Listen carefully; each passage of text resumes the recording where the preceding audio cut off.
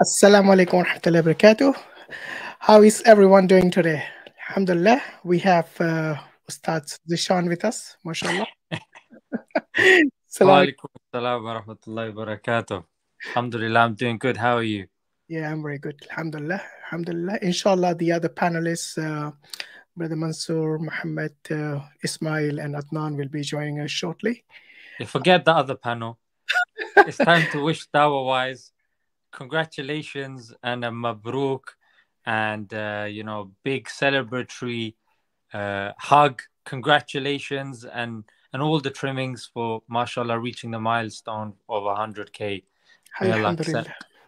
And uh, may Allah make it the beginning of uh, of a mashallah a, a intense growth and uh, mashallah Ameen, just more and more benefit I guess Amin, Amin. So yeah, Jazakallah khair for that, uh, Brother Zeeshan. Uh, may Allah accept from us all, and uh, may Allah make this a means of, uh, you know, benefiting the ummah, whatever little we can do with these platforms that we have. So inshallah, I mean, it wouldn't be possible without the support of uh, all the people, you know, who support us uh, both o- online and offline. Uh, so, mashallah, brothers like you in the background who help us a lot. And, you know, mashallah, all the subscribers, uh, all the viewers, all the people who are the moderators, uh, people who comment, you're all part of the ecosystem. So, oh for sure yeah, inshallah, sure. we'll see the ajr, we'll see the reward of this on Yawm al Qiyamah. Uh, it might be seem pretty insignificant at this point, at this stage, but inshallah, in the akhirah, you know, like Allah subhanahu wa ta'ala, you know, Prophet said that even if you recite one harf of the Quran, not one word, but one letter of the Quran, Allah gives you 10 rewards. So, you know, He's merciful. He's, uh, he's uh, Rahmatul Alameen. Um, Allah subhanahu wa ta'ala is um, given us a lot in terms of just the the fact that we are breathing, the fact we are walking, we are sitting. You know, many people don't have that. So we should be thankful for every second of the day. You know, if we are truly to show our gratitude to Allah subhanahu wa ta'ala. So may Allah accept from us. So, Brother Zeeshan, how are you doing? Alhamdulillah, I'm good. You know, you're talking about the favors of Allah. Yes. Uh, one of the favors that I think caught my eye was the fact that the planet is traveling 1,670 kilometers uh, as well per, well per second, or uh, I think yeah, per an hour. Yeah, 1,670 kilometers an hour, and uh, wow. Subhanallah, us sitting here in our comfortable chair and Subhanallah, we don't really appreciate. Some sometimes we wonder, you know, what is Allah really doing? Even though I think that's nonsensical question that anyone with a rational mind wouldn't necessarily um, posit. But in case somebody is wondering, just the mere fact that you're able to sit still when the planet is spinning incredibly fast is Yeah. subhanallah one such example of a blessing that we can't necessarily see and no less experience as well so alhamdulillah yeah Yeah, Alhamdulillah. Uh, so, inshallah, as I said, the other panelists they'll be joining us soon. Uh, what we will do is um, when they join, inshallah, we'll open for the Q and A. Uh, but just want to tell you, I mean, in terms of um, the achievement of this milestone of the hundred thousand from uh, on the DawahWise channel, it has been a long journey of like just over two years, I would say. Um, and Alhamdulillah, in that duration, we ourselves learned a lot in terms of both the technology, about the social media, how everything ticks, you know, behind the scenes.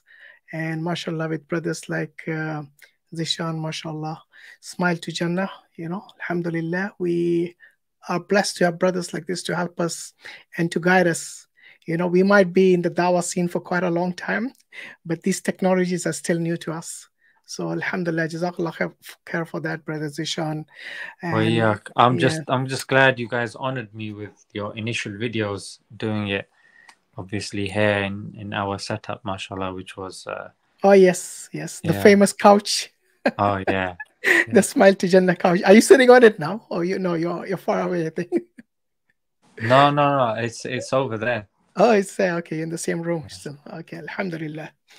No, mashallah, yeah, those were the early years. i can't i can't grace it with my presence too often there's just too much you know glory and and blessings there i have to be in a right, right state of mind to you know yeah. go there and of course perform your ghusl and then you know sit down on it in yeah, your white clothes some tawbah to make sure you know i'm uh, yeah yeah i'm, I'm there, I'm there yeah yeah it is indeed the legendary couch as uh, alifia puts it mashallah so yeah alhamdulillah what's um, what's happening on uh, Smile2Jannah? Anything new? You guys got any projects uh, in the pipeline?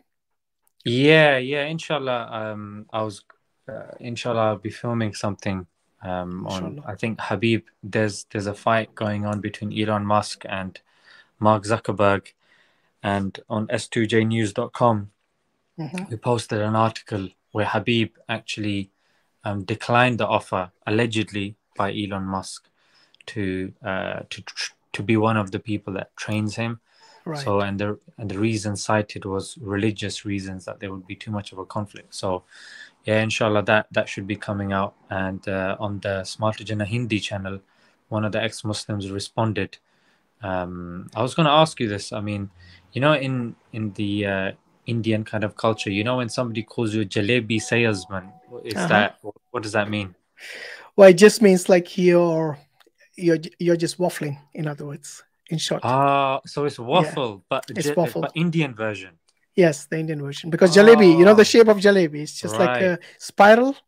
Right, so right, right. Oh. your talk kind of just spirals down. It doesn't really make any sense. That kind of thing. Yeah, yeah. So I so I made this academic response to this ex-Muslim guy, and I was breaking down. I was talking about morality. I was talking about subjectivism and you know um, that that sort of stuff and he just responded with that to be honest and oh, I thought it, it's just a lazy response a, I thought it was a great injustice to his followers frankly I was expecting an academic response justifying his uh, his kind of worldview and and that's what he hit back with uh, was who was this? Was this someone popular or just some random guy on the internet? Yeah, yeah, yeah. He's he's I think uh, one of the popular Indian ex-Muslims, and I and I was you know, to be honest, I wasn't surprised that that was a quality, and that's that's the strength that they're bringing to the table. Frankly, I just yeah. hope the viewers can see right through them. Uh, it's quite pathetic, to be honest. Well, I think you're you're raising your hopes too high if you expected any academic response from people like those ex-Muslim who are just full of emotions. Yeah, yeah. I think we've got to learn from the the OGs. You know, hitting the hundred k mark, mashallah, yeah, setting the setting the the standard. I remember uh, Brother Mansur made a a reaction video to one of these ex-Muslims. The guy didn't even know how to read the Quran. It was like a joke. I have a feeling he was even that reading of the Quran he was doing is probably was reading from a transliteration from the way he was uh, reading it. So yeah, most of these guys, you know, who think they they knew Islam and then that's the reason they left Islam. It's just mainly just either emotions or for some other worldly benefits or maybe a woman, you know, in their life who for which they had to sell their akhirah. You know, what do you expect from people like that who have sold themselves out? You know. I like how that was such a that was such a big diss. Um, I, yeah. I don't think it came across to the people. Uh, I hope I hope it landed. I hope. Yeah, I'm sure they all they understand. Alhamdulillah. So yeah, we know this. I mean, it's it's nothing new. Uh, but yeah, I guess um, these people, you know, they just just like the Islamophobes in America, you know, all these uh, right wings who used to be against Muslims, and now they are kind of realizing what the left wing has done to them, and they can't take it. You know, the way their children are treated, the way mm. their genders become a joke. Uh, so it's it's I think it's the light. There, there's still light at the end of the tunnel somewhere in this Islamophobes, be they Hindus, be they from the Americas or Europe as well. So yeah, I mean, this is uh, the reason we have these channels, isn't it? To thwart all those uh, misconceptions they spread against Islam. And Alhamdulillah, with these um, humble platforms uh, of ours, we can do whatever little we can do. You know, inshallah, mm. we try our best. So yeah, Alhamdulillah. Um, yeah, you you went to Speaker's Corner last Sunday. Any good discussions? Um. Yeah, yeah, mashallah. Um, I mean, I could, I could probably say it here. There was one guy who was very close to Islam, one mashallah. step away from Islam, Right. and um, we spoke, and then we had to switch the camera off. okay. So I mean, read between the lines. I mean, I can't disclose what happened because um, he, he didn't want his parents to know. But uh, yeah, just make you know. Okay. Inshallah. Yeah. Did he accept Islam or? That's was close. that's what I'm saying. I can't say. We had. Oh, I see. Okay. But you don't know who, you're not mentioning the name, so should be okay. Yeah, yeah, yeah. We don't have the picture or the name, so it should be fine, you know. Yeah, yeah. We, the thing is, it got uploaded by. Oh, I see. Okay. Yeah, yeah, yeah. Oh, I see. What? then Even just- though you said not to, he doesn't want the camera on. Yeah, yeah. So until like that that point where I said, Right. "Do you want to accept Islam?" We just Oh, we I just shut it off there. Okay. Yeah, yeah. Fair enough. Yeah. But. Alhamdulillah, um, Alhamdulillah. I guess what I could say is um, there definitely are, you know, po- um, open-minded, open-hearted people that come um, with with a good intention, and and that's the hope that we have, of course, for for these live streams as well.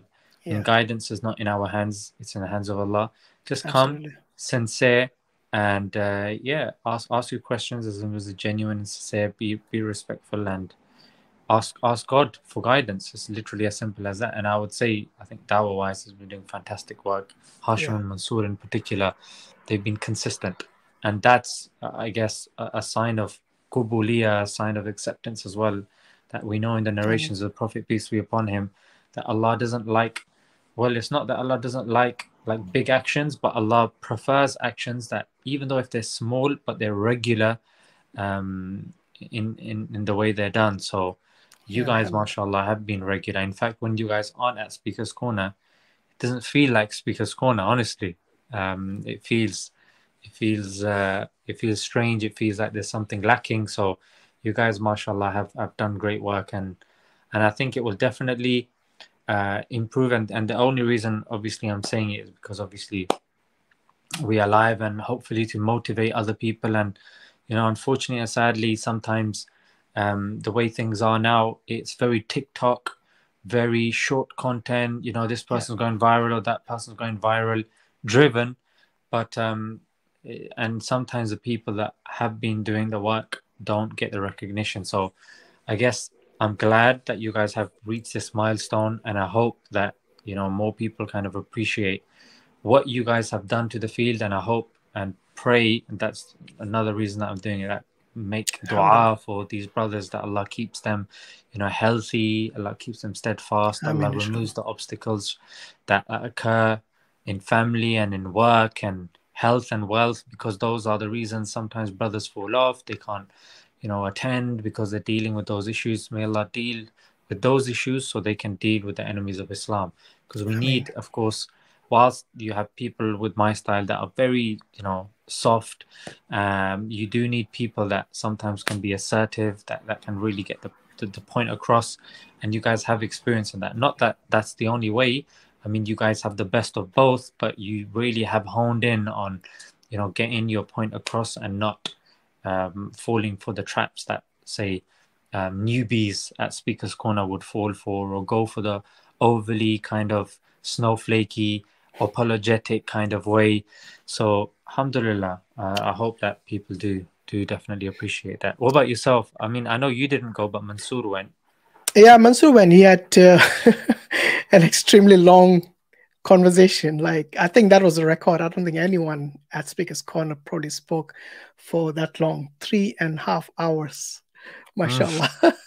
wow and I, I would I would actually give credit to that uh, woman as well, who was a Christian, I believe, and she had the patience to wait that long, and she was like asking questions um, after questions, and mashallah, Mansur was just responding to all of them. nice Yeah.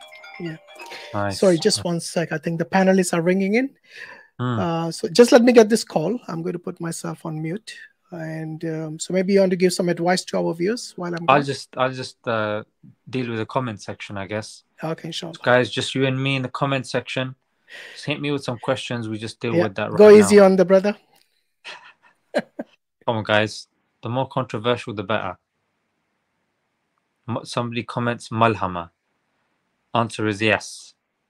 Somebody says Salaam alaikum wa rahmatullah. Wa alaikum salam wa rahmatullah. Fisherman goes, Hala marhaba. Barakallahu habibi. Uh, somebody goes, Do you think of philosophy useful or useless? I think anyone who is, uh, if if that's the contention that people are bringing, then we do need to know that contention, but obviously we don't need to make it emphasis of da'wah. Someone goes shawarma or kebab, I would say kebab. Urdu channel release content. I was supposed to film something today. So yeah, inshallah, I, I do need to, bro. But where the shorts, mashallah, are, are quite regular on there. Somebody goes, I truly admire your knowledge. Jazakallah khair, bro. Knowledge seeker goes, alaikum. Wa alaikum salam. Uh, Ahmed from Somalia, wa alaikum salam. Well, I have a question that why there couldn't be an infinite regress of dependent things. Yeah, because look, if there's an infinite regress of dependent things, then we wouldn't necessarily exist. In order for us to exist, there has to be an end to that chain. The example that I like to give is if I'm to throw something, if I throw it and I need to ask someone's permission, then he has to ask someone's permission. And, and if it goes ad infinitum, I'm never going to get to throw it. The mere fact that I get to throw it means that somebody in that chain said, yes, throw it. So there's an end to that chain. So it's us as well. So it's like that. Um, uh, welcome salam wa rahmatullah. Streaky red. Allah, let's unite upon haq wa alaikum salam. Brother, I hope you're doing good. Appreciating your work. Thank you for making Hindi and Urdu space too. Barakallah feek, bro. Jazakallah for supporting and subscribing. I'm from Kerala. Oh, Ashbin, hope you're doing well. Mubashir wa alaikum assalam wa rahmatullah. Yes, yes, yes, mashallah. Why do we need to fear Allah?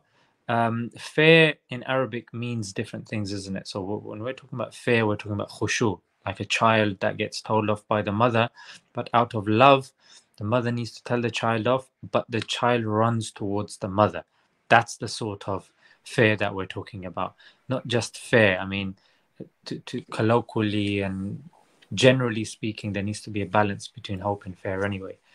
Um, people, um, lone warrior says, Brother Zeeshan. My answer is yes, brother. Um, and uh, yeah, somebody, uh, these guys keep asking for Swati sister. Who's Swati sister? So Sister Swati used to be a regular panelist and she still is. Alhamdulillah. People need to know that some people need to take a break, need to go on ah. holiday. They're not here every week in and out. so yeah, Sister Swati is taking a, a break. Uh, so inshallah she'll be back. Uh. As for brother Sam Stallone, uh, unfortunately, as you all know about his channel, it, it was hacked and somehow he's lost his channel. Uh, may Allah help the brother regain his channel, and we pray and hope the best for him. Uh, so both of these uh, brother and uh, sister Swati and brother Sam, mashallah, they have been quite vocal in their, um, basically in their dawah against uh, the, the Hindus, you know, and to expose all the things, all the Islamophobic articles that they've written, the videos they've made. And mashallah, they have uh, done a great job. And, you know, obviously people will uh, want to be against them. There are certain elements who would not want uh, them to continue that and be the hindrance in that. But, you know, Allah subhanahu wa ta'ala, He has blessed people in this field of dawah. So the prophets and the messengers, they had a lot of hurdles, you know, and they were like 100 million times better than us. So, you know, why would we expect an easy ride? As they hmm. say, you know, the path to Jannah uh, is not a walk in the park. So people have to struggle, you know. The can't the more... just smile your way to Jannah, you know. yeah, you can't.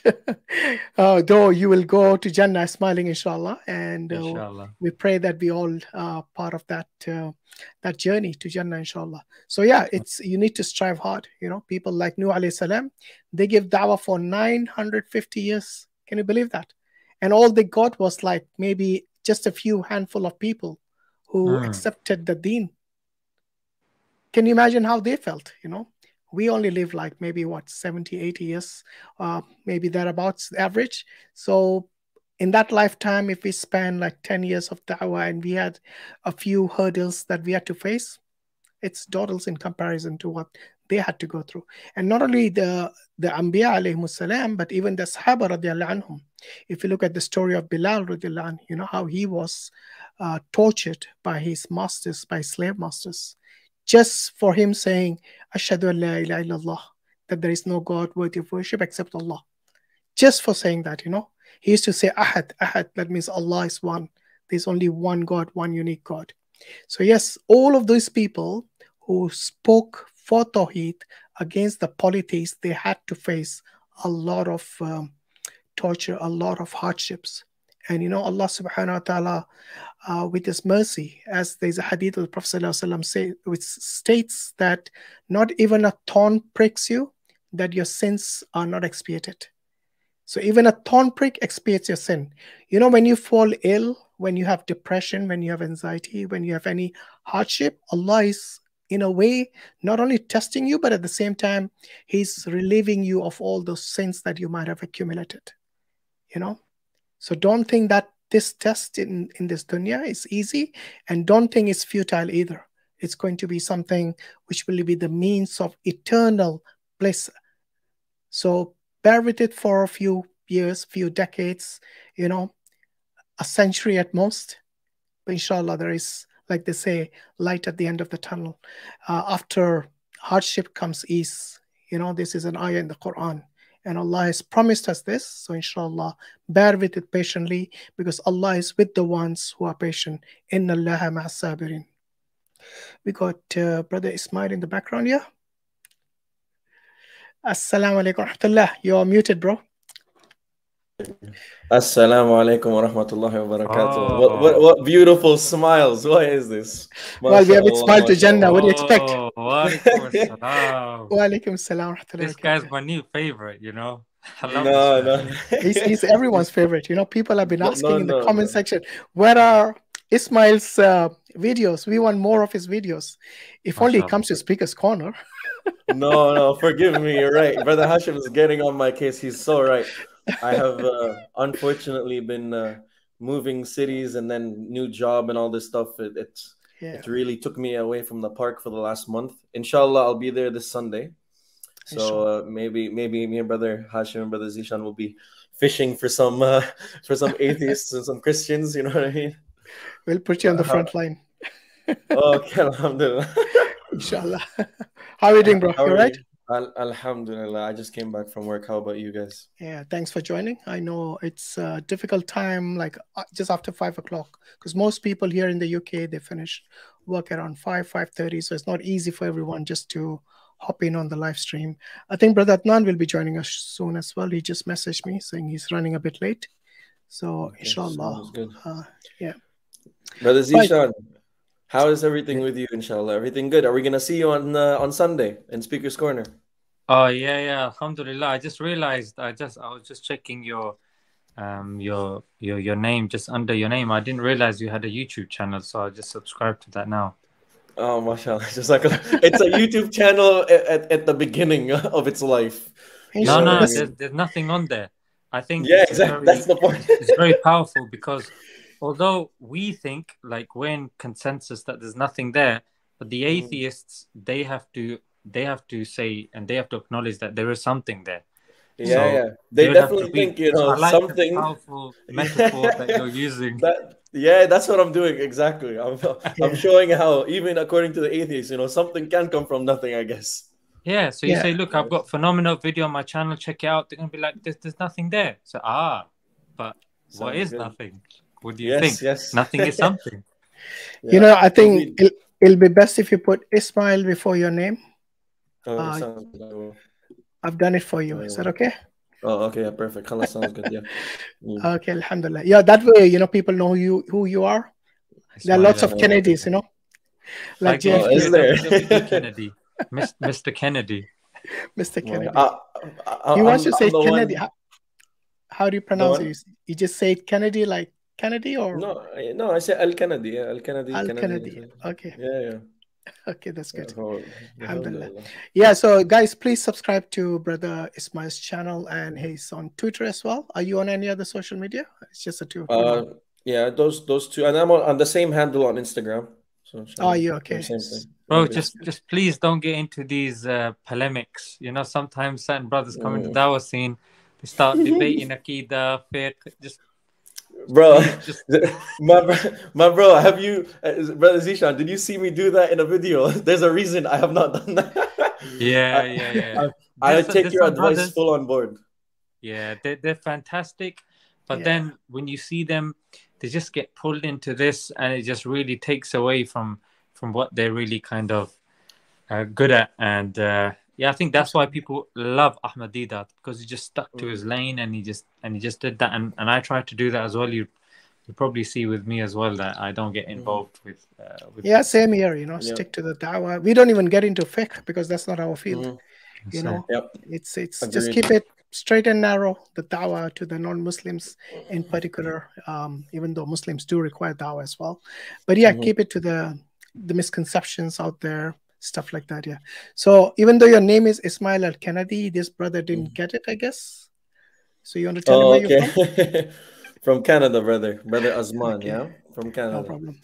Um, but uh, yeah, brother Zeeshan, I couldn't agree more. Yeah, like I, I think we have plenty of atheists and plenty of liberals and plenty of feminists, and uh, these are the guys who are like going out of their way to assault our religion and assault the lesser educated, uh, Muslims and trying to bamboozle them into um, kufr. So um, uh, we we're not uh, you know we're not sold out of the the main targets.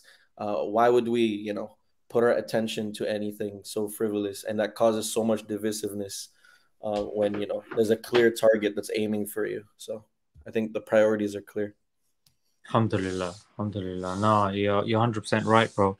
It's good you see it like that, and um, May Allah kind of give you stability so you can come and cause instability in the hearts of the people trying to cause divisiveness. MashaAllah, I love that.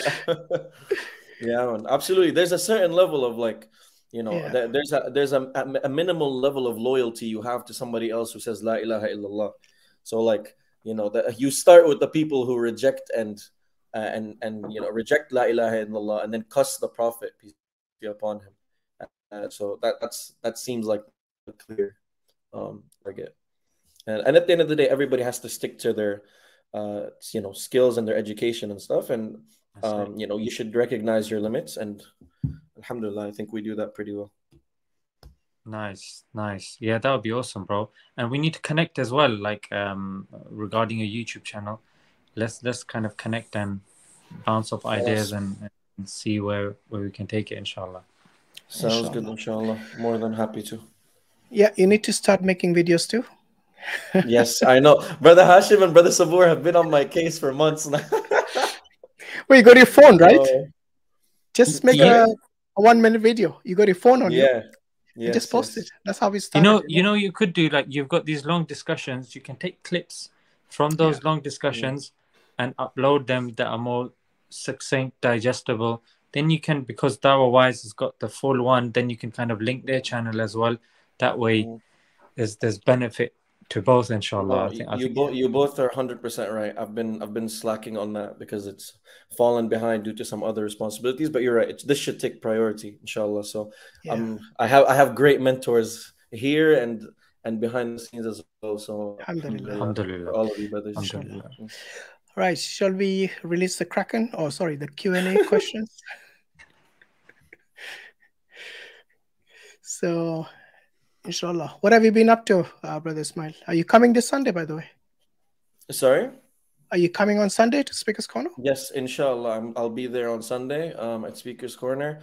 Um, just you know, I'm just mo- moving. Move, you know, the the moving process took some time, and then getting comfortable at the new yeah, job um, and learning the, the learning curve of the new job and stuff.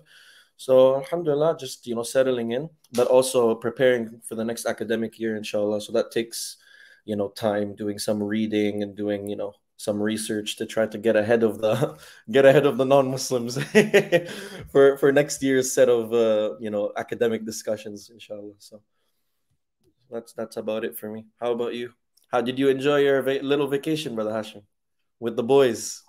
Yeah, I was uh, away with the friends, and then I went away with the family as well this week. So, alhamdulillah, that was good. Oh, mashallah. Uh, it's good to take a break, you know, from all this. There's a lot of, uh, you know, when you deal with a lot of toxic people, you want to detox, Mm. and I think it's good to take a break now and then, even from Speaker's Corner. Uh, it's it's a must, I think, for everyone, Yeah, you know, we switched. religion. We switched. Yeah, yeah. We I used to be the one hopping around, and now, so mashallah, every every week you're somewhere new. You're Well, it's- new, it's a uh, kids- Adnan, Adnan Rashid. It's a kids' holiday, so that's the only time the parents can go out, you know, have holidays. it's not that uh, that simple. But Mm. Inshallah, I'm going to. doing, pinning it on the kids. where were where were the kids when you were out, going out with your friends to Lake District? Now, where, where were the kids? No, it was it was a kids' holiday that time as well. Okay. You know, we we're having um, a vacation. It's summer vacation here for the kids, so they get like Okay. six weeks off, which is enough, I think, for anyone's holidays.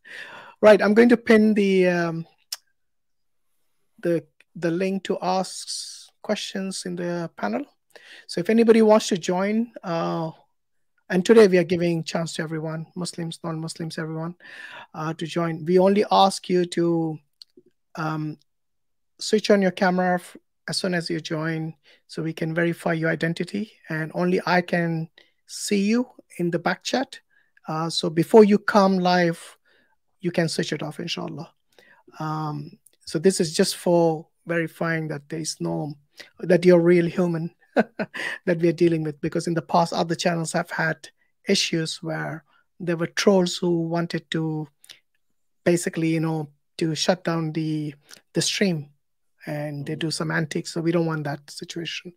So yeah if you're genuine you shouldn't have a problem. Switch on your camera for a few seconds you know like even five to ten seconds. Switch it off just once your id is verified E- even if you don't believe that you exist, uh, Yes. do it anyway. Yeah. as Um, long as the camera exists. You can come on the panel inshallah. So yeah i'm going to just put the link out there. I'm going to pin it inshallah We just need Brother Mansur for his uh, tripod analogies now. You've learned them well, inshallah. Right. So I've uh, pinned it in the live chat. So if anybody wants to come on the panel, ask questions, once again, make sure your camera is on in the back chat. And then we can bring you on the panel. So, right, until they're joining, um, is there anything you guys want to, I don't know, mention? Yeah, we could. do- Uh, why don't we talk about well, how did you guys like the um the debate, the atheism and Islam debate in South Africa? I haven't watched that yet. Had a Oh, lot of. Okay. I was traveling, remember? Oh yeah, sorry. no, what about you, Brother Zeeshan? Did you did you get to, ch- uh, a chance to watch it? I did, yeah, yeah, mashallah. I, I thought it was it was fantastic, um, in terms of in terms of of course the uh, the arguments and the content. Um, I, I think some of the points may have gone over people's heads, but I think the thing that that kind of really made it a frustration a frustrating watch was um, the organizers. I, I think they did uh, a great injustice. Um, I don't think they were the right people for the job and uh, they, they didn't really host very well. I, I think even the premises as well, it's very unprofessional. Just, uh, I mean, that's the time we need to go now and not allow it. I mean, eh, you understand you're, you're calling big names. Um, it's, it's going to do well. Um, I mean, the University of South Africa, uh, they definitely, or Johannesburg, they definitely need to kind of have meetings with these individuals and uh, because that's very bad I think publicity. I think it's very Yeah. poor. Um, uh, the the ending- I think it was, yeah. The, the ending was no good, especially with the guy. I love Brother Hamza's retort. Um, as soon as he talked about his niyyah, Brother Hamza is like, exa- he just called him out. He's like, How do you know that? It's like, Yeah. It's so true. And he's the most perfect person to call that out. It's like, How Mm. do you know what's in the in the speaker's hearts and intentions? It's such That's a right. basic Islamic concept. It's like you don't question somebody's niyyah because you know you only Allah knows. So like uh, it, it was very unprofessional, and to hear that from like supposedly the senior on the panel, the senior academic that's supposed to be overseeing, I mean it just gives you kind of an idea of you know what lackluster setup they're running if that's the most Yeah. wise of, of the bunch. That's and, right. uh, and I really found the chair to be, um, not uh, yeah, like I just found him not suitable for the job. He was not uh, somebody who was ready to to to you know do this uh. Okay, the the important question: Who won? Oh come on! Is there is there even a question there? I thought you, I thought you guys would tell us it was a knockout or something like that. Come on, man. Yeah, that No, it you know sometimes when things are so obvious that Yeah. a, a side a side point gets more priority. I think Mm. that's that's what's happened here. That it's just like this. This is an axiom. When there's an Islam versus atheism debate, that Islam's always going to win. Like no matter what. Mm, Uh, and over here as well, you could just see, I mean, in terms of presentation, in terms of argumentation, in terms of approach, in terms of just preparation, uh, in terms of rebuttals, retaliations, just in terms of everything. I would say every single round went yeah. to, to, to those guys. They simply outclassed them in every way. Um, and those guys, I think, were coming with very, very weak points, frankly. Very weak. I Yeah, it's the same old stuff. It's the same old stuff, brother Zeeshan. Like, uh, like they don't even bother to engage like Islamic, uh, the Islamic perspective or Islamic dialogue on the problem of evil. So they just come with Christian rehashed arguments, um, and they don't even they just copy paste. So it's like you know, I actually appreciated the present the first presentation um, of what the first atheist in the black suit. He had a, at least a very cohesive presentation, but it's the same. It doesn't like the same rehashed stuff from just Christian. Uh, uh, what, do you- what do you call it? Um, uh, debates. You know what I mean? So they don't even bother. Um, so they make they make a lot of errors and a lot of assumptions about our about our positions. And then uh, the other guy, I mean, come on, like just he didn't even do. Like, I swear, it, I thought he like I couldn't believe my eyes when he was talking about how women are to be burned for, and this is a fiqh position, yeah, had to burn women for having sex during menstruation time. That's like, and he's like, you could find this in many fiqh books. And then Brother Hijab's face and Brother Hamza's face it was just like so funny. Did It's- he, it's like- did he give a source for that? Uh, no, faith? of course not. Of course not. The source is trust me, bro. And he's like uh, many fiqh books, yeah. So I, I don't So know if he went to He was one of those internet scholars, was he? Yeah, yeah. It came off the you know, he just came off a guy who looked up like what are the worst things in Sharia and then like stumbled on possibly some Hindu. some Exactly, Hindu yeah. mixed- Yeah. yeah, And, Hindu- and the Hindus get it from other Islamophobes. You know, it's it's a vicious circle, Mm-hmm. unfortunately. Right, let's bring some uh, some people on board, inshallah. We got uh, four one four five one seven. Assalamu alaikum, bro. Are you there? Alaikum salam. Can you hear me? Yes, we can. Yeah.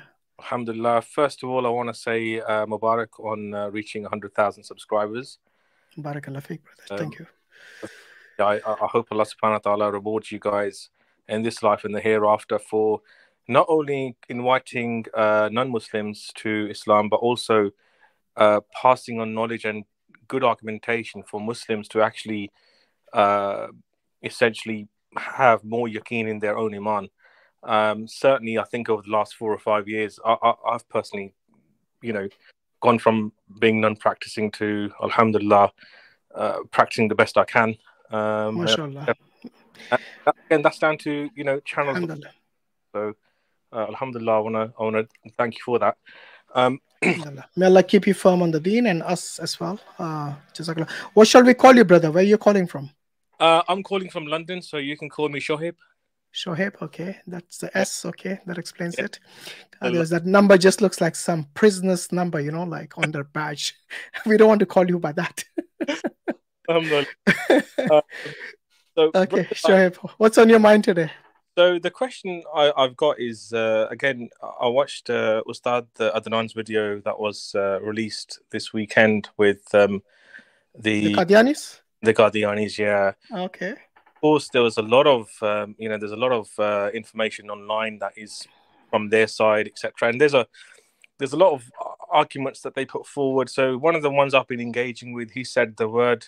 Um, he's so I, I I've used the argument uh, which the EF Dawa brothers put forward uh, a couple of weeks ago. Um, you know, uh, what was it? Verse 156, 157, 158, 159. Okay, yeah. The About God, Isa salam, yeah. Isa Islam's this, and yeah. Yeah. And so this brother's saying, oh no, the word rafa means uh, elevate, and it means spiritual elevation, not physical elevation. So I just wanted to get your view on that first of all, and second of all, um, there's uh, a, a, another brother um, who basically said that uh, Mirza Ghulam claimed to be um, Prophet Muhammad sallallahu as well, uh, and he claimed to be God, and you know he just made all sorts of claims. And again, I just want to get an, an understanding of where uh, these sources have come from, um, because I think it's very important to reach out to uh, Ahmadis, especially ones that you know are told not to speak to Sunnis because we're violent and all the rest of it. Um, just to essentially tell them that look, you know, there's these are from your own sources. So sort of get your understanding of, of, of which direction the dawah should go for for, for Qadianis. Yeah, I mean, uh, I, am sure Brother Zeeshan dealt with Qadianis as well. Zeeshan, you want to come in? Yeah, the the thing when it comes to Qadianis that I've noticed is um, they take verses and they love talking about Isa alayhi salam. Um, like even if you look at some of their claims, they claim that there's certain verses, um, and they claim that it's it's a clear notion that Isa alayhi salam did not die. Yeah, actually he died. He died. So that's going to be their argument. But then the verses that they put forward um, need to be explicit in that regard. So if they're saying that, look, Isa salam died, then with all due respect, show us a verse in which it's mentioned the word Isa, the word died, and the word natural death. Like that's that's what we want to see. It's all well and good they're giving us these um, obscure ayahs in which they're saying this word actually means this or this word actually means that. Not necessarily. No, I mean uh, they, they do this with, with with quite a few to be honest. Um, uh, in fact, they actually add in, for example, in chapter 3, verse 144, they will say that all the messengers have passed away before him. Um, but the word all is actually not in the Quran. It's actually, it's in the translations, but it's in brackets. So um, that's that's the kind of strategy that they take when it comes to Isa alayhi salam. But um, you ask for a strategy when when dealing with Qadianis, the best strategy to to kind of be engaging with them is talking about number one, the necessity of another prophet.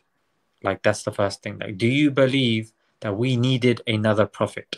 And number two, do you believe that this prophet or Nabi or whatever you want to call it eh, is Mirza Ghulam? And Mirza Ghulam Ahmad, he is somebody that is suitable to come after the prophet that's that's where the the conversation that's where the discussion should be. Uh, going into polemics uh, and going into grammatical uh, this is what this word means and no ibn abbas said this and that we know their games. Yeah and and they do this quite often and they do it with with actually a few verses. But uh, like when it comes to khalat yeah um you probably heard this as well. It, it's the same again but uh, we, we just look at other verses of the quran where that word is used, and uh, it's not going to be according to how they say. They'll they'll take, even if it's like a um, obscure opinion or a a solitary kind of view regarding the translation of a specific verse, and then they're just going to roll with that.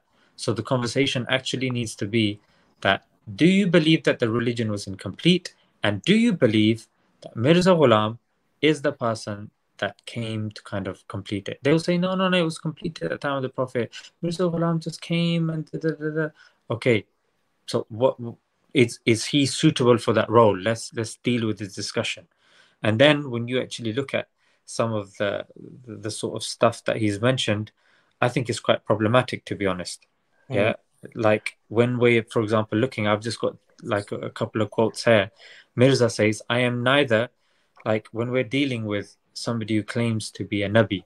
Yeah is this you i mean you you can tell me yourself like would a nabi say i am neither the insect nor son of man. I am the place of embarrassment on the place of man. Yeah the, the place of embarrassment on the place of man is either the front or the back. And that's not really it's not befitting language mm. uh, of, of a nabi frankly. And then he goes on to say he would go to toilet 100 times a day Yeah, that's that's uh, every 15 minutes. Like again, is this befitting of of a prophet? And you might be thinking, look, okay. In another place, the guy goes, God addressed him as Maryam. Then he became pregnant. Then he started getting labor pains. And this is rohani Khazain, volume 19, page 48. Yeah. Now, just this this is a whole video in itself. This is a whole argument in itself. And I've engaged with Qadianis, yeah. and they will say, "No, no, it's it's actually means this." I'm sorry, but when you're saying that God called me Maryam, then I became pregnant, then I started getting labor pains. That's problematic.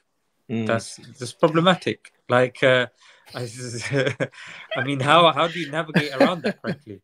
You know what I mean? Like that's he, he was way way before the gender wars. You know, I, like I, I was, he excelled them all. you know what I mean? Yeah. So, Brother Shoaib, I think your question has been answered in that video by Brother Adnan, is it not? About it's, the Rafa? It, it certainly has. Uh... Okay. So let's not dwell on something that's already been uh, at because the thing, look, it's it's obvious when Allah says in chapter 4, 157 that he's neither crucified nor killed. Okay. How can you link that statement with just raising his status or something like that, you know? It's it's just mind-boggling. The the word gymnastics they have to play in order to fit yeah. their Mirza, you know, into the into this equation.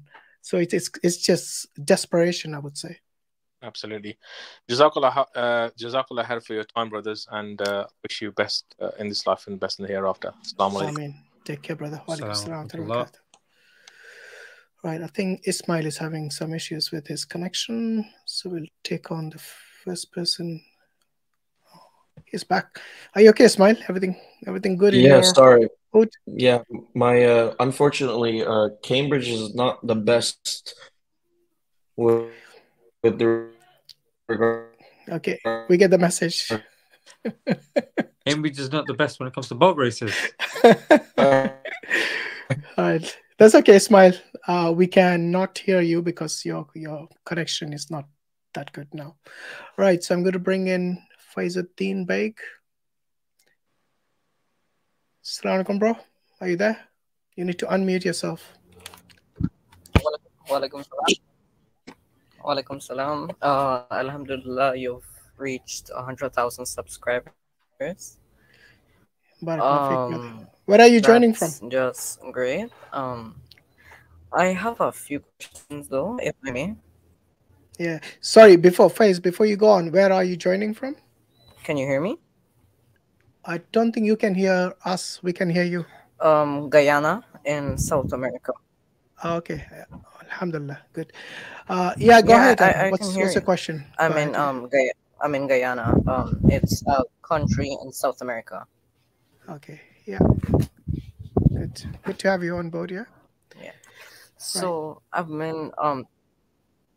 There was a video I saw that there was um it was explaining that uh, that like it was posted on August 6th. It was saying that um scientists were st- I don't know if it's true, that's why I'm asking, right? Um it mm-hmm. was saying that uh the the I, I forgot the name of it, but um the rotation of Mars has changed and now the sun rises from the west. That scientists recently discovered that. I don't know about it. Um it says that it's a natural thing or something. I'm not sure, but supposedly Earth is next for the um rotation to change. So I'm not sure about that. So, you know, before you actually ask a question like that, should you not have researched it yourself instead of saying, I'm not sure? You know, when they talk about Mars or any other planet where the rotation has changed, should you not have gone and asked them to show me the source where you got this from, then done a bit of research whether the, the news that you heard is actually true, and then ask your question. So this is the way the Muslims are taught, you know, when Allah says in the Quran that we have to ask, we have to verify, um, and it is something which is the sunnah of the Prophet as well. So we should all adopt the same nature where we have to verify the news that we receive. And in this day of social media, you know, there's a lot of fake news out there. Uh, I'm not saying what you heard is fake. All I'm asking is, have you verified it? Faiz, are you there? No. Okay. Yeah. Um, I said no. I didn't um verify. It. Right. Yeah, so brother, but that's do you the first see- thing you need to do. Yeah. Do you see Um, also another problem Go on. Faiz? there also. There, there's another Yeah, problem I- with the I- phase I have because because when we don't when we don't verify and we just like any headline we see, we start spreading it and we start spreading it on public platforms and live streams and stuff, then you know there are other people who are listening who might not care or might not um what's it called do their own research and then you could possibly have destabilized the way they see things or desta- spread uh, you know accidentally you could have spread misinformation to them and then they could pos- because they're not critical then they will go spread that to somebody else and spread that to somebody else. So we should also be careful when we ask questions. We shouldn't just you know oh my friend said this so i'm going to go and ask it publicly on y- on a thing like you should verify things especially when it's a public platform when there's other people watching other people listening just so that you don't plant seeds of uh, of falsehood, false news, or you know, because then this is how misinformation spreads. Because because look now, brother, you you don't really know the details of what you read, but then you said a, a sentence that's very like shocking, and then people might walk away from that, and then next time they see their friends, they're gonna be like, "Oh, did you know the sun is rising from the west?" And this could all be false, but now we've just started a chain of of falsehood that could mess with people's heads and the way they see the universe. But yeah, that's Yeah. all I'd say. So this is uh, if you if you read Surah Al-Hujurat, uh, chapter 49, uh, this is in verse 6. Allah says, "O you who have believed, if there comes to you a disobedient one, a fasik, uh, with information, investigate lest you harm people out of ignorance and become over what you have done regretful." So yeah, this is what uh, Brother Ismael was saying. So how how old are you, Faiz, if you don't mind me asking? Um, Alhamdulillah, I've lived. Um, I'm now I'm I'm 13 years old. I'll be I'm turning 14 in uh December. 13 years old. Um, Okay. Yeah. Right. So Okay, apologies. I was a bit too a bit too harsh if you're 13. I thought you're like at least 20. right. Sorry about that, brother. I think you were harsh for No, even no, a 20 year old. Ismael, calm down. Okay, But, but I've also Just kidding. just kidding.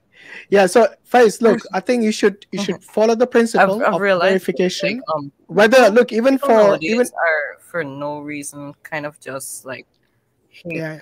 So they're trying to water down the miracles or the signs of the Yawm al Yes, I think you were you were referring to the sun rising from the west uh, as a as a great miracle or a great sign of the day of judgment. Am I right?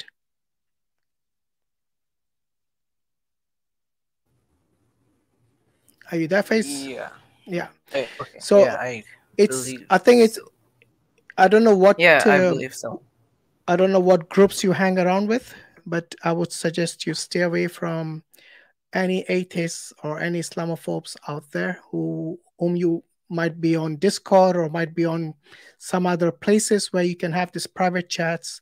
They fill your mind with all this junk. So keep company that is good, okay? Otherwise, it rubs on you. And this is something I would advise you at, at a young age as yourself. Yeah, I understand that. Well, yeah. Brother Zeeshan, you want to give some advice I, to our young um, caller I here? also have one more thing because I don't understand why. yeah, just just before you go to Do- that, bro. Yeah. Um, the, I- the story has been um, debunked. So um, uh, y- y- I think now Twitter has got a really important feature called community notes. So when stories like this do get shared underneath um, such stories, you'll see community notes, and they do typically, um, you know, clarify if it's fake news or not. This is one of those things. Um, the AFP fact check has confirmed that is, is false. So understand. I mean, you you are young. like we've established. Just bear in mind that the the internet, especially when it comes to social media, is not the most accurate and the most uh, objective or truthful that it should be. A lot of people want their posts or their pages to be clicked, so there's clickbaity headlines, and sometimes reading this, the um, the articles, seeing where the information is coming from, is very important. Don't just go for okay the titles of the videos, the titles of the headlines, and um, yeah, just just bear that in mind. Just bear that in mind, inshallah, bro. And um, yeah, like the brother said, um, just be cautious. Yeah. So I think it'll be best you spend your valuable time with Muslims. Ask the scholars in your in your community, people of knowledge, sit with them. And it's a good thing actually you came and asked this uh, doubt or something, but I think it's a company that matters.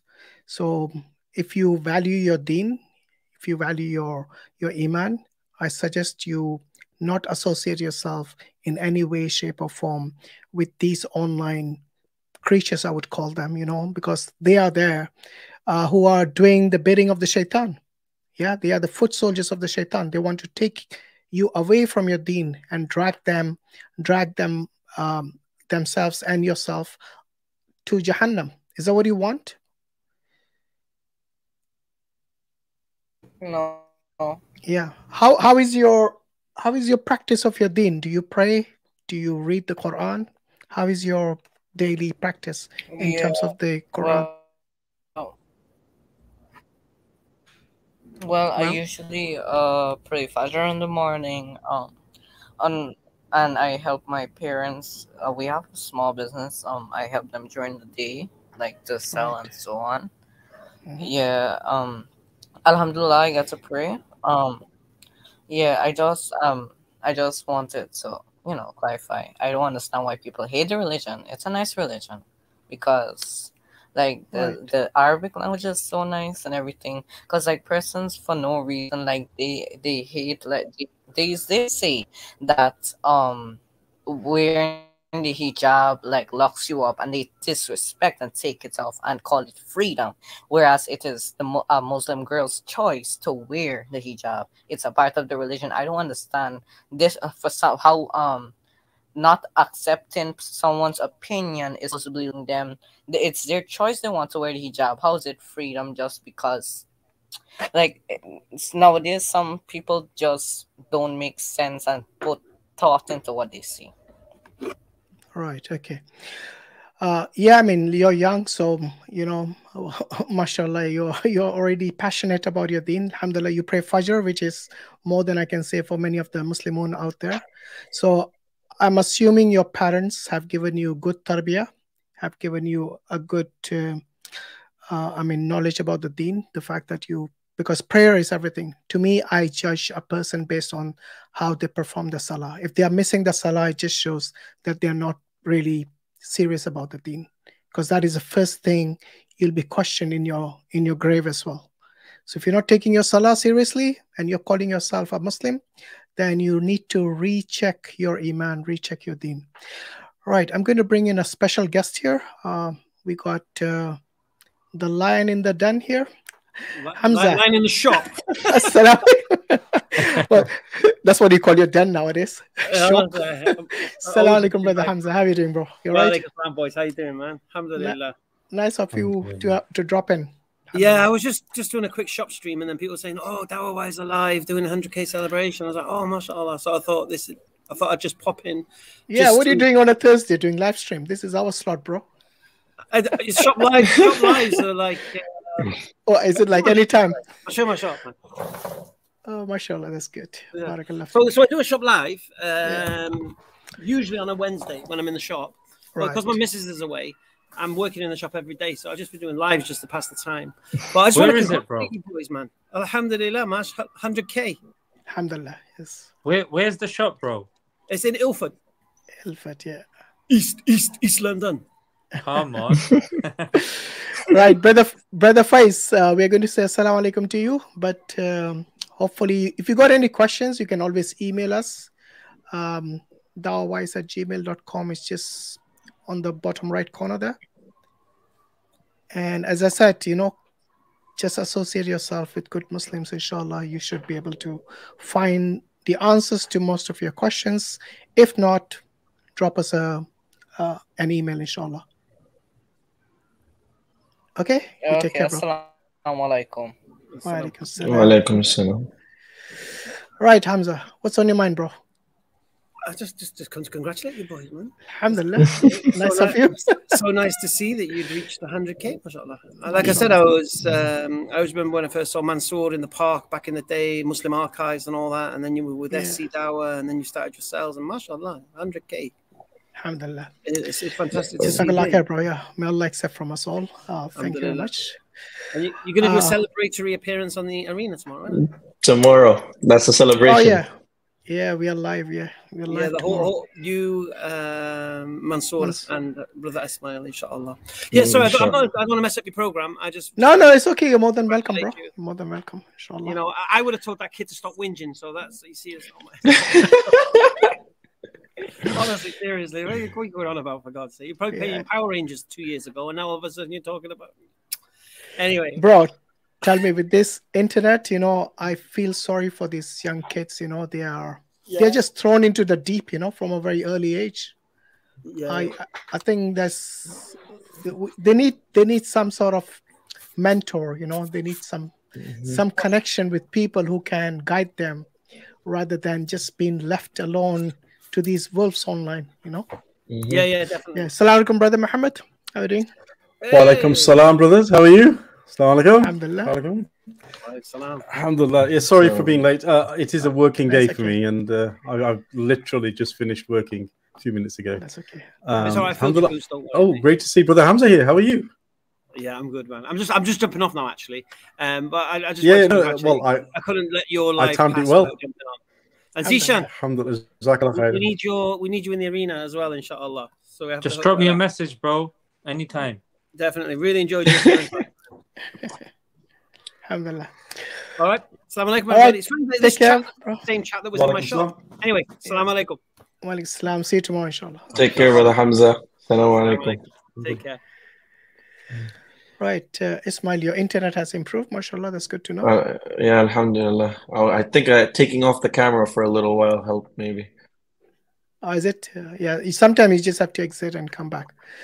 Right, brother Mohammad, how are you doing? You okay? Alhamdulillah, I'm well. Yes, uh, busy uh, with uh, 101 things as always, but uh, Yeah. Alhamdulillah, we've reached a, a milestone, and um, I think it was um just over a year ago that we reached the 50k milestone. yes, Um, yes. I That's think right. Was it um, last June or July, something? yeah, July, la- last June or July, I think it was. Yes. So, um, I, I'm, you know, what can I say? Alhamdulillah. And um, Brother Zeeshan, uh, your advice was very, very timely, by the way. You remember after our 50K, you gave us some very good advice on how to uh, build up the channel, and we, we followed it to the T, alhamdulillah. And so it's been very beneficial. Um, Alhamdulillah. and Alhamdulillah. I'm um, glad this is, I think, this is what we need to do. We help each other. We help each other. Absolutely. Talking of helping uh, each other, uh, Ismael, uh, it might be worth trying something. Are you on Wi-Fi at the moment? I am not. I'm uh, hotspotting. Um, unfortunately, Wi-Fi in my place is not um, uh, working at the moment, so that's Okay, why. that's that's what I was going to recommend for you to hotspot. That's the Uh, problem. maybe Yeah. somebody else has got like a better package or um, another network, but maybe Yeah, so I fig- figured out. So when I when I was in London, Cambridge, uh, Vodafone was great. Like I always got four bars. However, when I moved here in Cambridge, uh, Vodafone does not get four bars, unfortunately. So I need either need to switch providers or um, Yeah. I don't know. I, I'll probably just figure out a better place um to to do the live stream. Inshallah. yeah. Depending on your phone, you can it's have good two enough for SIMs. now, You know, you, can have an eSIM as a temporary when you're, you know, when you're Mm. Yeah. live streaming, inshallah. but we'll let you know that later. Right, let's bring in another caller. Um, we got uh, Zain Al Abidin. You want to keep your camera on? I'm going to bring you in next, yeah? Right, I think he wants to keep his camera on. Assalamu alaikum. Wa alaikum salam wa rahmatullah. Walaikum How How salam. are you, brothers? Alhamdulillah. Yeah, I'm good. I'm good. How are you? Alhamdulillah. Where are you jogging? Alhamdulillah. Uh, I'm going to play football actually. Yeah, Good to see you, so I'm, I'm, I'm, So, yeah, thanks. I'm in High Wycombe actually from Okay. UK. So, yeah. Right. Make sure you Uh, score some uh, goals. Uh, I like to play defender actually. I don't score that much to be honest. yeah, yeah, yeah. Make sure you stop those goals. I will do. I will do. That's on me. so uh, yeah. So basically, I would say congratulations on your 100k on this, and hopefully you will get more followers and more subscribers. That's uh, that's a good channel. And uh, from my experience, I mean, I've been, I mean, I started recently watching you guys, like most of you, and other other brothers as well, like Hamza, like like uh, Muhammad Ali. Like I'm watching those videos, and and I'm Algerian. Okay, I'm Algerian. I've been here in the UK for ten years. So I have one question. Like I want an opinion. It's not it's not really a question. So what do you think about uh, كتاب تفسير القرآن uh, للجليلين Jalalain, Do you yeah, know? it's a tafsir.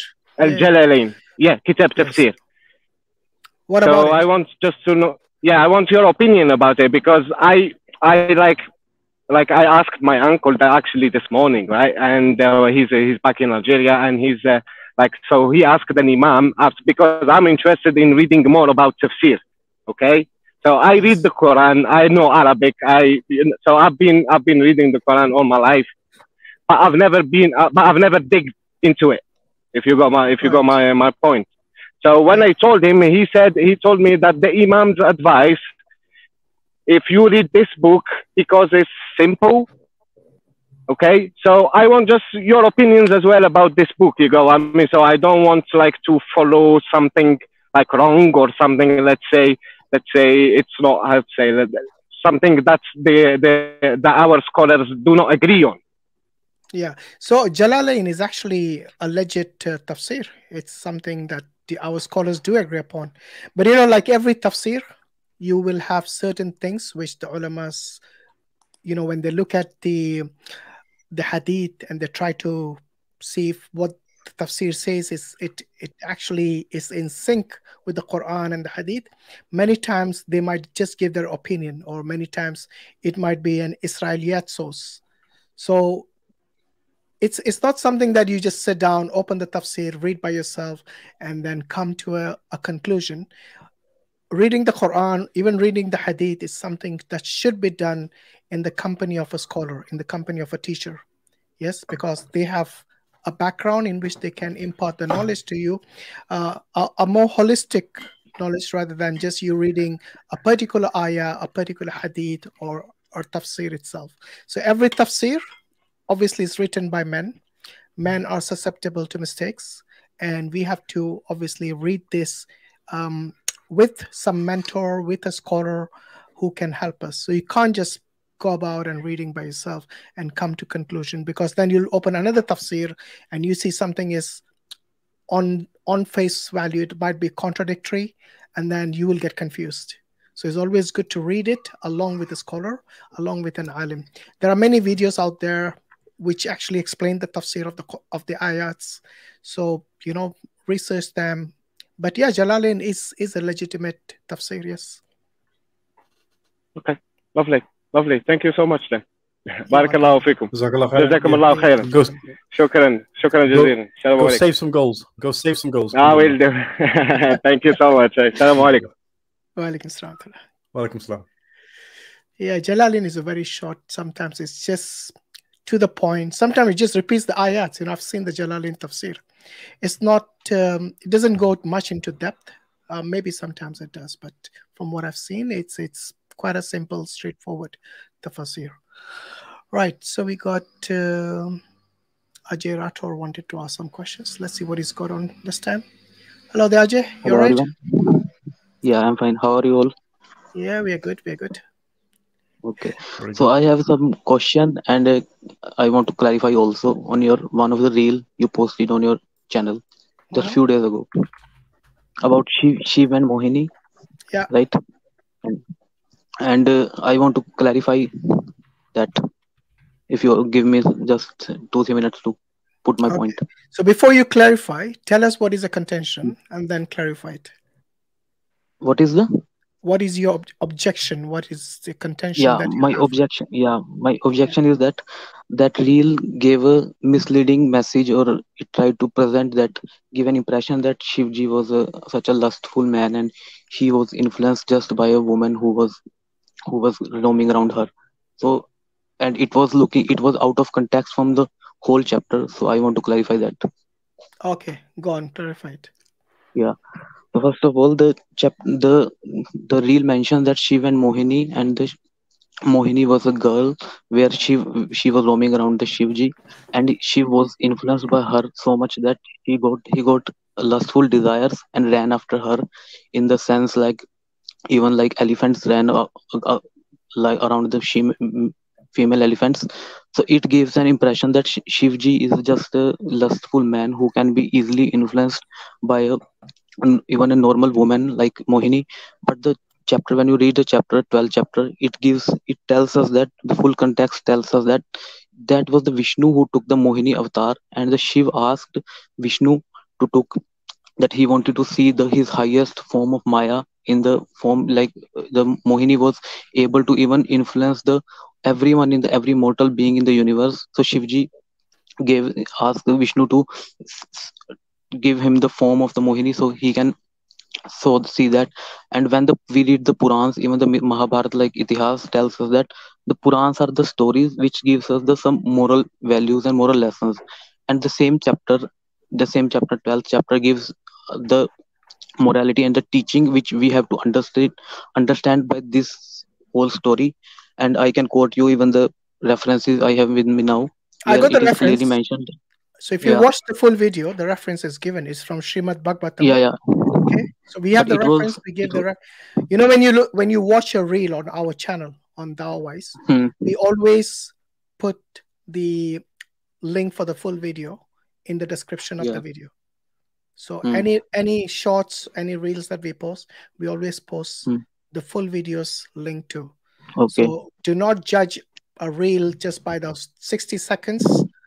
Go and see no but because we actually give context. is So for you to say we didn't give context is is a bit unfair no by you just watching a 60 second because reel. the headline was your headline of your reel was the disgusting rape in hinduism and then it gives the impression that she raped mohinian like this so i want to clarify that and i can quote you exact Okay. reference where it was not about raping a woman or something like that not just a Okay. First and foremost, desire first and yeah foremost, who was Mohini? mohini was the illusionary energy of vishnu in the same chapter Was she, mention it was she a real woman? yeah she was not a real woman in the sense like normal woman she was just the maya and the the every form of the maya divine has the divine qualities in it you can't say that he was a she was a normal hum, human like female around us she was not Okay. So normal so why did Shiva get attracted to her Hmm. if she wasn't real? Yeah first of all i just told you that this when you go to the last ending of the same purana Srimad bhagavatam where from where you quoted this reference the chapter it's chapter 12 says that these are the just stories to give the more moral lessons and i can quote you the direct reference from this No, no. chapter where it you was said wait, that wait. Before you give us the moral yeah lesson, the question that I asked you, you haven't answered. Did Shiva Mhm. get attracted by this woman who was seducing him? Did he get attracted yeah by her? He did. that's what, what i'm telling no no he didn't because the He what i'm not. telling you that these are these are the stories which I'll tell you you what. have to Have you got the have you got the book? Have you got the book on you? yeah yeah i had Bhagavatam. that with Can me you read can you read yeah, yeah. that that particular okay passage? And you tell us whether read according to the book he got attracted or not. Hmm. Okay, because you said he did not get attracted. Remember this. Now, if no the book i says told something other than what you are saying, then you will be the one who is being insincere, not the real. okay Do we agree? so here is the so the thing here is that if i you accept the full chapter okay Well, you can read the full chapter I, if when you I want, read but I want yeah I want to focus on the question which I asked. Did Shiva get hmm. attracted by this seductress called Mohini? That was the question. yeah You said no. Am I right?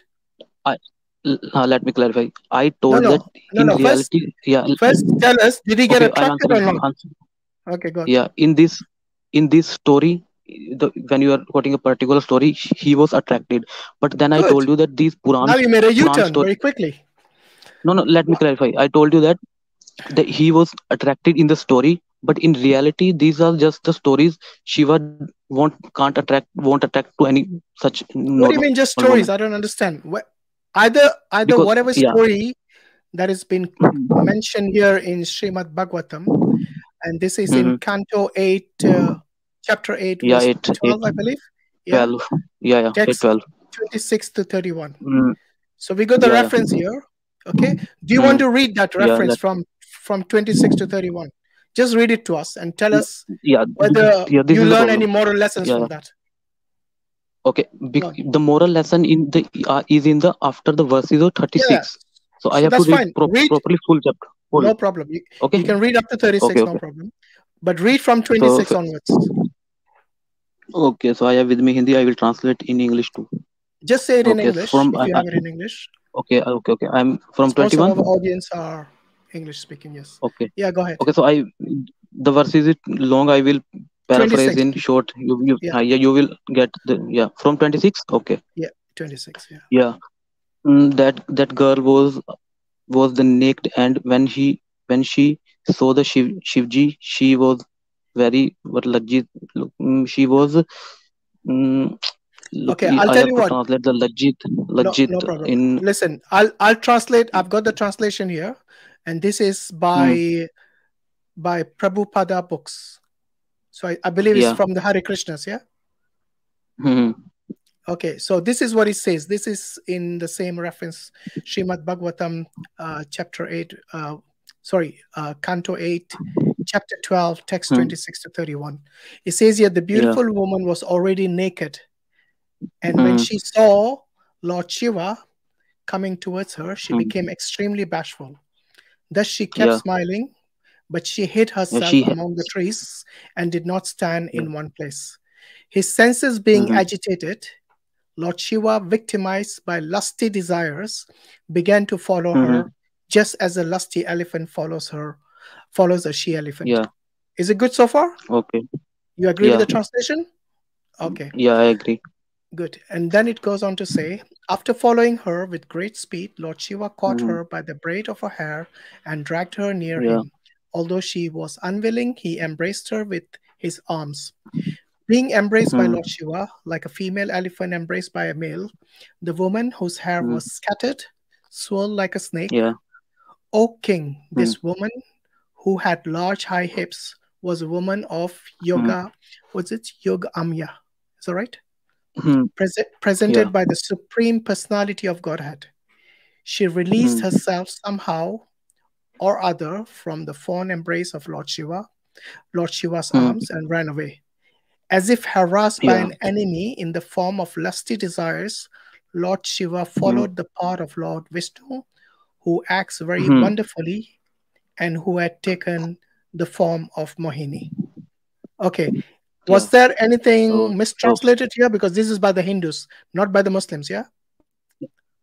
The yeah problem here is not mistranslation. I have to read the pro next verse too. Now, should I Yes, yes. read that? But? I want to know if you if you Yeah. agree so far. I just wanted to know that. No, I I am agreeing with the story. Whatever story mentions, I agree. Now I have to clarify it. Yeah. Okay. So So I'm reading. do you want to mm, clarify up to here before we go further? you, when you read the pro- full chapter, then you will get what it's talking about. If you quote just three verses, then it will just send a distorted message. That was my objection. Okay, it wasn't just three. I've read quite a bit. No, But if you it want was me to you read, just yeah. if you want me to I read will further, let me I can, no problem. yeah. I I can read. Should I? Yeah, go ahead if you want to. Why don't you just Yeah, tell yeah. us instead of having us read for no reason? Why, why don't you tell us what we're really missing and then show trying. it to us? No, let me let Okay. let me You, you complete. know what he's doing. You know, I you know will what you're doing. question. You're doing the the read, the read and hope and pray. No, You're no, hoping and praying that there's something in there that could obfuscate what's not clearly not in the in the just text listen. earlier. That's all you're doing. No, bro, no, not O- not Okay, something. I I will give you proper reference. Then you can ask me question. I've given you So the let reference me already. Okay, let me Yeah, complete I it. will. Yeah, let me complete it because I think you're going to take quite a while.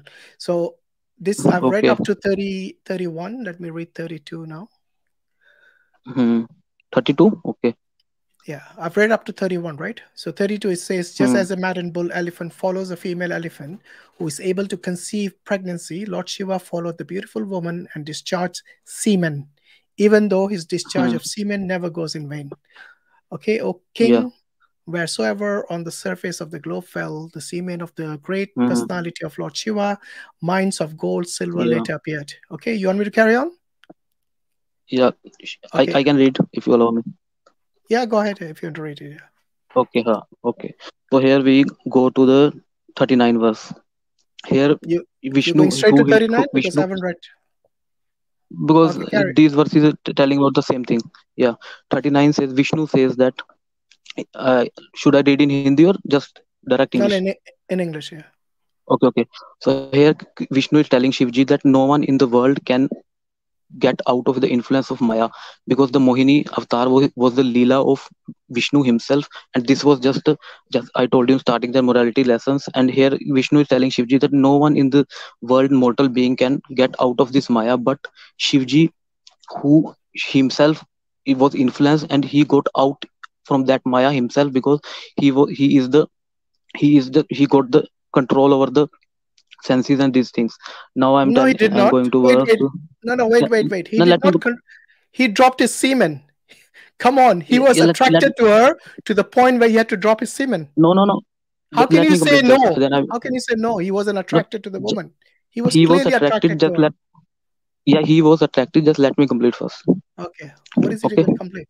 yeah hmm so here in the next verse vishnu is telling that, that this is my leela. Like we have the concept of leela where the different things are explained in a way of story where these things may not might not happen in real life but these are the moral lessons which are given to human beings to indulge in something or not.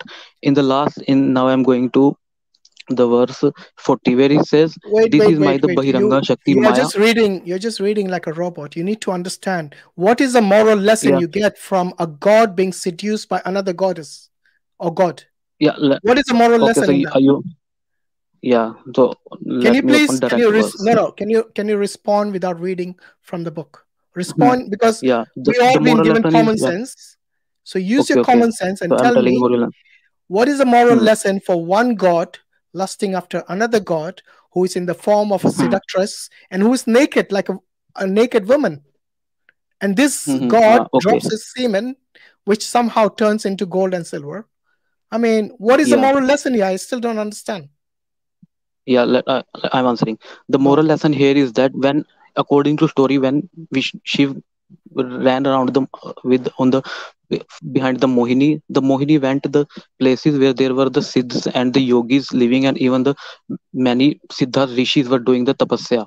And the they they were bewildered to see that she is running behind a woman and this gives the moral lesson. In the last chapter it explains that every mortal being can, eh, thinks himself as the superior that he can control and won't get in the trouble of lusty desire and the, the senses.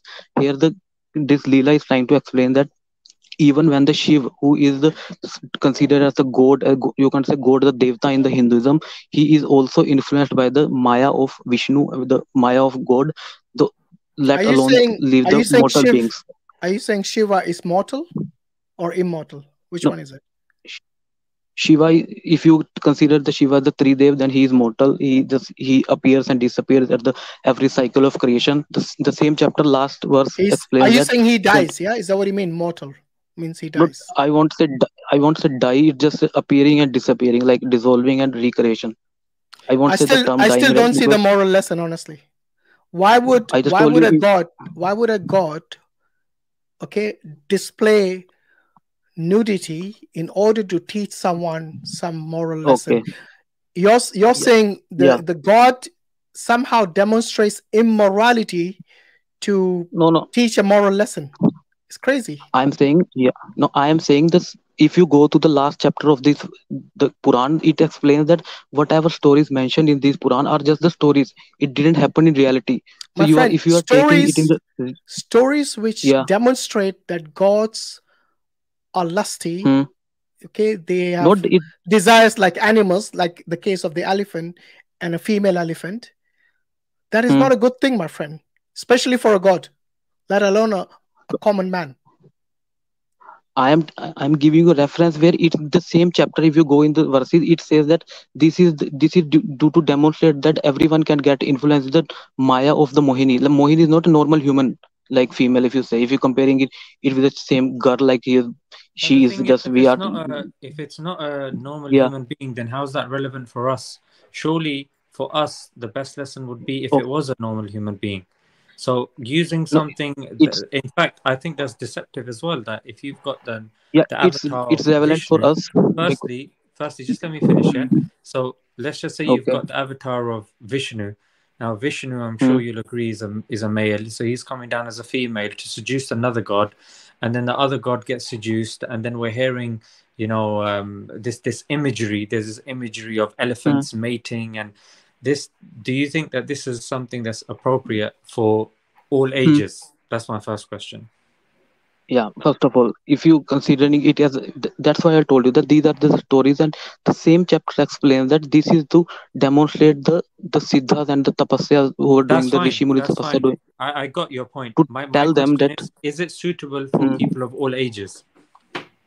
yeah to yeah it is suitable for all ages because in our Hinduism the first our enemy is told that lust is our the enemy the calm and then we saw the gr- greed and anger the first of all is the lust we have to control that and So, these so stories you, give the yeah, okay. So you think uh, yeah stories about lust and two people having, you know, um, being attracted like elephants, that's something appropriate for a no no seven-year-old child? no not no it's not like having elephant like this it's the story when we teach these purans to the people students in the brahmacharya the first we tell them that you have to control the sensory organs and the desire that these stories tell that even the mortal humans like human will be in the trap of lust and lust kind Yeah, of but So things like think? So that's a just point. he himself That's a point Brother Zeeshan is yeah saying. If they are not normal human, Shiva is not a normal human. mm, Vishnu is not a normal human. Mohini is not a mm, normal human. So if the yeah message is for normal humans, this is God's mm. behaving badly, not humans behaving badly.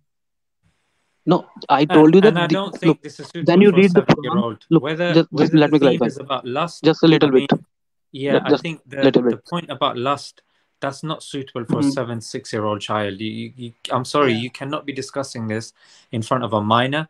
look Um, it this is no something first of that needs to be that needs to be spoken to when it comes to people that have gone through puberty and the way that passage was read. I mean, even objectively, mm, you can see that that's not suitable for children. I, I just want to make sure that you know we're on the okay same let me page yeah first first of all I am not saying that you ha- you will tell this story to a six old child because in our Hinduism we have we have this brahmacharya where it, it starts between the like at the age of 12 and that it goes to the around the puberty and we reach when we reach the adulthood this is the time when the stories of the purans which give the moralities are taught to children where they have to understand the gist of the story and the message around it like this even when you open the eight, 12th chapter of this Okay, so now now you're saying it's not suitable for children. Because earlier when Zeeshan asked you, you look, said it was suitable for children. Make up your it was mind, look Ajay. Come on. yeah it i am telling you that there is a time when we give the even the sex education is given to not six year child we tell them that So say so then. When Zeeshan asked you, is so it suitable for children? Mm-hmm. That is when you should have said this, that this is for 12 look plus. because when you reach the when you teach the children religious things they, this is not just the one puran we, we have that you have to just to t- tell them these things they are the gitas and these kind of we have to start we have to start them giving the religious education. And when they reach the time of adulthood and puberty then we will impart them this knowledge that this is the gist and this is the conclusion of the story where you have to understand the puran in the, this sense. Because mahabharata explains that these are just the stories. Because even when you open the shiv puran it mentions that shiv is not even influenced by the you can say the emotions because he even burned the kamdev the lustful the lust of the controller It doesn't matter. It so doesn't you matter. Yeah. so it is If just the story you have to take you in that sense you can't keep, you keep that saying it's just definitely a reality story, Ajay, you keep saying because it's just it's, a it's a story, rule but the story, the whole yeah purpose of the story is to impart some hmm moral lesson. What we see yeah here is immoral lesson that Shiva, even though but he's how being he's being a devta, he's still hmm. Fallen for the seductress Mohini. Okay, yeah Uh, until the the the end, until until the end, no he no no. realizes. first Yeah. of all you have to understand this that devtas are in the maya okay? So maya is the you can say the illusionary energy or of the god that even devtas are in in the control of that. And the devtas are they do they have they have the stories around them which tells us that not to indulge in these things you want you can't say that it happened in reality where she was running around the mohini because even the same puran says that these are just stories so it is the from the same chapter Ajay, which is saying that these are stories i'm not telling my own point here Ajay, yeah Ajay, Mu- Muhammad. So I've been listening to this. Again, I don't know much about these stories. I think Hashim is much more educated in this stuff than I am. But Mm, I'm okay curious. You say these are just Mm, stories. So are they stories that are made up? Or are they stories that never really happened in reality? What do you mean when you say they're yeah yeah stories?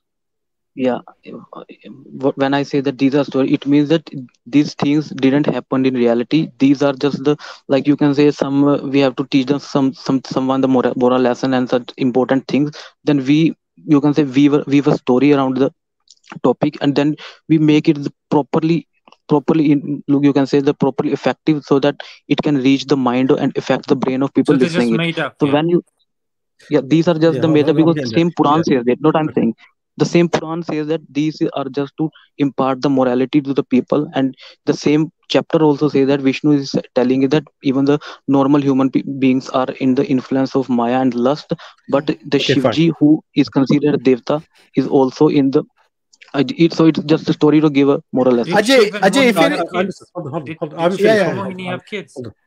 they do actually. Let, Yeah, let, Ayyappan. Let me Yeah. finish. Are they So, made up as so well? if, if you say if you're saying these stories are Mhm. never really happened and they're Yeah. simply there to deliver a message, Because, then no, what is I'm not saying. what Not is? I am saying. No, just I want to clarify. I am not saying this. This the same Puran says this next chapter. It's not my own opinion. The same Puran is No, saying no, that. Yeah, these no, are that's what I'm just, just the stories. Exactly. So, uh, Yeah. so according to your scripture, your scripture itself Mm. is saying these are just stories; they never really happened Yeah. and Yeah. you are to take some kind of lesson from it. So, hmm how do you know what is true in your scripture, like really happened, and how do you know what. Didn't can answer. happen? Yeah. We have we have the categories of scripture where it is the Mahabharat like Itihas, which is which is translated in English as a history.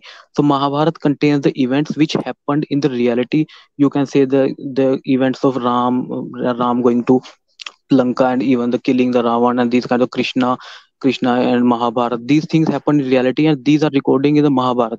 But when you open the Puran, the same Mahabharat says that these Purans are the separate categories to give the moral lesson. So you can't quote a Qur- Puran where it's, it is saying that it's a reality or not.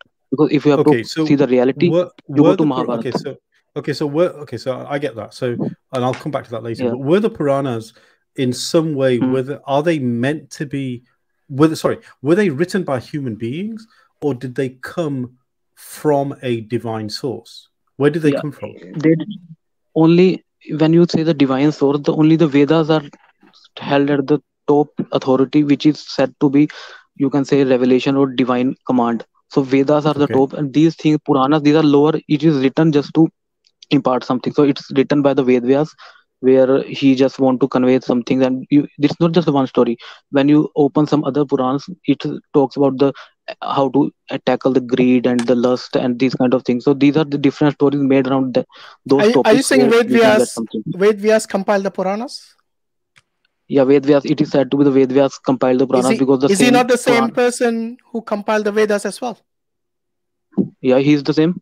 So what's the So, problem? so the authenticity is not there with the Puranas, but it is there with the Vedas, even though it's the Yeah, How do you same. because it's Yes. Same yeah, guy has because written it. yeah, I know because it, the there are smritis. Even the Vyas smritis, the the rishis wrote the smritis in which they mention the proper rules about the scriptures. So Vyas smriti is the person who wrote the Vedas and Puranas himself says that Vedas are the top authority and these Puranas are just the stories to you can say that uh, elaborate the further principle to for the humankind. He himself is saying Yeah, it but is ruled but made by himself. did Ved Vyasa say they are not authentic? That's Okay, the so, question. so Yeah, he, he just wrote in the Vyas Smriti well if these Smritis and Puranas are just the stories. So No, he's no. saying Did that he say Vedas they are not the authentic? That's the question. Did Ved Vyasa ever say it's not authentic? They just made look, up stories. authentic.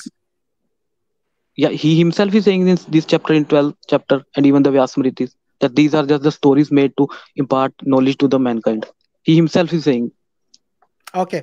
What is the what is the point of the puranas? If i think majority of the hindus they actually go based on the puranas isn't it? Most of them No, don't read no, the vedas that and upanishads they go by the the puranas. you, that's the you can say the misleading fact because when we when we see hindus they basically read three things. First of all gita ramayana and mahabharata so gita ramayana and mahabharata they come under the category of itihas which is superior to puranas the puranas even the people who read puranas they even when you open the vishnu purana the same the first chapter even says that these are the these are the things which have to be taken in the you can say the teachings which we will you will get about the sins and virtues. So hindus reading about gita uh, mahabharata and purana oh, ramayana. So they are, are you saying they don't read the puranas? Is that what you're saying? Look, look. they The, the read thing they here read the is, yeah. puranas and they know Look, that this is just to get the message they don't take look, it they do read the real puranas you, you you, go you man actually you actually they can't get away from this because even if you uh, yeah Ramayana, yeah, or Hmm. even you mentioned the Mahabharata a couple of times as well. There there are Hmm. similar stories with sim- with similar levels of absurdity that it's very difficult to to defend and to no to no no kind of protect and to justify. I'll give you an example. You look mentioned the story of or the book of Ramayana, and then you mentioned Ram versus Ravan. Can you tell no us who first of is? all no you are just taking the when i told you that these puranas are the No, no, things no. which I'm you have to I'll take the you. I'll tell you what I'm doing. I'm. T- I'll, I'll tell you what yeah I'm doing because you've spent okay the last five minutes saying the Puranas aren't something we follow. They're not divine. You mentioned Ramayana. yeah it's I the rule didn't not mention it. first of all You just i want to clarify first of all I didn't mention it. it's not And my now, opinion and now, wait, wait. Rishis are saying this And and now, look. Hmm. Now I'm talking about the very books that you're yeah saying is held in in kind of authority that you do take from. So rather than yeah sticking on Puranas, which you're you're Hmm. talking, and we can start another discussion on that.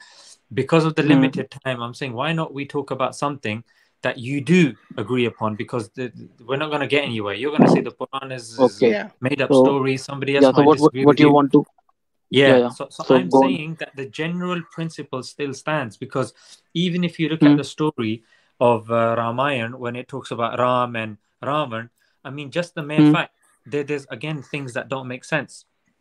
Like how Ravan is the grandson of Brahma, yeah, grandson grandson of brahma then yeah. So he's the grandson of Brahma. He's given invincibility from Brahma Hmm. that he won't be able to defeat gods. And then yeah Brahma becomes powerless when he sees him commit all these atrocities. And then Brahma goes to Vishnu for help. Then yeah Vishnu has to come down on earth as Ram. So Hmm. before we yeah even get to this story, yeah, and, and here's the point that we're we're trying to bring to you, Ajay, yeah. We're Hmm. we're trying to kind of meet in the middle here and just just show what's your you point on how this this uh, story so so I'm giving you the point. You just stopped me in the middle of the point when I'm trying to give you okay the okay point. yeah Yeah. you need to okay listen sorry Yeah, you need to listen to the yeah point that I'm actually saying. So when we talk about God, we believe that God is the most powerful, the most kind. Yeah. He doesn't Hmm. need to come to earth to get things done. He doesn't misjudge. He doesn't make mistakes. He doesn't give Hmm. powers to his offspring. There's no nepotism here. There's there's so Hmm. many concerns just with these two lines that I said. Yeah. So he's given powers to his son. His son, Hmm. sorry, his grandson. His grandson is depicted as somebody with 10 heads that we're just supposed to Hmm. just, you know, be okay with that. And then, yeah firstly, why is Brahma giving invincibility? Okay, he's giving Hmm. invincibility against the gods. It doesn't seem befitting of a god to do this, to be. yeah should i reply Um, I haven't made the point yet. So the second okay point so is it's not befitting for a god to do this, whether it's Mhm. to his grandson, whether it's to a human being, and then to yeah become powerless to such a degree that he's now having to call upon the help of another god to go down and then you know throughout this situation that frankly was a great misjudgment on the on the um, side of Brahma. You can respond. yeah yeah okay so okay, sh- sh- now should i reply if you have done That's what you can respond means. Yes. yeah yeah yeah first of all when you the when you you know when we use use the use the term gods to the brahma and the vishnu and shiv the, this term is the misleading when you say the, there is brahma god and there is some another god vishnu like there are two gods or three gods like one god is powerless and then he is going to the some other god first of all our scriptures tells us that the brahma which is the almighty eternal who is who has no shape form or anything like that he is the eternal god who is beyond these material things. He is the brahma so on the top is the brahma these are what what you are just talking are the devtas like brahma vishnu shiv indra. Okay so these are the devtas. When you use the terms gods with them. It's it will it gives an impression that in hinduism there are many gods like uh, like a s plural. So here problem is that these are just the devtas. Devtas are in in the influence of maya are they are they are in the you can say like these are the devtas brahma vishnu the three tridev which we say and then we, avatar take place. So when you refer brahma as a god it is mis- misleading because brahma is just a devta. God is only a brahma who is beyond this world and he's he is he doesn't take birth and he is eternal and beyond the Yeah. space So time uh, fabric. So Ajay, thanks thanks for your input, but I think a lot of yeah. Hindus will disagree with you because for them the supreme no no. God is the supreme god is Vishnu or it's uh, Shiva, that's depending the on which sampradaya they follow. that's the sect You might yeah follow a th- these are the different sampradaya. You might follow no a no different sampradaya, i for follow you, i follow for vedas vedanti well, they they so all i'm claim to follow from Veda. They all No, follow this Veda. but they you, have to give know reference i can give you this this reference i can give you reference They can give you reference as well. Go to ISKCON, they'll give you reference for no Krishna. no Thi- I'm sure they will. yeah they inconsistent will because yeah they will give reference from the avatars puranas down, even even when hmm. we know about these stories of Brahma going to Vishnu and then Vishnu comes down as Ram, you don't Hmm. believe Ram is a regular human being or he's he's this or he's that. You believe that yeah he's in he's God incarnate. So yeah if because yeah he is God god incarnate incarnate, because he's got the power i can of prove God. You can't now pick and choose and say, okay, he's not God now. no Okay, he is God. He's this. i can prove that. that he is incarnate in god Sorry. if you allow me i can prove Okay, you that I, he is Ajay, I not a normal Ajay, we human thank you. we, Thank you, we need okay to we need to continue okay this so next time, Ajay. But uh, thanks for your input. okay okay Okay. yeah okay Um, goodbye take take care. Thank you. So Bye bye. Zeeshan Bhai, this is uh, Hinduism. It's a different kettle of fish, bro. The term God doesn't do justice. I agree with Ajay actually in Hinduism. But anyway, let me say Assalamu alaikum. Adnan Bhai, are you there? He was struggling with his camera. I need to, don't know if un, he's. need to unmute, unmute yourself. I'm here. There we go. absolutely here. Alhamdulillah. Assalamu Assalamu alaikum. alaikum. everyone. Wa alaikum salam. Oh, and Full Salam house. Mansur as Assalamu well. alaikum, Brother Mansur as well. Good. Alhamdulillah, full house. How is everyone doing? Very Very well, well. thank That, you. Very that's well. that's called coordinated entry. Very coordinated. Very coordinated. Alhamdulillah. How, you- how are you brothers doing? Adnan and Mansur, you guys all right? Yeah, Alhamdulillah. alhamdulillah. khair. Enjoying the summer, whatever. Yeah, whatever man. Today is like what 26 degrees, which is mashallah. Not complaining, but it's hot without air, air conditioning. Okay, be quiet. I, I want another week of this, please. I've missed it so much. Okay, uh, if it rains enjoy tomorrow, I want to enjoy it you. while it lasts, bro. Enjoy Yeah, it it exactly. So, Brother Mansur, I actually watched your uh, marathon debate or marathon, sorry, marathon discussion. Yeah. Um, and I O- took Only notes three and a as half well. hours. Maybe we can go through some. Yeah, I, I watched all three and a half hours, by the way, because I wasn't down it. But uh, very interesting topics that came up, and maybe we can go through some of them later. But today's session is really about um, the future. Um, where are we heading? Alhamdulillah, Allah has blessed us with 100,000 subscribers today. And again, you know, we did nothing except um, um, the effort and, you know, the, whatever Allah's given us, that's all we've done. So, you know, we, we don't take any credit for this, of course. Um, Brother Adnan, you've been on your travels. I've, I've seen you online all over the world, it seems. Every time I switch on, you've got a different background, different country, different language behind you. Uh, maybe you can share some some maybe interesting stories you've had recently, or interesting discussions you've had that may be worth uh, sharing with the audience here. Um, uh, there's always something Just interesting. just pick one. Just just pick one. Yeah, just pick one. Alhamdulillah. Yeah, I mean, I had a discussion with Ahmadis uh, this Sunday, Hmm. and it was a very interesting uh, dialogue. And before that, I was traveling uh, through Latin America. I was in Brazil and then uh, Peru and Ecuador. And uh, it, uh, was absolutely mind blowing. The Dawa potential in Latin America is absolutely huge. IERA is doing a lot of good work. Uh, and uh, now there is a lot of attention and a lot of interest in Islam. You know, people people want to learn about Islam in Latin America in particular. Latin America was a neglected continent. It still is. I don't think dawah in the Spanish language has been done as it should have been. Okay, and it is a highly neglected continent. Uh, so I think Muslims need to wake up and realize that there are people out there who are just waiting for them to to to be taught. They need they need to learn basic things and they will accept. Okay, Latinos don't have any attachment to the history of Western Europe, let alone Catholicism and all that. They see it as an oppressive uh, force. They were forced into Catholicism. Okay, they did not choose it. They did not choose the Spanish and the Portuguese to come and take their land and uh, force this religion upon them, which is historically absolutely correct. Okay, so they, they, they just they just see this religion they were forced to accept as an inconvenient reality in their lives, basically. But if they were given an op- option to accept Islam, they would. So I believe Muslims have neglected Latin America far too long.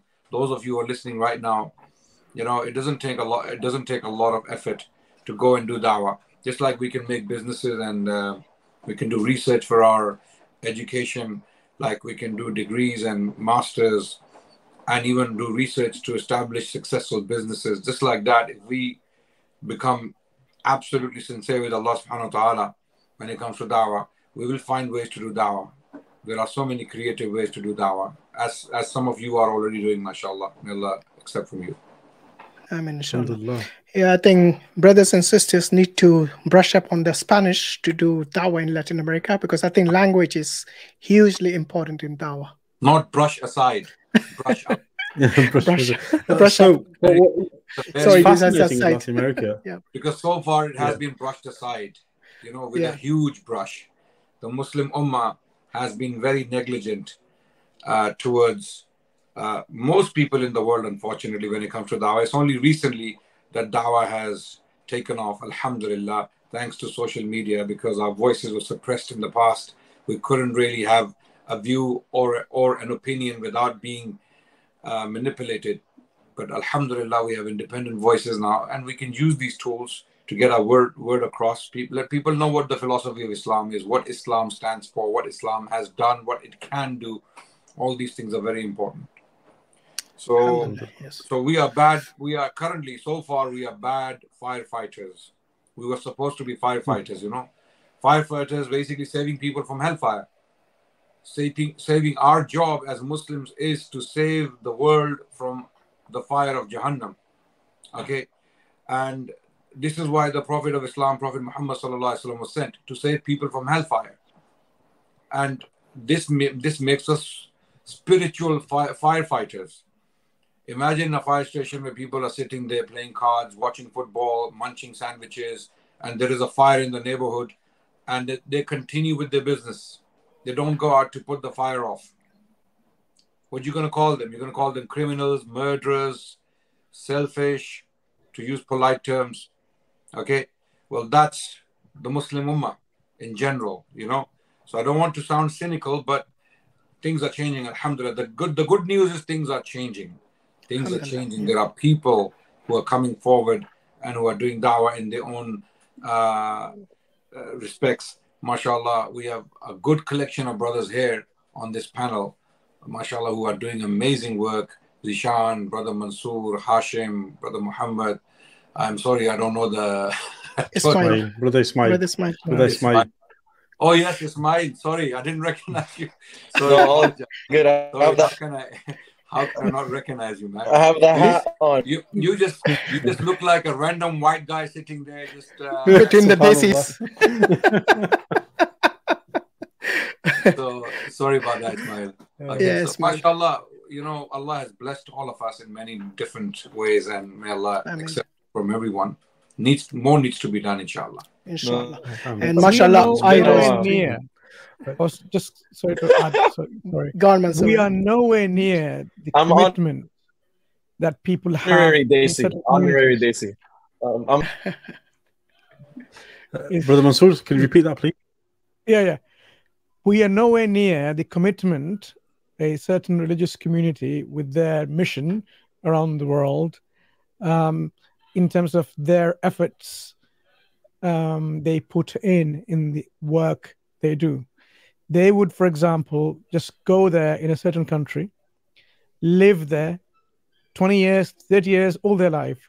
They will learn the language. In fact, they learn the language beforehand, their customs, they dress like them, they eat like them, they talk like them, they take their local name, local languages.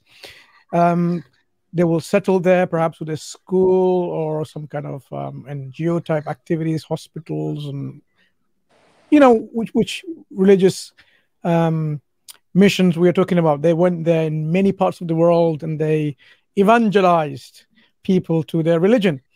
That was the level of commitment they had because this was a training that they took undertook to go there. Dedication, amazing dedication. I mean, who can you think of Muslims apart from certain groups that um, you hear of, like four days and ten days and forty days going around, right, coming back again? But we are talking about a an individual or a couple, for example, they would go there and settle in that country, and that's it. They settle there, they live there, they talk, they dress like this. Just imagine. I mean, they. I mean, you would not make a distinction between them and a Pakistani. The only thing is like in the color of their skin. Everything else the same. They speak Pakistani. I mean, what, what we know, Pakistani is not obviously a language. The Urdu, um, and you would not even recognize that this person is actually not a native. You might think it doesn't up. I mean, looks European, but everything else the same. That's the amount of dedication they have. What have we done? What are we willing to do? How much are we willing to take that into stake and say, you know what? I want to spend my entire life doing dawah there. There is no commitment. I mean, if you think about it now, there is no commitment from anyone. We are like part part time It's not even part time, part part time dawah in which we try to make an effort to give dawah, and that's it. So, how do you expect Ustad Adnan Rashid the world to change, to come to realization that Islam is the truth when we are not going to them.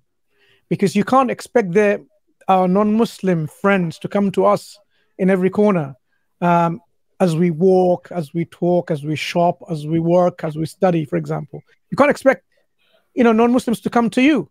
you. We need to go to them because that is the model where they have not been exposed to Islam. So you present Islam to them, whether in practice, in deeds, in actions, in words. That's what we should be doing. This is the model of Rasulullah and his companions. What are we doing and what much of dedication have we got? So, Alhamdulillah, organizations like IERA have opened up a lot of, you know, the world in terms of demographics, going there, doing the activities, employing and utilizing the local from the among the communities there to start where dawah activities can go on. Dawah you know i don't know what you call them you know dawah groups organizations in which it you know becomes like a fruit from there and it nourishes and it sprouts and it develops. Because unless you have someone there on the ground it's not going to work. I mean fine that our online sessions are reaching out. But that's only for what? Two hours, three hours, seven hours, maybe to the max or something like that, if we're really going too much. But that's it. But if they see you there, you're there constantly, whether it's a daytime or a nighttime, whether it's at your work or your study or your engagement in a shop, when they see like this is what a Muslim is, through their actions, that's when they understand Islam in practice. Because Islam, theoretically, there are two camps. Theoretically, either it's wow, it's a, Puritan where it makes sense, that's fine, or it doesn't make sense. But when they see in action, that's why when people see Hajj, they have a shock. Like, how can you bring all these people together in the same clothing? Muslims wearing the same clothing, whether they're rich or poor, whether they're fat or skinny, doesn't matter whether they speak in, in, same language or hundreds of different languages, they're all together, you know, side by side, worshiping Allah subhanahu wa ta'ala. That's the brotherhood in action. And this is what we need to show more and more in terms of how Islam is a practical religion of, of truth, of reality. So maybe, brother uh, Ustad Adnan, you can, you know, encourage, you know, the youth out there to see how they can be part of this endeavor, this work in which we can be at least say, to, you know, what we're doing something that, you know, disposing our very much needed duty of dawah to our non-Muslim friends who are otherwise not exposed to Islam in in the real sense. Absolutely. You know, one of the one of the things I like to mention when we talk about dawah is that the situation is very urgent uh, and dawah is life-saving. I believe dawah is life-saving not only spiritually but also physically. Dawah makes people better. Okay, it it, it when people accept Islam, they are not going to consume alcohol, which is one of the biggest uh, problems in the world. In continents like Africa and Latin America, alcohol consumption is linked to most crimes and, and disturbances. Okay, so if more people are Muslim, less alcohol consumption.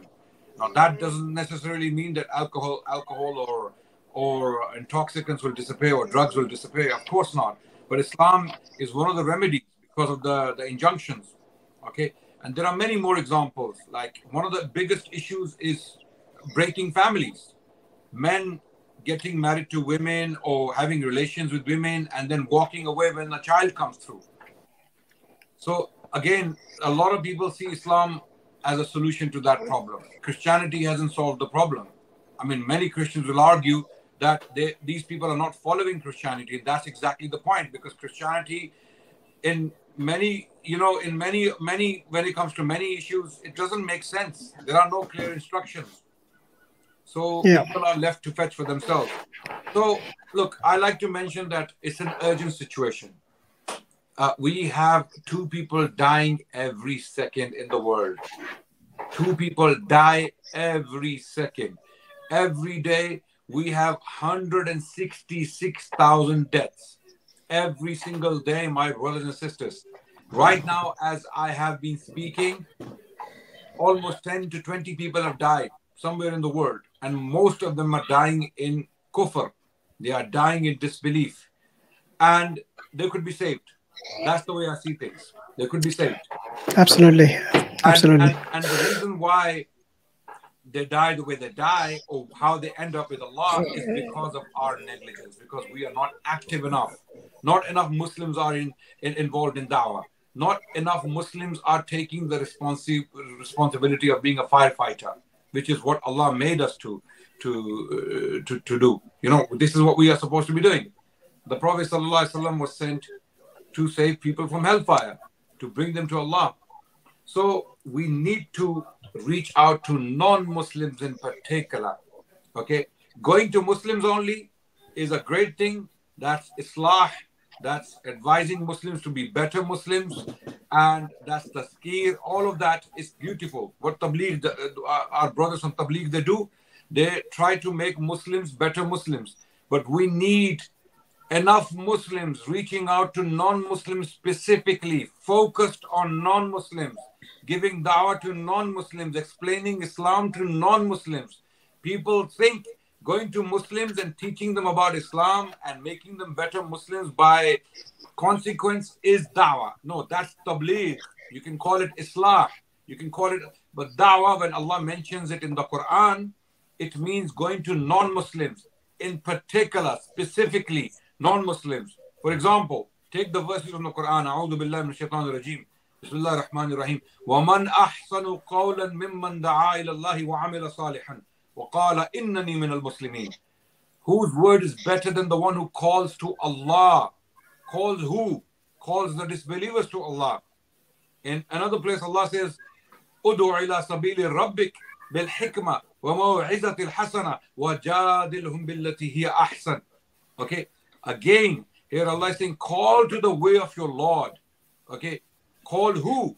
Call who? The disbelievers, the non-Muslims. Like again, Nuh alayhi salam when he talked about da'wah, "Inni da'awtu qawmi laylan wa nahara." Oh Allah, I call my people day and night. Okay, I call them with loud voice, I call them with low pitch, I call them privately, I call them publicly. Call who? Call the disbelievers among his people. So the Quran is consistently reminding us about dawah. 40% of the Quran is on dawah. The stories of the prophets. Allah is not talking about their businesses, how they far- did farming and how they harvested their crops and how they got married and how they did Hajj and how they prayed Nafal and how they fasted. We don't have all these details. We have none of those details. What Allah tells us about is their da'wah. 40% of the Quran, almost 40%. So this is one of the most neglected obligations of Islam when it comes to the ummah of Rasulullah the ummah of Islam.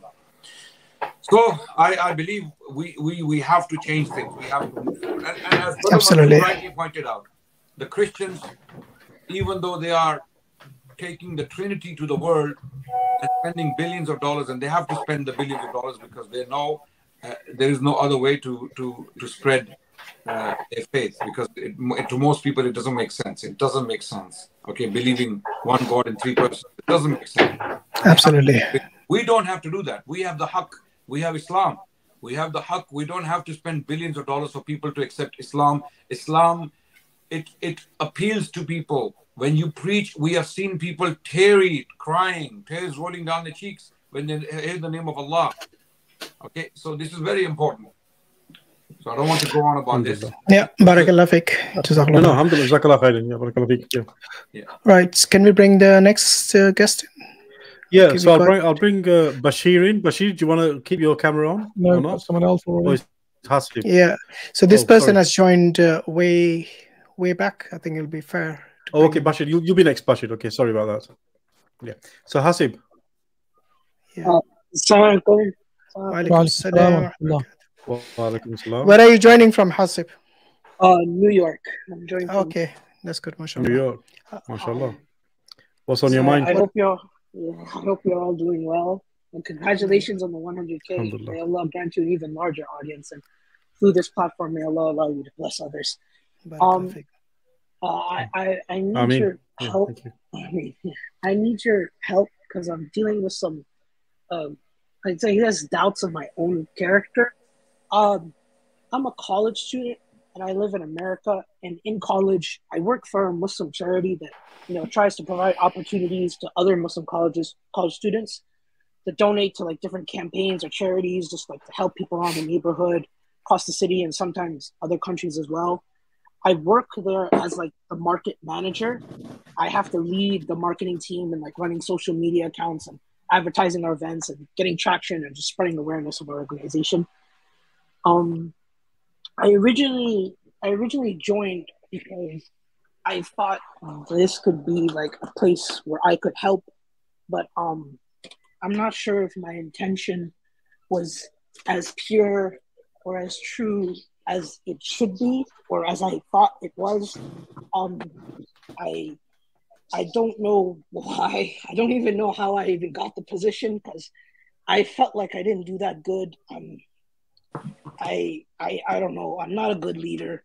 I I don't know how to become one. I look at other Muslims in other organizations, other charities, and how passionate they are, and I feel like I'm not doing enough or I can't keep up. And um, I don't know if it ha- if I have what it takes to do what they do or or to you know actually help. And so, um, what do I do? I, I see you guys. You're so passionate in giving dawah and so passionate in what you do, and I don't know how do I how do I reach that level? How do I become a good leader? How how do I know if I'm um how how do I know if I'm doing good or should I stay or should I go and how do I make Allah proud with what I'm doing? You know. Yeah. Right, brother Adnan is in the in the charity field as well. I think he's got some experience in that, so maybe he'll be able to advise you, inshallah. Sorry, the question was a bit long, so I couldn't get the the the, the crux of it? What, what yeah. exactly So the, the, let me let me sort of let me sort of some yeah let me summarize the crux of it. So the crux of it is Hasib has uh, uh, volunteered to do some work, charity work at college, and they've put him into a leadership role. And in this leadership role, he needs to do marketing and messaging, and and he's expected to show that kind of leadership. So what he's struggling with is number one, he was saying he doesn't believe his intention was probably as pure as it should have been when he started, and second and third, secondly, he's doubting whether he has the leadership abilities to lead. It's not what he wants to do, and th- thirdly, he's saying, uh, you know, should I even continue doing this? Is is it worth it? So it, does that summarize, Hasib, what, what what you said earlier? Yes. Yeah. Okay. Thank you. Uh, very Yeah. quickly, I'll just give you very quick uh, tips on this.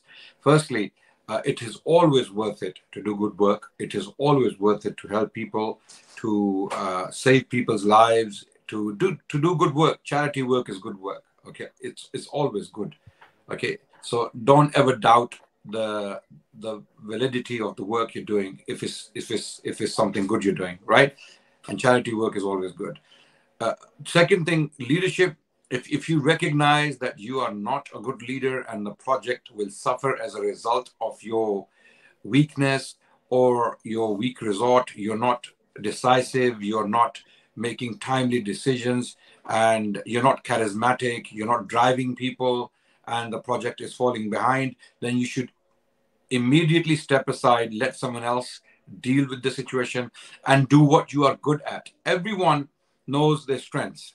Okay, so if you know your strengths, you know what you are good at. You could be good at admin. You could good at you could be good at support work. You could good you could be good at uh, advising, consultancy, things like that. Okay, so if you if you know you're not good at something and you recognize that, and other people have advised you uh, similarly, then you should definitely step aside and let someone else do the job. Okay, uh, as with regards to intentions, they can change you can you can start with good intentions and then your intentions change for for worse. Or you can start with bad intentions. Sometimes your intentions are not correct but they become better or correct later on.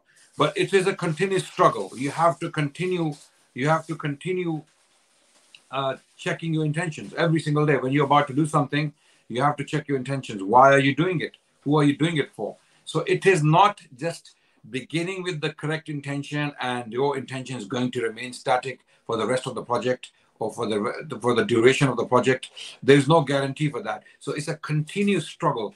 So just because you're struggling with your intention uh, you shouldn't do the work no that's not a good idea. That's a whisper of shaitan. You should continue to correct your intention. You, you should continue to remind yourself okay and carry on. Carry on. There's no perfection this is a continuous battle between uh, the shaitan and yourself okay? And you will never be perfect. Remember that. Also don't be har- don't be too harsh on yourself. There is no perfection in this world okay? You need to look at pros and cons. If you as a leader are actually ultimately benefiting the cause and you know more than anyone else if that's the case then you continue. And if you know for sure that the cause the project will suffer due to your certain weaknesses then you should step aside. Okay? So intentions are something you know you have to battle with continuously. It's not going to stop. Yeah. i hope that makes sense. Also, Hasib, how long have you been in this um, this job of yours?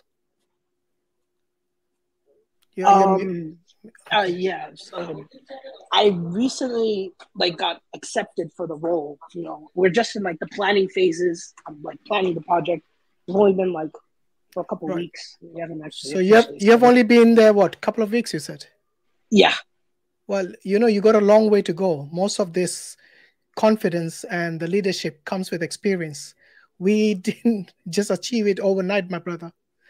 So have patience, inshallah, you know, the determination. If you got the right near, and as Brother Adnan said, you know, if you follow those rules, inshallah, and have a mentor, you know, that's also important. Have someone within your own field that you want to pursue. Um, you know, have, um, get some advice from them directly. Uh, so, inshallah, we wish you all the best and may Allah reward you for your efforts and uh, give you istiqamah and keep you firm on the deen. And yeah, if you got any questions, you can reach out to Brother Adnan Rashid or email us, inshallah. And we should be able to uh, help you out privately, inshallah, as well. Inshallah. Jazakallah, Jazakallah khair. May Allah Okay. bless you. Barakallahu. Take care. Salam. Okay, Brother Bashir, you are on next. Yeah, bring him in. Assalamu alaikum, brothers. Wa alaikum salam. Alhamdulillah, how are you? I'm doing all right. I'm doing all right. So I'm, I'm not sure if you guys know or, or, or remember, but Assalamu alaikum, uh, brother Adnan. I just watched your videos. I'm an ex Qadiani, a Muslim now, alhamdulillah. Uh, Alhamdulillah. you know, you know we we watched it with uh, great attention, taking notes, uh, finding all the references, you know, and etc. But I, I I did have some questions about that. Um, and and you know, Muslims like the general Muslim scholar isn't isn't versed in Qadiani arguments and etc. So, but um, you had mentioned that the uh, Brahini Ahmadiyya was an excellent book. Um, and that's simply not the case. It was it's it's it's in that book he makes one argument. He promised 300 arguments, but he makes one, and the one argument is he's a prophet. So it's like the ulama immediately did takfir on him. Only one person defended him, and that's who they quote. That was just like a school fellow, his friend Batalvi wrote that review. Yeah. In Brahini Ahmadiyya, he didn't make the argument that he's a prophet. No, it was published in 1887 in Amritsar. He was nowhere near claiming to be a prophet at that time.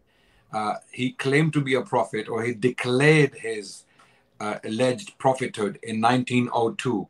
1901. So, Br- Brahine Ahmadiyya basically was a defense of Islam. It was supposed to be, as you rightly pointed out, that uh, there were there were supposed to be many, many, many more arguments, but he came up with this, and he spent a lot of money. He raised money from the Muslims. Okay. Yeah. Well, so, so when I praise the book, when I praise the book, I didn't mean the book is perfect. I, I, there is no perfect book. Okay. Um, it is very nicely published. It is a very nice print. I can I can even pull it out from my library right now. I have the first edition in my library. Okay, and there are certain things, certain places that he makes good arguments. But at the same time, when Qadianis or Ahmadis try to use my statement to claim as if I am praising Mirza Ghulam Ahmad Qadiani, they don't know what they're doing. They are very inconsistent. They they are experts uh, to my experience, they are experts of cutting and pasting and ignoring the context. For example, now, if I was to praise Hitler, let's say, as an as an absolutely mesmerizing orator, am I endorsing his actions? No.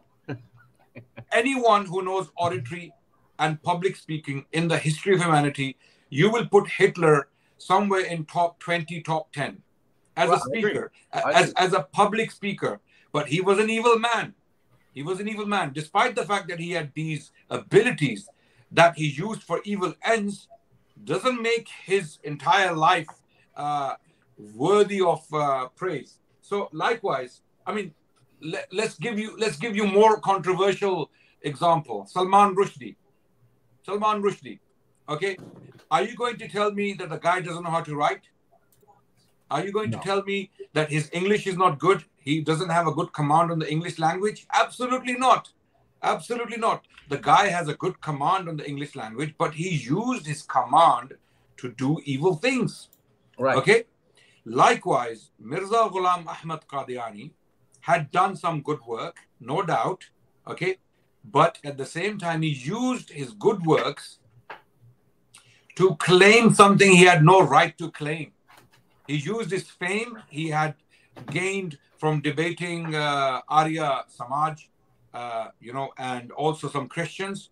He got some gain. You, I mean, like nowadays, if you start debating Christians or on a on, on a major on a, on a major level, okay, naturally Muslims will get to know you. They will you will go around the world. You will debate people. You will raise questions. You will respond to their attacks. You will become somewhat like a hero of Islam. Okay, people will start to see you as uh, someone in positive light, or you will they will start to look up to you. This is what happened in Mirza Ghulam Ahmad Qadiani. He was initially defending Islam against the attacks of Arya Samaj and some Christian missionaries who were backed by the British government at the time. But then he himself did something worse than what those people were doing. He right and can uh uh, uh sorry to um, interrupt you, but uh, so so I researched this like so there's new information that's came out about Mirza Ghulam Ahmad. So uh, uh, uh, for example, in, that book, uh, um, Brahini Ahmadiyya, it's in English. It wasn't in English until like 10 years ago or like seven years ago. Brother, he's claiming verses of the Quran about Muhammad sallallahu alaihi wasallam. For example, ch- chapter 61, 9, 48, 28, 9, 33. This is where uh, um, he says he is is um, the same as Muhammad sallallahu alaihi wasallam. Astaghfirullah. But in that book, he's saying that. And brother, in fact, the ulama of India, I think almost a lot of people did a takfir on him immediately after the fourth publishing of Brahini Brahini Ahmadiyya, which was um 1884. So he only got defended by one guy, and they bring that up. But yeah, no worries. I I understand it, and all sensible Muslims understand it. But that they've been cutting that from I think Dr. Israr Ahmed has a um, has a piece of his speech where he says that also. And and okay, uh, so about the Christians, Thi- thi- this is the problem. They always do this. Now, you see, in my three hours conversation with uh, this gentleman called Ibrahim, okay, uh, I mentioned this passingly, just as a side point, that his book has good things in it. It, it- it is a good book. Okay. I mean, many people disagree with that. Of course, I understand why they disagree with that because then there are certain pages that are blank and there is only one word on one page. I have the I have the actual book with me. So there are there are a lot of stupid things about the book as well, no doubt. I'm some of the this is- font is really big. Some of the font in the, in volume one is like is like Yeah. there's 20 words on the page. Yeah. So so look, when I when I praised that particular work, I'm not saying every single thing in it is great. I'm not I'm not I'm saying it has good arguments in it. It, it would have been good book otherwise if he had not claimed to be a prophet. One could, you know, say, okay, this is a book in defense of Islam. Okay, he's he's defending Islam against uh, the enemies of Islam. So it could it could stand like a book you could say was written in defense of Islam. But later on, his later actions and his later claims and his abs- absurdities and his visions and his absolute madness, you know, Right. when he's I- oh, claiming to be agree. Isa alayhi salam, when he's claiming to be Maryam in Islam, And and he's claiming to be pregnant, uh, all these things. Okay, the guy was not he was not right in the head. He was not Right, right, right, he was so- he was mentally unstable. Yeah, so uh, uh, uh, let me go a little deeper. So, so in 1891, he, he claimed to be the Messiah, et cetera, et cetera, and he denied prophethood. For 10 years, he said, I'm not a prophet, I'm a muhaddis. So Noonan had brought up that uh, the first Khalifa is a muhaddis. Never, that never happened. No. He never made no claim. let, let me let me add to something there. He actually said that I send lanat upon the one who claims to be a prophet. He did, yes, yes. Yes, he For actually wrote it at, at this time, the period you're referring to. He actually said that हम उस शख्स पर लानत भेजते हैं जो नबूवत का दावा करता है Right, right. Okay. Then all of a sudden he starts saying, well, so it's a funny story. He says anyone can be a prophet. He says a conjurer can even be a prophet. He says just eh, all you got to do is repeat uh, chapter one, I think it's verse six or seven. Um, uh, guide us on the right path. He says we're asking to be prophets every day. Astaghfirullah. Um, no one can become a prophet. You can't achieve it. You got to be born it, right? So, so anyhow, uh, Mirza Ghulam Ahmad, what, what he did was really bad because if you know about the sit- situation with the Hindus and Rangila Rasul, which, which was written in 1927, that was written in response to the Qadianis. So the Qadianis were fighting the Hindus. Why are you fighting the Hindus, bro? They're on, in the situation that we're in. They're on our side for freedom. You know, why are you attacking the Arya Samaj who, who are anti-government? You know, you shouldn't be attacking them. So, so that whole thing with the Hindus, you know, some people shouldn't try to represent Islam. you know what I mean? You're gonna you're gonna make an embarrassment of all of us. So you, you should just not. Okay, so um so then um there was yeah, this this look this makes sense when you look at the British tactics to divide and rule. Okay, in India, uh, Mirza Ghulam Ahmad Qadiani was one of those uh, tools you can say they tried to use to divide the Muslims and Christians and Hindus so that they don't politically unite. Put so much hatred between Right. them that they cannot politically unite to do away with the British. And as we know clearly from his works, he praised the British Empire, the British government, in particular Queen Victoria, with lavish tributes. yeah, With he lavish it- tributes. he okay? called her the Khalifa of the Muslims. and, and and if I if I'm not mistaken, I don't remember because this is I read this a long time ago. Okay, he even he even called the British uh, government or or Queen Victoria uh, a blessing of God. A ble- yeah, he did. He did. A blessing of God, a blessing of Allah. So imagine this is the most cruel political establishment uh, to date. to date, okay, the British Empire was the worst empire. You know why? Because it was the most organized in inflicting uh, disasters and catastrophes. Yeah, well, so so let me tell you how the British helped them. Um, the British helped them uh, um, open up a mission in Israel, in in, in Kababir, in, in, in Haifa. They got them into West Africa. They got them into East Africa. They took them around the world. They got them into America.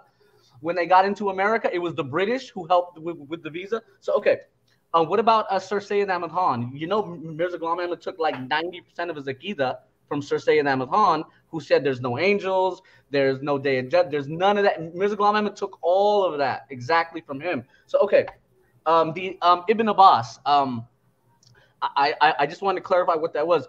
Uh, Ibn Abbas said that uh, um, inni mutawafika could mean mumituka in the future he said wa in chapter 3 verse 55 is out of sequence it doesn't imply sequence it, it, it doesn't mean he's going to die first and then um rafi'uka. He said it could happen the other way. So that that was the whole ibn abbas thing. Mirza ghulam ahmed did not give context when he quoted ibn abbas which is not even in the sahih of bukhari. It's, it's in a chapter heading. It's literally a chapter heading. Look the, the question i ask uh, the question i ask is that why even debate this point? It was never debated in the history of Islam like the Ahmadis do. Okay, why? You know why? To prove Mirza Ghulam Ahmad Qadiani to be a prophet of God. It is all for him. It is all for him. I mean, if if if he hadn't claimed uh, to be a prophet, th- there would there would be no discussion. Well, the, Isa uh, the Islam, Lahori the Lahori Isa Islam didn't have to die. They had to kill him. Right. Mirza Ghulam Ahmad Qadiani had to kill Isa salam for him to be the reincarnation or the rebirth of the Messiah from another woman called Chirag Bibi. But amazingly, amazingly, the Hadith literature repeatedly says that it will be Ibn Maryam. It will be Ibn Maryam who will return. Isa Which is a unique name. Ibn Maryam. No one else has that name. La yanzilanna Isa ibn Maryam. Right. عادلا حكما or حكما عادلا حكما عادلا the hadith in Sahih Muslim I was reading from the book Right. that- I mean he he had this hadith from Sahih Muslim in his book using it against us as if this proves the case but if you read it carefully every single word dismantles the the claims of uh, Ghulam Ahmad Qadiani for example the first thing is it says he will descend instead of saying he will be born, it says he will descend. And who will descend? Ibn Maryam, not Ibn Chirag Bibi. Not Ibn Chirag Bibi, okay? Uh, so, so when this point is raised, I don't know why our Ahmadi friends cannot understand this. There is a huge distinction. When Allah calls him Ibn Maryam, you cannot mess with his return. It's you over, can't yeah. question it because Allah sealed the matter. Calling him Ibn Maryam means the one no one else who like was him. born of Maryam, not the one who was born in Qadian of Chirag Bibi. Right, right, right. You understand? And- and- So Ibn Maryam means it will be Ibn Maryam coming down, not the son of Chirag, Chirag Bibi. Right? Right, This right. is Well, one well, of the they- points that, yeah. uh, they don't agree on the birth of Isa alayhi salam either.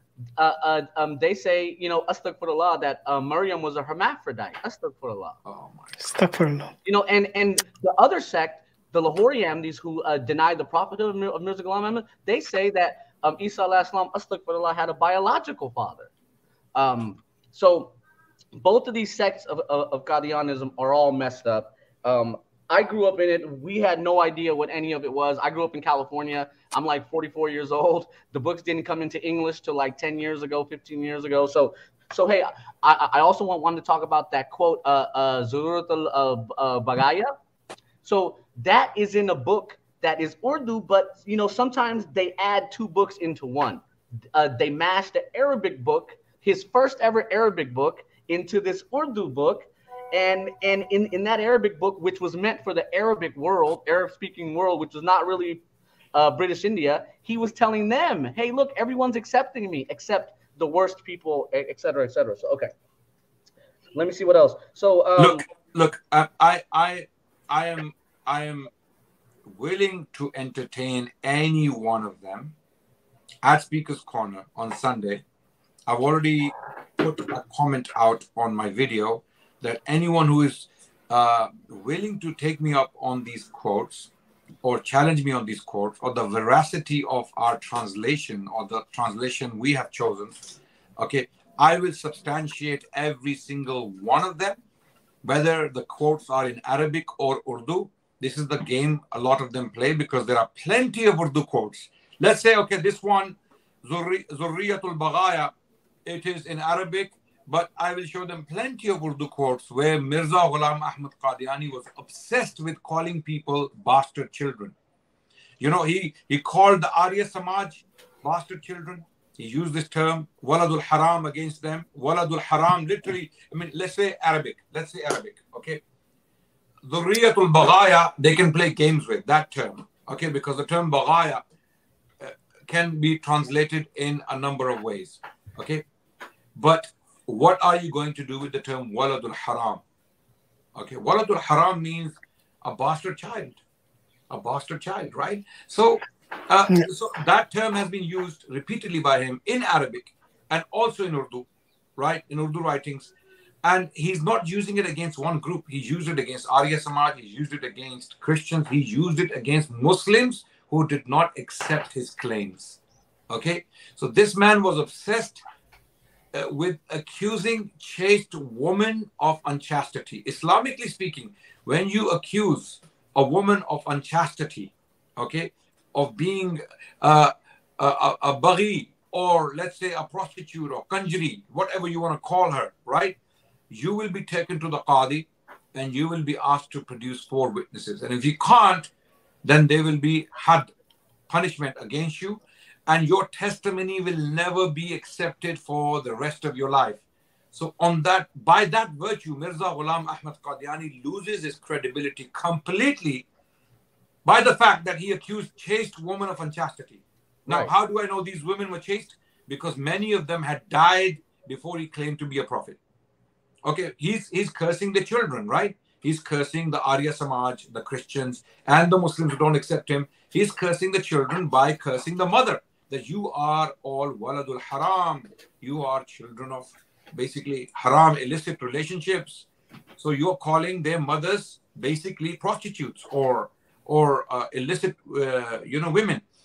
So now you have to prove your case in a court, and if you can't, your testimony is rejected. So right. how can you even be a noble, moral, trustworthy Muslim, let alone a prophet? Let alone a prophet. This is a very important point Ahmadis have to, uh, you know, grapple with. How can you prove Mirza Ghulam Ahmad Qadiani to be a moral Muslim man, let alone a prophet of God? This right. is the point I'm making, right? They bring these references from the Quran and the Sunnah and they say, oh, the Prophet said this, Abu Bakr said this, Allah said this. We are talking about specifically Mirza Ghulam Ahmad Qadiani calling the mothers of many people prostitutes. He's calling them baghi or baghaya, for example. Okay, so there is no escape. There is no escape. There is no way out of this. Yeah, they they've actually uh, uh, said that to me, bro. they've said that to me on live streams. My brother uh, uh, said it. I like we we we got the audio. It's it's a crazy um situation, brother. Please pray for me. You know, I tell all the Muslims that that that I come into contact with. You know, uh, I got a lot going on, you know. Uh, so okay. Um, uh, so so so just some other things about uh, uh, Mirza Ghulam Ahmad. He never led the prayer. You had mentioned that that uh, it said in, in, in the hadith that um, Isa salam would tell the Imam Mahdi, "You lead the prayer." So Mirza Ghulam Ahmad used that, and he never led the prayers at Qadian. So so like that really shocked me. He doesn't lead the prayer, right? He's never been for Hajj either. Is that right? Never went to Hajj. Never went to Hajj. Um, I mean, these these are the what do you say pillars of your deen, the five pillars, and he didn't complete one of them, even though he could have. Yeah, and he's sitting around doing nothing in Qadian. I mean, let let let's be let's be open about this. He's not. It's not like he's living the lives that that we, we live in America, where you know we you know we're on the hamster wheel the whole. I- I'll tell you what, brother Adnan, why don't you put a on your community page on your YouTube a challenge for the Qadianis to come? I know you have said it in the videos, but most of these videos, you know, they probably just goes under the radar. So Yeah, yeah, I- put it I more will- prominent I will- I will on your social media. That I'll, I'll be there in the park on Sunday, and uh, any Qadiani, Ahmadi, Imam, scholar, uh, a learned man who wants to challenge me on those quotes. Why those quotes? Why? Okay, why? It is not a trivial matter. A man calling the mothers of other people prostitutes, okay, or uh, you know, lose women, to use the polite term, okay, cannot be a moral Muslim, let alone a prophet of God. That's the argument. That's the Right. argument. Okay. Right. And- Uh, before you get to Mutawafika, before you get to the death or life of Isa salam, before you get to all those issues which they love to debate for a reason, okay, uh, because they know they cannot defend the person of Mirza Ghulam Ahmad Qadiani. They cannot defend his person, right? Yeah, So put a that's why they challenge. Put a challenge games. out on your Instagram, on your community page, and on Twitter. Inshallah, that should get their attention.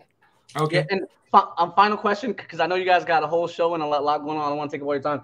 Uh, uh, what were your initial thoughts on Jesus in India? The Jesus in India theory, the Yuz Asif, chapter 2350 is what they use. What, what, what, what are your thoughts on that? okay well i you know i don't know why they came up with this. It doesn't just doesn't make sense right? There is no evidence for jesus uh, i mean look even to ask for evidence for some something like this is just absolutely crazy. I mean one of the things they always come up with is the the turin shroud as well. You know i don't know if you've come across that. Yeah. okay, that has been shown to be a forgery by most academics most historians. They have done carbon dating of it. It dates from the 13th century. It's a forgery. Okay, the Turin Shroud. Guys, do you know what Turin Shroud is? Hashim and Mansur? Yeah. Oh. Yeah. So so they try to use that and like make like long discussions to prove a point. Okay, that Jesus was in Kashmir, he died in Kashmir, and he was buried in Kashmir and all. Why? Why India? Is it because he was born in India? That's the reason they wanted to make the connection to India. No, uh, uh, let me explain. So, so remember, the Portuguese also came up with the Jesus in India theory. The Portuguese were on the west coast of India. They, they were colonized, and so they built a church. They said Saint Thomas. They said, "Hey, we've been here for a thousand years. Saint Thomas was here. We're not stealing this land. It's our land." They made it all up, right? So Nicholas Notovitch, some Russian guy, it writes a book, the, the the unknown life of Jesus, and he says no, Jesus in his first 15 years, or from like age eight to like 23, he was there in that era, and then he came back. So Mirza Ghulam takes that, uh, twist chapter 2350 of, of, of the Quran, which has the word uh, Rabwa in it, and it's about the birth of Isa. Uh, alah salam, he, he was taken to a Rubwa with his mom and she gave birth, etc., etc. They said no, not just Isa, that they say Maryam also went to Kashmir. because in that verse it mentions both of them being there. So Allah mustaan, you know. yeah, it's, it's, May, may, may Allah guide, may Allah guide Amen, these people. amen, yeah. We have nothing but sympathy. We have nothing but prayers. Uh, we don't want to hurt their feelings. We don't want to to insult them. We don't want to humiliate them. You know, all of these conversations are not to hurt them. We haven't uh, insulted their uh, their prophet, the one they believe to be a prophet, although we believe he's a false prophet. Okay. Um, so uh, we don't we don't insult him many muslims do and they shouldn't uh, i like the quran is very categorical about this that don't insult the false gods of others lest they might insult your true god in ignorance okay so i'm paraphrasing the quran. So so uh, we should not insult anyone when having dialogues and discussions.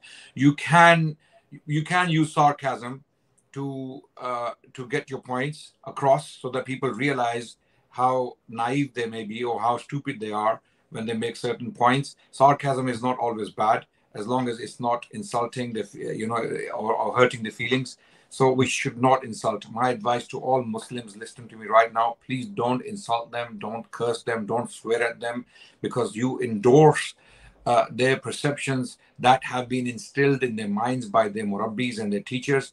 Uh, don't confirm and don't endorse those those perceptions and conceptions. Please be kind, be gentle, be friendly, be loving, be compassionate, and you will see a change, inshallah ta'ala. Inshallah. Inshallah. Okay, Brother Bashir, Jazakallah khair for your contribution. Thank you so much. Allah bless you. Hopefully, Allah bless you. Jazakallah Adnan khair. can have a, a debate soon. Yeah. Inshallah. Right, so we got uh, this brother Sufyan. here. He's been there for a while. Sufyan, you need to unmute yourself. Assalamu alaikum. Alaikum Walaikum salam. salam wa rahmatullahi wa barakatuh.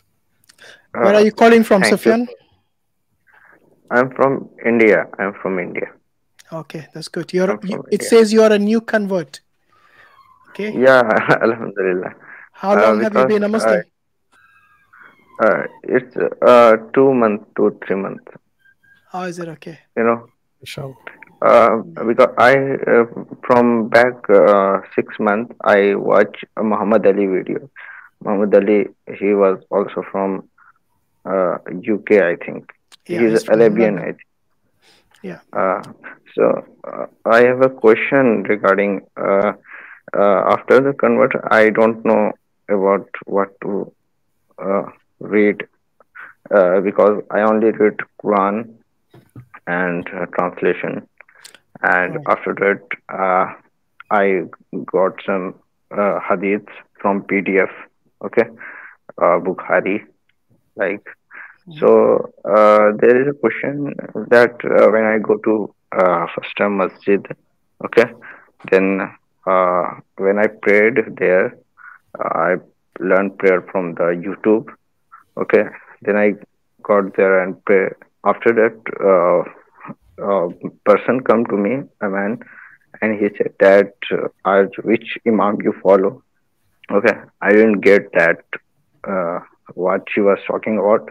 He was telling me like uh, you're the Deobandi or Wahhabi and like that. So I told him that uh, I don't know anything. I, I was scared to tell him that I am. Uh, I was before I was uh, Hindu like that. I said him that uh, I don't know what are you talking about. So I got go home and research about it. Okay, then I get to know new things uh, like uh, Barelvi, Deobandi, and all the sects like this. So I have a question. Uh, then I talked to my friend who helped me to convert. To, like, uh, okay. Then I asked him, and he said, "Yeah, you have to read Allah." Uh, Ala Hazrat. He named Ahmad Raza Khan. He told me to read that uh, his books. I don't know Urdu. Like he told me to read his translation. Uh, but uh, before this, he told me about uh, the beliefs. I didn't get the beliefs. Uh, means uh, uh, when I read the Quran, there in the first uh, uh, surah, Surah Fatiha, I think, there is a words like uh, "Iyaka na'budu," like this, "Iyaka na'budu wa iyaka nasta'in." So when I point this ayat to my friend, he said, uh, "Yeah, you can ask help from Allah, but uh, like uh, you can also ask help from uh, them also, like who are in graves." So there are many things that I didn't get them.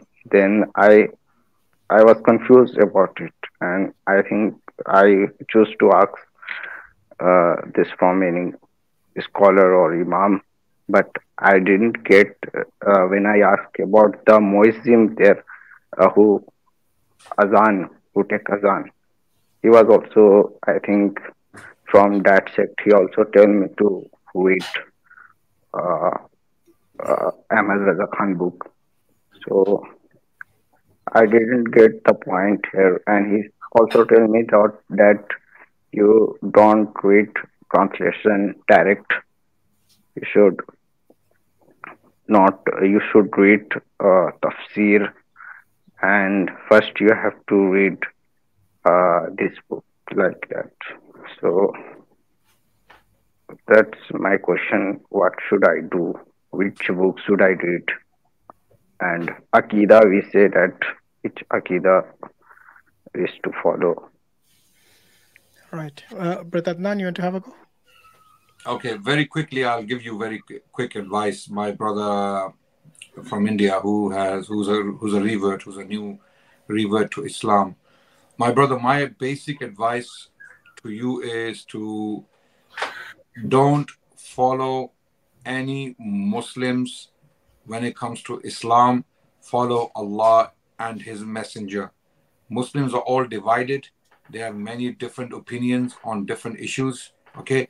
And as a new convert to Islam, you will be confused if you try to get into their differences. Okay. Some of the differences can only be fully understood by people who are very deep students of Islam, who know the Arabic language and they, they have advanced knowledge of Islam, um, or they are scholars of Islam. And I am assuming you are neither of these two. Okay. So as a, as a, as a, as a, as a beginner, just focus on the Quran, my brother. Read it with translation. Choose a good translation. Okay, we can recommend few. Sahih International is a very good translation. You can read from uh, Clear Quran, Mustafa Khattab.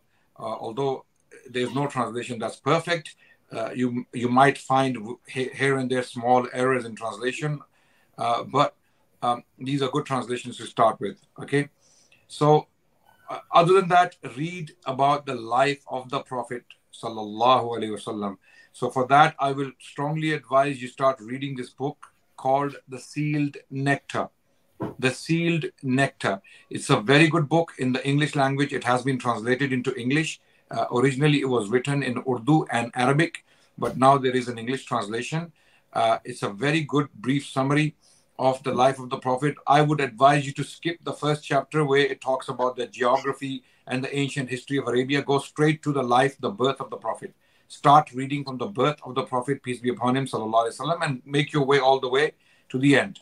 Okay, these these are the basic things you need to focus on for now don't get into differences between muslims whether it's okay to go to graves or not whether it's i mean clearly when you read the quran carefully you know who to worship and who to ask is it not clear to you yes uh, uh, you have said it clearly that uh, we have to read rely on quran itself okay like uh, when i the Quran, the Quran rely on Allah. ask only Allah. Do not Yes. ask So anyone I- else for anything. Okay? I have When you thought read something, yeah. The, uh, the guy uh, thank you. The guy uh, who, who asked me about the imams uh, i then i go to the home and i research about it uh, what the what he want to tell.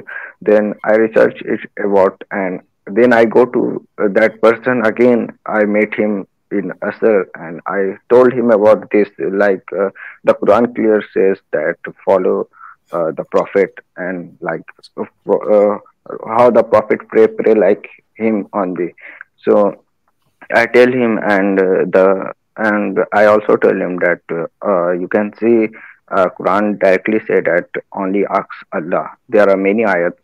So he also told me that uh, many of the ayats are uh, for a booth. Uh, they were come for booth, uh, not for uh, graves like this. So I I just leave the leave. I just leave. Yeah. So that's that's why I'm advising you not to get into these debates because the Quran is very categorical. It says Iyaka na'budu wa iyaka nasta'in. Yeah, Nasta'in. We Yes, yes. you alone, you alone we worship, you alone we ask for help. Full stop. Period. No one is more powerful than Allah. No one is closer than Allah. No one is more compassionate than Allah. No one is more, uh, you know, attentive than Allah. So why would you, when we have the superpower, when we have the big boss, and we have direct access to him, and he tells us to reach out to him directly, why would we go the long way? If someone wants to go from Delhi to Ahmedabad, and there is one straight road, Okay, what you do is Yes. you what you do is when you want to go to Ahmedabad, you go from Delhi to Calcutta, from Calcutta to Hyderabad, from Hyderabad to Karnataka, and then you come back up to Ahmedabad. Okay. Uh, Okay. So so so what would you call such a person? This is a stupid person. Stupid, yeah. Yes, stupid. So Allah is telling us the straight path is call only Him, worship only Him. Full stop. No one else is more powerful than Him. No one else is going to listen more, listen to your du'as, your prayers than Him. So that's it. This is what we tell. This is what we tell Christians. You know, when we go to Latin America, we see people worshiping Mary. Uh, let me let me give you a very good example of this. I have seen statues of Mary all over the place on on on big like you know uh, big squares, big uh, you know um, monuments, and in Brazil, in Peru, in Ecuador, everywhere you go, you see a big, massive statue of Mary, and people are actually praying to Mary. Okay, the Catholics actually pray to Mary. Okay, and Yeah, yeah.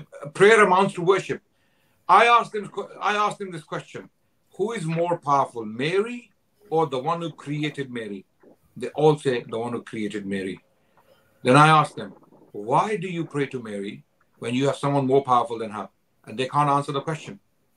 They can't answer the question. What they do is they tell you, Oh no, these are intermediaries. But Allah told us, Don't have intermediaries. Allah told us, don't go to intermediaries when you want to come to me. I am not like human beings. I am your Lord.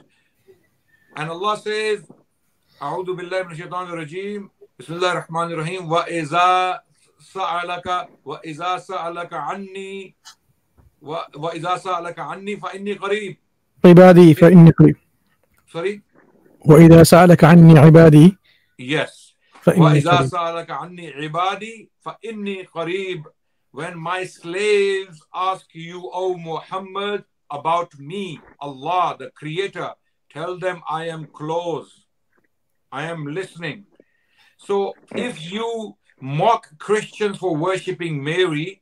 What gives you the justification to worship people who are less than Mary? Or let's say they don't worship them. They ask them. They go to their graves and they pray to them. I am asking them if it's haram to pray to mary why is it halal to go to someone who is below mary in status in power in uh, in in everything mary is mentioned in the quran none of these people are mentioned in the quran who are buried in these graves may allah have mercy on them many of them are great imams and and and preachers so does that make sense my brother Yes, yes, yes. Hundred So, so this percent. is it. So That's use your common sense. Allah has given you the carefully with translation and then use your akal, use your sense, use your common sense. And if someone tries to misguide you, okay, ignore them, don't indulge, just continue. yeah. I left that. I left that person. I said, uh, no, uh, I I read the Quran and it says like this. So sorry, I can't. Allahu. Akbar. So now you see you're reading the Quran, Quran. Allah is guiding you, but those people they read the Quran, but they don't want the guidance. It doesn't change. Yes. Uh, can you recommend me uh, your you know belief book, Akida Akidat book? Okay. You know.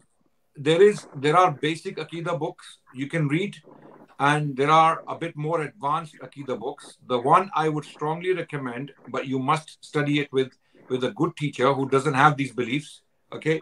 Uh, this is akida at-tahawiyya akida at-tahawiyya and you need to read Akida at-Tahawiyya. at-tahawiyya with the commentary of ibn abil iz Tahawiyya. imam Commentary ibn of? Abil iz so you read akida at-tahawiyya with the commentary of Ibn Abil Iz. Okay, remember this. If- is you know Make I sure, writing. and you can get an English translation of it. You can read yourself as well. And if you don't understand something, uh, you should come to a knowledgeable Muslim uh, who doesn't have these beliefs. Uh, you know, they will explain. But this is the prop. The challenge is in India. I don't know how to advise you where to go and who to speak to and all these things. This is very difficult. Okay, so You um, have said Imam Ibnul Abul Imam sorry Ibnul the, the the the book the book you want to read is called Aqidah Tahawiyah. At-Taqiyya. And commentary? A co- commentary is Ibn Abil Iz. Okay? Ibn, Ibn Abil Is. yes, Ibn I-B-I, uh, I-B-N. Okay. Abi. Yeah, I understand. I'll I'll show him the book. Um, if that's There you go. enough. Mansur has it on the screen. There. Okay. uh, Okay. Okay. Thank you. Yeah. I've Okay, uh, so this taken is the screenshot. this is the belief of Muslims, okay, in this book with the commentary explanation. Get a good English translation of it, a good quality one, and read it. Inshallah, you will make Uh, you will I- learn a lot of I- things. You're intelligent. You're I- an intelligent man. You can easily understand it. And you know, uh, I want to learn Arabic also. Uh, how can I start it? Like Go Arabic. go on YouTube.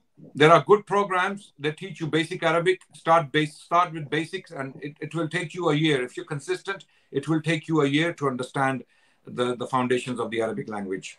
language lang- language arabic like you speak arabic uh, and the translation with that like you know arabian speak arabic No, I mean there are many programs online YouTube. You can go and check them out.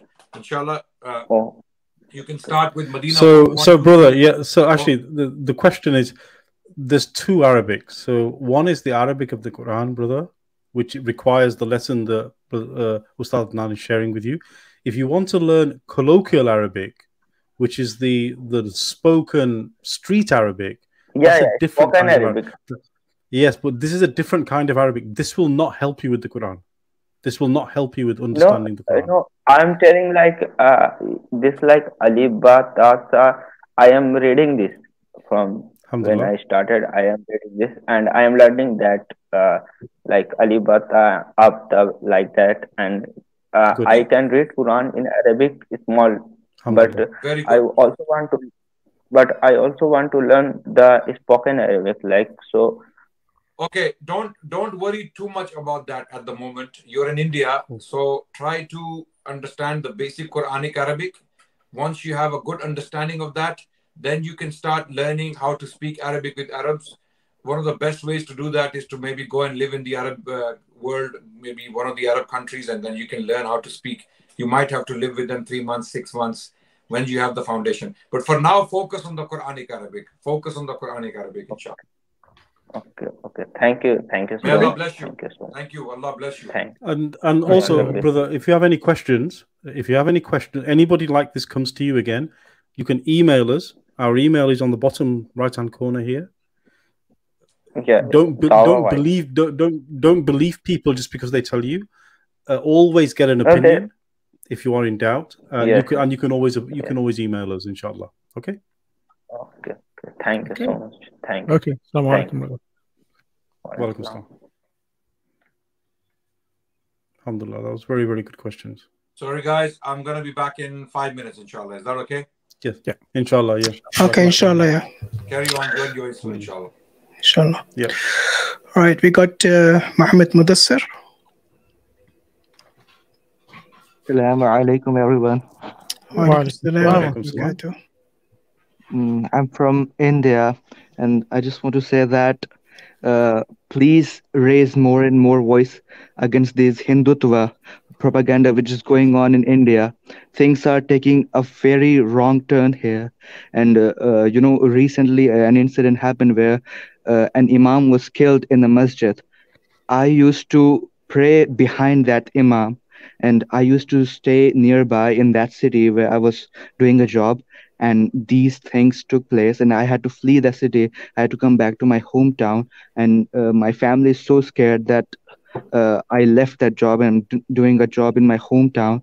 And one of my friend, uh, uh, who was also uh, there in that city, he was stuck there and he was taken out by those Hindutva goons and he was beaten, but he also somehow ran away and flew. And uh, he he there uh, at at Metro, uh, sec- he was saved by Metro security. If if he was a little late, then I'm sure that he would have been lynched till now. He was a visible Muslim with good beard.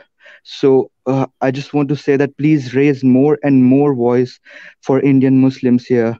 The government is evil here. Absolutely right, brother. So this uh, Imam, which you're talking about, he was only a 19 years old, if I remember correctly. Maulana Saad, is that right? Right, right, Exactly. This happened in the suburbs of New Delhi, Yeah, it, it happened in Gurgaon. in Yeah. Okay. Uh, may Allah grant him Jannah, um, the status of a Shaheed, inshallah. And, you know, we can pray. I mean, whatever we do, it's not going to be adequate. Uh, we try our best to raise our voices um, against um, this kind of atrocities uh, wherever they arise, whether it's in India or elsewhere. Uh, but, you know, the Muslims, alhamdulillah, are kind of divided as well everywhere, as you know. So, who should be taking care of these things are actually the Muslim leaders. Uh, but unfortunately, there's a lot of division amongst our leaders as well. Uh, we can only pray at this state. Uh, at this stage, uh, we try our best as duat to give da'wah to the Hindus to basically get to you know all the misconceptions that they spread, the propaganda they spread against Islam. We try to thwart that as well. Uh, and that's the best we can do at this stage. But uh, inshallah, keep us in that. Uh, we should all keep us, keep them in our duas as well for the atrocities they suffer. And inshallah, you know, there is always ease after hardship, as Allah Subhanahu wa Taala says. But I can understand the situation on the ground level for you, brother Mudassir, because you have seen it firsthand. So I can understand. It's not something. Whatever we say is not going to be doing any justice to the situation you're in now. Uh, but yeah, I mean, if you got any suggestions as to what we can do with our platform, uh, do let us know uh, because we are doing our best. And for us as Duat, we don't only deal with Hindus, as you know, we deal with Christians, we deal with uh, uh, atheists, with uh, all sorts of non-Muslims, all sorts of um, you know false firkas uh, and sects within Islam, like we were discussing the Qadianis just now and Ahmadiyya. So yeah, I mean it's it's basically something that we are already doing to the best of our abilities. But if you got any suggestions, do let us know. I just want that, uh, uh, right, like, uh, share more and more videos of atrocities happening with Muslims in India so that the people of other countries know that what exactly is happening here. We can't raise our voice here properly. The, we are afraid that the government would bulldoze our homes at any point of time. They they have bulldozed almost 300 homes there in in a village in Haryana and uh, the the worst part is that i see the comment section. I see that in real life the hindus glorify the hindus glorify those people who torture muslims. They think that muslims deserve it. Yeah. So in terms of the media coverage, uh, you know, mosques set on fire, clerics killed in religious clashes in India, in Haryana as well. So this is actually on the BBC. You know, it's it's not something that is being shoved under the carpet as you would have imagined. So Alhamdulillah, I think even the non-Muslims are raising their voices against such atrocities and against what's happening in India. Uh, so yeah, inshallah, you know, with the power of social media now, uh, things like this cannot go unnoticed. So it doesn't matter what what in uh, what the Indian authorities do in India, outside India, the news is quite easy to spread nowadays with these social media, with cameras, with videos, uh, you name it. So inshallah, justice will be served. If not in this dunya, inshallah in akhirah, we know Allah subhanahu wa ta'ala is the most just and he will serve justice uh, in the manner which which he knows is best. Yeah. thank you so much for taking me here thank you May Allah help you and keep you firm uh, on the deen, uh, keep all the Muslims firm on the deen, and make it easy for the Muslimun uh, wherever they are in India or elsewhere uh, where there's atrocities happening. Uh, we feel for them. We, you know, we we we are helpless basically to put it to put it straight uh, in in a few words, I would say. So, inshallah, you know, uh, we try our best uh, in terms of the da'wah we give. Uh, may Allah give hidayah to even our enemies, you know. We pray for them as well. Do not underestimate the power of your dua. Your dua for, for a Muslim, for a mu'min, is your most powerful weapon. So please make use of it. When you go in sujood, make dua for the people who have been victimized in these atrocities. Those people who have who had to leave their homes You know, just like the way the Prophet ﷺ had to leave his home behind and migrate to Medina when he and his companions were getting um, the same kind of treatment, or even worse, I would say. You know, they were being oppressed, and they dealt with it with patience, um, and they kept the deen intact even in those kind of situations. So yeah, please, brothers and sisters, make dua for the victims of these atrocities. May Allah make it easy for them and grant them justice in dunya and in akhirah, inshallah. إن شاء الله تعالى إن الله مع الصابرين لا إله إلا الله محمد رسول الله الله أكبر جزاك الله خير وإياكم إن شاء الله السلام ورحمة الله Allah. Allah. Sorry, Mansoor, you want to say something? No, that's fine. Okay. Right. Um, so this brother's this guy's been waiting for a while now. Simple being, are you there? Uh, hello, am I audible? Yes, you are. Yes. Yeah. Thanks for your patience for waiting for so long. Uh, apologies, we just um, had to had to deal with others uh, before we brought you in. So thanks for that. Okay, sir. And congratulations on your 100k subscribes first. Thank you. Uh, All right. Where are you calling from? I'm calling from India, sir. Right. Okay. And uh, what shall we call you? Uh, you can call me Kiran. Kiran. All right, Kiran. So, what's what's your background? Well, are you like I don't know, a Hindu, non-Hindu? What are you? Uh, uh, born in a Hindu family, right. you can say, but uh, I'm kind of uh, what do you say, agnostic. You can say. Okay. So, why is that? Why do you not believe in God? Uh, not believing, uh, uh, not exactly believing, uh, not believing, I can say, but uh, I'm moving here and there. I'm searching, which will be what will be, and uh, like that. Well, you're you're like any other Hindu. They are all seekers, aren't they? Yeah, kind of. Okay, you can say that also. Uh, Okay, no uh, problem. Right. So you got a question for us? What brings you to the panel? Uh, yes, sir. One question actually. Uh, th- There were so many prophets, right, uh, for Islam are uh, Abrahamic religions, huh? Right. messengers. Yeah. So, uh, why God is sending these many prophets? So, brother, b- b- before we go there, brother. Uh, b- yes, sir. Right. But but we haven't established whether you believe in you believe in God yet. Okay, so let's start there. What is stopping you from believing in that there is an ultimate, all-powerful creator that created all of existence? Do you believe that is illogical, or do you believe that that is something reasonable? What is your Uh, position? Uh, it, it can be reasonable. Uh, I'll say it has 50 50 chances. He can be and he cannot be. So there are two options. Okay. And right now, I'm not picking any of those options. Sir. I'm open to both options. Okay, so do you believe all of creation came from nothing then? Uh, nothing as per my human understanding, uh, something cannot be created by nothing from nothing.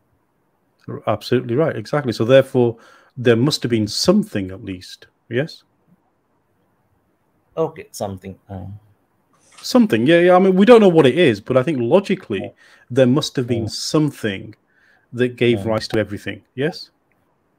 Yeah. Does that? I mean, so far, does that make sense? Yes.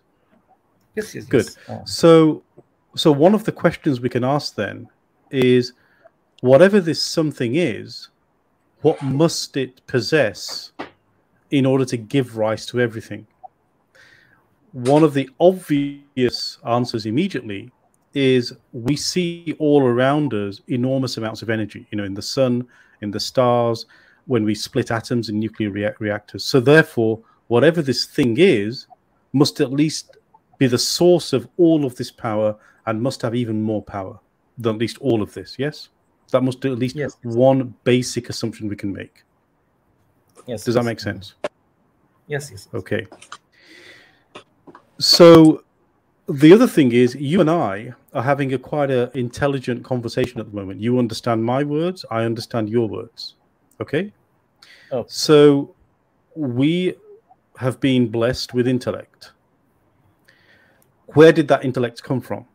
It must have come from a source that could give us intellect. or at least endow us with intellect. Does that make sense? Okay, okay, sir. Mm. hmm Yes, sir. So Yes, sir. one of the other things, one of the other assumptions we can make about this something is it is very, very powerful, and it is at least intelligent. Right? I mean, there's two basic things we can assume. Okay. Then the next thing is when we see the world around us, you, me, the planets, the stars, um, you know, various forces of nature, all of these things have limits, right? You know, Yes. the, the the gravitational pull, the electromagnetic force, all of these things have limits, and they're very, very well balanced in order to allow things to coexist, right? Yeah. Now, for anything to be bounded, controlled, measured, there must be something that is controlling it, measuring it, managing it. Right? Something must have decided that the weight of an electron is what it is, the weight of a proton is what it is. Right? Because it could have been a billion zillion other weights. Yes, it's this one. So the question is, is who or what decided that? if, if, if we go by God is there as per our human analogies, we can consider that God is there. Uh, God is managing all these things. Well, we haven't said God yet. What we're saying is whatever that thing is must at least have the ability to measure these things out appropriately for creation. Okay. Okay. uh, Right? I mean, I mean, let's because the the, the leap to theology is actually quite a big leap, and I need to make sure that you understand where we're going with this. So, so far we have something that is very, very powerful, that at least has intellect and has the ability to decide to make this creation one way versus another way. That means it has the ability to choose choice. Because you know i could you know i could have had three arms but i have two arms. You know human beings could have had four heads but we have one head. So these are decisions that were taken by something. So there's at least four attributes that we can say that this source has without the need to appeal to god yet. Hmm. Do we make sense so far? Does that make sense so far? Yes, sir. Absolutely. Okay. So the next step now is if this thing exists and it created all of us and it is all powerful, intelligent, has the ability to choose, i.e., has a will, do you think it would create us and not tell us why it created us? Uh, I, I didn't get you, sir. Last thing. He can create Okay. us and he can Okay. So let me give it. let me get let me give let me give you a worldly example. Let's say you are I mean you may be I don't know, but may, let's say you are. I'll assume. Let's say you are one of the world's smartest inventors, right? No, there's no been no inventor smarter than you. You create a new piece of technology that nobody has created ever before. Okay. Do you release this technology on the market and don't tell anybody how to use it and hope people figure it out? Or do you release it on the market with a guidebook and say, hey, be careful, use it like this. And if you have any problems, come back to me? Which is the better option? Uh, second one is the better option. Of course. Now, this source, who is even more powerful, has even greater intellect than we have because it's the one that endowed us with all intellect. Do you think this source would do the similar thing, which is give us at least some intuition or guidance that that we could follow? Yes, yes. Does it make sense? Logic, logically, does it make sense? Right. Okay, Yes, good.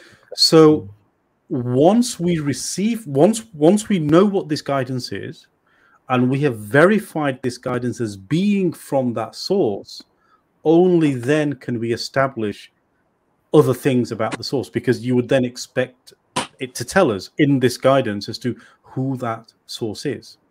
Just like in your guidebook, you would say inventor invented by your name, You would say why you invented it, what the purpose was. You would sort of list out all your reasons for creating it, etc., etc. You know, you would do that as a normal inventor. So what we say in Islam is that guidance, that source, is the Quran. And so what we have to say now is when we look at the Quran, we have very and this is a, this is a big step now. So I, I, a big step because you need to do this research yourself. We can establish without doubt that the Quran is from God, without doubt. There is no doubt there. And in the Quran, it tells us who God is, what is our purpose, why we exist, and why He sent prophets. Your original question. All of those answers are in the revelation, which you would expect a the source of all intelligent to give to you. So so far, does does all of that make sense? Yes, sir. This is completely making sense. Okay, good. Uh, brother Adnan, do you want to come in with anything? Any other questions for the brother here?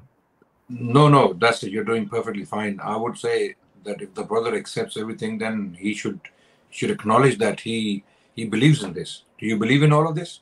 Does that make sense? Uh, I I believe in this, but then I've got some doubts. So that is why actually doubts doubts are there due to Good. lack of knowledge. What? Just like go, go, go ahead. So, yeah, please carry on. Sh- shall I yeah, continue? so, or, uh, yes. So, g- yeah, yeah, go ahead. So, of course, yeah. But please continue. What would be the doubts that you have around around what we've arrived logically concluded?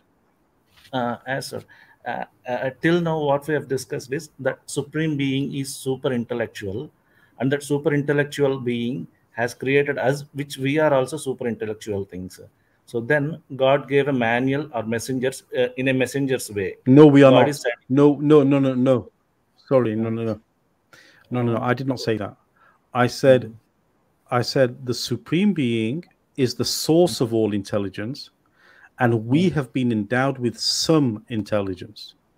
It's not the Okay, same. sir. It's Ah. not the same thing. Uh, ah, yes, yes, yes. We, we, we are we are we are much inferior to the supreme being. Uh, so so then God Yes. is sending messengers Yes. uh, Yes. by periodically. God is sending messengers. Let's take. Uh, I have just googled like that Hmm. only. So Adam will be the first messenger, probably. If I'm uh, prophet, Mm-hmm. Yes. prophet. Yes. First prophet. Prophet, And then first is- prophet, yes. uh, uh, somewhere in the line, Moses will be coming Yes. and then again uh, jesus Mhm. will be coming and then prophet muhammad uh, so Mhm. uh, so So, why yes. god miscalculated the human invention that they won't be following my instructions at the first time Brother Adnan, do you want to take it from here, please? Yes, uh, look, God did not In fact, God was preparing humanity gradually, sequentially, because He has created us with our weaknesses. He knows our strengths, He knows our weaknesses. Because of His supreme intelligence, His supreme power, which we have already acknowledged, He created us with our weaknesses. And He tells us this in the Quran repeatedly that we have made man weak. Now, with our weaknesses, He has also given us the option to make choices. And for that reason, He bestows His mercy upon us because He knows we are weak and He has made us with these weaknesses. He has given us an option of acquiring or attaining His mercy. And it's like a child receiving love from the mother. The mother knows the child has very limited intellect uh, the child is still learning, still growing. Okay. Therefore, when the child does something stupid, when the child makes a mistake, the mother doesn't go immediately and start striking the child. Okay, with a, with a sledgehammer. No, the mother uh, disciplines the child gradually, sequentially, and the child grows into a man or a woman to play their part in the society. Just like that, Allah, the Creator, He gradually, sequentially prepared us. Okay, that's why you see human civilization from uh, you know from being a primitive civilization, it became very very sophisticated to, to where we are today, right? So this was a gradual process. But in this gradual process, he sent guidance to us depending on our changes. As and when we were changing, he kept sending new regulations with new prophets, with new messengers, with updated information that was needed for the time uh, due to their gradual increase in knowledge and, uh, and, and, and experience. Does that make sense? Okay, sir. I'm uh, okay. Uh, you continue, sir. Later, I'll ask the question. and and and eventually was sent by uh, sent the last prophet prophet muhammad sallallahu alaihi wasallam who came with the quran the quran came as the final warning the final message the final glad tiding to humanity it has good news for those who live moral lives who live upright lives who worship him alone. Do not start worshiping other things beside him. Re- recognize him acknowledging him and, and bow to him. Not only uh, uh, bowing on the floor but bow to him in will. You know follow his instructions. Be kind to parents. Be kind to or- orphans. Be kind to your families. Be kind to your neighbors. Be kind to the world at large. Be kind to even animals all these instructions are there. So we follow his instructions we prosper. If we don't then there is a warning for those who don't that if you don't follow you will not only harm yourself but you will harm others and your abode will be uh, in the day on the day of judgment. Torment punishment justice. Okay? So it, the, the whole thing makes perfect sense. It's very straightforward very simple to follow. Yes, sir. It's very linear. Uh, the, the the only thing is, sir, uh, fear of hell. Uh, that, that that comes to my mind next thing. So let's take. I'm I'm I'm uh, I'm I'm non-religious uh, as of now. I won't make any prayer to God. So if I'm not making any prayer to God, but I am being good as prescribed in scriptures, but as as with my own uh, human intelligence or empathy, I was I am being good. Will I be going to hell? okay let me answer that question very quickly hmm. do you work Yeah. and do you follow the instructions of your boss Yes, yes. why Or else I'll lose the job. Okay. Hmm. So there is a consequence that you can see immediately and that makes you act. Yes, yes. Hmm. But God tells us that I am the one who created you. Do you have you already followed us? Our argument, do you believe there is a God who created us? Uh, I oh, Or have an idea. let's let's not call him God. Call him hmm. a power. I, I'm okay with God, sir. No problem. I'm okay with Okay. God. We we call him God. We call him hmm. Allah. We call him, you know, the hmm. creator. Let's call him the creator. Okay. As Brother Muhammad highlighted earlier, there is very, very consistent case for us to believe in a supreme power who made all of this. Now, if that's clear, then it's also clear that we were not made in vain. There is a purpose to this life. Just like there is a purpose to your job, you work for a boss, you follow instructions. There is a bigger boss above your human boss or your worldly, your your your your your material boss. You know, there is someone beyond that who has given us instructions to aim towards the ultimate success. You may succeed in making some money from your job in this world and have uh, comfort temporarily in this world, but there is an ultimate comfort that awaits you if you follow the ultimate boss. Okay, so the same logic follows. But if you don't follow the boss, then you lose your job, then you lose your reward.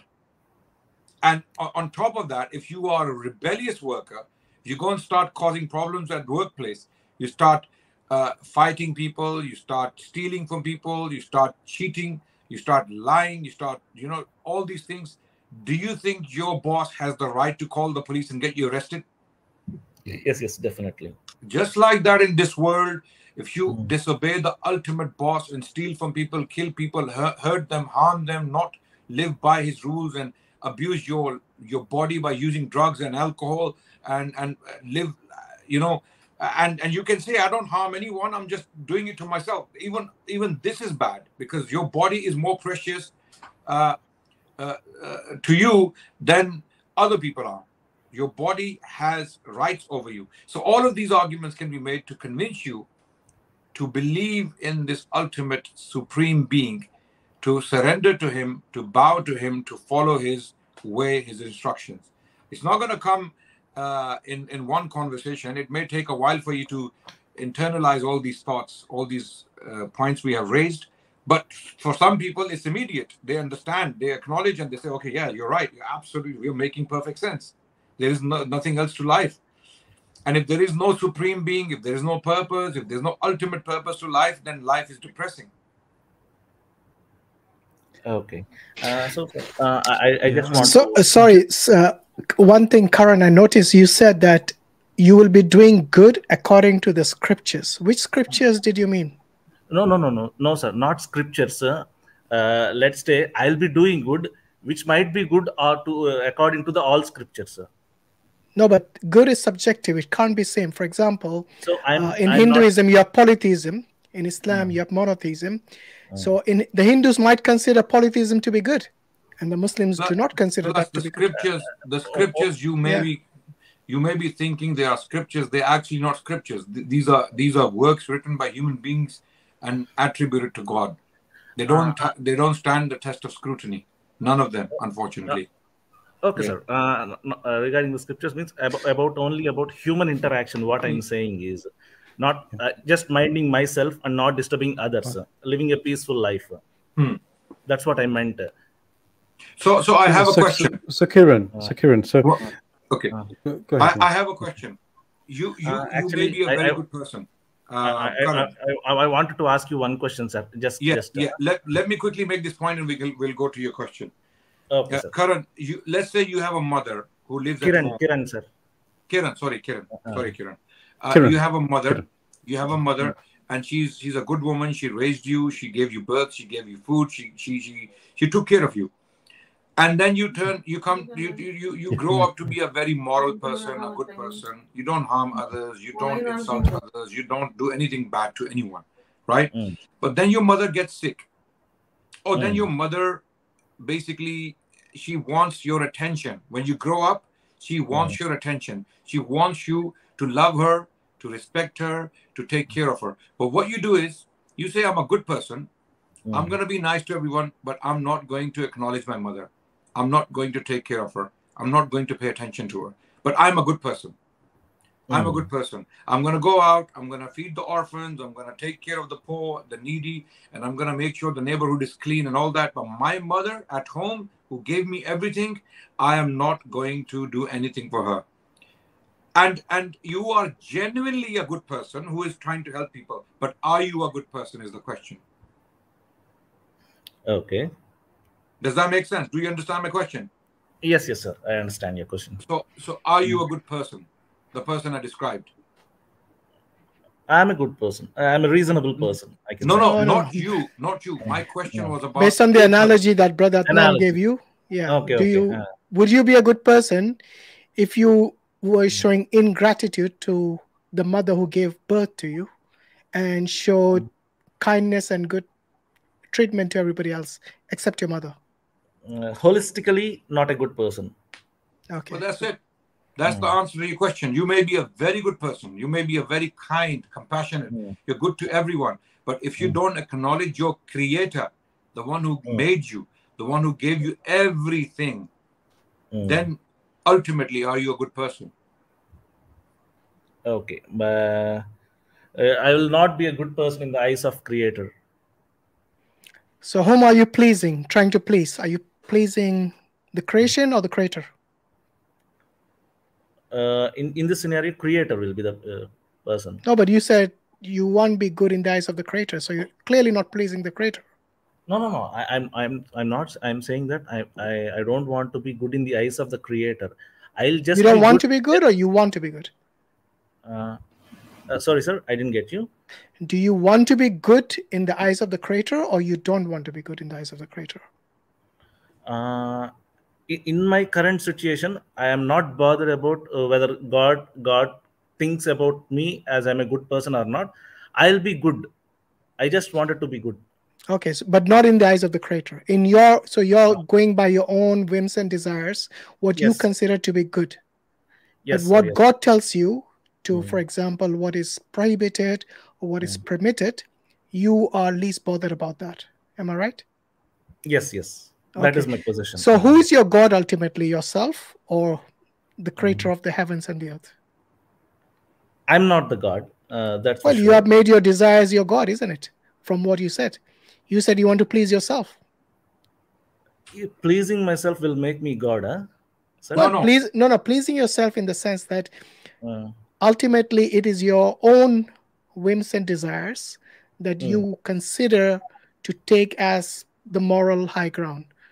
What God tells you is irrelevant. yeah, kind of. Uh, Yeah. So once again, whom are you submitting to? Your own nafs, your own self, or to God Almighty? uh, to my own self. Okay. So you have made yourself as God in a way, have you not? Because you Okay. live by that rule Not, which you not, made. not, not literally. What Hashim means it. Yeah. uh, it- what Hashim means is that that's the consequence. Yes, yes, I, I understood. I The, got the it. way you're living is basically you have chosen yourself to be your own God.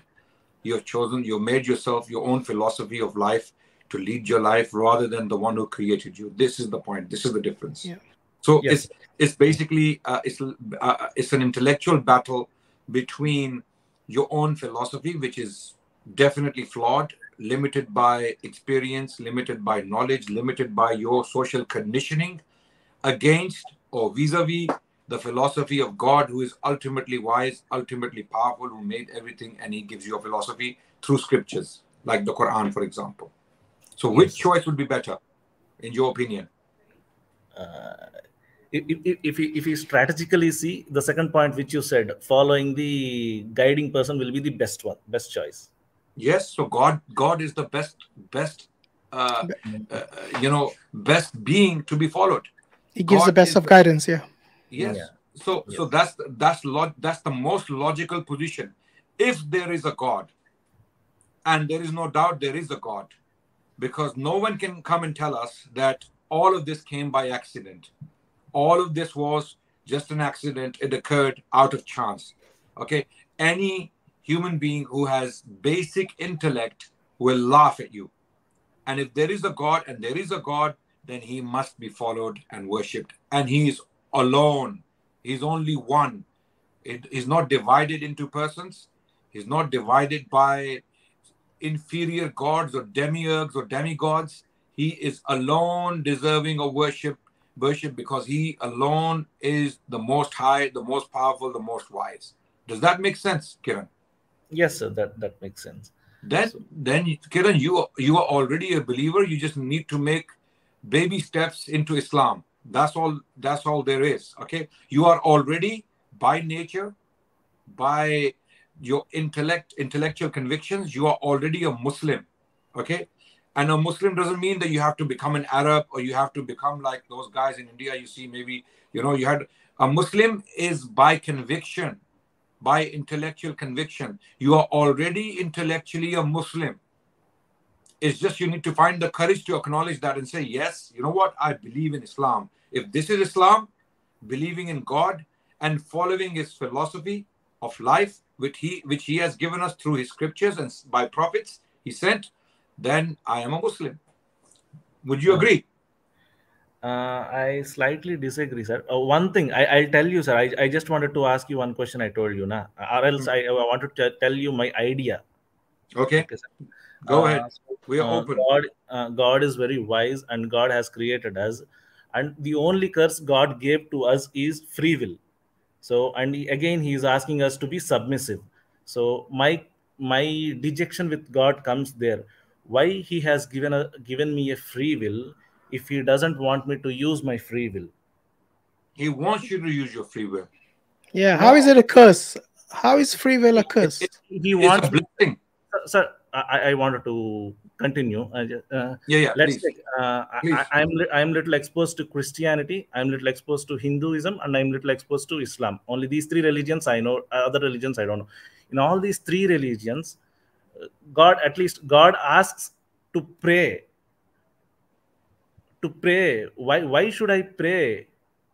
That's the thing. Okay, let's ask yourself Uh, this question.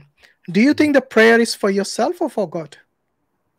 uh, uh, for me for my desires as per No, no. my uh, Who when you say God is asking for prayers, whom Uh. is prayers benefiting? Yourself or is it benefiting God in any way? benefiting for for me only Exactly. So God is asking you, and He's basically doing you a favor, how you can achieve reward from Him by praying.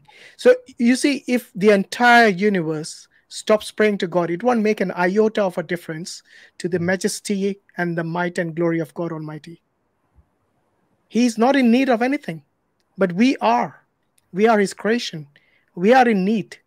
So prayer is one form of showing gratitude to Him and to for guidance as well. Because when you pray, He guides you. Just like when you need some help, you go to, I don't know, whoever you go to, you know, to seek help. So this is a, in a way you're seeking help from God. The prayer doesn't benefit anyone except yourself. Okay, Ah. unless you're praying for somebody else, that's different. But when you pray earnestly and sincerely to Almighty God, then God will re- respond in kind. He can either grant you that prayer right away, or He can delay it when He thinks it'll be best for you to be granted, or He can give you the reward in the hereafter for that. So anything you do is for your. For example, many people they say, "Oh, why does Allah need to sound the uh, he uh, the muazzin to sound the adhan? You know, the call to prayer for the Muslims from the minarets or from the mosques. This is again to call the Muslims to prayer, because in the Quran Allah says, uh, sorry, uh, the part of the adhan is hayya al salah, hayya al falah, come to pray, okay, and come to success, because this grants you success, the prayer itself. So again, it's benefiting the people. It's not calling out, the adhan is not calling out to Allah. It's calling out to the people to come to pray and come to success by praying. Do you see, my friend? Uh, may, may I, may I, sir? Yeah, yeah, sure. Go ahead. Yeah. Uh, so I don't know how uh, Muslims will pray, but normally what Christians, Christian, I, I, I'm little exposed to Christians actually. They will be asking some favors, or they'll they'll be asking to do this thing, like that. You can pray. You can pray to God anything, my friend. Ah, and, and You can seek. You can seek any reward. You can Ah. seek any help. Whatever. So prayer is in a way you're communicating to God. Uh, so Yeah. how did how did humans came to know that they can pray? That Ah, is very- given in. Uh, it's a very good given- question. Yeah. uh, that is given in the scriptures or word from the God. Yeah. So you see, when God, when God Sir. created you, Uh, Shall I continue? Or yeah, yeah, continue? sure. Go ahead. Yeah. Finish your point. Yeah. Go on. Uh. Uh, so what said God gave us the manual that you should pray to me, then I will grant then then I will grant you the desires to you, or else what you ask. Okay. So Mm. God, you know, when He created you, He did Mm. not just leave you to fend for yourself. Like the way mm-hmm. you're saying, you know, I feel this way, so I will do this. I feel this is good, so I'll do this. I feel this is bad. He didn't just give you the free will and let you wander around the world all by yourself, unguided. He gave you the guidance through the prophets and messengers, which you spoke about earlier. Mm. And this is the reason, because in order for you to communicate to God, there is a medium, and this medium was the prophets and the messengers of God. So they told you how to, what God wants of you. Just like, you know, when you buy a new product, for example, a new phone or a new, I don't know, um, some sort of a PlayStation or something, it comes with a manual, right? And this tells you what the do's and the don'ts of that particular product. So if you abide by the do's, then you will hopefully see that the product that you bought it works properly and it's going to last. But if you misuse it, for example, it says the phone is not waterproof, and you take it for a swim along with you, then surely you're not following the instruction that were given along with the phone. Who knows what is best in terms of using the phone? The manufacturer or yourself? The manufacturer. Exactly. So if God is your creator, He knows what is best for you and He knows what is harmful for you. He tells you who your enemies are in this world, He tells you the do's and the don'ts that you have to go in order to lead a life which is not only fulfilling for yourself uh, and wholesome, but also something that is you're being um, obedient to God Almighty. Uh, one thing, sir, here. Yeah, go on. Uh, you said that uh, uh, enemies also uh, one Yeah. point you said right. So who will be the enemies here? The shaitan. Allah says in the Shaitan? Quran, Inna shaitana aduwwun mubin. He's your greatest enemy. But then there are other enemies as well, you know, the foot soldiers of the shaitan. There are many people who want to take you away from the truth that God has guided you or will guide you. That when, for example, when people tell you the truth about God, there are people who would want you or put hindrance in your way. And these are the foot soldiers of the shaitan. They are doing their bidding the work for the shaitan. And so yeah, your your enemies could be your friends, for example, could even be your family, could be your best friend, could be your parents even. Yes? Uh, uh, could be someone on the internet. these are all these are also the creation of God, Yes. and God So- led them sway. No, no. The creation of God, remember the free will you spoke about earlier? Yes, yes. So the uh, free will allows you to obey or disobey God. So those people who put hindrances in your path are actually being misguided by the shaitan, and in turn they want to misguide you as well. So, So right they are the right- enemies of yours. So by their free will they chose to disobey God, and they want to take you away from God. Mm, so so right now i'm i'm not uh, influencing any other person to move away from other religion Right. so i'm being myself Yeah. still will i be the foot soldier of the shaitan No, if you're No, not disobeying God, No, No. let me explain very Yeah, quickly. Uh, let me, uh, just like Brother Hashim gave this example of the manufacturer. Okay, let's let's see how you can become a problem. The manufacturer gives you a manual instructions to drive the car. Let's say, okay, what you do is you you say, I know what I'm doing. I don't need this manual. You rip it away, and you throw it away. And then you drive the car without basic knowledge about it. What are you going to do? Mm, uh, i might end up with some accident you might end up in accident and you Mm. might kill other people right? Yes yes. Mm. okay. This is how when you don't follow the manufacturer when you don't follow the instructions you mess up the gadget or you completely destroy the product and you destroy yourself. Oh. Things. No, it's there. yeah. Sorry uh, i received a call. So these are some of the things you keep you need to keep in mind. So if you go by your own philosophy your own um, let's say way of doing things you may not see the harm immediately but you will eventually end up causing some harm in the society somewhere okay? So so this is why you know being being a soldier of shaitan something people choose to do it's not the choice necessarily. This can some sometimes happen without you realizing it that you're playing into the hands of shaitan. Yeah. you actually have you have been uh for shaitan. Uh, can you hear me? you- Yes, no no, no. Your, your last part is cut uh, last part is yeah little but you can you can actually without knowing you can be a tool in the hands of shaitan without you realizing it Yeah.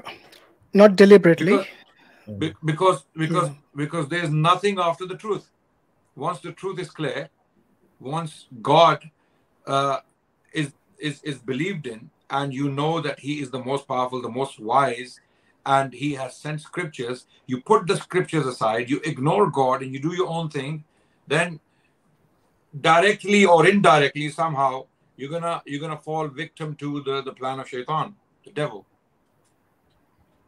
Mm, that that is a chance right No, it's definite. It's definite. As I said, that you know, um, you may not know this and you may not want to do this, but because you're ignoring God, your creator, and his instructions, you will end up doing something that may ha- harm others, if not you. Okay? Mhm. So so it's it, it could it could be anything. It could be, for example, I'll give you a I'll give you a good example. You're from India, right? yes sir in India, non-religious people have relationships. Non-religious people will have Will we can easily have a girlfriend-boyfriend relationship, right? Yeah. Extramarital aff- affairs. Yeah. I mean, is that is that clear? yes sir yes sir uh, So you you don't mean to harm anyone. You just like a woman and you go out with her, mm, okay? And you you you are a perfectly harmless person. You don't want to harm her. She doesn't Mm. want to harm you. You're two innocent people who ignore God and don't Mm. get married, don't formalize your relationship. You fall into a relationship. Yes? Okay. Okay. Okay. And then you end up having a child. Okay. And because you're not married, it is easier for you to walk away um, from that responsibility. You can leave the child with the mother, and the, the child grows up fatherless. And now we have a problem in the society. Yes. I'm not saying all fatherless children are, are a problem, but this is a huge problem. I mean, we are facing it. We are facing it in the UK. In the UK, uh, many children who are committing crimes, street crimes, okay, stabbings, uh, they have missing fathers. Okay. Mm. Okay, so it could be a perfectly harmless situation where Mm. two innocent people don't get along anymore. They walk away from each other, but the society has to pay the price. So, so look, there is a poet. There is a poet who said, uh, "Do you understand Hindi and Urdu?" Uh, Hindi a little bit. I'm a South Indian, so thoda thoda Yeah. आता है. Uh, Yeah, so it, it might be difficult for you to understand, but I'll Say, still say say, it in Malayalam, he'll understand it, man. मगस को बाग में जाने ना दो कि नाहक हूं एक परवाने का होगा Mm. do not allow the bee to go into the garden because a moth will die in vain so what the poet is saying if the if the bee will go to the garden it will take juice from flowers it will come back to hive it will produce honey there will be wax the wax will produce candles the candle will burn a moth will come and burn on the candle and die so there is a process. So the poet is saying stop the bee from going to the garden if you want to save a moth. So mm. The philosophy of Islam, which comes from Allah, is basically about prevention, following God, not necessarily for immediate results that you can see with your eyes, but rather it saves you from pitfalls ultimately. Does that make Oh. sense? yes, yes. So it's it's it's a very powerful philosophy. When quite we profound. scrutinize it, when we think about the rules and regulations of Islam, instructions that came from Allah, from God, we come to realize absolutely they, they save us from many pitfalls. They save us from many challenges. Okay? Oh, yes, sir. So this is why Islamic societies, as bad as they may be, as weak as they may be, they have some virtues that other societies don't have in the world. You may be able to tell me about some of them. What, sir? I, I didn't get you. I'm saying Muslim societies, Muslim communities around the world, as bad as they may be, as weak as they may be, okay, as challenged as they may be, they have certain virtues that other communities in the world don't have. Virtues. I don't know the meaning of virtues actually. Virtues mean uh, characteristics. Certain characteristics. Uh, Being rigid. I, I see. I see being rigid as one of the characteristic of Islam. Being rigid for what? Being rigid in not uh, drinking alcohol or taking intoxicants, being rigid in taking care of orphans and your families, being rigid in uh, in clean, No, no, no, clean. no. I, I, I didn't say it in a negative way. Let, let's Yeah. take the word as a word itself. Rigid. In in in, in holistically, they, they, they will be rigid. Let's take even in the dressing sense. They, they, they, they will make it clear that uh, we are Muslims. yeah and, Yeah. and and and the, and the idea behind it is a way of life you live a way of life follow following god's instructions and you live a moral life. Now there are exceptions. There are people who do bad things. They look re- they look religious but they're not actually following the religion. Okay? Uh, those those people exist in all communities. But predominantly speaking muslims those who follow the religion they live relatively happy lives. Yeah, yes, sir. Oh, one thing, sir. Uh, right now, let, let let's accept that I'm a Muslim. Huh? Then, if I if I if I don't do the prayers five times, namaz five times, uh, will I be a non-Muslim? okay if you don't pray at all kiran Yes, if pray you at don't all. pray at all you don't pray juma you don't pray even one prayer a day then you're Yeah. just a muslim by name you're just claiming to be it's like being an engineer and having a badge on your clothes that i am an engineer and you don't you don't do any engineering you don't practice it so you're just an engineer by badge engineer by name does that make sense Yes, yes. Ah, actually, this is what uh, making me dejecting god so i have to follow certain uh, certain rules which uh, i'm not comfortable with that Okay, then then, then uh, it's a choice. It's an intellectual choice you have to make. Is it your philosophy, your comfort, Yes, over yes. Yeah. over over what God wants from you? And if you, especially when you believe in God, if you believe in God, if you believe there is a creator, then what you're doing is you're keeping him aside uh, as a uh, you know uh, like you know sometimes you have this is a bad example. You know what a side chick is. sir You know what a side chick is. Side chick. side chick uh, side kick or side chick No, no, side chick. You know, like you have your wife and then you Mistress, call it mistress, Adnan. okay okay yeah, okay, like yeah. a mistress, you know. Yeah. So, Okay. so no, mistress is a more polite word. That's what I was hoping for. is you're just using.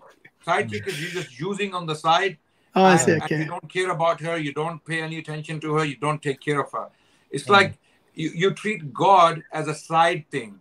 You know, yeah, God is there. I believe in Him, but He doesn't really have any role in my life. It doesn't work like that. Yeah. yeah You know, So, exactly Uh, Kiran, let me ask you. You know, Islam has made many things haram, and most of these people like you will agree. For example, Brother Adnan already mentioned about alcohol, intoxicants, you know, adultery, fornication, stealing, gambling, you name it. You know, all these things are negative in the society, are they not? uh, Everything that Islam has prohibited, these are the Uh. things which are negative, have negative impact on your life in the society. So, I what is it that you would disagree with from Islam, from the prohibitions which Islam has made, for example? uh, uh, prohibitions i don't have anything the only thing is uh, uh, following certain algorithm algorithmic way of life is very difficult for me So, give me an example. What is it that will be difficult? Because you know the five pillars of Islam, they are not that difficult, and one of no them is i, uh, I don't know much about islam uh, what thing is.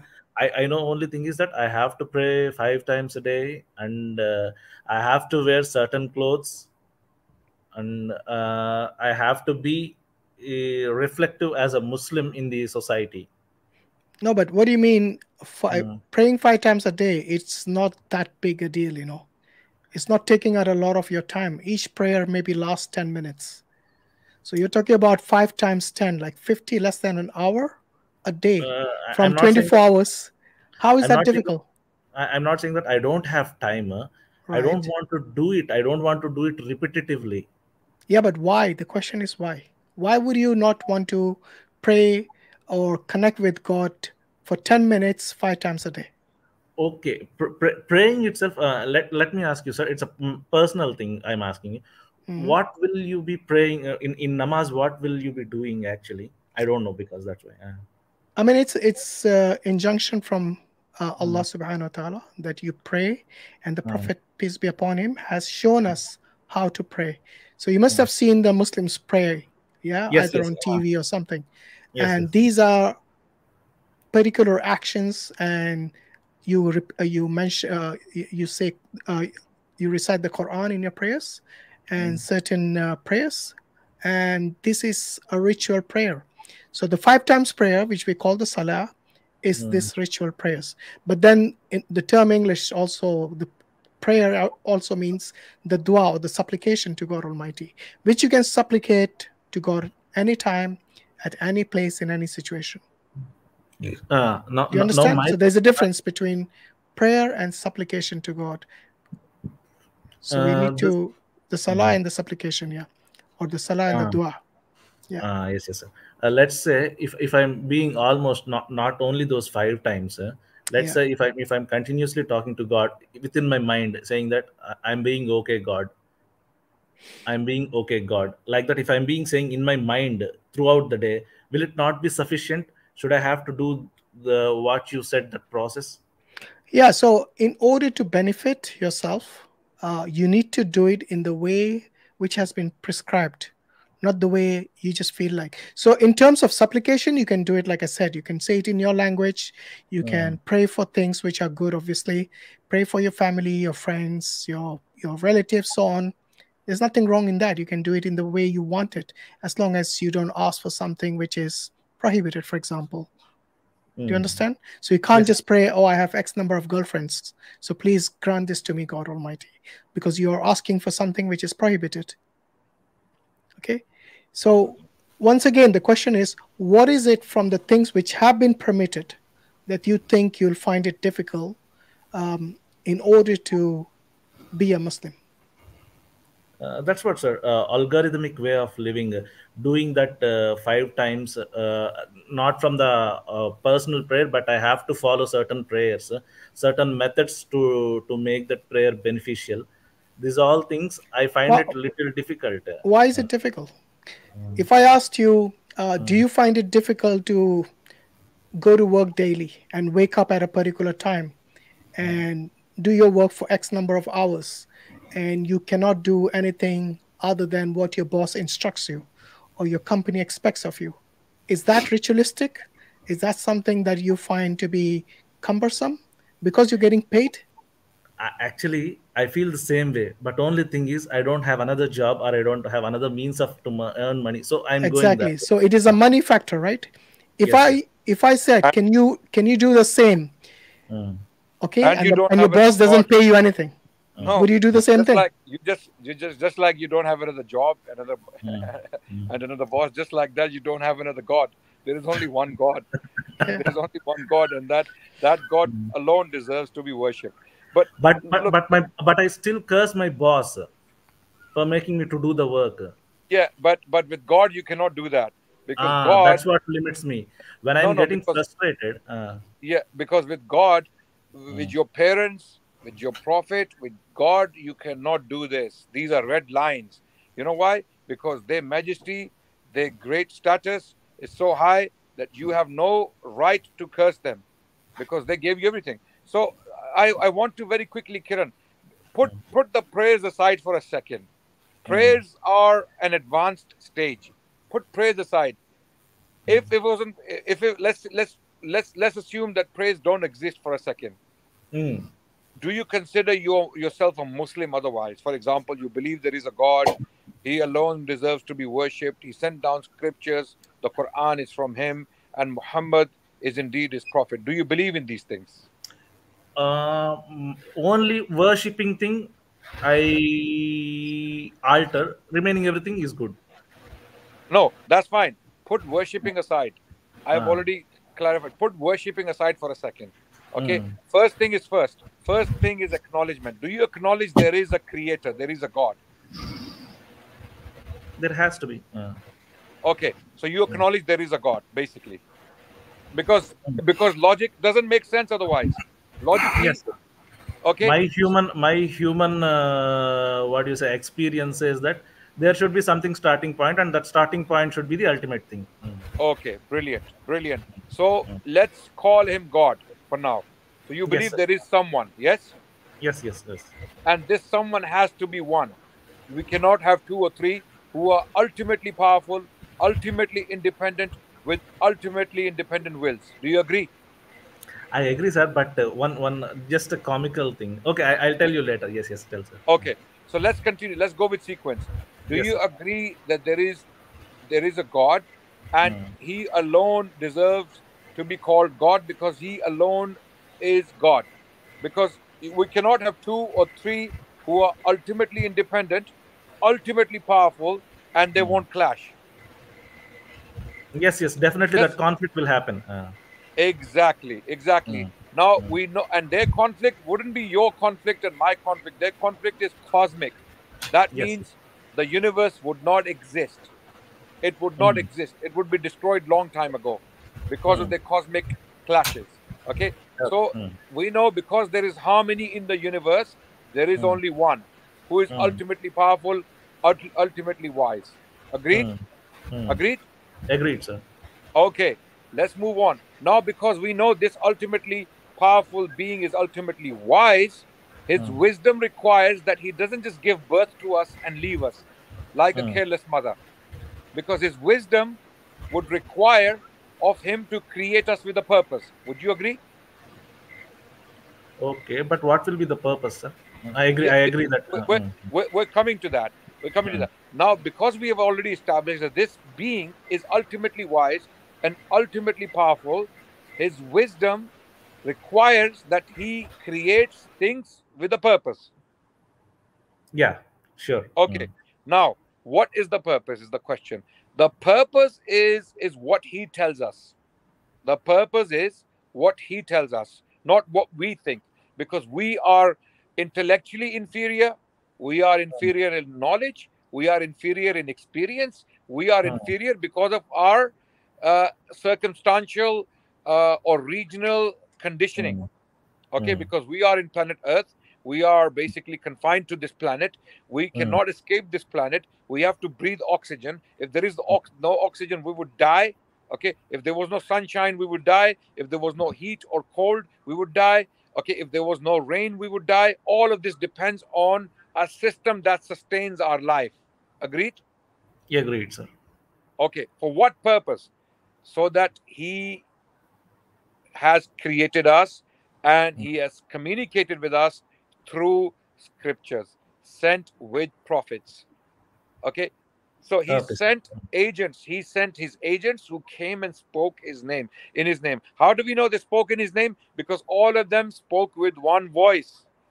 From Adam to Muhammad, all of them spoke with one voice. They said, There is only one God, and He alone deserves to be worshipped. Don't worship anyone else, don't worship anything else. Now, this much I believe you are already in agreement with, right? Yes, sir. Okay, now let's stop there for a second. Forget about the instructions and restrictions and and limitations and worship. Forget about that for a second. We already agree on these points. Yes? Yes, sir. So technically technically up to this point you're a Muslim. Technically. Okay, sir. Okay, sir. Okay? Up to Mm. this point you're a Muslim. Now what comes after is basically built and developed. Your knowledge, your conviction, the strength of your faith is built from time to time, gradually, sequentially. You will learn, you will learn more and more. You'll get to know your creator, just like you get to know your mother as you grow. The child grows into loving his mother. Would you agree? Yes, yes. I the first thing a child realizes uh, when a, a child gains consciousness and intellectual ability is that who is the mother?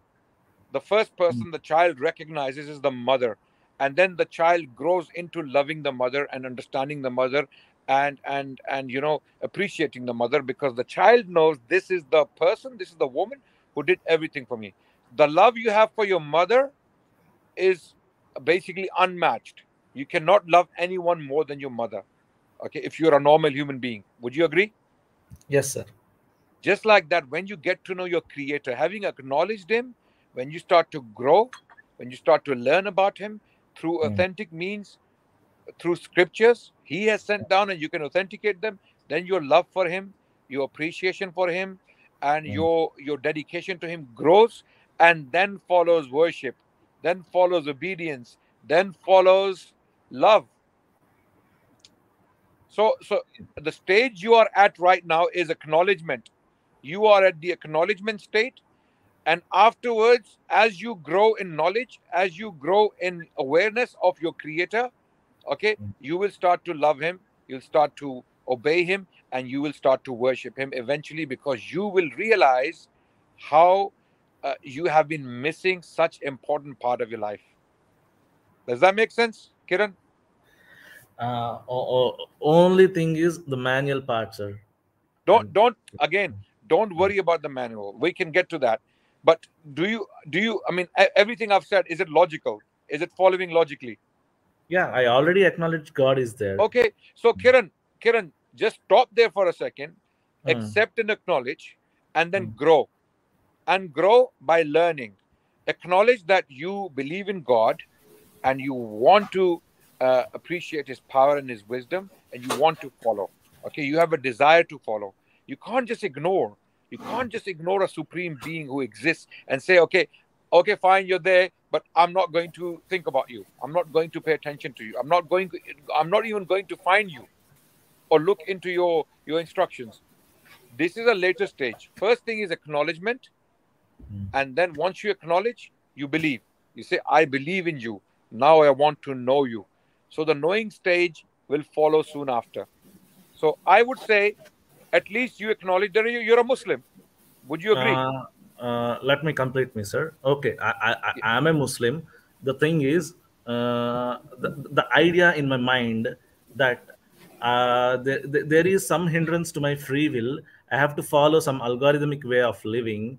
Stops me, stops me there. That uh, okay, God. Again, Uh, so again, uh, let me complete, sir. Let me complete, sir. Yeah, Uh, please, please go ahead. Please go ahead. okay god uh, okay god you are invading into my personal space uh, now so god uh, i'm not that much bothered because in my daily life uh, uh, nothing much happens if i remember you if i don't remember you if i pray to you if i don't pray to you nothing much difference happening to me so i i i i, I, I let you be there only and if, i if i have to do something to get a benefit of or, or going to heaven you are giving me a treat and asking to throw my free will and follow follow you so that's not for me Look, Th- that is no, my position Uh, okay. Look, how much you follow God and His instructions is a separate issue. mm, Kiran, mm. the fact that you acknowledge Him and that you know He exists and you have no doubt that He exists, that alone makes you Muslim. Okay, that's the beginning of the journey, Kiran. Try to understand. That's the beginning of your journey. This is a new thing for you.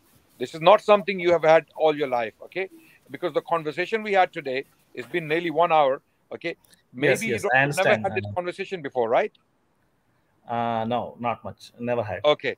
Okay. So this is only the beginning, Kiran. This is the beginning of the opening of the doors of your mind towards an entity, towards a reality, towards a phenomenon that you have not given attention to, to before. So we don't expect you to start, you know, or, or even God doesn't expect you to to become a saint overnight or you're going to change your life completely in in a in a in a in a, in a stroke. No it doesn't work like that. Even allah even god knows that. The first thing is first. The first thing kiran is acknowledgement which you have done you already acknowledge that you are a muslim in beliefs you are already a muslim in beliefs what you need to do now is start reading about god what does he want from you have you read the quran uh, i just had some uh, audio audio in youtube for around two to three three verses sir. Okay, okay. No, you Uh, need, you need to get a translation. You need to get the translation of the Quran and English translation. We can even send you one, Kiran. It's not a problem. Okay. Um, if you leave your address uh, uh, later on, and we can send you a copy of the English translation of the Quran, you will receive it within a week. Okay, and start reading. First thing is you acknowledge, which you have done. Okay. Then what you do is start reading the Quran and start try to understand your creator try to understand what he wants from you okay once you start reading you will start to see why it will start to make sense more and more slowly so long as you are sincerely seeking you have to be a seeker okay you can't be careless kiran you can't just be careless and find a job i mean if you were looking for a job uh, does that require dedication or not yeah education Okay, so just like with God, you need to be dedicated. So you need to seek God, and how you do that by start reading the scriptures that at, that that are basically attributed to Him. The Quran. The Quran is the strongest candidate. The Quran is the strongest candidate. Start with the Quran. So shall we send you a copy of the Quran? uh, i'll buy myself sir Okay. Then I Mm. would advise you that you Mm. take the acknowledgement that you are a Muslim. Take the acknowledgement. Make that acknowledgement. Call yourself a Muslim. Okay. so you- you're asking me to say that i am a muslim huh? right yes. now Yes. uh, that's what uh, i can be a muslim i don't have any problem Okay. Mm. So, so so let's do that. Let's do that. So Means, what you do uh, is you you you you identify yourself as a Muslim by the beliefs we have already explained to you, and then you build on your knowledge. You start reading about Islam. You start reading the Quran, and you will see light. I can guarantee you, Kiran. Come back to me in two months or three months, having read books on Islam, having read the Quran and the life of the Prophet. You will be a different Kiran. okay okay sir I can. I, Uh, I mean, I'm so confident. I have no doubt that's that's going to be the case. Not different Kiran in that we're going to have a an alien, an alien Kiran, but we're going to have we're going to have a much more informed Kiran on Islam, and and you will understand what God is and what God wants from you more. Okay. Can I can I ask, ask some questions, um, if I may, very quickly? Yeah, one second. Do you want to make the acknowledgement, Kiran?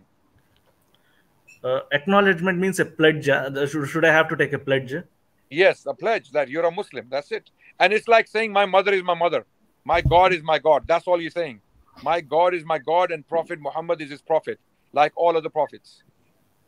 So uh, then what will happen, sir? After that, After that, you learn, you read, you build your knowledge. without you, doing that, without doing that, uh, can I learn? yes, I mean, you Uh. can still learn without Uh. taking that, but you are already, I'm saying you are already a Muslim in beliefs, in, in conviction. You just have to say you are. It's like you are already qualified on something. It's just claiming that qualification that, okay, you know what? I am this, and I'm going to acknowledge that I'm this. And then after that, you know, you, you're going to start learning about your identity, what you what you, you're going to build on your knowledge. Does that make sense? Uh, not so, sir, because I'm not that comfortable saying that. Uh, No problem. Hmm. No problem. You don't have to do it. There's no Mm. pressure. There's no pressure. And I, I really, I really admire the fact that you're very open and very honest. Okay, uh, you're not, mm. you're not being pressurized, and we're not pressurizing you. This is your Mm. life. This is your Yes, decision. yes. Ah, okay, so you, Ah. you do it when you are ready, but don't sit on it, brother. You are already a Muslim. I believe you're, a, you're already a Muslim by conviction. You just need to, you just need to acknowledge that and build upon the knowledge. So you need to need to, need to go and read the Quran and basic Islamic literature, Okay. Uh, yes, sir. inshallah. So you had questions, guys. Mansur. Uh, sir. Yeah, I just because I missed uh, a, a good portion of your discussion here because I was just outside. If I may just ask you, Kiran, a very simple question: What do you want from your life? I just want to have a peaceful life, sir. Comfortable life without any problems. Sure. Do you think it's If possible eternal, to have? if eternal, if eternal, eternal. Sure. So, you think it's possible to have a life peaceful, comfortable, without any problems, or there's going to be problems in the way anyway? Yes, yes. Pro- problems will be there. That's why I wanted. I that's a wish. Sure. Mm. So, you mentioned about your personal understanding and the following of the mechanics of how you live your life to make that life of Mm. comfort and happiness. There are lots of different ideas out there ideologies, systems, codes, beliefs, um, religions, you know, if you want to you know, categorize them in different ways, each claiming to give you this particular way of living, which will give you this comfort and happiness. There are many competitors, right? Mm. You have your own. So you can look into each one and see which one seems to be the most effective in terms of giving you the comfort and happiness. How would you know which one to follow? Because we talked about from the Islamic perspective, and you had your particular understanding and objections maybe to this particular way of life. How would you know what's the best way of living? Is it something that makes you happy? Uh, uh, sorry, I, I didn't get you. I What- didn't get you. Uh, What are the ways of knowing how to live our life in the best possible ways so we can be happy and comfortable and peaceful, in which this life is not going to be one of problems and sufferings and so on? How would you establish that particular way of life? Because you may eventually realize, for example, actually, communism is a way of life, and then people realize that it doesn't work after killing and murdering hundreds and thousands of people in that experiment. They thought they Ah. were clever. They thought they were clever than you and I. And they went through this experiment of making people live under a particular way of life to make things happier, comfort, more comfortable, more prosperous and joyous, and so on. And we know that they failed, right? So that commu- communism project is something like people are not going to. It's only a certain amount of people who wants to believe in this kind of socialism, communism ideas. More and more people are going to say we want to go back to some ideas of democracy and so on, right? So how would you know which one is better? Because Islam provides, even if you didn't believe in God, even if you didn't believe in the Islamic system, Islam provides an alternative system to all of those beliefs and ideologies out there. And we can argue that it is the best form of living in which you'll have what you seek for, not only in this life, in the hereafter as well. And what we give is we give importance and priority to the next life because the next life is an eternal life, either in joy and happiness and bliss and tranquility and contentment, or in one in which someone suffers eternally. They're in pain, in, in sorrow, they're in, in, in, in in real torment. There's no happiness whatsoever.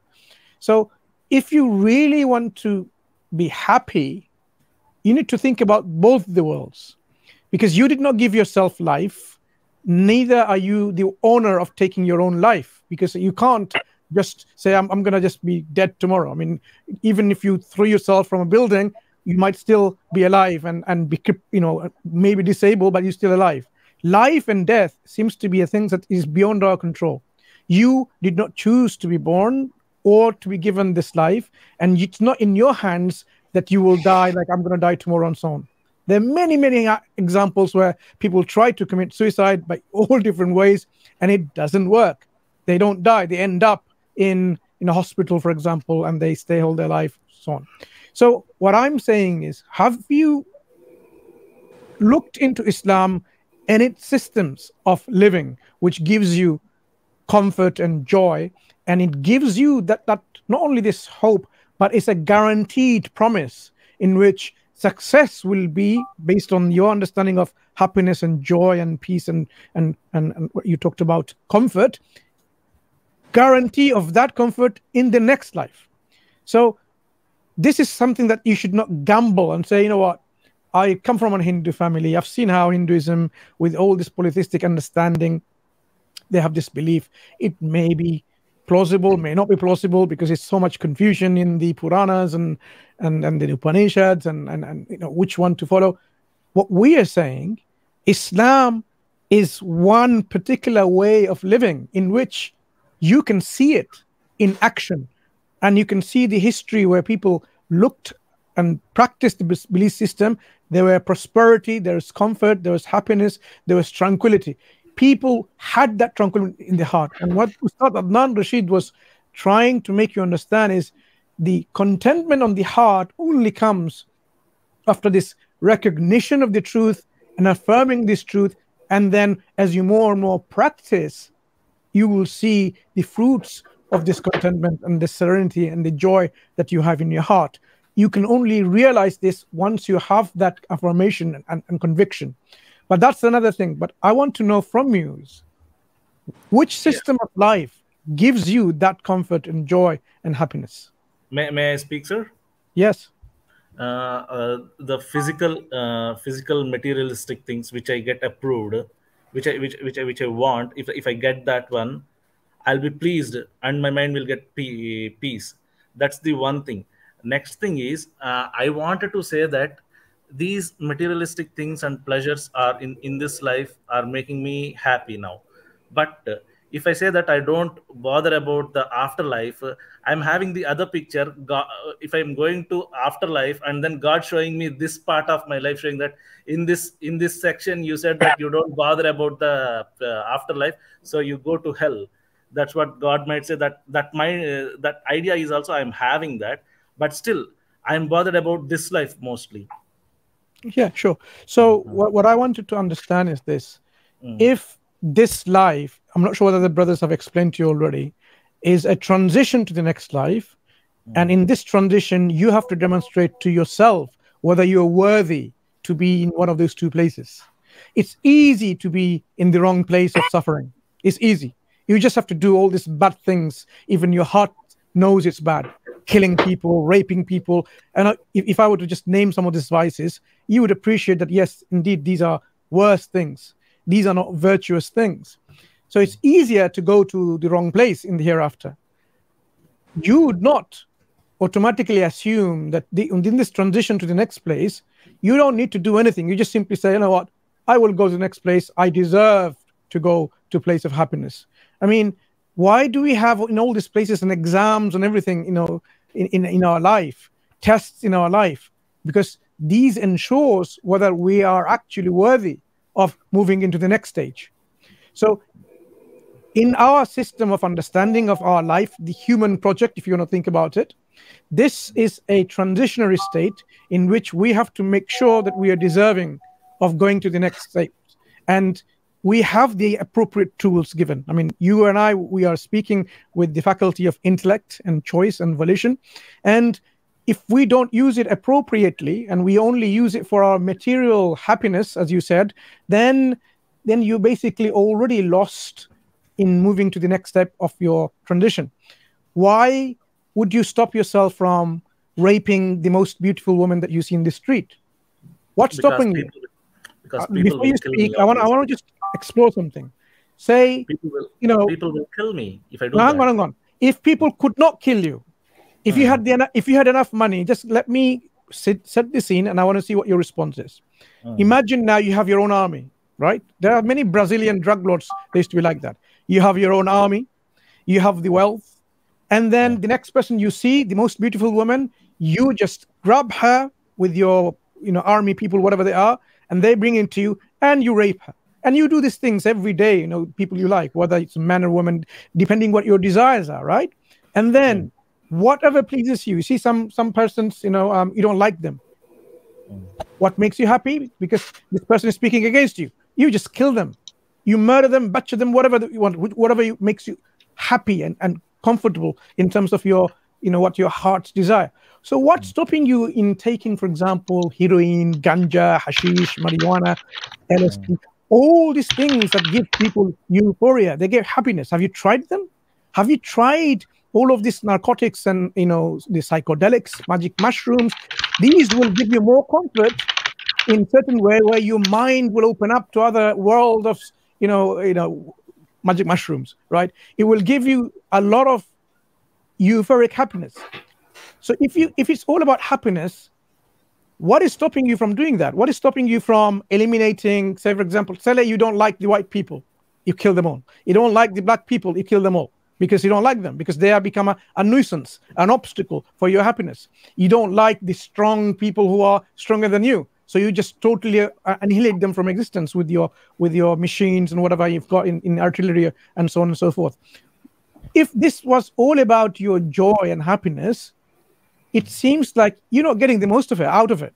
There's more potential of doing that, but you're afraid that you're going to get caught. So I want to know, for example, if you had the opportunity and not going to get caught and punished and imprisoned or killed to rape people on the street, rape, you know, the beautiful women out there, would you do it?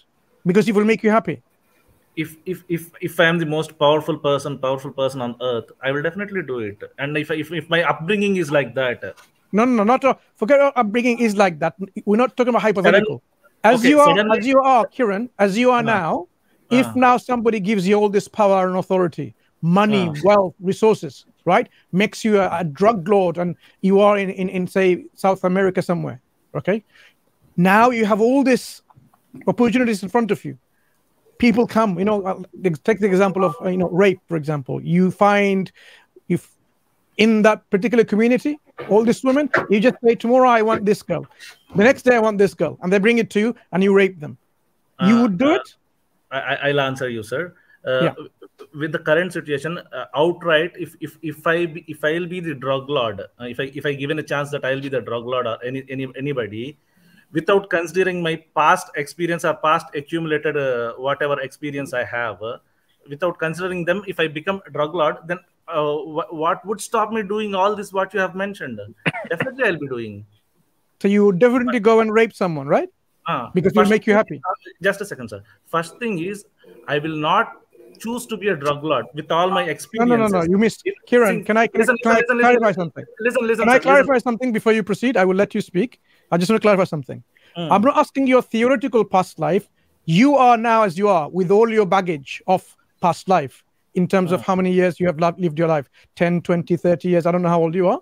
So, whatever you've got, your accumulated experience, knowledge, and whatever you've got in terms of your moral virtues and vices, whatever that might be, if given the opportunity now to make you a powerful, wealthy, rich individual like a Brazilian drug lord. I'm not I'm not asking you to do opiums and all this business, drug trafficking, whatever. I'm saying you are giving this opportunity. Now, mm. would you go because you have in your means now to rape anyone that will make you happy? Would you go and rape them? As of now, my conscience won't allow me to do that. Hang on, hang on. I'm, I'm, I'm totally lost now. What? Where does this conscious comes in? Why mm. do you even bring conscious? What is your conscience? Where do you get the Sir, idea of good and bad from in the first place? Sir, sir, sir, uh, you said that you you let me answer. The thing Yeah, is, go ahead. You, you have given me a hypothetical situation. In that hypothetical situation, you're not allowing me to use my experience, and then again you're saying that you you, you are as if right now, and you are given all the power. So what what is stopping you to rape the rape? Uh, uh, let's say rape, uh, raping a girl, raping a woman. What is Yeah. stopping you to rape the woman? My conscience will stop me if if if if if my experiences are like that nothing matters much only thing i matters is uh how how can i enjoy means i'll definitely rape that girl Well, well, I, I'm, I'm, I'm not entirely sure what your answers are, are actually. What do you mean by your conscious? If that makes you happy, what is it your conscious tells you that's something right or wrong? Are you saying you know something what is right or wrong? Uh, What is it uh, grounded on? What is your right and wrong idea in your conscious grounded in? in myself uh, not disturbing others life Not disturbing others' life. So Hmm. you're saying if someone, if they want to make their life happier by raping someone, Hmm. you disagree with them? yeah i'll disagree with them Why? without without their conscience without their consent if the raping itself is not consent so It makes them I'll happy. huh It makes them happy. That's the purpose of their life. They don't care about God and the hmm. reason why they're created here, human beings are created here. All hmm. they're doing this hedonistic pleasure of their own ego, their soul, their, their their own body. So if it makes it happy, doesn't matter if it's going against someone's consent, someone's will, someone's volition. They will take that opportunity to make them happy. Why are you against that? It makes them happy. That's their way of life. That's the life they're living. Are you saying this is not a wo- life worth living like that? i'm not saying that this is the life worth living like that but you're disturbing their life So what? It makes the person it, who it is happy. uh, it, uh, it, it, it doesn't matter to them what i preach to them what they will do they will do No, no, no. If it makes a rapist happy, Uh, they are fulfilling their objective of life, correct? yes yes correct Yeah. So if that is the case, why would you even disagree? Because it makes them happy by fulfilling their objective of life. What, what What we call am- the hedonism. uh, uh, sir, you, uh, what you're saying is that I'm I'm not stopping him to do that one. Only thing is I'm I, I'm uh, against that raping. That's it. What I'm saying. Why would you be against rape? Because uh, I don't. Uh, what what you can say is uh, disturbing others' life without their consent. Okay. So do you eat animals? Yeah. Do you take their consent? No. So you have no problem in even harming, killing animals without Hmm. taking their consent. Yes. Yes. I'm sadistic in that way. I'm killing the animals for my purpose. Yeah. So why would you disagree with someone if they rape another woman without their consent? Be consistent. That's my limitation, sir. Now, I don't understand your limitation. I want you if to. Uh, see, if you want to me, me to be consistent all the way, I cannot. So now you realize the Hmm. life you're living is full of contradictions and inconsistencies in your ideology. If you lived a life as a Muslim, there will be throughout consistency. There will not be this kind of same way. Just a second, sir. Just a second, sir. If the same way, uh, you are you will be eating non-veg, right? You're not taking any consent of the animal. Ah, God has given us the consent. God has Uh-huh. given us the permission already. Then I that we then uh, okay. That answer means then I I I'll give myself uh, the consent to Well, you don't have the power to give consent because you did not create them. God did. Do you see the difference? God is the owner, creator of animals. He has Hmm. given us the permission to consume them, not to abuse them and make them suffer. There's a whole way of just, you know, how consuming animals only as much as we need rather than just killing them for fun, like some people do in certain countries, like in England. You know, they they hunt with their foxes and so on, right? You, you, Kiran, you are not, you are not the creator of animals, so Ah. you cannot give consent. Ah, sir, sir, sir, listen, listen. Even then, we are on the same bench. Even I accept that God is there. Even I accept that God has given me the consent. Where did God give you consent? To Where? kill the animal. Where? Which God? Huh? Where? Which God? God, the, God, the creator. No, God the Creator did not tell you in your Hmm. book called the Book of kiran God has given books like the Quran and is specifically mentioned do's and don'ts, permissions and impermiss- impermissibilities. You don't follow that, as you've established earlier on. You don't care about God's do's and don'ts. You have your own book, which is the Book of Kiran. Now, hmm. not having difficulty in a consistent life of living, you are now resorting back to the book of the Quran, for example. You can't have both ways. You either live your life giving the full submission and gratitude to God, or you just live your life accordingly which you have devised and you face the consequence in the hereafter. I mean, you seem to be quite happy to be burning in hell in the hereafter. That's your choice.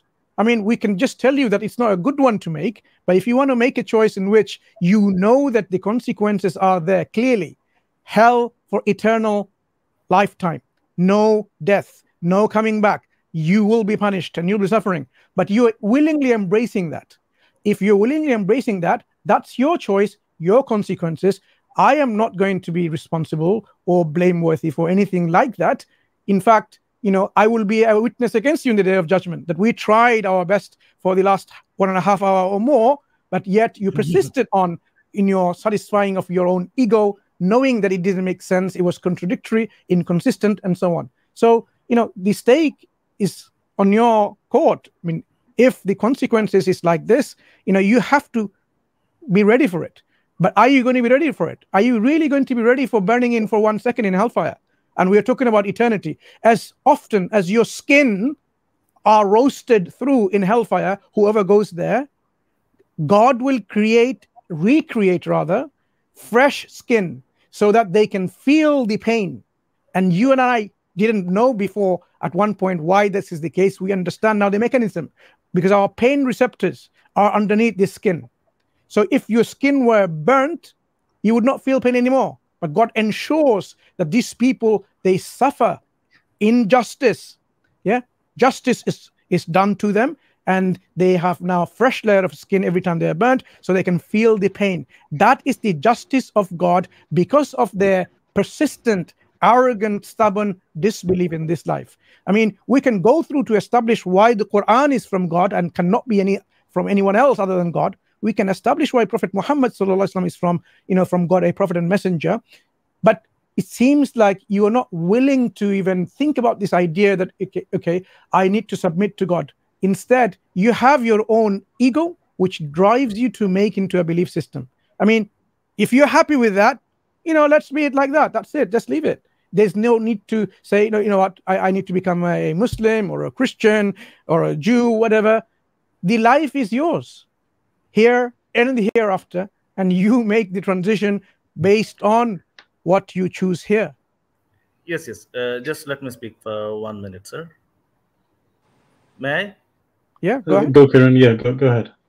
Uh, uh, so the thing is, you're saying that all the skin is peeling off and then getting is uh, getting new skin and uh, and anything anything that that is a torture. Normally, who does the torture I- i- in our present life? Do you know what psychopath. justice is? A- A, Justice. psychopath. A psychopath does that. Hold Uh, just one Uh, second, one second, one second. So, so Kiran, Kiran, I want- we have to. God, God is Kiran, do you understand the concept of justice? we we Justice, just, uh, uh, just to see the just uh, see, sir, sir. Sorry, sir. I'm I, I just said that. Because I think we need to Uh, clarify that point. What is justice to you? yes yes. So what is what is the justice we are speaking? First, you tell that, sir. Sure. Let me give you an example. Someone rapes your family member. Mm. You would expect justice to happen, right?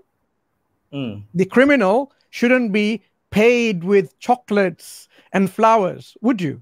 You wouldn't consider like, oh, people now they bring all these chocolates and flowers and monies and gift because they raped your family member. Would you do the same? Like, okay, ah, thank you so much. You've raped my family member. I'm not going to mention the names of the family members or, or relationship. I don't want to make it too personal. Just say family member.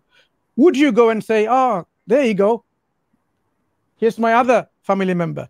And there you go, all these gifts for you. Or would you want this criminal to be somehow justice to be served on by some kind of punitive measure? Punitive measure. Yes, yes, definitely. But then I'll give you the situation this way. One second, one second. When you do punitive measure, Hmm. it's an inflictment of what? Joy or Pain. pain. Pain. Right. Pain. So do you agree in this case, this suffering, this pain is justified or is it unjustified? It's completely justified. Khalas. That's it. I don't have to say anything else. God's Okay, then, uh, punishment. just a second. God, Just one a second, second. You will Hmm. explain. But what I'm saying, uh, my conclusion is this: Hmm. God's punishment in the hereafter is fully justified. Okay. You, you're done, sir? Yeah. Uh, so the thing is now for me being justice uh, for uh, peeling of the skin and all for what what am i doing? I'm doing not just i'm, I'm just not obeying him. Let's take if a person if, if in this human world if i'm not obeying a person and if i'm getting that, that kind of punishment what would you say to the person who is giving the judgment? Can't you say that he's a sadist No. just for not obeying just for not obeying him You, you Rest don't understand what obeying Kiran. is referring So to. just, He's just living a very Kiran, peaceful life. Yeah, hold on, wait, wait, wait. I, I listen. I Wait, wait, listen wait, wait. everything, sir. so I listen Ki- Kiran, everything. Kiran, not Kiran, Kiran, calm down. Complete, just K- let K- me Kiran, calm down. Calm, Kiran, calm. Kiran, brother Kiran, calm down, please. Kiran, please Uh, calm down. I, I we're, was just. we're not here I to argue just. with you, okay? So calm down. yes, yes, yes. Yeah, I know. Uh, look, look, well, one moment, one moment, one moment. Let's take a deep breath because we've been on for almost 90 minutes. I, I know it gets stressful. Uh, we're not here to One, stress each other but, out, but, but, okay? So okay, okay, okay, okay. I let, understand. I let, understand. no, no. just give not. me a second. Just give I, give us a second. to. I, I I want to make a point first. Huh? Let me complete my point, sir. I, Okay, I- I'll speak very slowly and I'll tell you, sir. Okay, thank If you. I'm not Thank you. Yeah, please, please, please don't get stressed. Yeah, uh, if i'm not if i'm not obeying a person and then i'm getting punished for just not being obeyed and that punishment is very brutal means what kind of person is that person just for not obeying him rest Okay. Everything is good sure. Let me take your example and explain. So God says, "Do not rape," and somebody raped, and God punishes them with some pain. You're saying, "Why am I getting pen- punished? Because I disobeyed God." When God says, "Do not rape," and I raped, and why am I getting punished? Do you want to explain that? i, I can't explain that because he, he he did some crime i did any i didn't do any crime One, one- one second, one second. He, he, You are objecting to the idea that God, um, God just says, "Do something, don't do something." It's about all about obeying God and out, not disobeying, obeying and not disobeying. I'm saying God says this is His command for us to obey. Do not rape. So someone starts raping, and then God says, "Because you disobeyed my command, I told you not to do that. Now you're going to be punished. Here it's the punishment, pain." no, You no. are What, saying, what? you're saying, you're saying, Kiran, no, how can it be? Because this is unjust. No, no, Isn't no. that what you're saying? what Kiran is uh, saying. Let, no, let me explain. What Kiran is saying that he is not doing any of this. He's simply not following God's instructions. Okay, so he's not raping. He's not committing crimes, but he's just living his life. He's not following God. He uh, and he doesn't basically uh, obey God's instructions. So now, now, God commands Kiran. God commands to help the poor and the needy. Yes, yes and if you don't follow, if you don't follow and you don't help the poor and the needy, then you're saying you don't deserve punishment. Correct? no that's not the thing what i'm saying is Okay. what What i'm you saying saying? is Yeah. I, I I don't have any. Uh, let's say let's take Quran this one. I I have, I have not been introduced Quran till my 25 uh, 25th year. But Okay. even before that one, when I got a job, I was doing the service. Okay. Hmm. I'm helping the poor. Okay. So what No, uh, that- what look, change does it make? What change does it make? Uh, No, as as I said, look, remember I gave you the example earlier that you are doing all the good things. uh, You're helping the poor, you're helping the needy, but you just don't want to say that you're following God. You just you you, you want to do it because you feel like doing it, correct? Yes, because Okay. I'm doing it before the introduction of God to me. Okay, but why would you not acknowledge God? Is it because of arrogance, negligence, or just selfish behavior? Which which one is because uh, there's there's I mean it has to be one of these. Which one which one which one is it?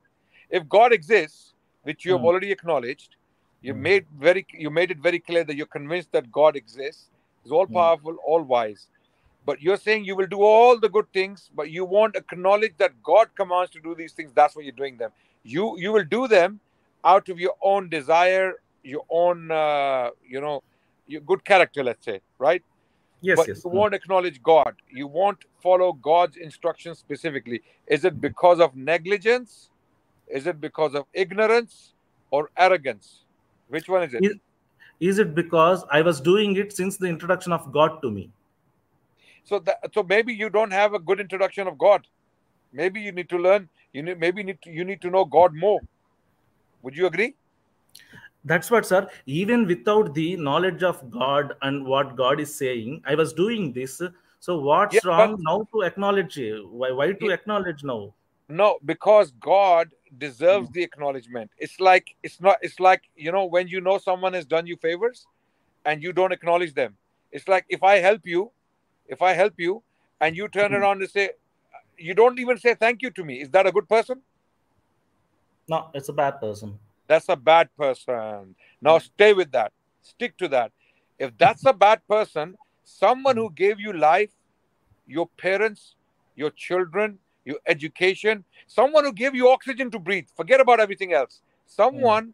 who gives you life every day, the sunshine, the wind, the, the climate, the fact that you can do all these things, someone, and you don't thank them, is that a good person? Will my thank matter to them? Ma- matter it doesn't matter. It doesn't. It doesn't It matter, do- right? It does. It doesn't matter. It, it's it's what you are as a person. What do your principles tell you? Do- Do your principles tell you, teach you to thank someone who has done you favors, or just ignore them and walk away, like like a rude person? probably I am being rude to God, but uh, I've been habituated to that. that It's way. not probably. It's definitely because this. Yes, yes. Okay, okay. I, I'm being and rude to God. Mm. and this has to change if you can be kind to human beings you can say thank you to them if someone gives you a cup of coffee you say thank you someone brings food to you you say thank you someone gives you way on the road uh, you say thank you someone helps you cross the road you say thank you okay but when it comes to the creator who gives you who, who gives you everything on daily basis you wouldn't be walking you wouldn't be talking you wouldn't be eating if it wasn't for the creator for your god the one who created you how can you not thank him how does that make sense? And thanking him is believing in him and worshiping him. That's it. That's it. That's all it is. It doesn't want you. Thanking, It thanking him you. is not just acknowledging him. Huh? No, thanking him, acknowledging him that you are my God. I love you for the fact that you have created me. You have given me all this, and I will respect you and I will follow you. That's it. A simple And- thank you wouldn't be enough. Huh? And a, a simple look, a simple how how do you how do you thank? How do you thank people? God God teaches us how to thank Him. God hmm. teaches us. He wants us to take care of poor, the needy. You're thanking God, by the way. When you are taking care of the poor, the needy, the animals, the environment, you're not harming others, you're being a good person, you are thanking God by this. These are all forms of worship. You just need to acknowledge that you're doing this because you want to thank God. You want to please God. You want to worship Him. These are all forms of worship. Maybe you have a conception in your mind that worshiping is only bowing to God five times a day, worshiping is only going to Makkah and fasting in the month of Ramadan. No, no, no, no, no. Worshipping is even smiling. Our Prophet said, Prophet Muhammad said, "La tahkiranna min al ma'rufi shay'a, walau an talqa akaka biwajhin taliq." Don't belittle any of your good deeds, even smiling at your brother. So in Islam, even smiling is a is an act of worship. In Islam, removing something harmful from the road is, a, is an act of worship. In Islam, giving water to a thirsty dog is an act of worship. Is in Islam, giving orphan food, clothing an orphan, educating an orphan is a is an act of worship. So we are all in a state of worship. Now Then I've you are been doing already that. yeah, and you, and you're doing that. What you need to do is you need to say, I am doing it because I love God and I'm thanking God like this. That's all you need to do. You're already doing it. You just need to, uh, because I asked you earlier, why would you not acknowledge God and thank Him by doing these things? Is it arrogance? Is it ignorance or negligence? Which one? Which one is it? It's it's one of the three. Which what do you think is your problem? Arrogance, ignorance, or negligence? Which one is it? First will be eh, what you say ignorance. I don't know about God, but still I am doing it. Okay, brilliant. And then and then after some time when I got introduced to God, then probably it will probably not. Definitely it is negligence. Anyway, nothing matters. So, So, so why, it's, why it's not arrogance. In your case, it's not arrogance. it's not arrogance. Very good. Now you see, we ignorance and negligence can be treated. It can be dealt with. So what you do hmm. is your ignorance is removed by reading more about your God, by getting to know Him. Read the Quran, as I advised earlier. Read the hmm. Quran, and once your ignorance is removed, your negligence will also be removed. As a consequence, your increase in knowledge, your negligence will be removed. You will become more and more dedicated to God because He's the one you will acknowledge and, and then you will thank Him for everything. Once you understand Him and know Him. So that's the solution. So, as I said earlier, Kiran, you're already a Muslim by conviction. You already believe in Islam when it comes to beliefs uh, and, uh, and, and the philosophy. You just need to learn. You need to need to grow in knowledge. Maybe read the Quran, and once your knowledge of God grows, once you understand and uh, learn about Allah, your creator, God, then you will start worshipping Him as well, inshallah. Th- That's a natural process. Does that make sense? Okay, I, I'll try to find what Quran So, Kir- saying. yeah. So, so Kiran, going back to the earlier example, let me. So, remember, remember your. ex- rem- Sorry, Kiran. There's a bit of a delay, I think. Um, Yes. Going back to the earlier example, remember when we talked about you being an em- employed and you were working for your worker? Imagine you're doing all of this hard work, but nobody has employed you, right? You're you're you're turning up at the office every day. You're you're supposedly sitting at a desk, and you do all this every single day, but nobody has employed you. You're not doing it for any employer. Will you get paid? If there is no employer, how will I get pay?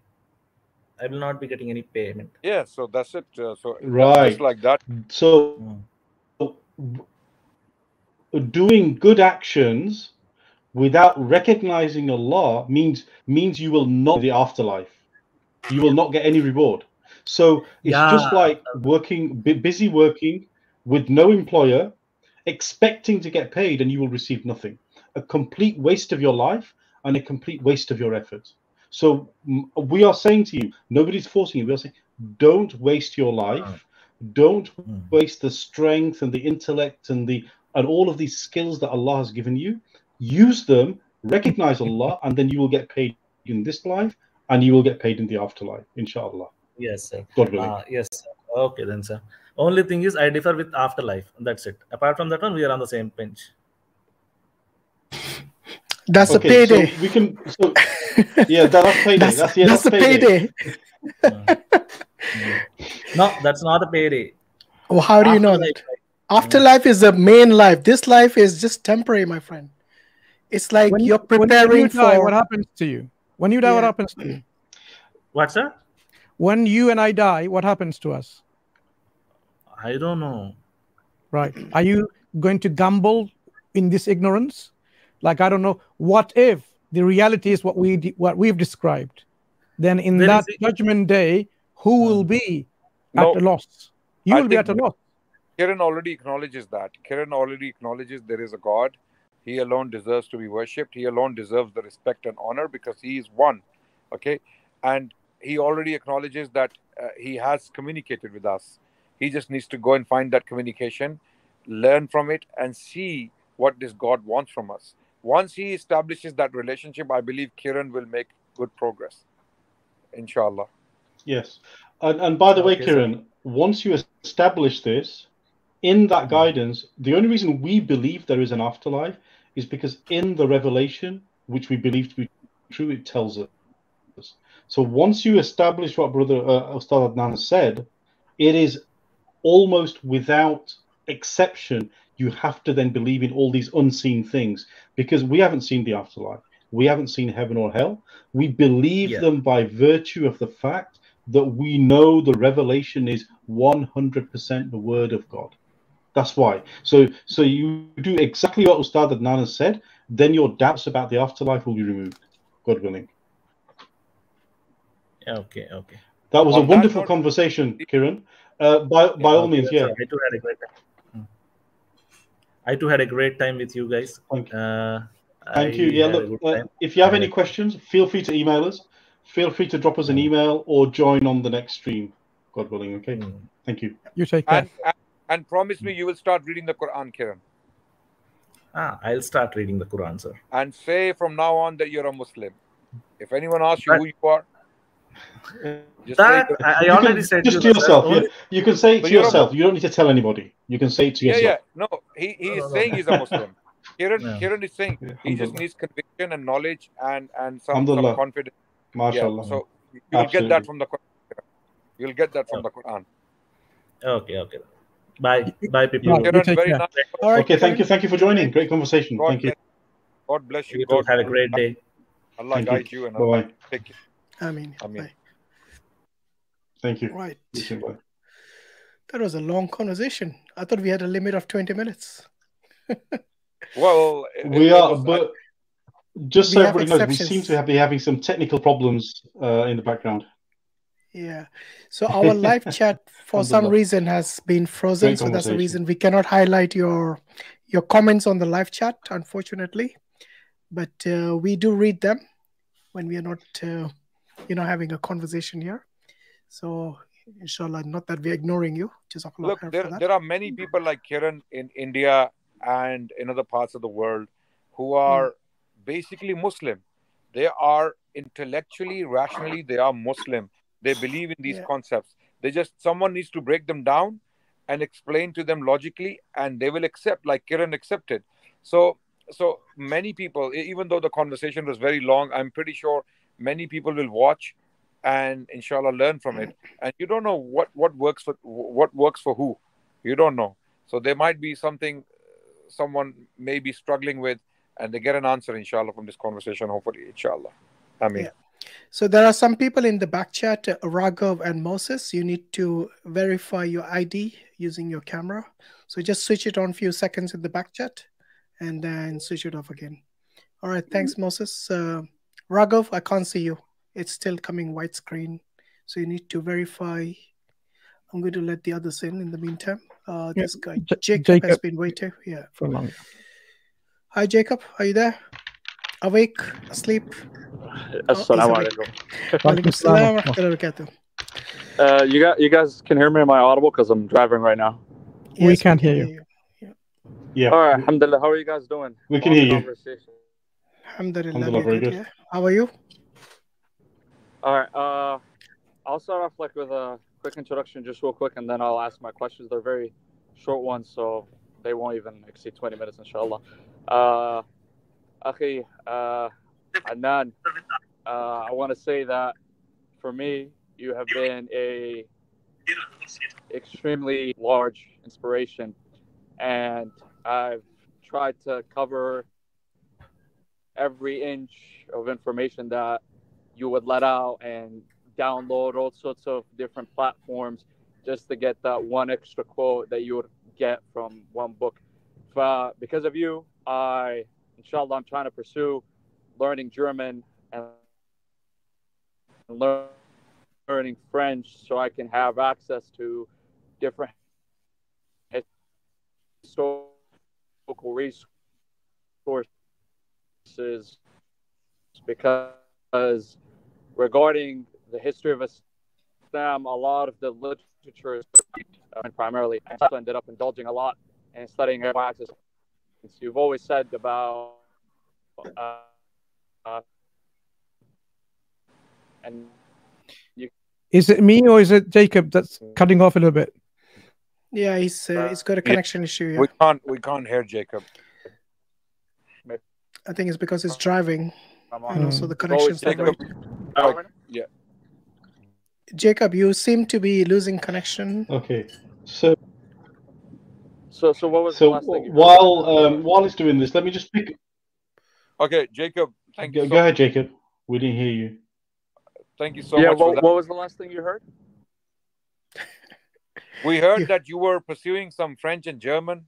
Yes. Yeah.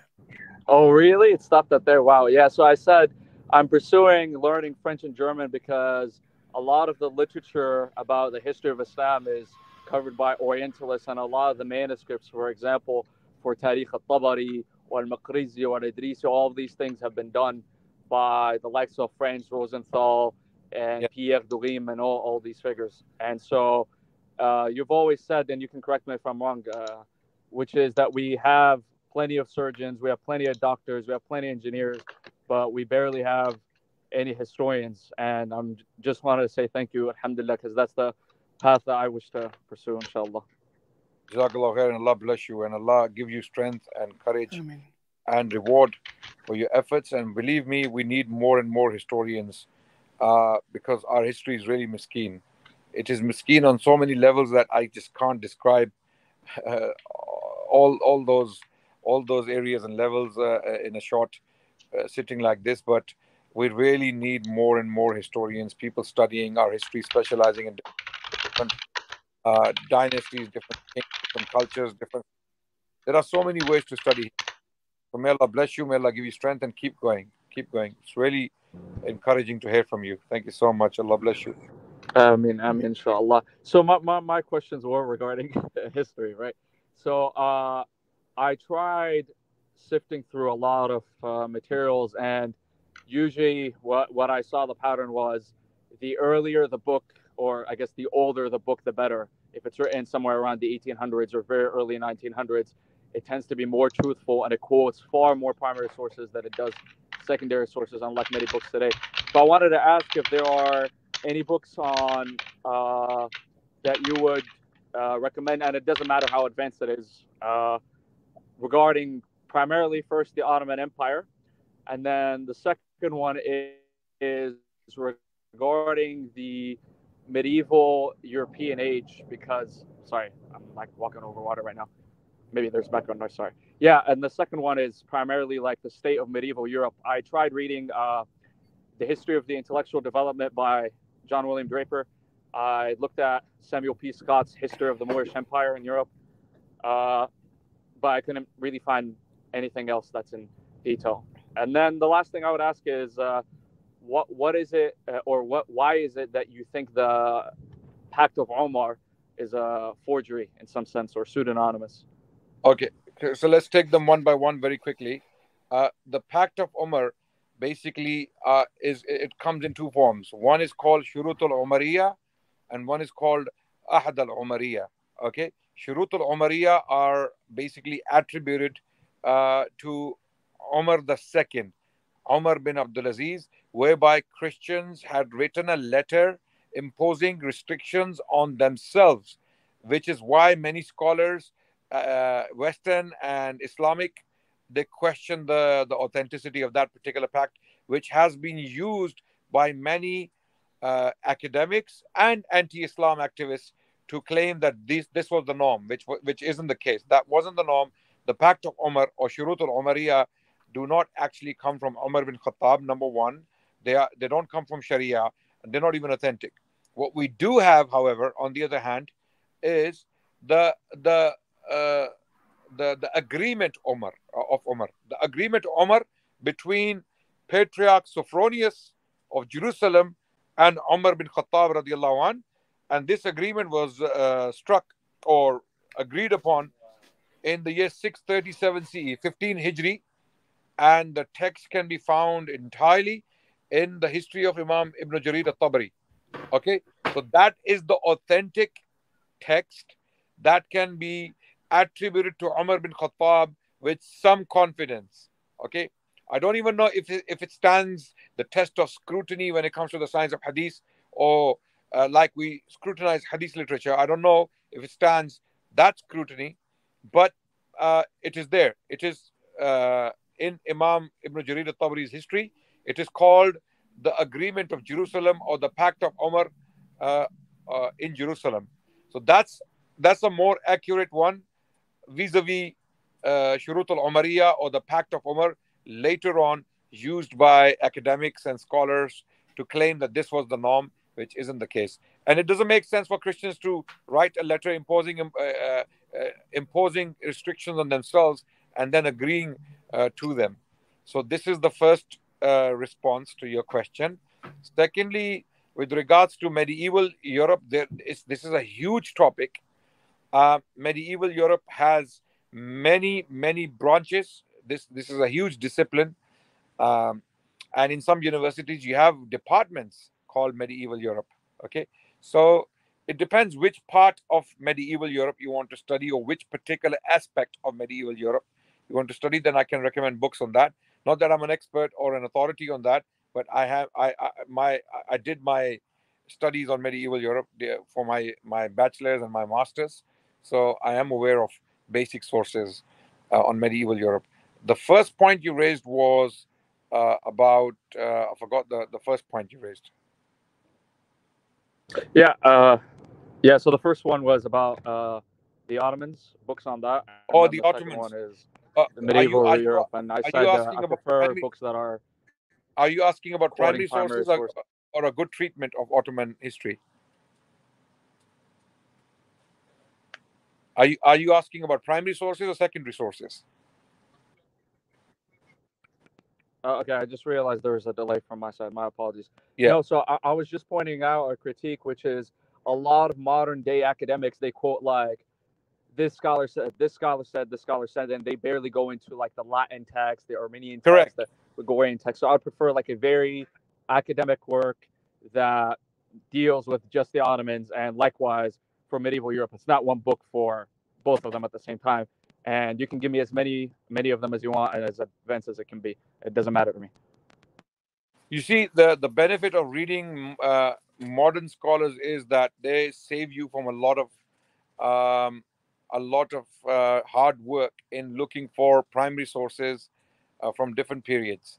So if someone's done a PhD uh, on Ottoman history, uh, then you have to give them some respect. They may have biases, they may have prejudice, they may they may be even spin doctors. Okay, but if they demonstrate knowledge, it, is always worth reading them as as as an advanced student of history, not for basic learners. I would never advise academic works or basic learners. For basic learners, I would advise simpler books like small narratives, basic uh, narrative histories, rather than going into academic books. Academic is academic books are for specialists. So a basic work I always recommend is Caroline Finkel, uh, Osman's Dream. Um, okay, there's another one called uh, uh, uh, sorry, Lord of the Horizons, Lords of Horizons. I don't know if you've seen these ones. Okay, so these are basic treatments.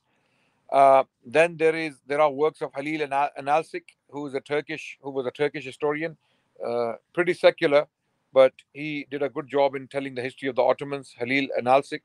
Some of these histories can be boring because of the detail and the technicalities they discuss. So they can be boring for the first uh, first uh, first time learner, but then you have to be patient if you want to be advanced. I hope I'm making sense. So there, is, there are two different categories. Yeah, okay, Rashid. Uh, yeah. So for uh, beginners, yeah, for beginners, I wouldn't recommend big books or academic books. For beginners, I would advise basic narrative histories, uh, like 100 or 200 pages on Ottoman Empire, like Introduction to the Ottoman Empire. There are plenty of books uh, with simple, basic details. Okay, but for, for academics, people who, who wish to pursue uh, advanced studies, in Ottomans, that that's a different league. Then you have Oxford, Cambridge, scholars who have published on different aspects of the Ottomans. Uh, so those are the works we need to consult. And I have a huge section of Ottoman history in my library, my personal library. So maybe one day I can go through that and introduce that section. Yeah, start. start uh, I don't mean to interrupt you because there's like a delay from yeah from my side. Uh, yeah, I just noticed there. So also with regards to other uh, you know periods of history, the same goes for them as well. There are Basic, basic. I already have them. Sorry, uh, we, we can't hear you.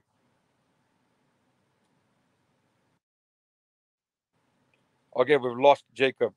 I Jacob, I hope I have answered your questions, and inshallah, continue pursue. Uh, you're doing well, and uh, you've read some good books. John William Draper, by the way, I would like to mention, uh, he wrote this excellent work on the history of the intellectual development of Europe in two volumes.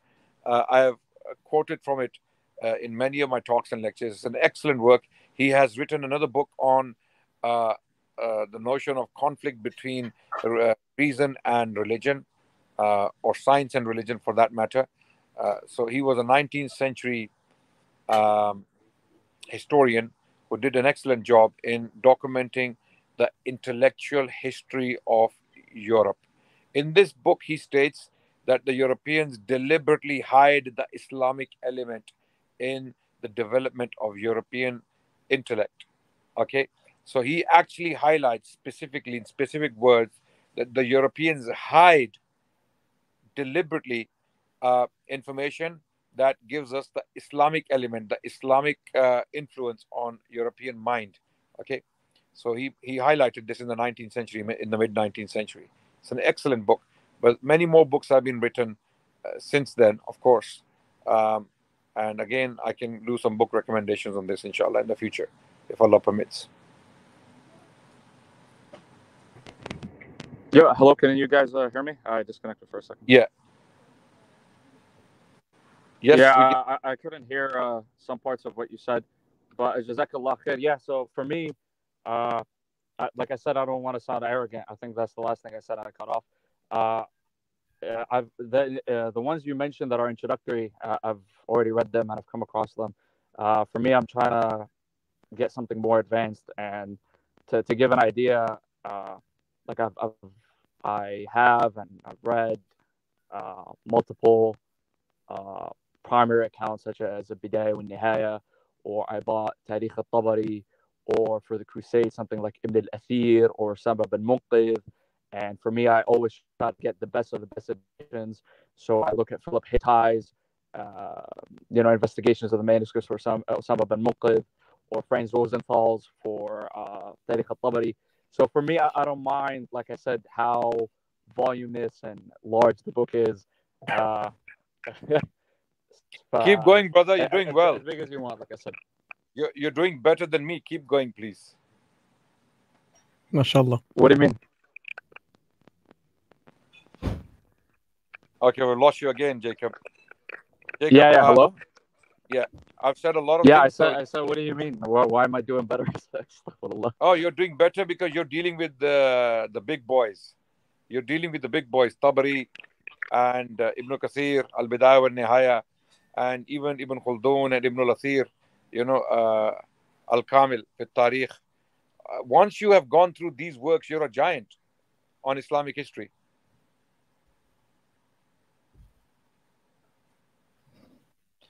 So let me let me mention. Then, some of uh, them. خلاص, if, I- if, I, if, I, if I got the green light then from Ustad, I guess I'm uh, going on this path then.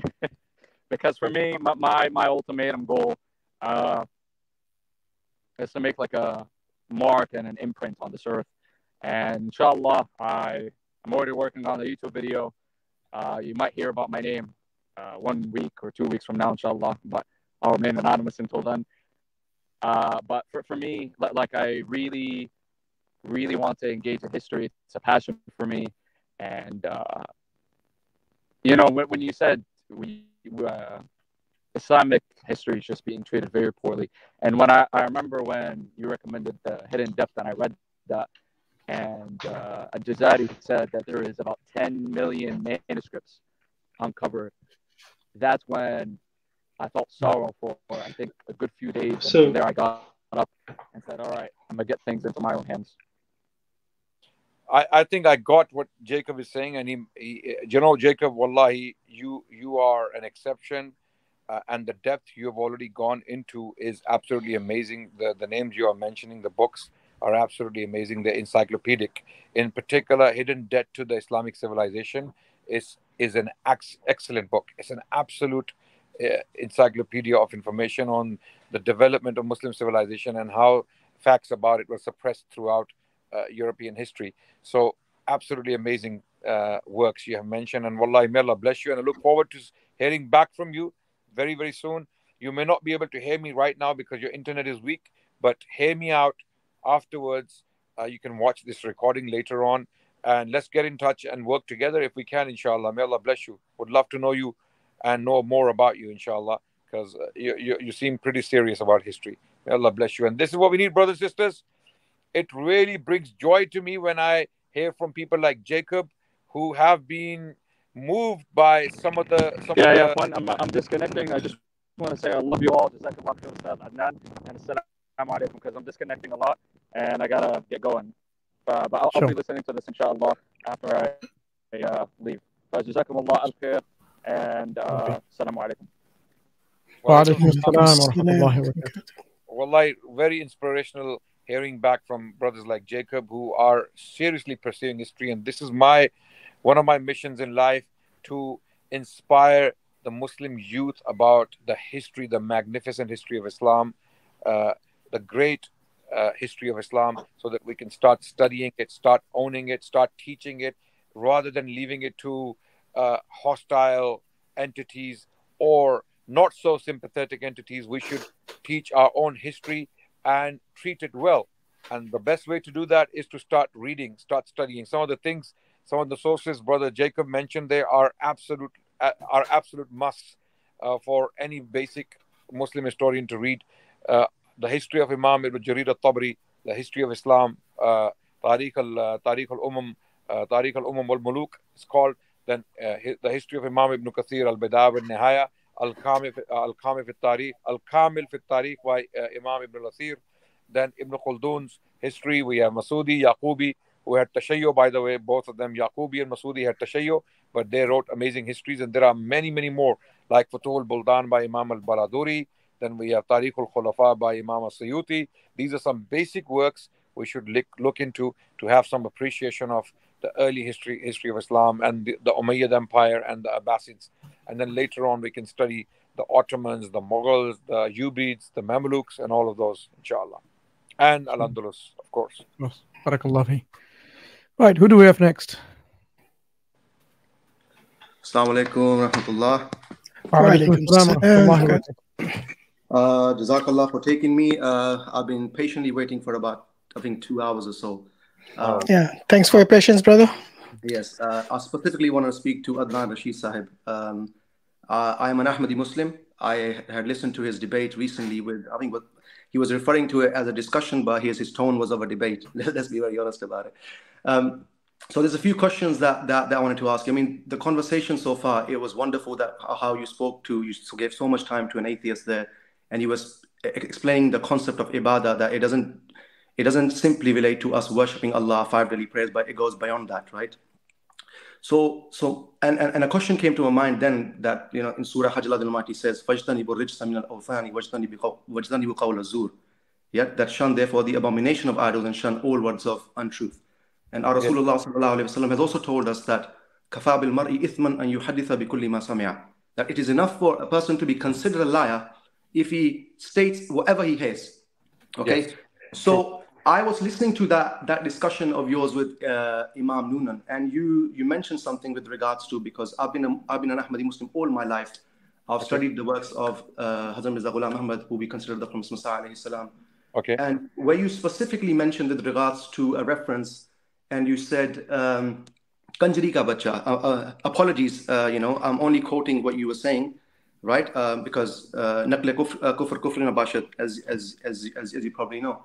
Now, I want to ask you, where is this reference from? So that I can, because when I've gone back to that, that, that statement, that reference is nowhere to be found in Urdu language, first of all, right? The word that's used there is what is that word? I want to ask you first, please. Okay. You know the word in Arabic language, what the word is used there? Dhurriyatul Baghaya, right? Okay, Dhurriyatul Baghaya is, is the word that is used. And do you know that the Promised Messiah Islam has used this word for someone else as well, elsewhere? Okay. He's yeah. called he's so called someone Ibn Bagha. and he has translated. You know how he has translated that word as? Okay. I'm Okay. asking you a question, please. Let, yeah, yeah, I will. I will. Let's take Please. it step by step. First thing is first. Okay. You you said Kanjri ka bacha. Yes. What do you what do you understand from it?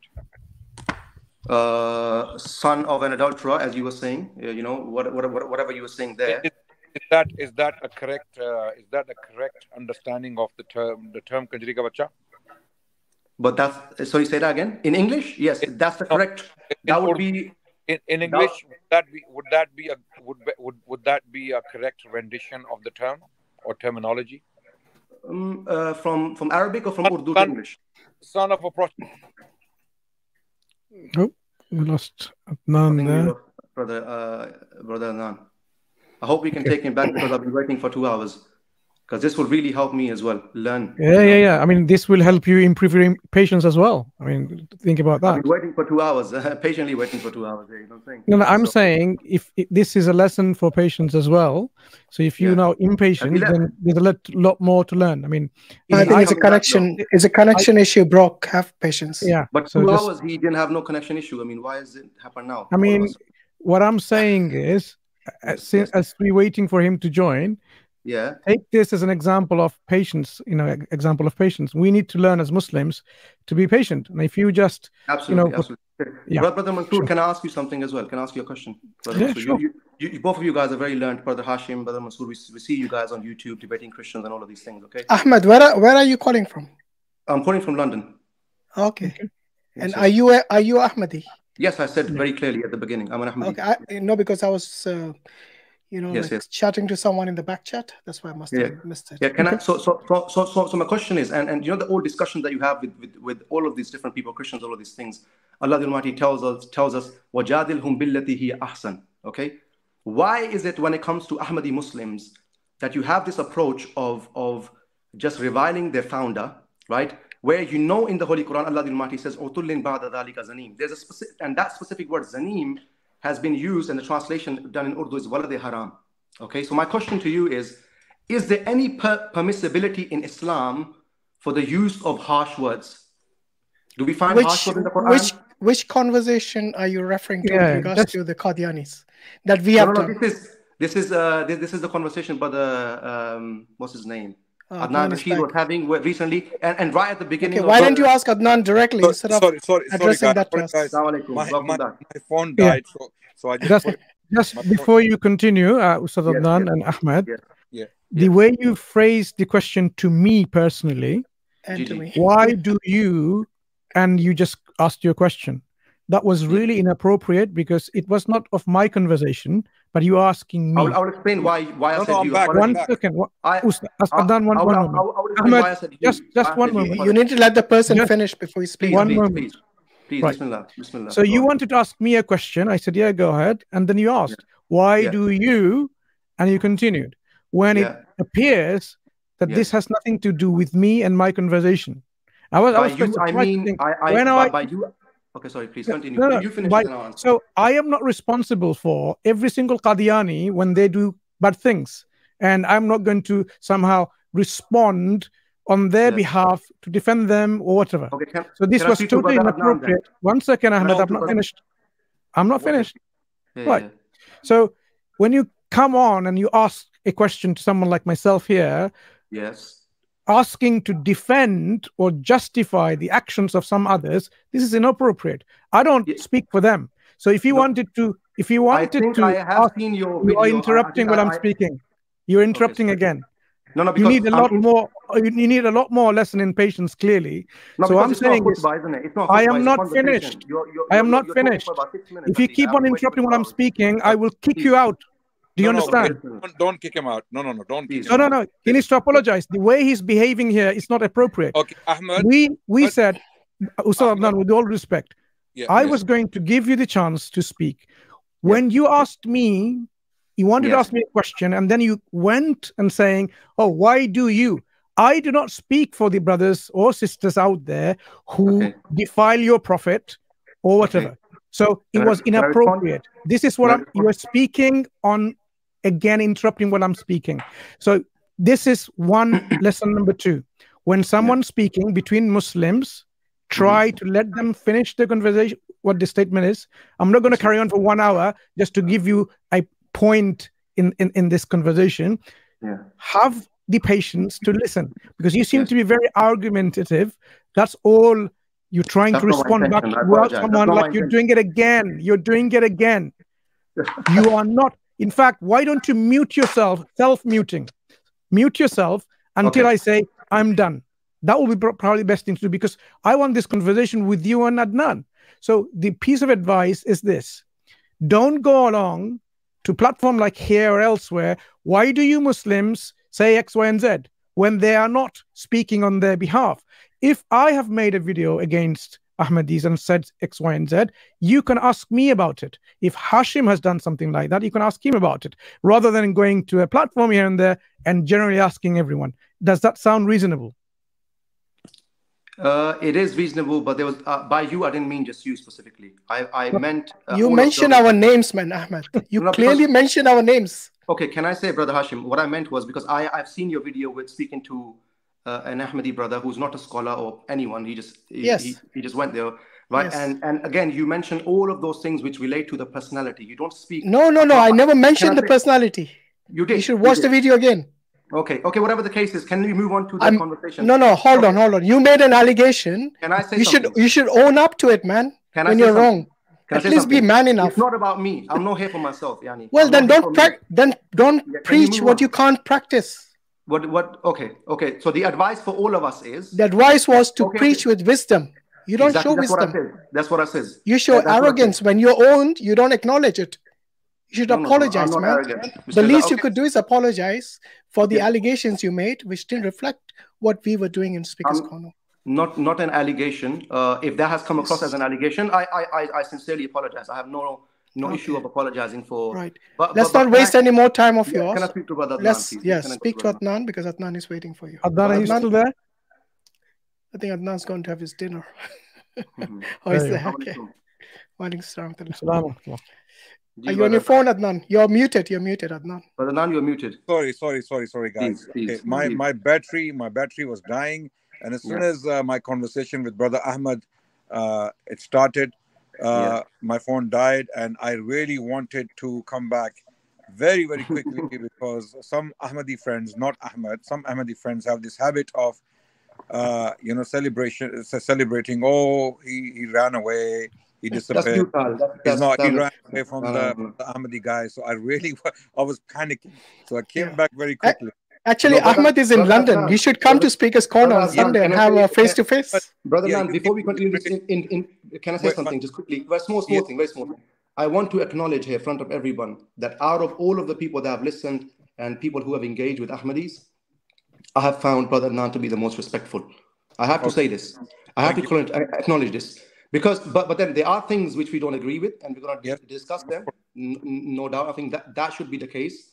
But I, I have to admit that you know that that you haven't used any foul language, you haven't used any uh, any, any anything to mock, but you, have been emotional or you know a bit charged here and there. But that's going to be the case with with both, both of us. So please continue. I think the question I asked was, I think you were responding. You began by saying, uh, "Kanjali beta." What is, what is the translation of that in English? I think this is where you cut off. Let's continue Yeah. from there. Sure. So, so very quickly, I will ask. Uh, my phone is charging, and Gigi. I'll ask brother uh, brother Hashim. Can you let me in from my laptop? I'm trying to enter. Yeah, just just. Uh, oh yeah, somebody's. Uh, I think it's saying a studio is full.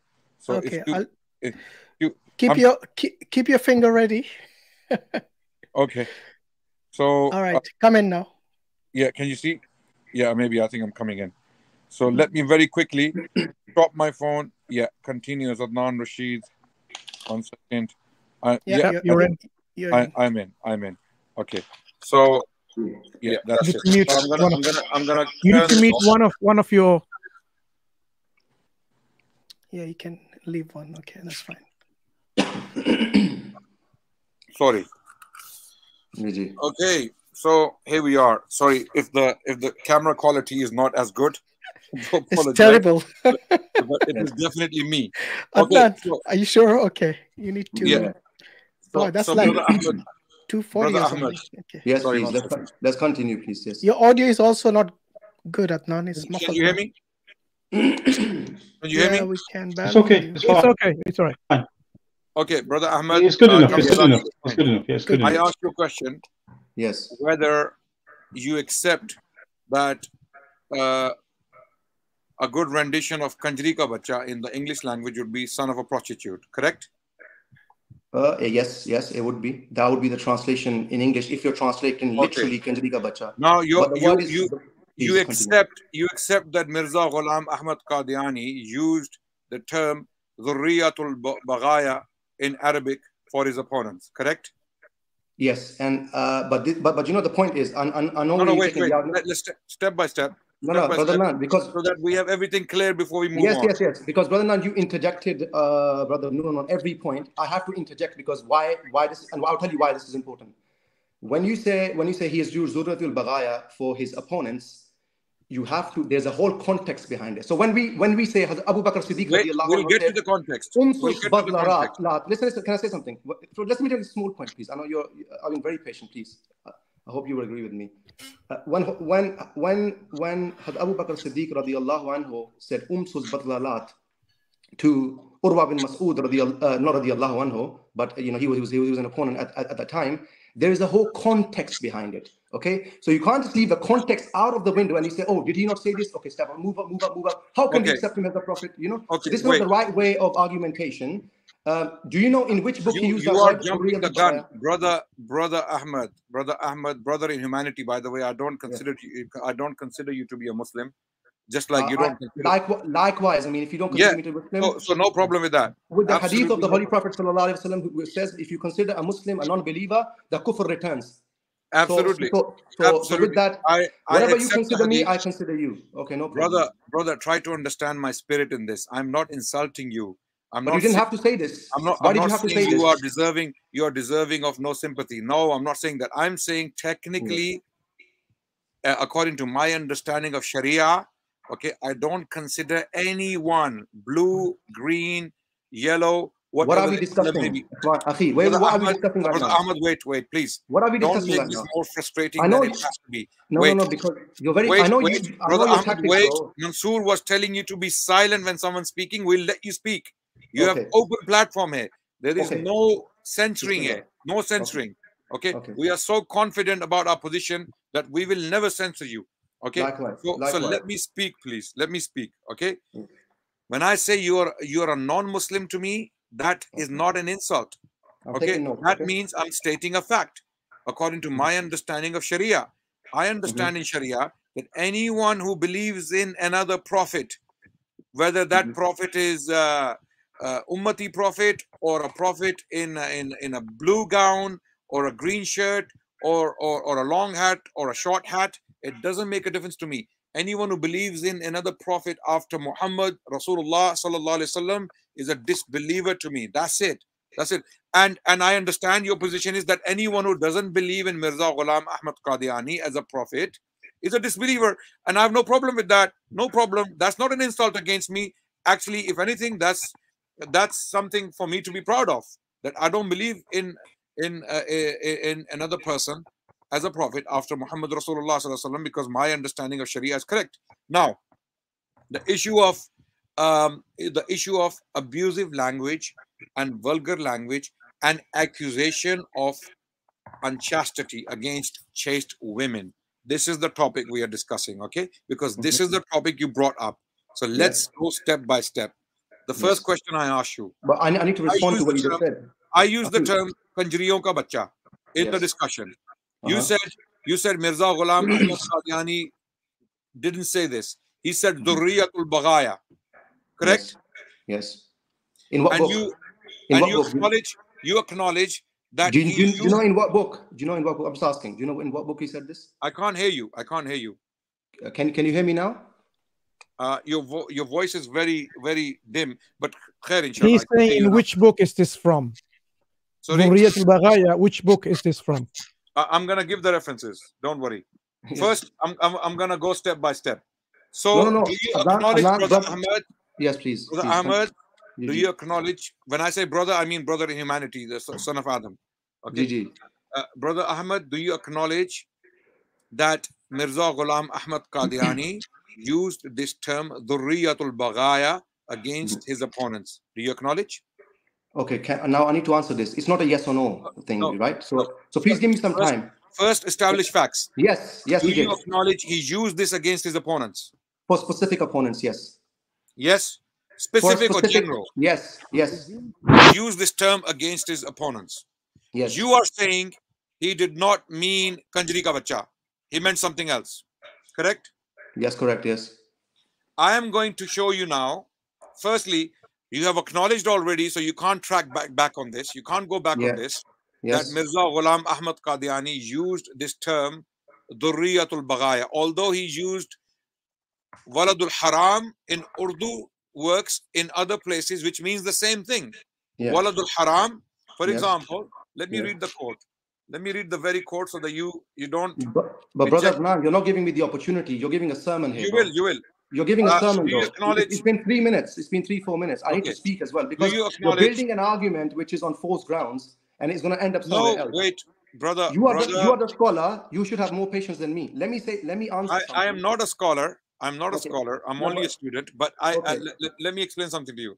Yeah, Can yeah, I go on. read Ruhani Khazain, Yes. volume 9, page 31, which is in Urdu, published by the Ahmadis?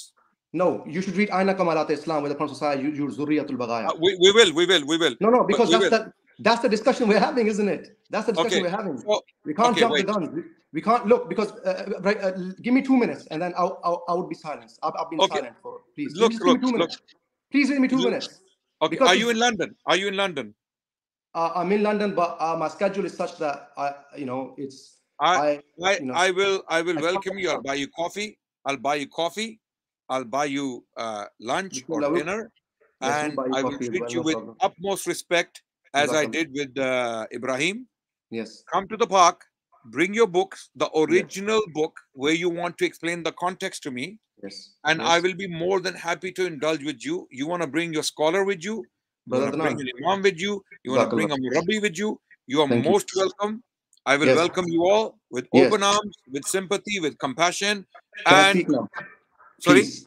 Can I please speak now? Can I please speak? yes, you can, you can. Jazakallah. But, Yes. but you're making you're making it very difficult to have a conversation. Okay, because the issue is, you're triggered. you're- You're you're triggered. used- I'm not triggered. Wallahi, I'm not triggered. I'll tell you why. Okay, then Because then let me I'll tell let you me why. I'll tell you you. why. I'll tell you why. Because look, uh, uh, it's been about three minutes. I've just been listening. Look, you gotta let me speak. what- what- first of Because all, the issue is, I'll tell you what the issue is. One second. One second.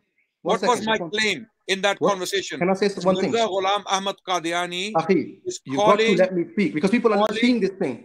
I know Sorry? you're used to this. I know you're used to this, that people always listen to you, but let me speak. You got to give me a minute at least to speak. Yeah? Okay, Bismillah. Let me speak. So, first of all, there was no need for you to mention the fact that your brother in faith and all of that. That's not needed. Okay? And because according to me, or according, it's, it's not for you to decide who's a Muslim and who's not a Muslim. That, that's another discussion. I, I, don't want to go into this. We're, we're, we're going to speak about Zuriyatul Baghaya. Okay? That specific reference that you've used. Now, the first thing that we need to establish is whether in Islam or in, in, in the religion that we claim to follow, is there any room of using a harsh language in any circumstance or not? If you say no, I will take you back to chapter 68, verse 14, where Allah Almighty says, "Utullin ba'da dhalika zanim." And that word What is what is the point of discussion here? as, First of all, as we need to, haram. we need to haram. establish Yes, yes, please. we need to establish the point of discussion. What is the point of discussion here? The What is the topic? What is I'll the you. topic? Yeah, I'll tell you what the topic is. The topic is that you have you have blatantly lied about the promised Messiah. wasalam. How? Let, let- let me complete. Is by by quickly typing on Google Mirza ke kazibat ya Mir- Mirza ki galiyan. You've come up with references and you've put on We're your. YouTube channel that you've seen these references yourself, their original references and stuff We're, like we're losing you, Ahmad. We're losing you. Your internet is bad. Can you hear me now? Yes. Yes. So my point, I said the, the point of discussion is this: that in that in that discussion with uh, brother Ibrahim, you mentioned plethora of uh, uh, references, which each reference relates to a different issue. So when a Christian comes to you and he mentions 10 different allegations, you tell him, brother, if you're speaking about the age of Aisha radiallahu anha, let me explain that first, and then we move to second, third, and fourth. You can't say Your, your voice, Suraya, your voice then is you, being lost, brother Ahmad. uh, brother Mansur, can you hear me? Actually, I can hear Ahmed quite well. So So I think it it's an must issue with be you, brother your Adnan. connection, Adnan. Okay. Okay, keep, keep L- l- speaking, let, let please. me complete. So what I'm saying is, uh, when you speak to Ahmadis or anyone, you have to have the same criteria that you have when you pe- speak to people that come to you with allegations about the Holy Prophet wasallam. So when people come to you and state numerous Fair enough. allegations about Islam, Fair- you can't you enough. can't mention okay Mirza said this there, this there, this there, and now you put it on Ibrahim Noonan, who's a very very uh, Brother would say Ahmed, very humble Brother person. Ahmed, fair enough. Brother Ahmed, Yes. fair enough. What Yes. was my allegation against Mirza Your allegation was specific that Mirza Ghulam Ahmad said Kanjri ka bacha to Muslims. That's what Okay. that's what you said. And you lied Okay, there okay. because the Prophet Muhammad used this for Christians. Because in. Kitab al-Bariya, let, let me complete. In Kitab al-Bariya, Prophet Muhammad gives a list of 30 plus Christians who were using foul languages against the Promise, uh, against the Holy Prophet Sallallahu and his wives. Right? And then the Prophet Muhammad says that we will have peace with the snakes of jungle, with the beasts of jungle, but we will never have peace with these these uh, these priests because they abused our beloved Prophet Muhammad sallallahu alaihi wasallam. When Lekh Ram said salam to him, he said, "I will not reply his, salam back because of the love for the Holy Prophet sallallahu alaihi wasallam." So when you when you stand there and blatantly, you know, uh, accuse this man, you know, of, of saying things which he ha- he hasn't said about a specific party. So when Allah the Almighty is saying "Utullin ba'da dhalika zanim" about a disbeliever in the Quran, okay, which which translates to walade haram, okay, which is uh, of a doubtful birth, is that a point of allegation? Is that a point of allegation upon the Holy Quran? Can I, can I respond now? Yes, please. Okay. Firstly, my allegation against Mirza Ghulam Ahmad Qadiani in that conversation was, if you were listening carefully, I that was. Mirza Ghulam Ahmad Qadiani used foul language against his opponents. Okay. Uh, that's the first, that's this is how the point was raised. Okay. Okay. I said he used foul language against his opponents. He was not even a gentleman, let alone a prophet of Islam. Do you remember that part? Yes, I remember, but but Okay, follow me, follow me, follow me, follow me. Okay, Keep, okay. keep following me. So when I mentioned that Ibrahim basically uh, went hysteric and he started to say, no, this was against uh, those people who were abusing the Prophet. This was against those people who were abusing uh, the Prophet of Allah. So then I counted him with quotes. I read a number of quotes from a number of different books, correct? You read not from books, but you read from an online source. Uh, yes, and, and can then, you say, then can, can, can you say by wait, Allah wait, that you were you follow were me, using original me. references? Ahmed, Ahmed, follow me. That Yes. conversation is online. It's on my YouTube channel. Anyone can go and watch that conversation I've seen it right twice. now and and I've and seen it confirm what I'm saying. Wait, wait. Yes. So I read a number of quotes from a number of sources, and then I gave page numbers and book names. Correct? Uh, you copied and pasted page number and, and Wait. Yes, no, no, no, Ahmed, Ahmed. Just just Yes. establishing facts, basic facts. Yes, Correct, yes. or, correct or incorrect? You did paste. Yes, you you, you did paste references Okay. on your YouTube. I yes, read you. I read a number of quotes to make my point that Mirza Ghulam Ahmad Qadiani used foul, vulgar language against his opponents. So Okay. the language he used is not even a gentleman's language, let alone a prophet, a prophet of Allah. But that's Correct? a false criterion, though, isn't it? Oh, It's a oh, no, no, criterion. wait, wait. We'll, Is it not a we'll get to the- criterion? we'll get to the criterion. Let me explain Okay. what I am, where I'm going with this. Correct Please, or yes. not? Correct. That's what you said. Yes, that's what you said. Correct. Okay. Yeah. Then I read a number of quotes, of of which you choose only one to indulge in. One, only one. You ignore all others. You No. ignore. I mean, okay. There- there- there- there's a reason for this. There's a Okay, reason for okay, this. wait. So, so because you because you wait, mentioned wait, this. I- I'll tell you because you know what it is when when someone comes to speaker's corner and speaks to you and he lies from the very beginning, you brother, grab him by the neck brother, and you say, "Look, listen, brother, brother, you're lying." Let people know? decide if I lied. Let's let's have a conversation. You will see where I, where, where. can Do I- you recognize the quote from Rouhani Khazain? Yes. Here I have the actual scan from the very book published by the Ahmadis. The, I'm reading from the original scan here. Rouhani Mhm. Khazain. Anyone who Mhm. wants to see, the name is there. Rouhani Yeah. Khazain, Jild 9, chapter 9. There. I'm going to read it. Page number discuss- 31. Yes, Page Bismillah, number please. 31. Wait. Yes. Page number 31. And I'm going to read from the bottom of it. This is one of the quotes I read from. Okay. What is the quote? Okay और हमारी फतह का कायल नहीं होगा तो साफ़ समझा जाएगा कि इसको वलदुल हराम बनने का शौक है और हलाल ज़्यादा नहीं Yeah. इसको वलदुल हराम बनने का शौक है और Yes. हलाल ज्यादा नहीं Do Okay. you stand by these words of Mirza Ghulam Ahmad Qadiani? Can you read the whole page from the beginning to end and the ne- next page? I can. I can. Bismillah. But Let's go. okay. Can you tell okay. me the reference? I'm going to open it right now. 'Cause I Rouhani don't- Khazain, Yes. Rouhani Khazain, volume Yes. 9, page 31, the bottom of the page. Mhm. One second, one second. I'm just opening it. You got to give me a second, okay? Okay. Uh, by, by the way, can I ask you what is it, uh, what what is this about? Do you, do you know the This is context of about it? this is about my point that he used Volume foul nine, yes. volume wait, wait, nine. You brother. said volume. You asked me a sorry. question. No, no. I'm, I'm trying to open a book. Sorry, I'm trying to see the reference. Okay, what- okay. sorry, this is which one? about i'm making a point from it that mirza Yes. ghulam ahmad qadiani used vulgar language Hmm. street language dirty language to describe his opponents this is the point i'm making correct That's what you're saying. I'm opening the reference. Where's the? Re- can you tell okay the reference? so so i read i read from rohani khazain Yes. I've, I've got the very scan in front in front of me here is the reference you can see rohani I'm khazain I'm opening it. I'm opening it. page 30 sorry uh, volume 9 volume 9 page 31 rohani khazain by the way those who don't know rohani khazain is a collection of mirza ghulam ahmad qadiani's put together all his book uh, a collection of his works a collection of his works it's an anth- uh, anthology basically it's uh, it's uh, it's all his works put together in multiple volumes and this collection is called ruhani khazain in other words uh, literally translated as spiritual treasures spiritual treasures this Yes, is can what I- it means Yes. Okay. Can I read? Can we? Uh, which, which page are you reading?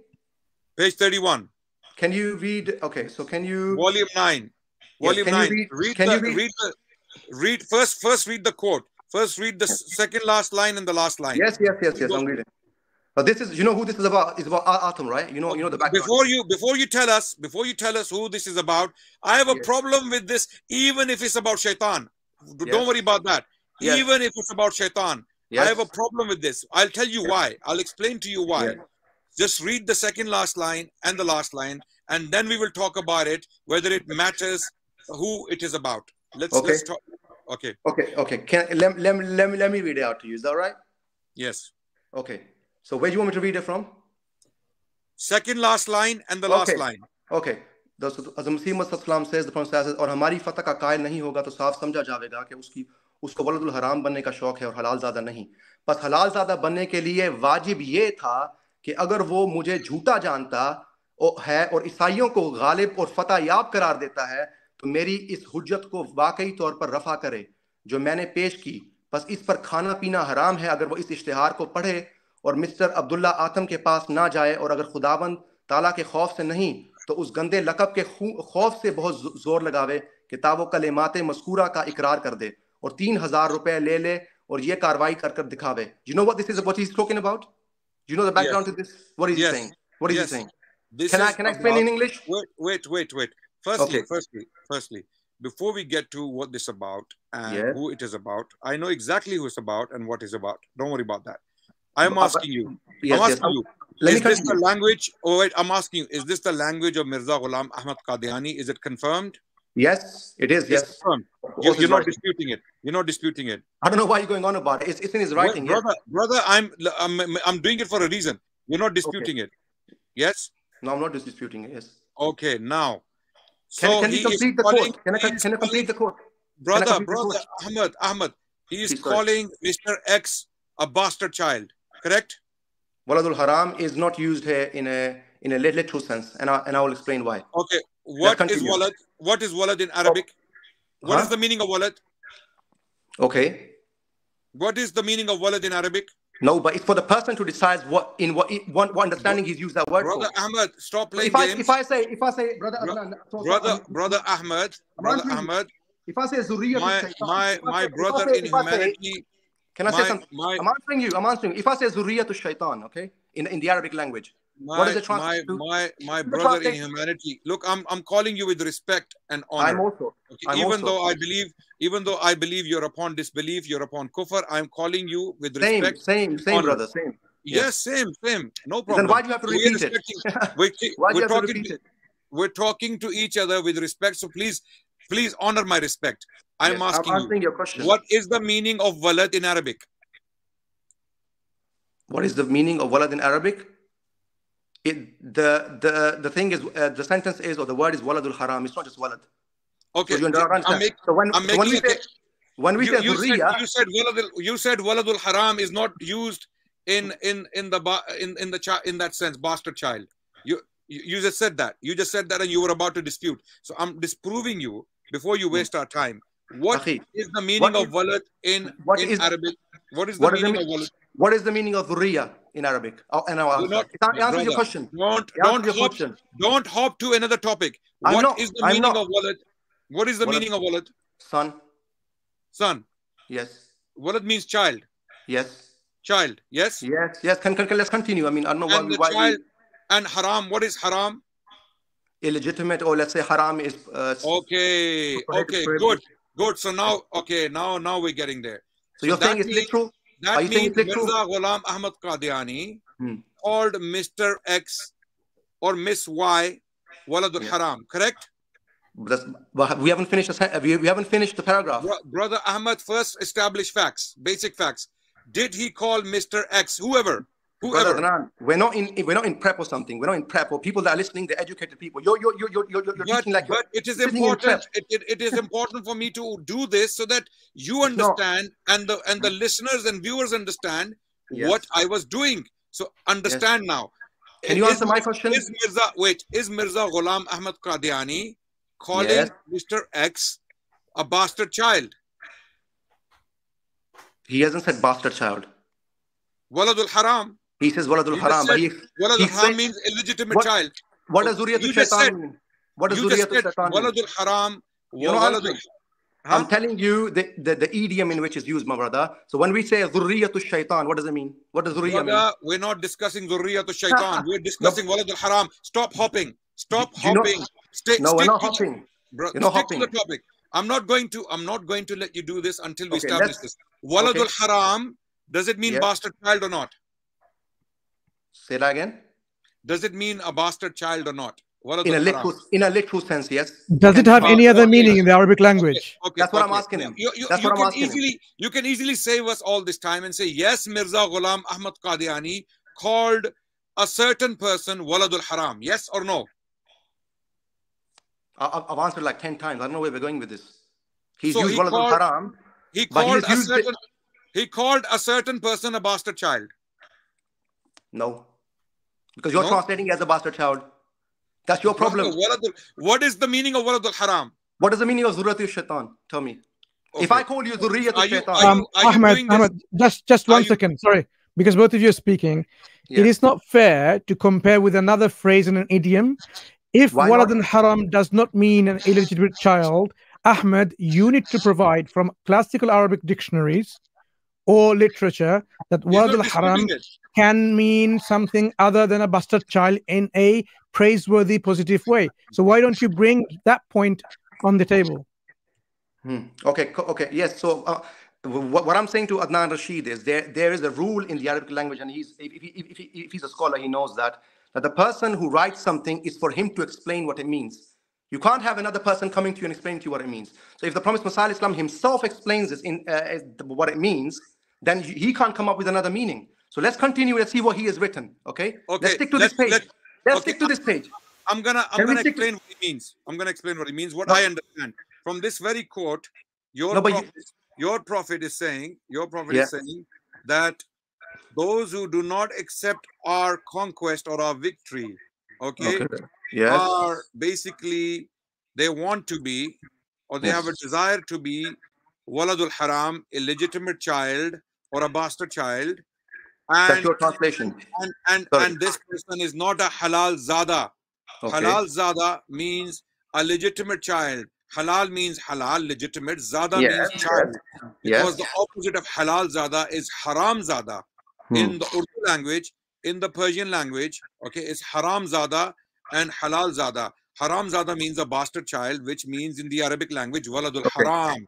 Okay. Okay. So in, in, in, in, the first part of the sentence, he calls a person who doesn't accept his victory uh, a, a bastard child, and Mhm. then he explains what he means by that. by Yes. saying such a person is not Yes. a halal zada. Can, can I can I respond? Can I respond? That Can I respond? that- no, wait. You can respond. You can respond. Okay, okay. Can you Stop finish, playing please? yeah? these games. You're making a you're making a mockery of your faith. No, I'm not. And your people. You're making a mockery just by denying these basic facts. Can you finish? Just trying to spin them, just trying to deny them, just to save your skin. Brother I mean, it's all emotion. Wallahi, it's all emotion. People are seeing this. Can you just finish and let me respond? of course, I'm happy people are seeing this. I'm, I'm happy it's live. Let me respond. I'm happy You're- it's live. Let me respond. Let me respond then. Ha- Have some Yes. patience. So, so firstly, before you respond, Yes, do you please. acknowledge that Mirza Ghulam Ahmad Qadiani called a certain person a bastard child? Yes or no? Not a certain person, but a, but but anyone who denies that. Do you know what listen, certain person means? Do you know what a certain person means? A certain person, anybody. Did Okay, yes, yes, anybody yes, a yes, go on. child? Not a bastard child, but Waladul Haram, and I'm going to explain this. Okay, So you- okay. Wal-. Waladul Haram. Okay, Listen brothers and sisters, those let the person explain. Right now, because you Ahmad is not listening. You open page those, number 31. Those of you who are Ahmadis in particular me, and Muslims in general, okay, okay. go no, and in any dictionary what mm. waladul haram means. The Promised Messiah is Okay, okay ठीक go and check and then you let, see what games Ahmad is playing. Okay, Let, let's see who's playing the games. The Promised Messiah says on page 32, the very page that he mentioned, the next page, line number four, people should open this up. He said, फिर Abdullah atam आतम मियाद करारदादा से बच जाए तो बेशक तमाम दुनिया में मशहूर कर दे के ईसाइयों की फतह हुई। वरना हराम ज़्यादा की यही निशानी है कि सीधी राह इख्तियार ना करे और जुल्म और ना इंसाफी की राहों से प्यार करता रहे। So he is explaining listen listen he sing हराम ज़्यादा he is defining it is one who does not take the right path second who is upon transgression and who is who doesn't do Insaf meaning who who is not true okay so, so this is Very this is a definition given by the promised messiah Very good. Now- Very now, good. i'm not complete i'm not finished i'm not finished i'll let you speak please let me finish wallahi i'll, I'll, stay quiet now the most important point in all of this and for all of the listeners is brother adnan what he's defending is because if you know the context of this, it's about a Christian padri, Abdullah Atam, who called up. Rasulullah sallallahu Uh, alayhi wasallam a? Dajjal. He called Rasulullah a Dajjal, and you're defending this person? You have no shame. You're, you're defending Abdullah Atam here? Okay. Have you got no shame? Did, did, did he call Rasulullah the Dajjal or not? Uh, Ahmed, Ahmed, Did he call Ahmed, before Rasulullah you get into that, before you get into that, Ahmed, first thing is first, we need to acknowledge and establish what we are dealing with. What was my claim? Your claim was he Before, said, before we get, we, before we get to uh, before- before we get to the reason why he called what he called and who he called, okay, before we get to that, we need to Mm. understand what is the issue at hand, what my claim was. My Yes. claim was that Mirza Ghulam Ahmad Qadiani called his opponents bastard children. That's what the Quran did. Quran did the same. Okay, So so, you're so you're Okay, okay, acknowledging. no, no, no, no. So, So- you're so acknowledging. Okay, you're so acknowledging, right? I'm Wait, answering in two before we get to the Quran. Yes. you- The Quran used the same word. The problem is how do you how do I talk to people like you? That's why I want to talk to face. I want to when you when you're in the park, you would never be able to do this. Why I would not? never allow you to do this in the park. Okay? Okay. I would never allow you to do this to, to me in the park because now you're taking advantage of an online stream, hiding your Ah. face. Okay, we don't even know what you look like, and you. I'm Ah. sure you're not gonna come and I'm see qui- me in the park or I'm any quite of your handsome. I'm quite handsome. Don't worry. Okay, so now, now, Continue. now, the question stands again: Did Mirza Ghulam Ahmad Qadiani call anyone a bastard child? hmm No, he didn't. He, he didn't say bastard child. He did. He did. Haram He, he Zada write is, ba-. Haram Zada is a bastard child. You just helped me. You just Mm-hmm. helped me by actually explaining on Can I tell you what your original claim read- was? When you read from page 32, Yes. he clearly uses the term haram zada. Okay. Mhm. I'm Yes. gonna I'm gonna now use Google Dictionary. Watch. Watch. Okay. I'm going So you Google. so you you you Wait, consider brother, Google brother, dictionary? brother, brother, wait, brother, Is wait. this your level, brother? Be honest brother, brother, brother, Be honest. brother, brother, one Do second. we use for so, I- so Arabic idioms are limited to Google dictionary? Is that what you're saying? No, no, wait, what wait. saying? I'm just gonna use Google Dictionary here. Yeah, is that what you're Ma'ana haram zada. One second. Hmm. Haram zada. Okay. We will see what the dictionary tells us. It's not my. I didn't. I, I didn't even know you're coming to this conversation. Okay. Well, well, well nobody. Now, Well, of course, of course, you're, you're saying online. I mean, you you if you make a claim, you can't just lie about a person. That, that's what I'm saying. You can't just lie, you know. I mean, you Okay. gotta be better than that, to be honest. You One second, that. brother. You said Zuriyatul Baghaya, now you jump to another reference and you've been proven false there as well because the Promised Messiah himself explains that Waladul Haram means a person who does not take the right path and who Okay. knowingly, Brother, knowingly denies brother. the truth. This brother, is what this is what the disbelievers of Makkah did when this verse was revealed. Brother, brother, Ahmed, Ahmed, Ahmed, I just took out dictionary in yes. Urdu. Yes. Or haram zada means zina zada, zina zada, the mm. child of zina. Okay. Mm. Then it okay. says waldu zina, waldu zina. But, but, but you know, Google dictionary says that uh, tawafa means death. Brother Ahmed, you're making it more difficult right, right, than it right, has tawafa. to be. Write wafa in Google Dictionary. It would mean death. So what? Sorry? If you write tawaffa in Google Dictionary, what, what, what okay, does it say? It explains, wo shucks jo Wait, wait. Brother, this is Urdu dictionary online. Okay, this is the dictionary. Urdu. Okay. Uh, urduinc.com. Here. Here it is. urduinc.com. Here is the reading. Okay. It says, haram zada.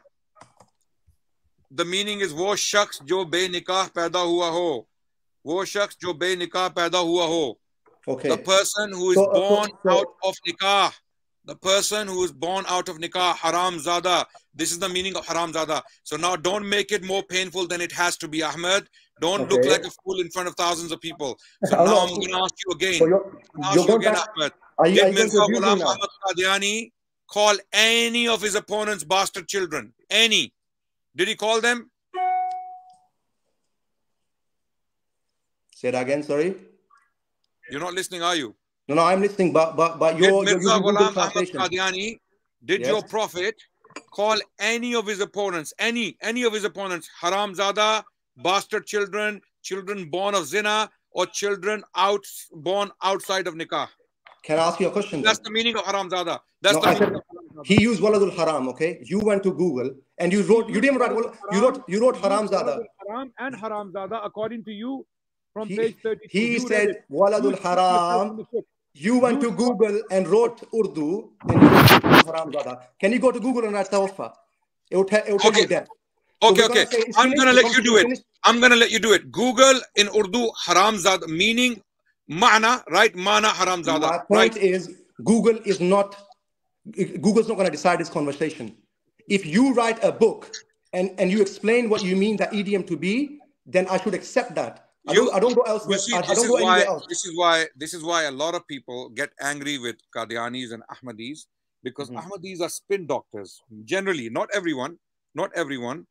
Generally, most explain to me a Ahmadi of the murabbis and trained trained dais of the Ahmadis are a bunch of Christian missionaries. They behave just like Christian. You're lying. Missionaries. You're lying. They will not have a straight conversation. The man who slapped simple Christian missionaries was the Prophet Muhammad. will start playing when games. Your with, elders were sleeping, you know, when your elders were sleeping, they didn't know what to do. You to know, when we, man. when we show, he was the general of Islam. I will prove to you right now. If you have the when courage, we show, when if we you have the courage, just debate this verses Wallahi, from the Bible. If you have the courage, said God is one. They will Brother start Adnan, playing games.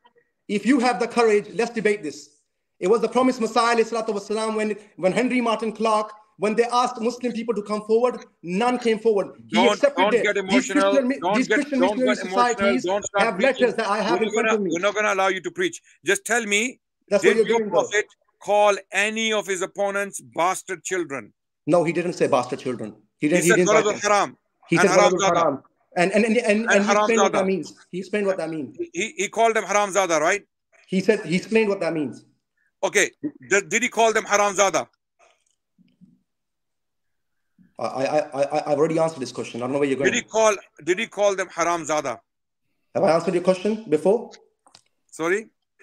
W- eh, Have I answered this question this before? Because if he meant this literally, No, he no. would not say. I'm asking you. He would not say. from- He would not say. Listen. Page 32. Yes. And you said you said he he said haram zadon ki nishani ye hai haram Yes. zadon ki. So before Yes. he explains before he explains the nishani, Yes. the sign, The he calls them definition. haram zada.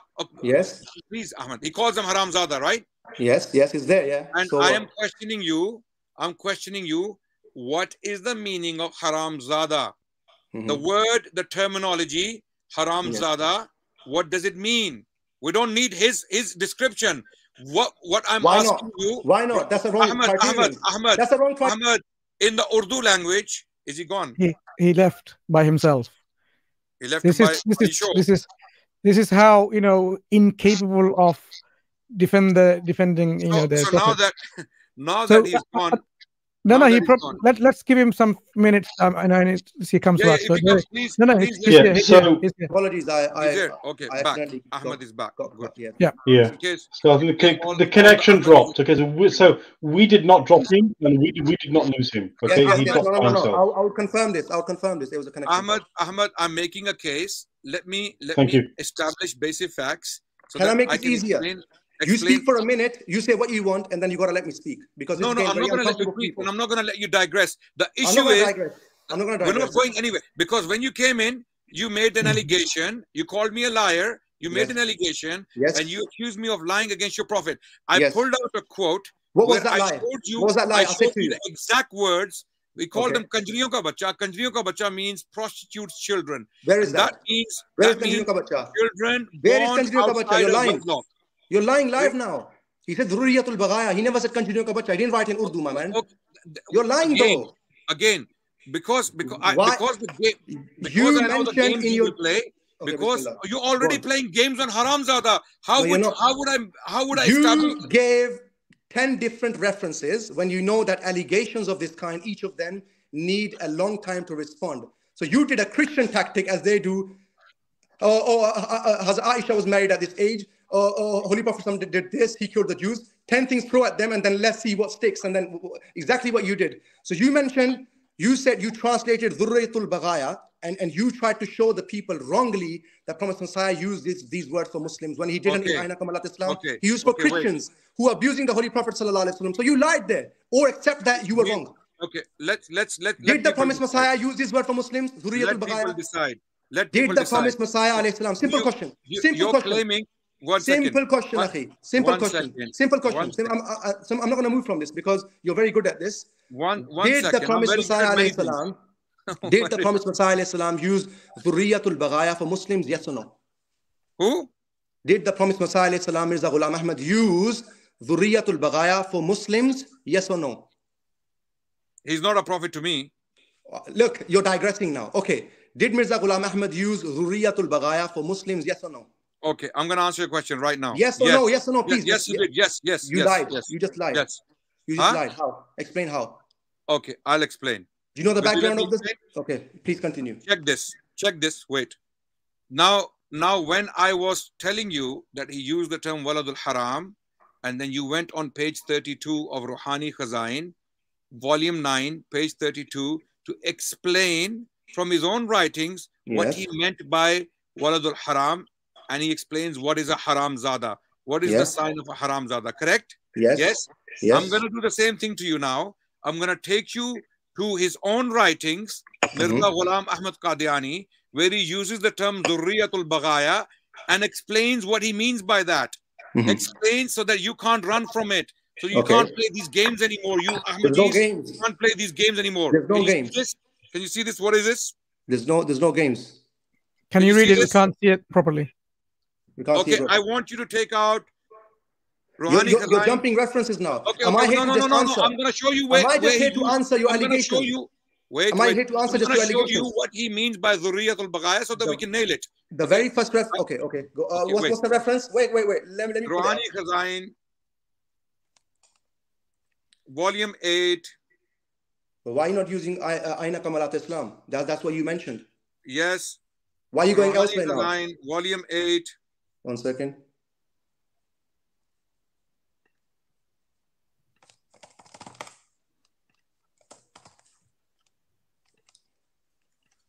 So you're claiming Zurriyatul Baghaya means the children of transgression or children of transgressors because you have to play these games. But No, you can't escape.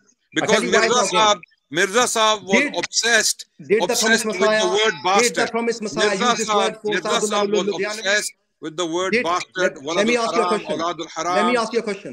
It Yes. answers your question. Did the promised Messiah, oh, didn't did it, the promised Messiah wasalam, use this word Ibn Bagha for Sadullah Ludhianwi? Did he use this word for him? Firstly, Did first, he use this word for him? Answer, answer his question. Just first stick to Duriyatul Baghaya. Are we discussing Duriyatul Baghaya or not? Are we discussing? I'm not going to hop. I am not going to hop. What's Ibn Bagha? What's Are we Ibn Bagha? What's Ibn Bagha? Not? What's Ibn Bagha? Okay, What does wait. Ibn Bagha mean? Are we? I'm asking you Do you have do you have Rouhani Khazain, volume Yes, eight, uh, yes, I'm opening it now.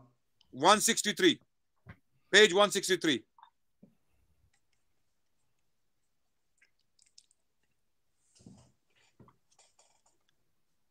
While he's opening, I just want to make a quick point. Imagine someone calls Ahmed a bastard and says, Oh, actually, what I mean by bastard is you are a very slow person in speaking. No, would that Mansoor, that's be wrong. acceptable? That's that's incorrect. That's incorrect. No, would, would that be no, hang on? Because- Would that be acceptable?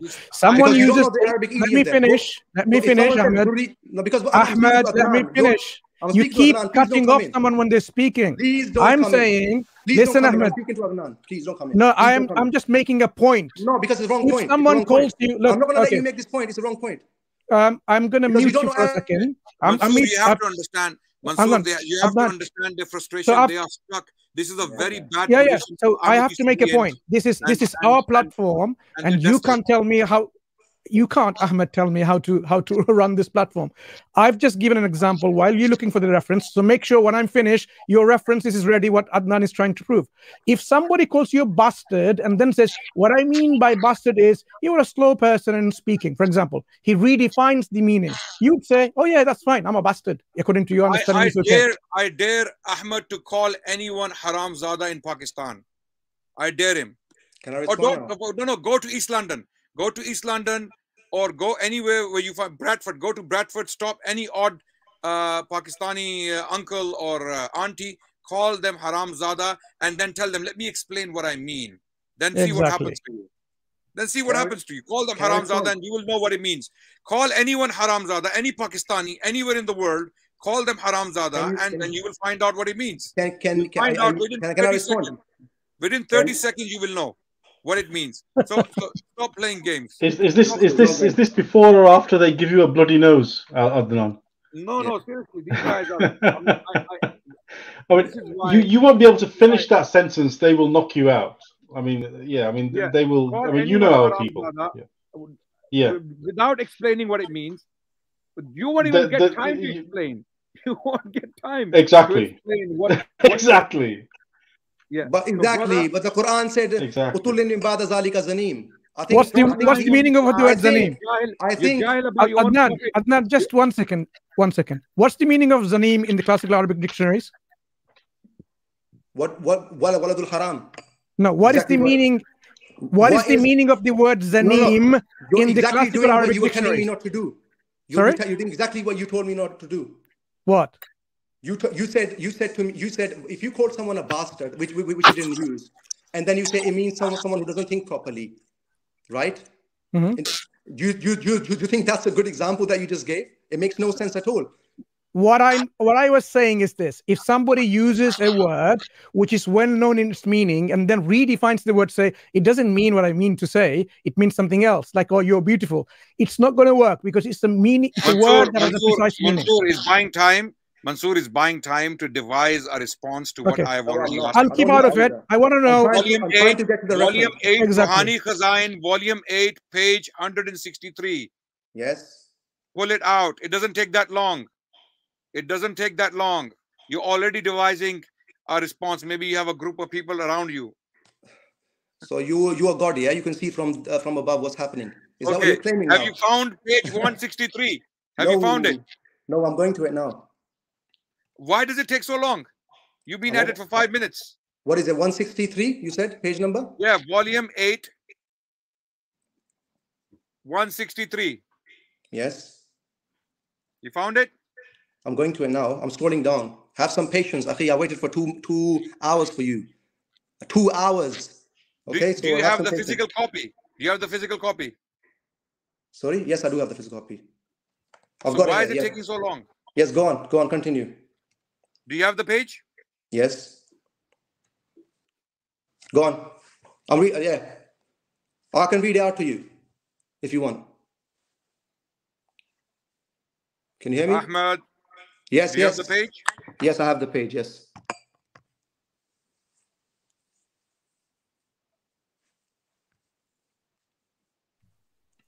Adnan, I think. Ahmed, do you have the page? Yes. Yes. Can you hear me? Volume 8. This is going to bury you once and for all, spiritually. This is going to bury you and all people like you who are trying to play games. Bro, nothing buried us, bro. Deliberately Like, lying us, and accusing others years, of lying. Accusing others of lying. con- You When think your this prophet conversation is gonna bury us, man? Come on, you're just making claims here. It's gonna bury us. Don't. You Adnan Rashid, man. You gotta be better than this. This is gonna bury you. Okay. While Adnan is having connection issues, you can see on the screen. Do you want to read? If you Yes, know where I'll to read. read from, Yes. or, or wait for Adnan to rejoin. Yes, I'll read it. I'll read it. It's, it's, it's, it's in the Arabic. Okay, just just just gi- give us a few few moments while Adnan rejoins. As you can see, he's got connection issues. So, do you understand the meaning of the word zanim in the classical Arabic dictionaries? Yes, and it has been translated by uh, many translators, which are. I'm not asking for a translation. What is the meaning in the Arabic dictionaries? Give me a dictionary entry and just tell me what it means. Say that again. I'm not asking for a translation. In the Arabic language, classical Arabic dictionaries, give me the dictionary entry and which dictionary and what it means. I don't have in front of me. I don't need to know that. Oh, and you know what it means, right? Sorry, so, I'm so, back. So, so are you saying Sorry, Quranic sorry. translations are wrong? Guys, guys, If guys, has don't he work, bro. the? Carry on with Has he Adnan. Carry on with Adnan. Hmm. Has he found the Yes. Yes, go on. Where should he read from? Just tell him. has he found the page? Yes, I found the page, my, my man. Go on, please. Con- continue. Uh, Brother Mansur, can you hear me? Yeah, we Can can, hear hear you. me? Can you hear us though? Adnan, we can hear you. Brother Mansur, can you hear me? We can hear you, but it looks like you cannot hear us. Okay, one second. My internet is uh, one second. Let me let me do this uh, quickly. So I'll keep on speaking Let to me see if you can hear hotspot. us. Yeah, okay. So throughout we have been able to hear you, but it looks like you couldn't hear us. So I think you can hear me. So the point I was trying to make here is I can is hear you, that Ahmed, as One well. second, for, guys. for every reference that Prophet Sallallahu or anyone uses, you've got to understand the context is in, the, uh, in context in which that word is being used. And also, you have no ground to stand upon when you don't have the same principle for yourself. When you have the same word used in the Quran, and you have many, when you have Abu Bakr as-Siddiq radiallahu anhu saying, "Umsus You keep you keep hopping as as Adnan was I'm not saying. I hopping asked you what because- does the word zanim mean in Arabic language, and you didn't even know what it means. What does it mean? You tell me. What does it No, mean? I'm not going to tell you. I want you to tell me in the Arabic dictionaries. I- first of all, do you even know the Arabic dictionaries, classical ones, wh- wh- which they are? I'm And then from, that. You're digressing the topic. I'm you not digressing. Quranic- Are you saying your You Quranic bringing translations an are wrong? Are you saying are bringing an example to say zanim you means such and such. Are you saying your Quranic translations are wrong when they translate Zanim? I'm not interested in translations. Then You can't play this game with me. Why I go to directly the Arabic words. So if, No, you if you don't know what it You don't means, you stay so, out. so when you read the Quran, so every- when it says Alhamdulillah, you go Alhamdulillah. I'm going to go to dictionary now. What Hamd means, Rab means. Is that what you Do do, you see- time? Is do that you do you want to see how time? I read my Quran? I'll show No, I don't want to see. I'm speaking to Brother Adnan on a specific issue. No, no, you ask me and I will show you. Look, look. You ask me a question and then you go to Adnan. Now that's not really fair. I'll show you what how how I, I read my Quran. So when I hmm. go to read my Quran, Yes. look, can you see this screen? Can I say something? Can I say something? This is how You go guys, direct you guys are defending the Christians here. I'll tell you something. No, we're not defending. You guys, You are I you, unable to. You You are are unable defending the to. people who abuse the Holy Prophet sallallahu alaihi wasallam. Okay. Wait, wait. Because Have on you found the page? On page Have you one found the six two and and and one six where there's lana lana lana. Is, Have you is- found is- the page, Yes, Ahmed? I found the page. Yes, go on. Okay, okay. We're gonna we're gonna now explain. What Mirza Ghulam Ahmad Qadiani himself meant by Zurriyatul Baghaya. Okay, in his own words in Arabic. Okay. Okay. Hello. Yeah, yeah. Go on. Continue, please. Okay, you're not responding for some reason. No, no. I I can I can hear you. Please. Can you see the second paragraph? Can you read Mhm. Arabic? Yes, I can read Arabic. Read the second paragraph. واعلم أن كل من هو من ولد الحلال وليس من ذرية البغايا ونسل الدجال. Okay. Okay. Now, وَعْلَمْ أَنَّ كُلَّ مَنْ هُوَ مِنْ وُلْدِ الْحَلَالِ What does this mean, Mansoor? You can explain to us. وَعْلَمْ أن كل no. من هو من ولد من ولد الحلال.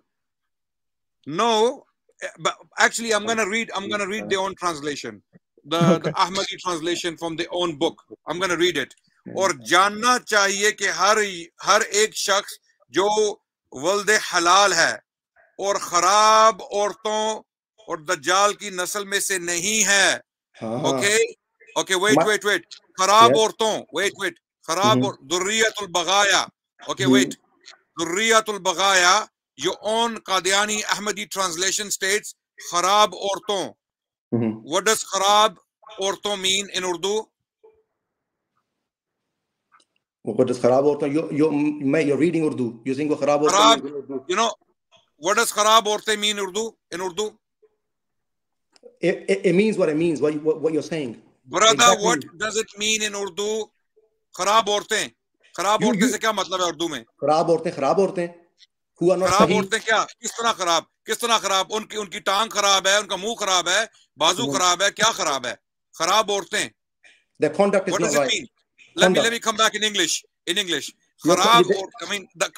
Ahmadi translation state rotten women rotten women correct yes okay rotten rotten how your Ahmadi translation your Ahmadi translation of your own prophet yes using the word Dhurriyatul Baghaya translates it as rotten women, children, children of rotten women. Rotten Mm-hmm. in what sense? Rotten? Where you Yeah, taking kharab. rotten from? Kharab. What is what is the meaning of kharab? What is the meaning of kharab? Kharab here doesn't mean rotten. It means uh, their, their conduct. Okay, now you're helping me. Good, mashallah. Yeah, so ill to- conduct, ill conduct woman. Yes. So why are you saying kharab as? I don't know how, how Okay, we took that good, good, translation. right? mashallah. I'm, I'm glad you're helping me. So, uh, Yeah, yeah, so this is so so that means that means Immoral women, women yeah. women of ill conduct. Correct. Yes, yes, yes. Go on. Yes. Okay. Yes. Women, women, children of women of ill conduct. What does that Yes. mean? It Children. means what it means. What it of means. Women of ill conduct. What does that mean? It, my brother, it means what it means. I What don't does need it to give you mean? tafsir. I don't need to give you tafsir. Do you think I need to give you tafsir on it? Ch- okay. Children of women of ill conduct. As you have yourself translated the words of your own prophet, false prophet, Dhurriyatul Baghaya. Alhamdulillah, You are, prophet. you are translating it as 200 plus countries, my brother. 200 plus countries. Brother, brother. We're establishing 200 plus countries. children you So translated you translated the word zurriyatul baghaya Yes. as the children of women of ill conduct what do you understand from that Yes. Yes what Guess what? I want to know what it means because I don't speak Urdu exactly that the same translation of Utullin Ba'da Dhalika Zanim. brother That's the look look look now you can see everyone can see dhalika ahmad is running away Not ahmad running came away. very brave uh, to this live and he said you are a liar you're lying, lying against tell our you why. prophet he used the word durriyatul baghaya i pulled out one of his own writings his own writings where he explains what he means by Dhurriyatul Baghaya. And Yes. their own translation, their own translation translates it, uh, translates it at, uh, as children of women of ill conduct according to Ahmad. According to Ahmad. In Urdu, it says kharab orte. That means bad women. That means women of bad character. Women of bad character, what we call prostitutes. So when Mhm. I said in that conversation that Mirza was calling others kanjriyon ke Mhm. bache, which Yeah. I translated as prostitutes' children, Yeah. that's that's qualified directly by your own translation of his Yeah. words, Dhurriyatul Baghaya. Okay. Now, can I respond? Before you respond, Yes. have I have I have I stated correctly everything? No. I'll tell you why. Okay, Because no, no, Messiah, I- I'll tell you why. Because Prophet Islam has not used the same translation everywhere for the word. Oh, okay, Because but I'll tell here, you why. wait, wait, let wait. me tell you the Here, difference. Let me tell you the difference. It's very here, interesting. It's going to increase your knowledge. It's going to increase your knowledge. Ahmed, Ahmed. It's going to increase your knowledge. Trust me, please, please, please. Okay, I'm sure It's it going to will. help you. Trust But me. before you increase my knowledge, Yes, before yes. you increase my knowledge, here he means bastard children, correct? Yes, he that that that's what it says there. Yes, exactly. Okay, So- brilliant, brilliant. Yes. So, so you brought the term Dhurriyatul Baghaya to me, Mhm. claiming, claiming, Yes. claiming Yes. That I lied on your prophet because he uses the word uh, in Ainai Kamalat Islam. He Yes. uses the word Dhurriyatul Baghaya. So Yes. I I translated those words as Yes. children of prostitutes. You said you're lying because that's not what he's saying. He's saying other things in other places, translating the same words in different ways. I pulled Okay. out. I pulled out one of your own translations You've of the same words, five minutes, giving, giving the meaning, giving the It's meaning a I lecture, was man. giving in my claim. So now, now it is clear that your prophet, your false prophet, was Yes. calling people bastard children. The only anyone, Okay, anyone. okay. Now, but the, by that virtue, Let me speak now. By that You've- virtue, let me finish. enough. Let me Okay. finish. Finish by quickly, that virtue, by that virtue, he called multiple people this. Multi- I have Yes. multiple references, multiple references where he's calling people Waldul Haram, Haram Zade, Okay. Halal Zade nahi hai. Okay. Can I respond? Wait, wait, wait. respond? He's using. Wait, brother. Yes. Let me, Ahmed. Let me finish. He's, No, you're giving a khutbah, bro. It's not a khutbah. like you, No, you've I'm spoken for like. I'm gonna let- 15 minutes. Let me finish. Your He brother should tell you, man. He is Please. using he is using creative language to say the same thing in different words, in different languages. He knew Persian, he knew Urdu, and he knew Arabic, and he was using all three languages to convey the he same, to convey the same swear word, which is a bastard child. And now, because he called all these multiple people children of prostitutes or bastard children, he did not produce any four witnesses for any of those cases to prove his case because in sharia in islam if you call someone a bastard child. Or if you call a woman any woman muslim or non-muslim any woman especially when she hasn't done any crime especially when she has she's not the one who has hurt you it were the children. But if you call the mother a prostitute and don't produce four witnesses okay you are to say the least a liar of the highest grade in islam. You will be lashed 80 times okay Okay. and your Where are the four witnesses for let me Utulin finish. Bada Dhalika Let me Zanim?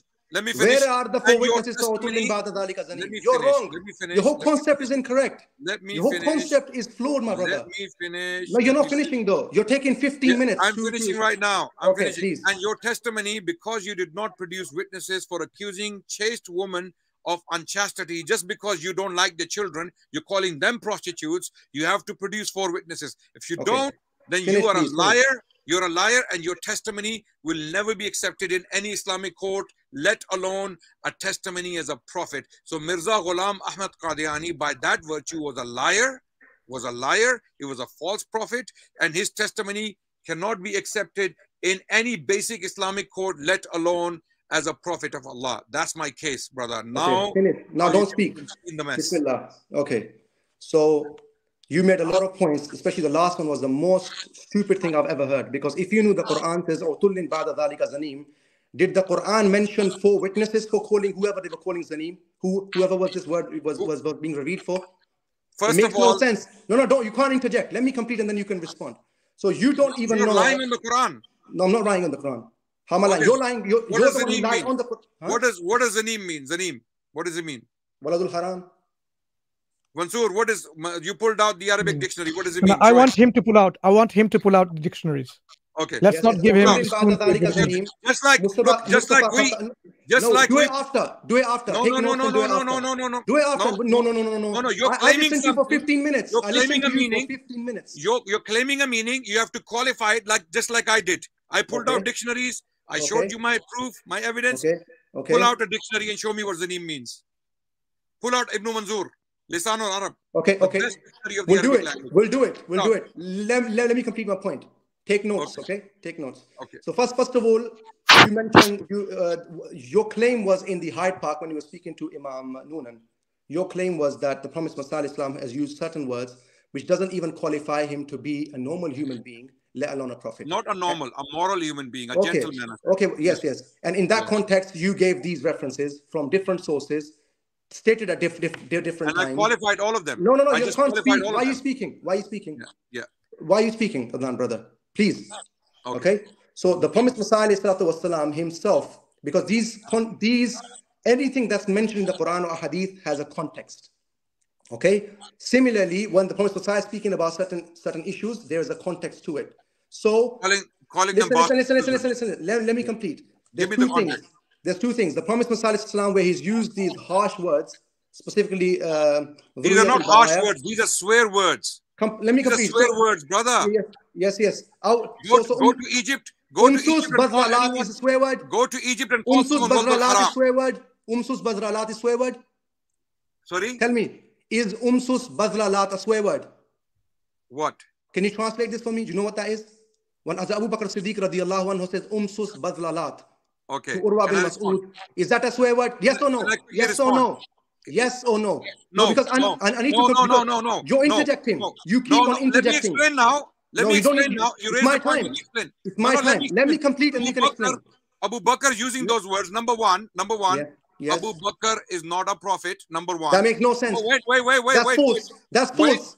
Wait, Do you believe? Okay, let me ask you a question. Do you believe Hazrat Abu Bakr to be greater than the Prophet do you believe? Wait. Listen, listen. No, no, no, no, no, no. no. Ahmed, you gotta wait. let me speak. You gotta Ahmed, let me speak. Wait. Ahmed, you done wait. this with Ibrahim Noonan Sahib. Ahmed, you done this with Ibrahim. You think I'm Ibrahim Noonan? I'm not. You gonna let me speak. Chance. Give me a chance. You're going to, let me. You no, haven't. Give me a chance. To you haven't let me speak. You haven't let me speak.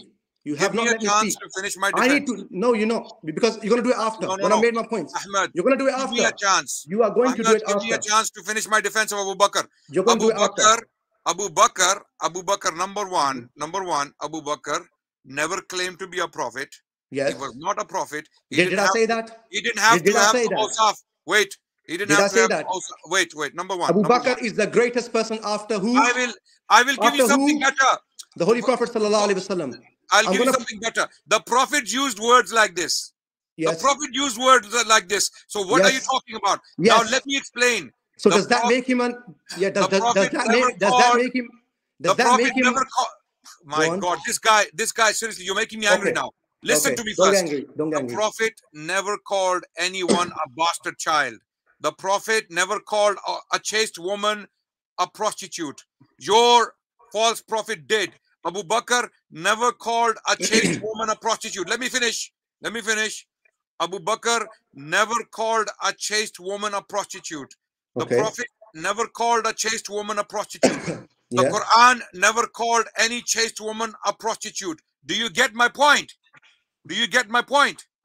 Or you because don't get my point? Deliberately. No, because, because your point Do you don't make sense. Point? My point because is your, calling, po your point don't make sense. Chaste woman. your point don't women. make sense. Your point don't make sense. That's what I'm telling you. I'll, I'll explain when you use, I'll explain you, how it makes sense. If I call someone a dog, let, wait, wait. If I call someone a dog, if I call someone a pig, if I yeah tell someone to go and suck such and such. For example, okay, if I do these things, am I calling his mother a prostitute? Answer no, they're, no, they are equally wrong. No, That's they're not wrong. equally wrong. They are no, equally wrong. Equally. They one, are equally one, wrong. I'll tell you why. Are you one saying? Carries, are you one saying? carries punishment in Islam. Inna لا, inna لا على خلق azim. Inna إنك inna wait. إنك لا azim. You say this. You're so jahil, you don't know the difference. Let me explain no, the difference. You, one carries punishment in Islam. When you call a chaste woman a prostitute, that carries 80 lashes punishment in Islam. It is a crime punishable by had. If you call someone a dog, if you call someone a pig, you tell someone to go and suck such and such, yes. that carries no punishment in Islam. It's equally wrong. Sin. It is a sin. Wait. It is me... equally wrong. Wait, wait, wait, wait. Equally abusive and foul language oh, and a swear oh, word. You're a liar. You're a liar. You're jahil about Islam. You don't know what you're talking about. Calling a chaste, it's, it's, it's in the Quran calling a chaste woman unchaste or calling her a prostitute carries punishment. It carries had in Islam. It is a mm-hmm. major crime. It is a mm-hmm. capital crime in Islam. Calling a woman prostitute a chaste woman. Mm -hmm. I'm mm-hmm. so I'm so Who sad. Is this chaste woman? To Ahmadis. Who is this chaste woman? So so so, Who is so this chaste woman? Mirza, Mirza Ghulam repeatedly used this term. You're making stuff up, man. Child, You're making stuff up. So everybody can see you didn't even let me speak.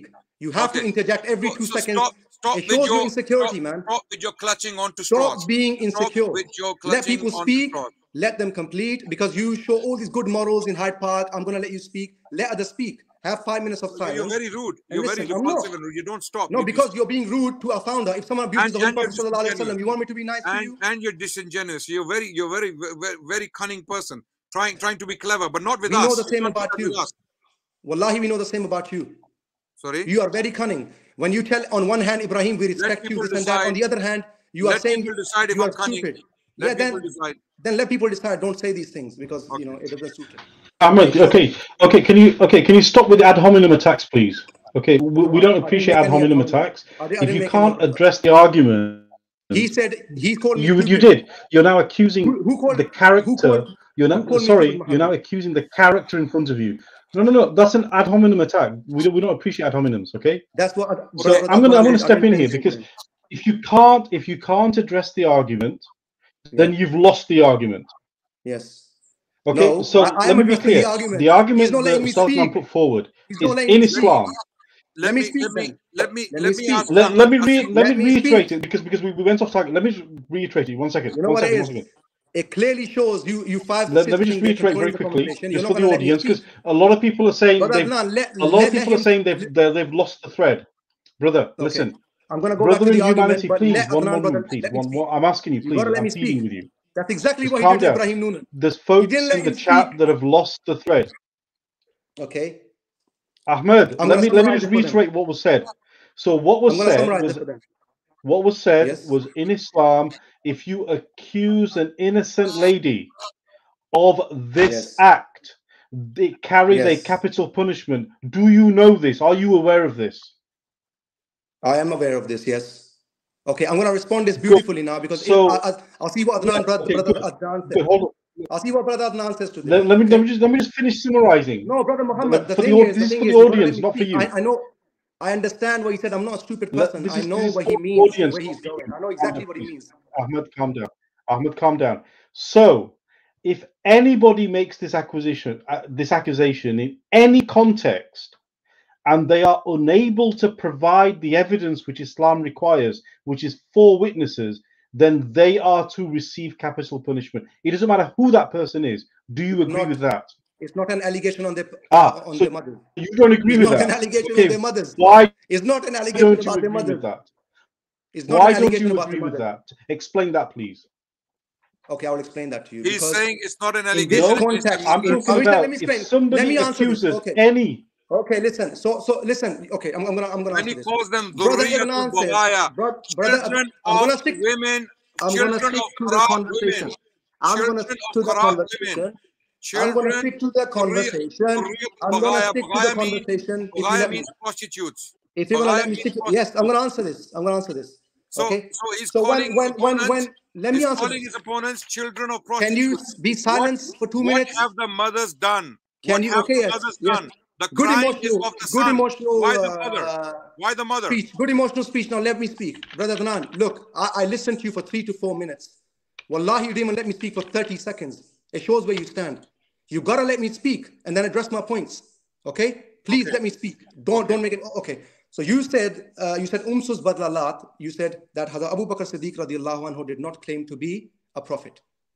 That is such a flawed point that you just mentioned there. And then you went to the second point. I'm, I'm going to address that as well. When umsus badlalat was said, yes, Imam Ibn Hajar al Asqalani says by mentioning, you know, by mentioning this, this is worse than the mother Write this down. He said, Bazla Lat, Ibn Hajar mentioned that it's stricter, it's stricter than dissing their mother. And if you want the reference, I'll, I'll, I'll give you that. Okay? So the point that's being made no, here no, no, is, Read it's it, not in a read, literal sense. Read, read, read, read, read what Ibn Hajar said. Read, read. Don't move on. Don't I'll send you the reference. Read. Yes, read reference. what he said in yes, Arabic. Where, it, where send, did he say it? Which volume? I have I have Fathul Bari in front of me. I'll pull it yes. out right now. Yes. Read. Read. It's in Al Juz Al Khamis, Fathul Bari. Yes, it's page 340. Okay, now let, let, let me continue. Which, your whole which, point was. No, no, no, no, no, no, no, no, no, no, no, no, no. You have to read what it says before you yes. move on. Read the Arabic like I did, like I did. Did I do, do justice? Don't make. You see, you're dealing with a different species here.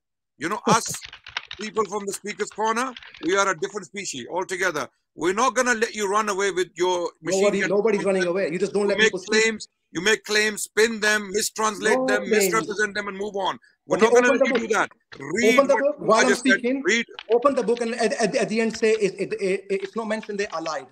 Okay, open your book. You, no, no, no, no, no, no, no, no, no, no, no. Read what he said or don't mention it. Mm -hmm. Don't mention it. Read what he said. Mm -hmm. And on top of that, Ibn yes. Hajar is not the Prophet of Allah. He Yes. cannot he cannot make Sharia or break Sharia. You know, this Sharia is the very issue with clear. you guys. You is accuse, issue with you you accuse a chaste woman of unchastity. You call a clean woman prostitute. You have to provide four witnesses. This is not this this capital crime in nobody nobody in the in the Ahmadiyya community has ever understood this to Swearing- mean in a literal swearing- sense. swearing- This is incorrect. This is incorrect. This is your incorrect and Islam understanding. does not carry capital punishment. Full stop. Yeah, yeah. Who's saying who's who is saying this is about that? You didn't even mention that this this word Dhurriyatul Baghaya is being used for Christians who abused our beloved Prophet and his and his his wives or mothers in Okay, the worst fine. possible Why manner. mothers? In the Why worst possible manner. It's The not about their mothers. says the Quran says the non-Muslim women are chaste. They can be chaste. You can get married to non-Muslim chaste women. Muhsanat. The Yes, Quran so- uses the term that there are muhsanat among them. Mm-hmm. Why call the mothers prostitute? Ahmed, mm-hmm. Why Yes. call the mothers prostitute? And if he did, did he provide four witnesses? Did he It's not provide it's not understood. not? It's not Then was a understood. liar. It's- It's your He was a jahala, isn't it? 80 lashes. It's just your jahala. You don't understand the word. You don't understand his words. You don't understand Can I his words. can I just make one point here before we move on?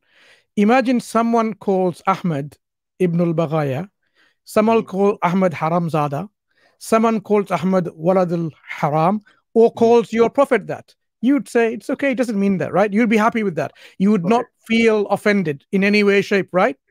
If somebody calls you Haramzada, you would not feel offended. If I call you somebody calls one second, Shaitan, I'm not finished yet. If. I call Brother Adnan I'm not Dhurriyatul Shaitan, finished yet. I'm not finished yet, son of a Ahmed. Ahmed, Right? I'm If not call finished yet. if I call So if somebody Shaitan, don't speak over me, Ahmed. Ahmed, don't speak over me. I'm not finished. I will let you respond. Yes. What I'm saying, if somebody calls your prophet Haramzada, for example, if somebody calls your prophet Ibnul Baghaya or Walad al Haram, you would not consider that it means actually a son of a bastard, right? It has a different meaning. Is that correct? I would read his words, what he has explained it to be.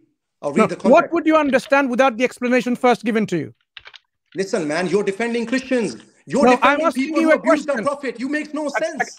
Excuse Adnan, me, Ahmed. Adnan, get, you don't understand that this was Ahmed, to people who abuse the if prophet. somebody did Your not claim was- explain to you what it was he abused the means- Muslims. You said if someone comes and says La Nabi Abadi, then the prophet Ahmed. say, Oh, you are the son of uh, Ibn al-Baqa. This is not what he said. Can I can I this just is why you hear your there, because it wasn't about the Muslims.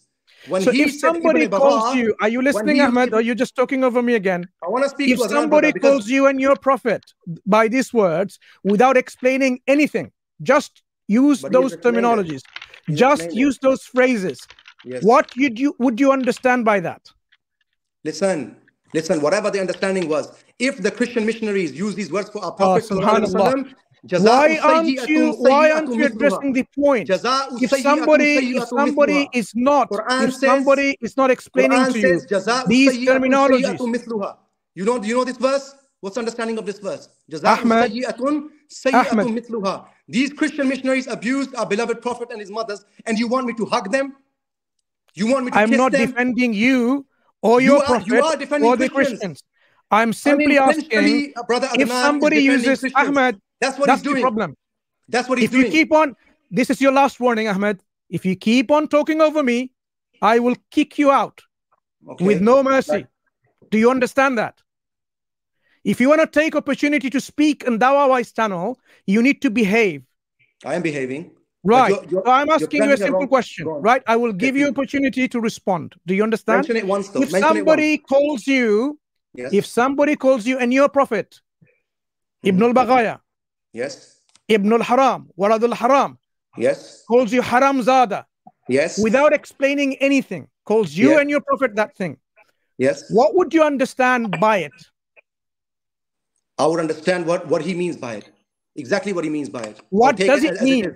What would you understand it means? I want So you to now- explain to me how would you understand it? Tell Okay, me in I'll- English that this is what I would understand if somebody said that to me or to my prophet.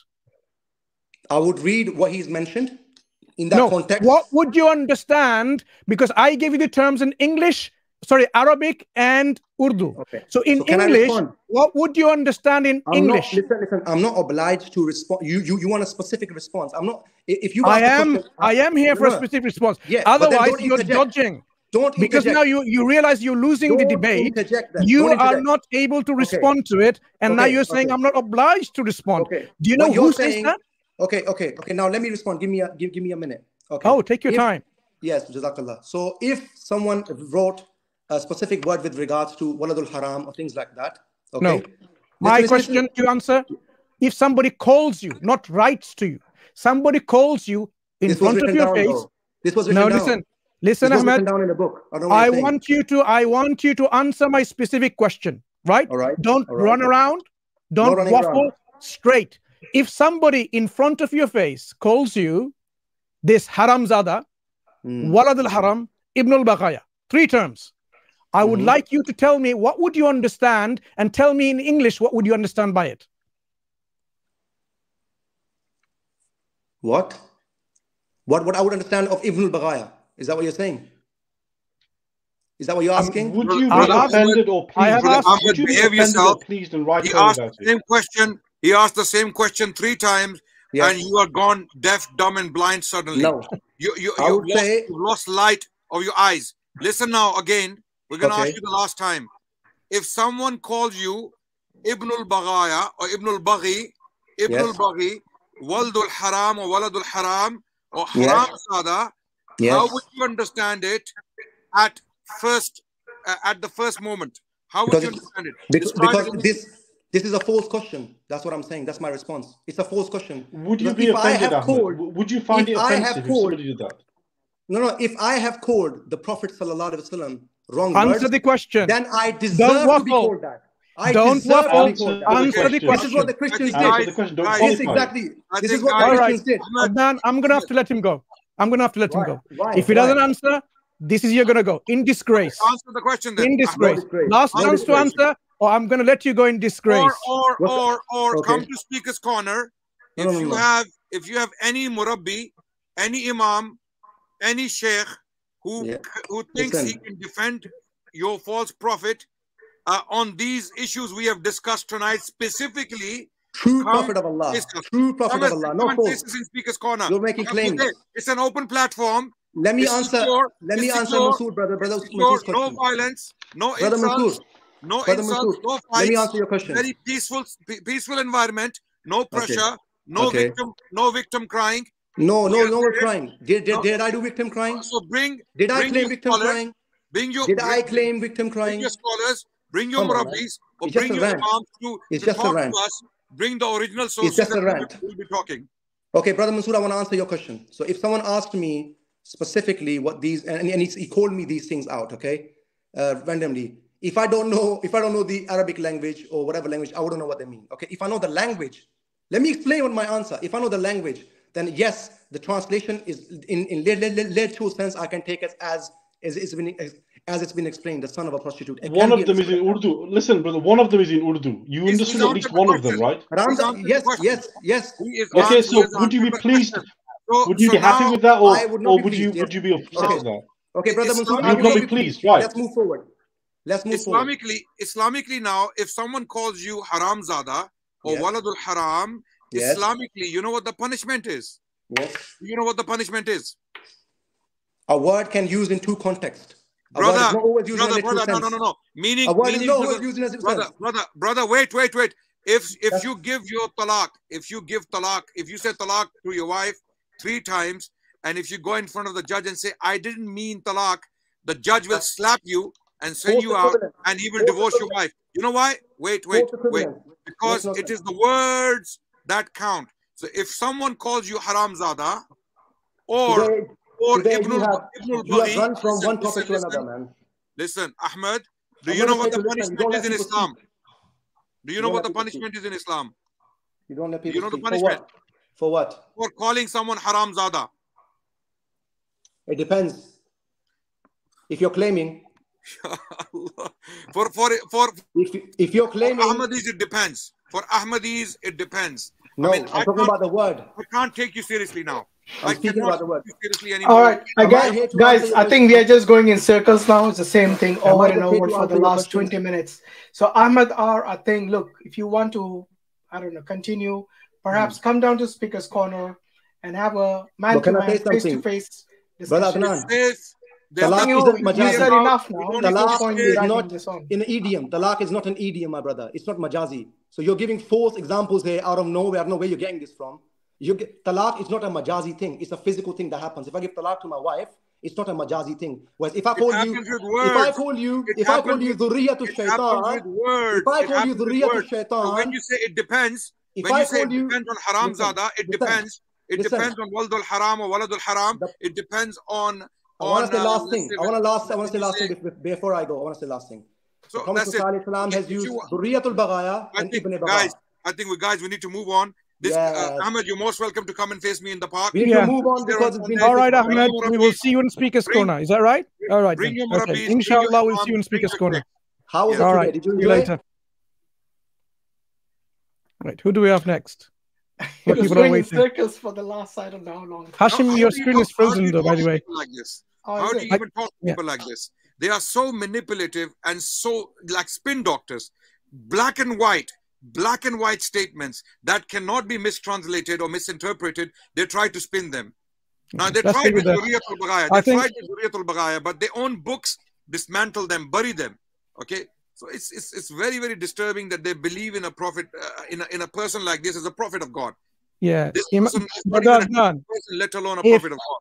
If somebody were to call this brother Ahmed by these terms on the street, he wouldn't be just sitting there and uh, smiling. He would be raging, right? And, and you know, will will defend himself from these insults. I I challenged him go to Bradford and call any Pakistani random Pakistani haramzada and then let him and tell him that let me explain the context or let me explain what I mean and then see if he gives you time. Okay, let me just get brother Bashir for a little while again. Once again, Assalamu alaikum, brother. I'm sure you are enjoying this conversation. Yeah, yeah, yeah, yeah. And I, I just want to say, brothers, I've been dealing with it for like almost 10, 15 years. And brother, I was eager to learn. I don't know why the, these guys aren't, but o- only Allah guides. But I was eager to learn, you know. And uh, how many uh, hadiths say Allah Nabi Abadi? I was like, wow, it's a lot. You know, 15 years ago, I said it's not just one; it's like so many. And then I, I looked at all the evidence. I'm like, wow, that's a lot. Um, um, Sunni Islam has a strong case for rejecting. So un- un- unfortunately, th- th- th- this brother is stuck in that cycle. But hey, we we got someone else, and that's it. I'm out of here. Assalamu alaikum, brothers. Alaikum salam. Right, uh, brother Taha, you've been waiting السلام patiently. عليكم ورحمة الله وبركاته. وعليكم السلام ورحمة الله وبركاته. Uh, how you guys doing? Congratulations on the 100k subscribers.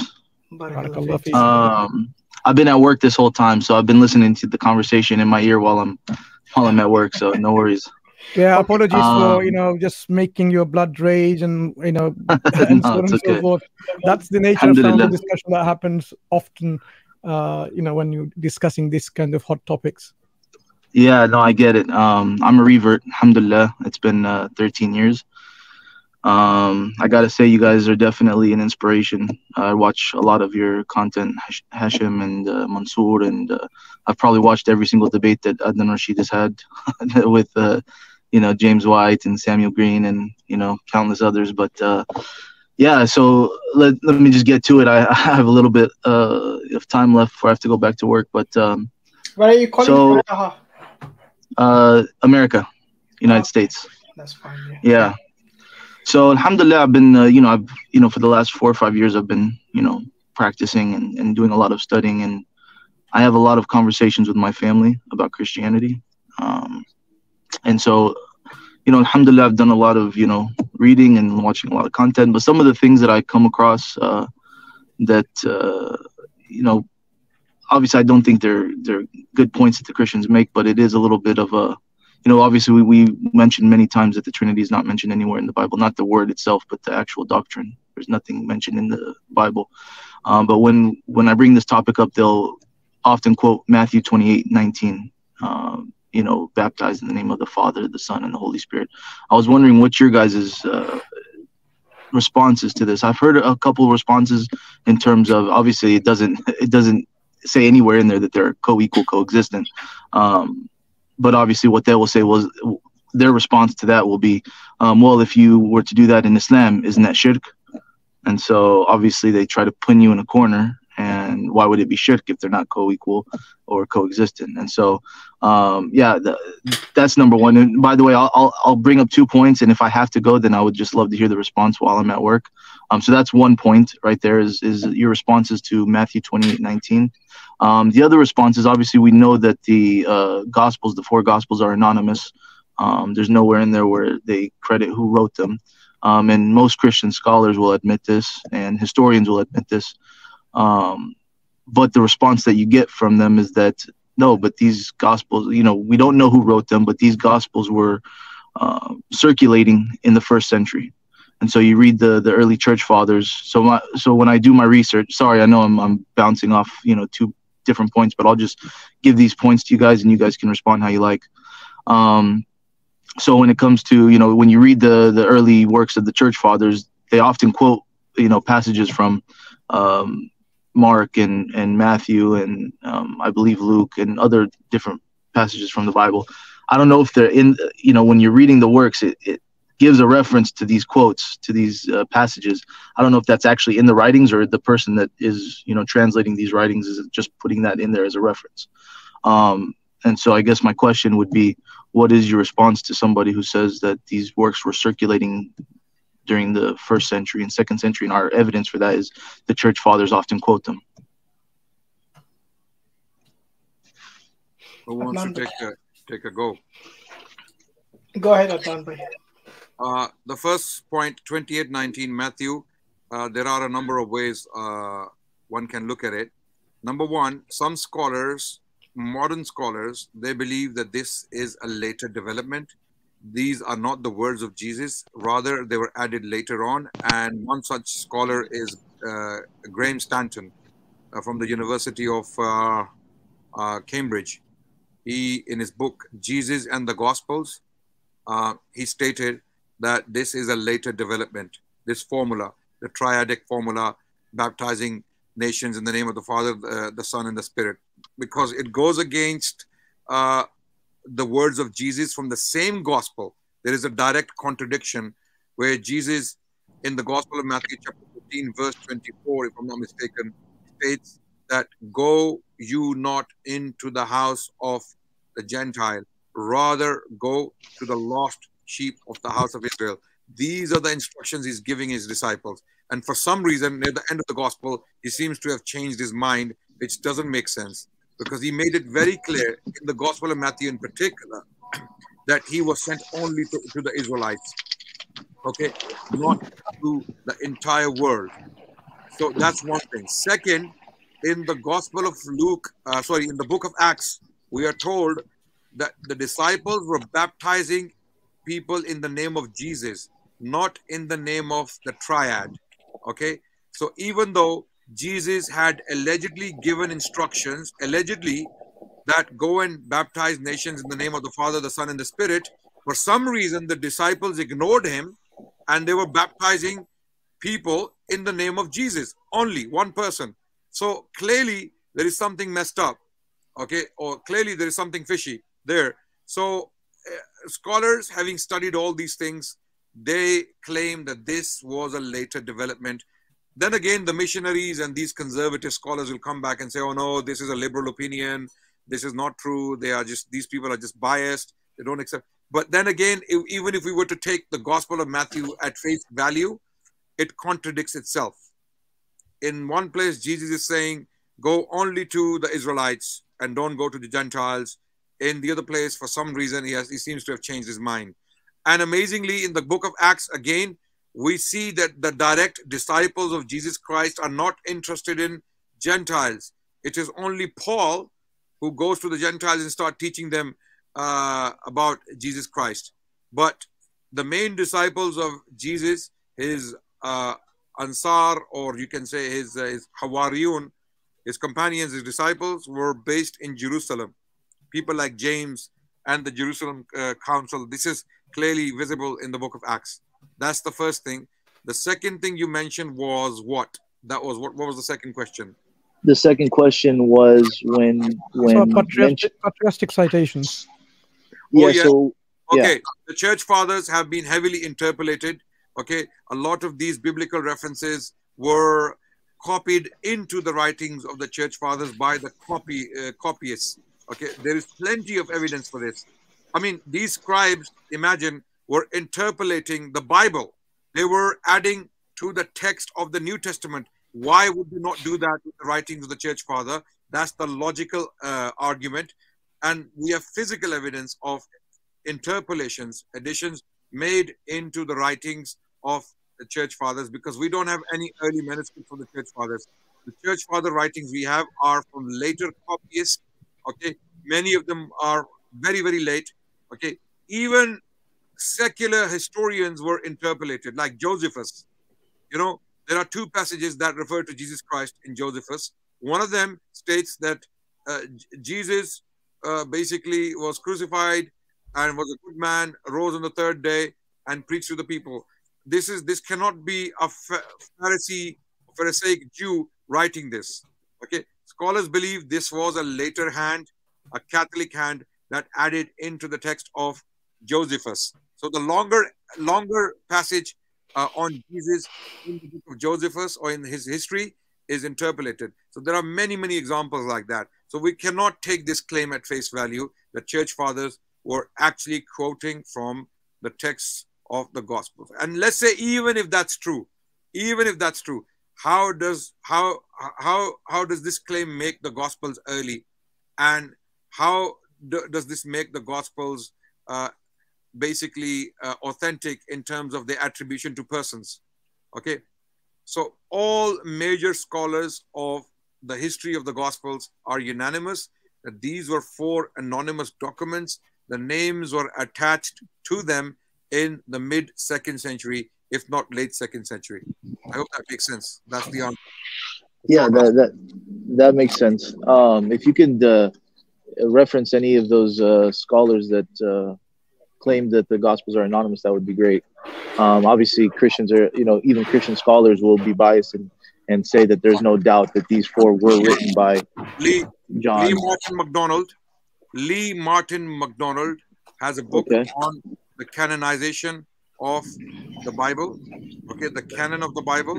Then we have another book by Graham Stanton, The Gospels and Jesus, Jesus and the Gospels. Okay. He has two books, by the way, Jesus and the Gospels and Gospel and Jesus. So you can read both books and he discusses this. These documents were anonymous documents and they were initially called Memoirs of the Apostles. So, so the first time names were given to these Gospels were in the first, second century, according to Eusebius, who's writing in the fourth century. There was a man called Papias of Hierapolis who gave names to these Gospels. And who tells us this? Eusebius in the fourth century. Okay, we don't know who the hell Papias is. We don't know who he is. We don't know anything about him. Okay, apart from the fact what, what Eusebius tells us two and 250 years later. So that's it. That's a short answer. Okay, perfect. Thank you. Uh, last point, if uh, you guys don't mind me making, is if uh, um, you know a lot of times that the Christians will will reference Isaiah 53 and Psalm 22 um, as a way to uh, you know say that the Old Testament uh, prophesies the the coming of the Messiah. Um, I know that they don't mention the the Messiah is not, not even mentioned in those you know uh, those writings, but what what what else would you respond to uh, you know debunk those those we we would claims? respond we would respond by pointing to psalm 91 a prophecy about jesus christ that mentions him by name. The last word of the prophecy the last word of the psalm is yeshua. And it has been translated in uh, in the english bibles as follows that i will give him my salvation. The word salvation there in hebrew is yeshua okay? And the name of Isa salam was Yusha or Yeshua. Okay, and if you read that Psalm, Psalm 91, which is a prophecy about Isa salam, according to the Gospel of Matthew, chapter 4, the dialogue between the devil and uh, Isa salam or Jesus, uh, allegedly the dialogue, basically, uh, the devil uses a passage, a part of this prophecy against Jesus, and Jesus does not deny it. So Psalm 91 is the best response to Isaiah 53. Isaiah 53, according to the Jewish rabbis and many Christian scholars, it refers to either Prophet Jeremiah or Isaiah himself, or Deutero-Isaiah for that matter, uh, or the tribe of Israel. Okay, so it doesn't stand the test of scrutiny for a number of reasons. So the best response is Psalm 91.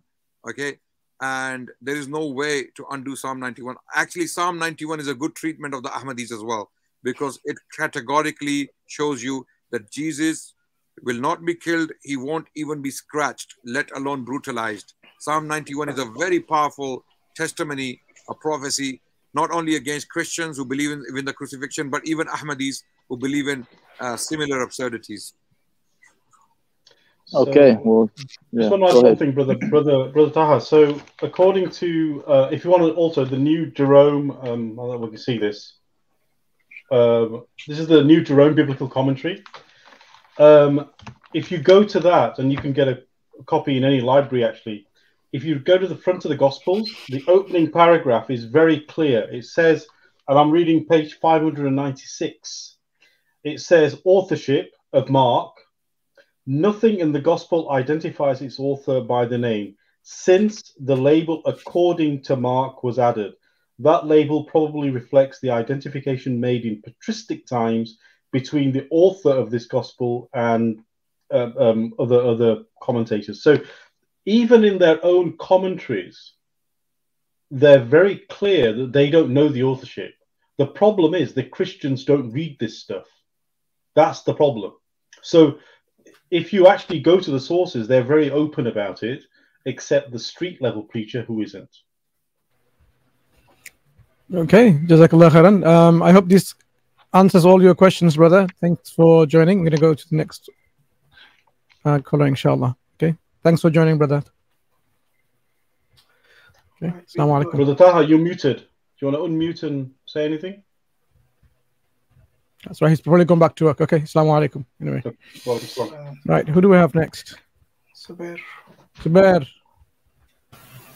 Assalamu alaikum. You guys hear me? Walaikum salam wa rahmatullah. Yes, we can hear you. How are you, brother? I'm doing great. Um, my question uh, regards freedom of speech, and it's kind of it's been on my mind recently. I'm not sure why, but just to give you some con- some context, I grew up in Saudi Arabia, but I grew up in American private school, so there was a contrast contrast between the free, the freedom of speech that they taught us in school, like uh, in history, and they would teach us about how like authoritarian authoritarian regimes uh, didn't have free speech, which then caused the fall of their societies, things like that, things of that nature, and how freedom of speech in the West is a good thing because people can criticize the leaders, um, which, creates a better society and things like that. So I grew up thinking that this is like a good thing, you know, um, until obviously, you know, the Prophet Muhammad was being, uh, you know, made fun of and the deen was being made fun of. So then I had to take a step back when it comes to freedom of speech. And and then I was told that in in Muslim society, if you want to criticize like the leaders, there's like it's it can be considered as backbiting. There's like certain rules to to criticize the leaders. So I'm just I'm asking how do we as Muslims like navigate this this kind of Western strong point of of, of uh, freedom of speech? So, what's the question? You want to have the freedom to criticize the leaders? Is that what you're saying? No, how do we like navigate this as Muslims? Uh, because freedom of speech is like a strong point that the Western have. They say like it's a strong thing to have in society. Yeah, but freedom of speech is your definition based on the Western liberal secular view, or is this freedom of speech something else for you? I mean, I guess so. Like that's just the way I freedom was of speech, you know. Yeah, freedom of speech includes freedom to insult. You know, freedom not just to criticize someone, not just to speak out when something is wrong, which is permissible in Islam, but the freedom to insult, the freedom to basically, you know, like you mentioned about uh, saying anything against the Prophet Sallallahu. Freedom of speech includes all this, including the the burning of the Quran, which we saw recently. So it's not something which you can say that yes, it is the same exact definition in Islam and also in in the Western secular view. Okay, yeah, th- yeah, that makes sense. So you would say in, in under Islamic society, like it would be allowed to kind of have these discussions. Yeah, so we have boundaries in Islam. I mean, obviously, there's freedom to speak, to question. Well, we do. So, yeah, so Yeah. Brother Zubair, we do. So, so discussion, questions, argumentation is encouraged in Islam with boundaries, right? That there are certain rules that guide what we can talk about and question about. And as long as you're not insulting the prophets, you're not insulting Allah, you're not insulting the Quran and things like this, then you can question anything. That's Islam allows questioning, right? What we don't take though is we don't take the liberal liberal secular view that the right to freedom of choice is the right to insult, mock, and undertake any kind of jest that we feel is appropriate because you feel it's you feel it's appropriate because what they do is they make the individual um, um, uh, sovereign, right? So the individual gets to decide what is good and bad, and they can mock anything they like because it's their right, their individual right.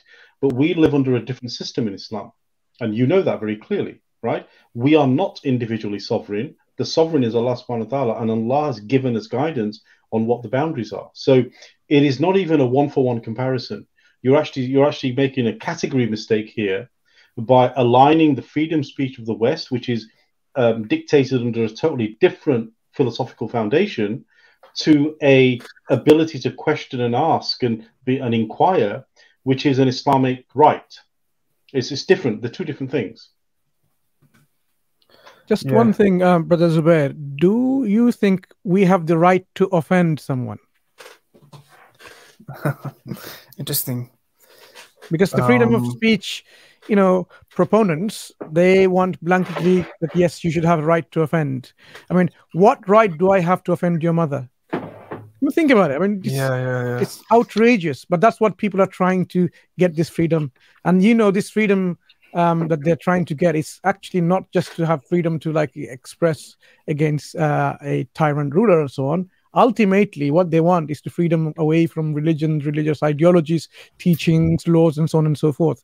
That's what it's rooted. I mean that's what our brothers and sisters in you know in in, in our arab world maybe they didn't appreciate early enough rather than jumping on the bandwagon saying we want that freedom too as well but this these are the philosophical root and foundation why they want this kind of freedom. Freedom for them is not just freedom to you know just to you know, disagree and you know correct someone and so on. But all denying this is just to dismantle whole of the religious foundation in which god and divine law is something that's paramount. For them they don't want that. As uh, muhammad was saying individual is sovereign. That's the whole idea of you know this freedom and liberty so you know i hope you know this clarifies some of the thoughts inshallah but you know it's a long issue so because politically loaded questions um, yeah. but i think you get the gist we do not have in islam yeah. the freedom the right to offend anyone okay you know in the quran allah says do not even insult their their false gods their gods they which they think is true but to us of course false gods lest they insult allah back so we don't even have the right to insult someone's false gods whether it could be any any gods they worship so there's no right to offend this is as far as i understand unless um, brother uh, Ustad Adnan wants to add anything to it, inshallah. Uh, no, I need to say walaikum salam, brothers. I need to say walaikum salam, brothers. I need to leave now, but um, alhamdulillah, yeah, we're going to shortly as well, um, very quickly. Okay. Yeah. Okay. Yeah, I, okay. I can see okay. a few more guests on here, but okay, I'll hang around for as long as I can. Okay. That's it. No more guests. Just these three final um, guests, and we're going to close inshallah in what ten minutes max, because we have work in the morning as well. You are muted. Adnan, you're muted. Sorry, can I take your jaza as well? We're gonna let's take these three last three guests one by one, shall we? Um, Hashim. All right, thank you. Guys. Yes. Yeah. Okay, brother now. Zubair, nice having yeah, you here. Assalamu alaikum. Thank you. Until next time. Right. So let's add. Oh, sorry. Jackie boys next. Yeah, yeah. Let's add them all together. Okay. You are the final guest. Wa alaikum assalam wa rahmatullah. Yeah. Uh, Walaikum salam. Well, all Muslims, mashallah. What's on your mind? Just let us know what's in your mind. Because we're going to um, close our stream very shortly. And I appreciate it's been long and you've been waiting patiently. But let's try to wrap this up, inshallah. Yeah.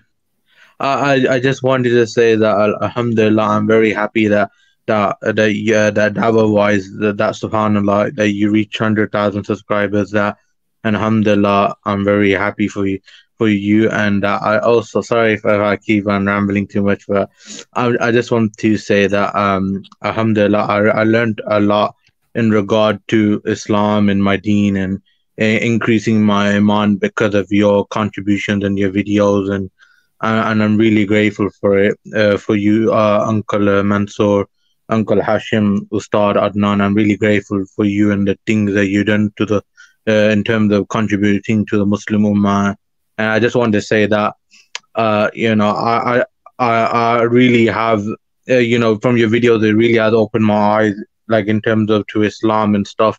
Because when I was younger and stuff, I used to be quite ignorant of things and I used to be quite um, shallow minded, uh, as you can say, and I used to like question a lot of things. But alhamdulillah, after like I started to get a bit older and I guess more mature, mature, I guess, and like it just, I just, I just wanted to understand understand things more better. And obviously, I started um, uh, looking at different avenues of things. For example, reading the Quran and stuff like that, and also watching your videos and stuff. I, I really find them beneficial, and, and from those videos, it really has increased my iman and my faith. Uh, so I'm just I just want to say that I'm very grateful for you and and that this hundred thousand subscribers that you guys reach, Alhamdulillah, is well deserved, and inshallah that um Ustad Adnan Rashid um he gets the yeah, 100,000 subscribers too, inshallah. Sorry for rambling too much. Inshallah. Inshallah. Okay, Jazakallah khair for your kind words. You know, Inshallah. really Yeah, appreciate and you know, we shall be on the Ustad Yeah. Adnan's channel next, inshallah, for the 100,000. Inshallah, yeah. And I, Okay, I just, I just want to say that, uh, inshallah, you keep up with the great work and the dawah, and that, that, I- that I just want to say that I'm always very grateful for it, and I always find it beneficial when I watch it, and and especially the videos as a whole, because they really opened my eyes, and I just want to say that I'm very happy and stuff. I know you probably hear this a lot of times anyway, so but I just, I just want to say Where, I'm where are really you grateful calling? and Where are you calling from, Jackie boy? Uh, I, I'm, I'm, I mean, I'm from uh, Birmingham, but but right now I'm in Oxford because of like studies and stuff. But I, but I, inshallah, also, inshallah, in the future that I, I want to one day come down to Hyde Park and actually see you in person and actually see you and you know, you know, stuff. So yeah, it's, it's Yeah, one of the things I really want to do as like as something that I want to do in the future. So okay, that's one of my we'll goals. leave inshallah. it there. Inshallah, we'll um we'll wait to meet you. Inshallah, and, and may Allah bless you and your Yeah. family and, and keep you well. Yeah. Okay. Jazakallah. Wa alaikum salam. Jazak. Barakallah feek. Thank you. Barakallah feek. Alaikum. Uh, I just want to say that uh, thank you guys. You're doing a great job. Uh, I learned a lot from your lectures, but I just want to know if you're doing any further sessions on Qadianism because I missed it today. And there's Were you inspired by Adnan's uh, You missed it today. yeah, uh, yeah. Actually, I joined a, li- a little Um, later. I was a bit well, busy, w- so we'll keep so this in I don't mind. have, uh, you know, Yeah. I don't have much material to Yeah. uh, counter these Qadianis. Otherwise, I defend uh, Islam and every with everyone, every person I meet. But with this, with these people, because I don't, I have not read much about this Qadianism, Okay. so I don't have that much material to de- uh, defend uh, myself. So I, Point taken, I brother. Point to- taken. Um, we will think about it. Inshallah. Inshallah. Inshallah. and We'll, whether we'll, we we'll can- bear it in mind, inshallah. Yeah. Thank you. Okay. God bless you. Stay blessed. Barakallah feekum. Allah Assalamu Hafiz. alaikum. Jazakallah khairan. Wa alaikum salam. Brother Abdullah. Assalamu alaikum, Brother brother Abdullah. Hashim. Congratulations for Alaikum salam. 100,000 subscribers here. Well, Walaikum salam. Brother Walaikum Mansoor. salam. So in this occasion, I'll, I'll, I- I'm just uh, during my holidays, I'm reading the Quran. So I now I'm in the uh, Surah Al Imran at the uh, ver- verse 110. It says that كنتم خير أمة أخرجت للناس تعملون بالمعروف وتنهون عن المنكر وتؤمنون بالله ولو آمن أهل الكتاب لكان خير لهم منهم المؤمنين وأكثرهم الفاسقون. Uh, they said it said that you're the best community ever raised for humanity. You encourage good, forbid evil, and believe in Allah. Had the people of the book believed, it would have been better for them. Some of them are faithful, but most of them are rebellious. And the other Hmm. ayah says that they can never inflict harm on you except l- uh, lit- uh, little annoyance. But if they meet you in battle, they will flee and they will have no helpers.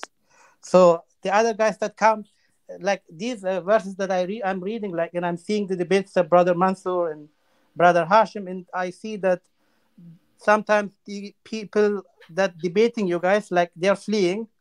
Like I'm just reading these verses and I'm seeing the actions in the battlefield. Like it's the the dawah is a battlefield that you guys are doing. Oh. So it improves my iman. Int- intellectual day battle day in by there, day. Yeah, yeah, yeah. It's it's it's, it's actually battle. It, Yes. it needs a courage. It's uh, it's not something that everyone can do, anyone can do. So by, Jazakallah by seeing you guys, it improves my iman day by day. Like it encouraged me to study more and to to to improve my knowledge about Islam. Keep keep up with the reading of the Quran. You're in the right direction, brother. And keep us keep us in your dua, inshallah. Alhamdulillah. Okay, brother. Okay. Assalamu alaikum. wa rahmatullah. Hello. Hello, Hi. Yoji Boji. How are you doing? Hi. Hi. How is everyone? We, Yeah, we very are good. Where, where are you calling from, you. Yoji? Well, I, I- I'm I'm calling from um, the U- US. Okay, good. What's Yeah. on your mind today?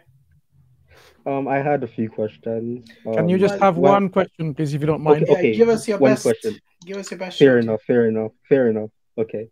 Um, what what is um is this um what do you guys study? What? Lots of Wh- different what do you things. guys study? Lots of different things. Is there Okay, anything you want to know about Islam, Muslims? What- Islam. Islam, yeah. Yeah. Do you want to become a Muslim now? Um, so um, for me, I don't identify as a religion, as a, a religion, you know. Do you follow a religion? No, I don't follow any particular religion. Do you yeah. believe in God? Yes, I believe in um the highest consciousness, the highest. You believe in the highest consciousness? Are, Yeah. are you a spiritualist? Yes, I'm spiritual. I'm um spir- um spiritual. Yeah, I practice that path. Yeah. So, so you believe in spirituality, yes? Yeah, yeah. Okay. I, I, I believe. I believe Um, so on your path to spirituality, okay, so on your path to spirituality, why do you do this? What drives you to do this? for um, connection, you know, uh, um, even now, you know, uh, I'm um, when I'm, when I'm out there, I, I'm um constantly learning different uh, different stuff, you know, Mhm. in books, TV, No, but video the, games. I'm the, the question is, is you know, this drive to connect to spirituality, this Mhm. this desire that you have, where does that No, desire come from? Did you learn? Did you learn it, So, or was it already inside? It's uh, it's it came natural, came natural, yeah. It came naturally. Okay, good, Yeah, good. So came natural. it came naturally. So you believe you naturally have a need to to to at least look for something God. spiritual. Yes. Right. Um, Okay. Good. yes, serve So God, yeah. we believe the same thing. So, so we Mhm. we believe, or not, we don't believe. We're told that Mhm. Allah has instilled within every human being something called Mm-hmm. the fitra, which is a natural disposition to seek out God and worship Him. Mhm. Now, here's the Mm. problem you have a basic instinct to seek God. If you seek out and worship the wrong thing, if you seek out and worship the wrong thing, you are you are at fault. If yes, yes. you have been exposed to Islam. So here today you have an opportunity to learn about the right path, which is Islam. Uh, so what have you um, done to learn about Islam? Because you're on our channel. What have you done to learn about Islam? So I, I've learned from um, what is a Quran uh, in, from people. I've learned from what is a Quran from people, and they told they tell me to um go read it, and I read it. You know, some of it. You know, Okay. not all, but some. You know, I listened. I listened In Islam, who is God? Who is God Mhm. in Islam? Do, do you know? Have you have you learnt who is God in Islam? all merciful, all merciful, all knowing, um, omnipotent. Allah is one. Yeah. Yes. So Uh, yeah, do- Allah do you know this? Do, do, do, do you know our conception of Allah? Do you know our conception of God? Well, he's he's all knowing. He sees everything. Um, he's in complete control of everything and his own being. Does that make sense to you? Yes, he's in control. Because if, if he was Good. So why do you not worship Him? Why do you not worship? Why do you not worship this God versus spirituality? Why do you not worship the God that makes sense? Well, I don't worship a word. I I I, I God God knows. Uh, who He, he knows said a that word? wo- Sorry, Yeah. we we don't worship a word either. But well, well, we don't we do- don't why worship do- a word. God is not a word to us. Why why put too much emphasis on a name? What's No, going to no, no. happen to you when It's you not- die it's not about the and when we die? Yeah. Yeah, Mhm. Yoji, when we Mhm. die, when Yeah, you die, yeah. what happens? Well, I, I I I believe the death of the body, not Mhm. the soul goes on. I, so so your And what definition happens of to the death, soul? if death, it goes where it needs to go, de- depending depending on who we are in this life, experience Mhm. wise. Yeah. So, do you believe in cycles of life and death, like reincarnation? No, I don't believe in that. But I I, I, do, I do believe that do what you do do your duty right now in the present, and God knows. God knows. You know. Okay. So, suppose you know somebody dies, and then Mhm. the soul goes where after death? Do you believe in heaven and hell?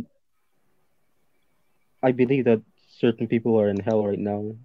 Experiences they're experiencing it right now, a certain level. Okay. But you believe certain people will go to heaven, right? Yeah, I believe certain people are on are, are in heaven right now. Right at, now. At, a, at a certain level. You know. On this earth. Well, when when you say that, um, yeah, right now as we're experiencing life, some people are in another dimension that's that's Could you give me like one, one example of one person that you know is in actually in heaven right now that you you can point to and say that person is in heaven? So, a person that's that's like has fully surrendered themselves to, to that higher consciousness, they're fully Give me an example of an individual that you know of that is actually in heaven right now, Oh. and you can point to. It's like you know what that person over there is in heaven. I would I would say the people like like um Sadhguru, like like Sadhguru, he he's experiencing what's it like to Sure. be like. Does he have a tummy ache sometimes? Does Sab- Sadhguru have a tummy ache sometimes? Yes, he he's aware that he the body's having tummy ache, but it is a matter of do he react to it like how ordinary people Yeah. react So to the it. yeah. the heaven that he's in, he's actually suffering sometimes. So it's not really well- heaven as in well, heaven, where the yeah. idea of heaven, the concept of heaven rather, is where there mm-hmm. is no suffering, pure joy, tranquility, so- bliss, so- contentment, so- happiness. so- so- so here Sadhguru. Yeah. Sadhguru often has headaches. If you ask him, that's not pure joy; it's pain. So, so, so, so, so here it is. Do, do, do, do you do you guys do you know um people that that is fully surrendered? They can also enjoy pain, which is still heaven. They can also enjoy pain from within. They they, they, they they're they're um aware that the body is having pain, but they're not reactive to it. They did not ad- ad- identify with No, we it. talk about heaven. We talk about paradise, Mhm. not not in this world. In in paradise, Well, there's, there- no, there- there's there's no levels. pain there. Yeah. In hell, there is. By the way, you mentioned Sadhguru. Well, well, do, you, do you know level. Sadhguru doesn't actually believe in God like the way you do? Well, he, he believed in, in a divine consciousness. He, he he do believe in a divine consciousness. He not not a God concept like in Abrahamic, you know, but he do, Yeah, I know. I know. He's he's, he's a Hindu. Okay, Mm. he's a Shiva Bhakt. So he knows his God. He knows his God. Do you know your God? I believe that I I we, I directly came from him because he's the highest consciousness and I'm consciousness. So you believe in Shiva now, yeah? No, I don't believe in. I mean that I don't believe in Shiva or Krishna or. or Do you of do you even know the name of your God? No, he has no name, no age, no form. I don't how do you know that? him. So how how how does he communicate to you at all then? When I'm med- when I'm meditating, then How do you I- know how do you know it is God communicating with you? He It he could be said the me it could be the Satan. How do you know that? because of the results that I get from But the from Satan could could give you lots of good result, you know. Yes, He can yes, give uh, you lots yes. of gold and diamonds and stuff like Yes. that as well. Does that But- make but- him but- God? No, it doesn't. But, but, but, but, but you see, look, look, um, when when um so, so so you say like like Satan comes nice first, right? Satan always comes nice first. Satan can deceive you with with material things which Yes. you So- which you really value. So Mm. he'll come Yes. with the things which you value. Yes. So he, But the so he- question is this: You're saying you meditate, Mhm. yet your God hasn't even revealed His name to you. How is that? because that's he's not a human. He he would not. I didn't say he was a human. He doesn't He would not a re- human. tell To you have a name. name, you don't need to be a human. Well, well, why can't he be named consciousness? why No, can't no, he just call him- consciousness. Wait, wait. What? Consciousness So is it's a state Mhm. of a person. It, it doesn't mean, for But example, you know, in, in Hinduism, they consider Brahman to be this universal consciousness. Is that your Mhm. God? No, um, God. I mean, he he knows who who what I'm doing. Uh, it, whether is is Allah, Shiva, or you know Krishna. The, No, but that's that the God, thing. How Mhm. how do you know all this thing? How do you know? Where's your evidence that God has communicated to you at all? I studied. Oh, you said you meditated just now. Yeah, uh, I meditated, which which in for studying. What did you study? it's a form of study. stu- you studied. You you studied study? what? You studied what? Yeah. What did you what was study? your source? What What did you study, What I studied life, life within. That's what I studied. Say life what? within. Life? Yeah, life within. What do you mean No, life no, within? I know, but what did you study? Did you study a text? Did you study study books, scriptures? What did you So study? I, I I actually used to study um I used to be study Christian and Hindu after Hinduism after. I used to study them both Christian and then I I flip flop you know. And and you're But, neither but right now. now, yeah, I'm neither. I, I, I don't identify with neither because both of them Okay. it, it, op- open The my fact eyes. that you you're neither means whatever you studied from Christianity or Hinduism, Okay. you you disagreed with. So what is No, it no, no. I, I- I don't dis- I don't disagree completely with it because it, it, it also comes into my you know my spiritual belief. What, what are you then? Are you a Christian or a Hindu if you study, if you don't So, disagree with it? Look, here's what I recommend. Um, uh, no, no, no. He's a spiritualist. He's a spiritualist. Yeah, I know, but he's all over the place. what, what I'd recommend, Yoji. No, I, I used That's to. Right, used because to, he's a it be spiritualist. my- yeah, I used to be my that. And I, I I studied the Quran because um right now um some somebody told me to study it for myself, so I study I studied a little bit, you know.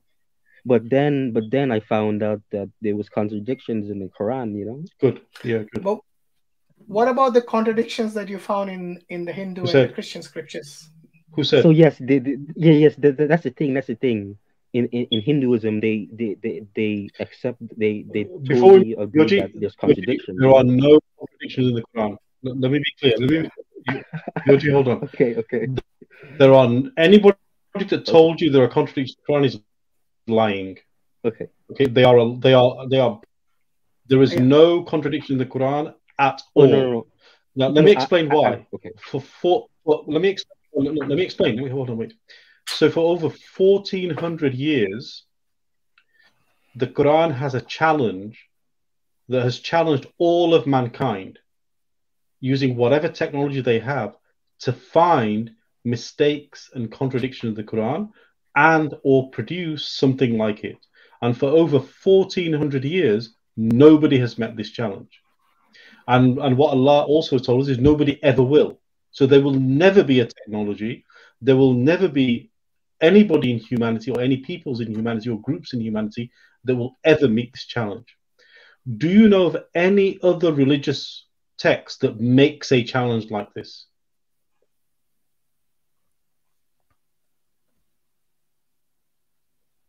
Yeah, yeah, I'm here. I'm, I'm listening. So, Well, Did you hear what I just said? um, Yeah.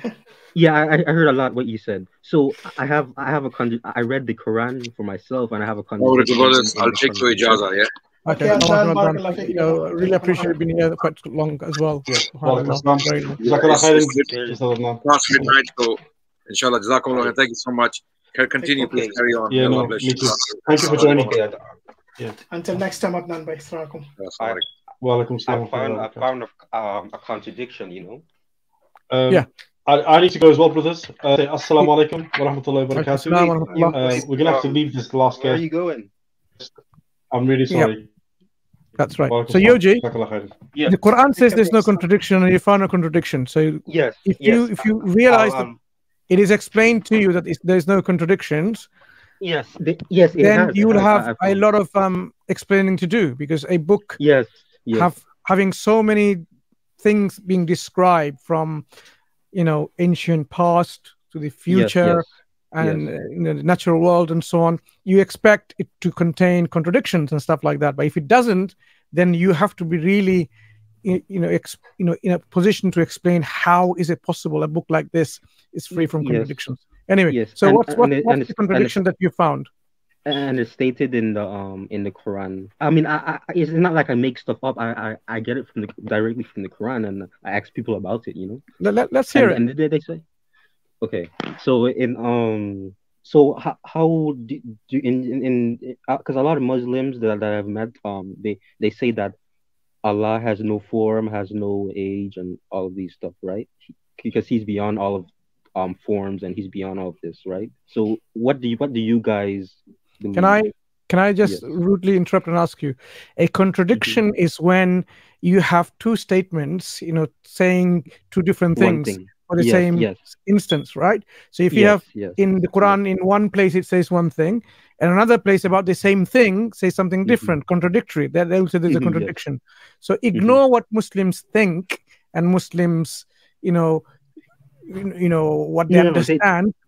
You need to give me two texts from the Quran Yes, and say, there you go, the two texts don't match with each Mm. other. They seems to be contradictory. Then we can deal with it. Okay, so there there's this verse in the Quran. Um, Yeah, it's, go ahead. it's stating that Allah Allah has a, a face, so it's either spir- a spiritual face or a physical face. It ha- has to be a, a spiritual face in another dimension. Do, So, do so you know and, and, and, do you know what a contradiction is? I don't think you still understood what contradiction is. Okay, Uh, let's let's hear let's hear these two Okay. ayat initially. Okay. So in one place, Allah says, says there's a face. It's face, a face, shin, Yeah. an arm, and foot. You know, a foot. Yeah, yeah, sure, okay? sure. And elsewhere says what? And elsewhere it says, nor is there anything equivalent to him. Okay. So how Not a do these thing. You so, so so so you can't compare you can't compare anything to him. Yeah. Physical or So- spiritual from the movies and stuff. You know? No, no, it you can't, you can't compare anything to the him. way Allah conversation, is is such a unique being Yes. that there is no comparison to Allah in his Yes, reality. right, So when. Allah says, for example, one his names and attributes, it, it Mhm. doesn't mean like, for example, he is merciful and there cannot be anyone merciful. Okay. Mhm. This is not what it means. It means Allah's uniqueness in his Mm-hmm. in his essence is something that Mhm. is totally different than any of this creation because the creation Yes. doesn't share these kind of attributes or names or the realities. So okay, if Allah says, Allah says, for example, everything will perish save his face, it doesn't Mhm. mean here just face, of course. It means his whole self. Face, his countenance is representing whole of Allah. That's the meaning in context. But what we're saying is, even if it meant that Allah has a face, uh, one of And his now- attributes, Yes. it doesn't mean that Allah has no form or Allah has a form. There is no other verse yeah. that contradicts it. What it says is Well- simply Allah's reality. There's no one, nothing in the creation is like Allah in His reality. Okay. Allah so- may describe. Try to understand this. Allah may describe His reality in in how He is. For example, He's the one who sees, who hears, and so on. But how He sees and how He hears in His reality, there's nothing in the creation that resembles Him. That's Okay, so the understanding. see all the So things can't have. Hmm? yeah see all see all this these things that you're you're explaining to me in depth Yeah.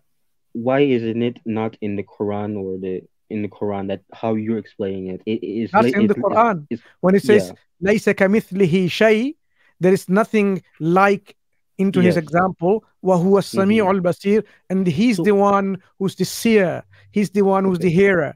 So in one verse, it tells you there's nothing like him at all in whatsoever. Yes. There's nothing like his likeness. Laysa kamithlihi shay. There's nothing like his likeness, but yet it affirms at the same time he is hearing and seeing. So it So, doesn't say, for example, he's not someone who's hearing and seeing, but it says Okay.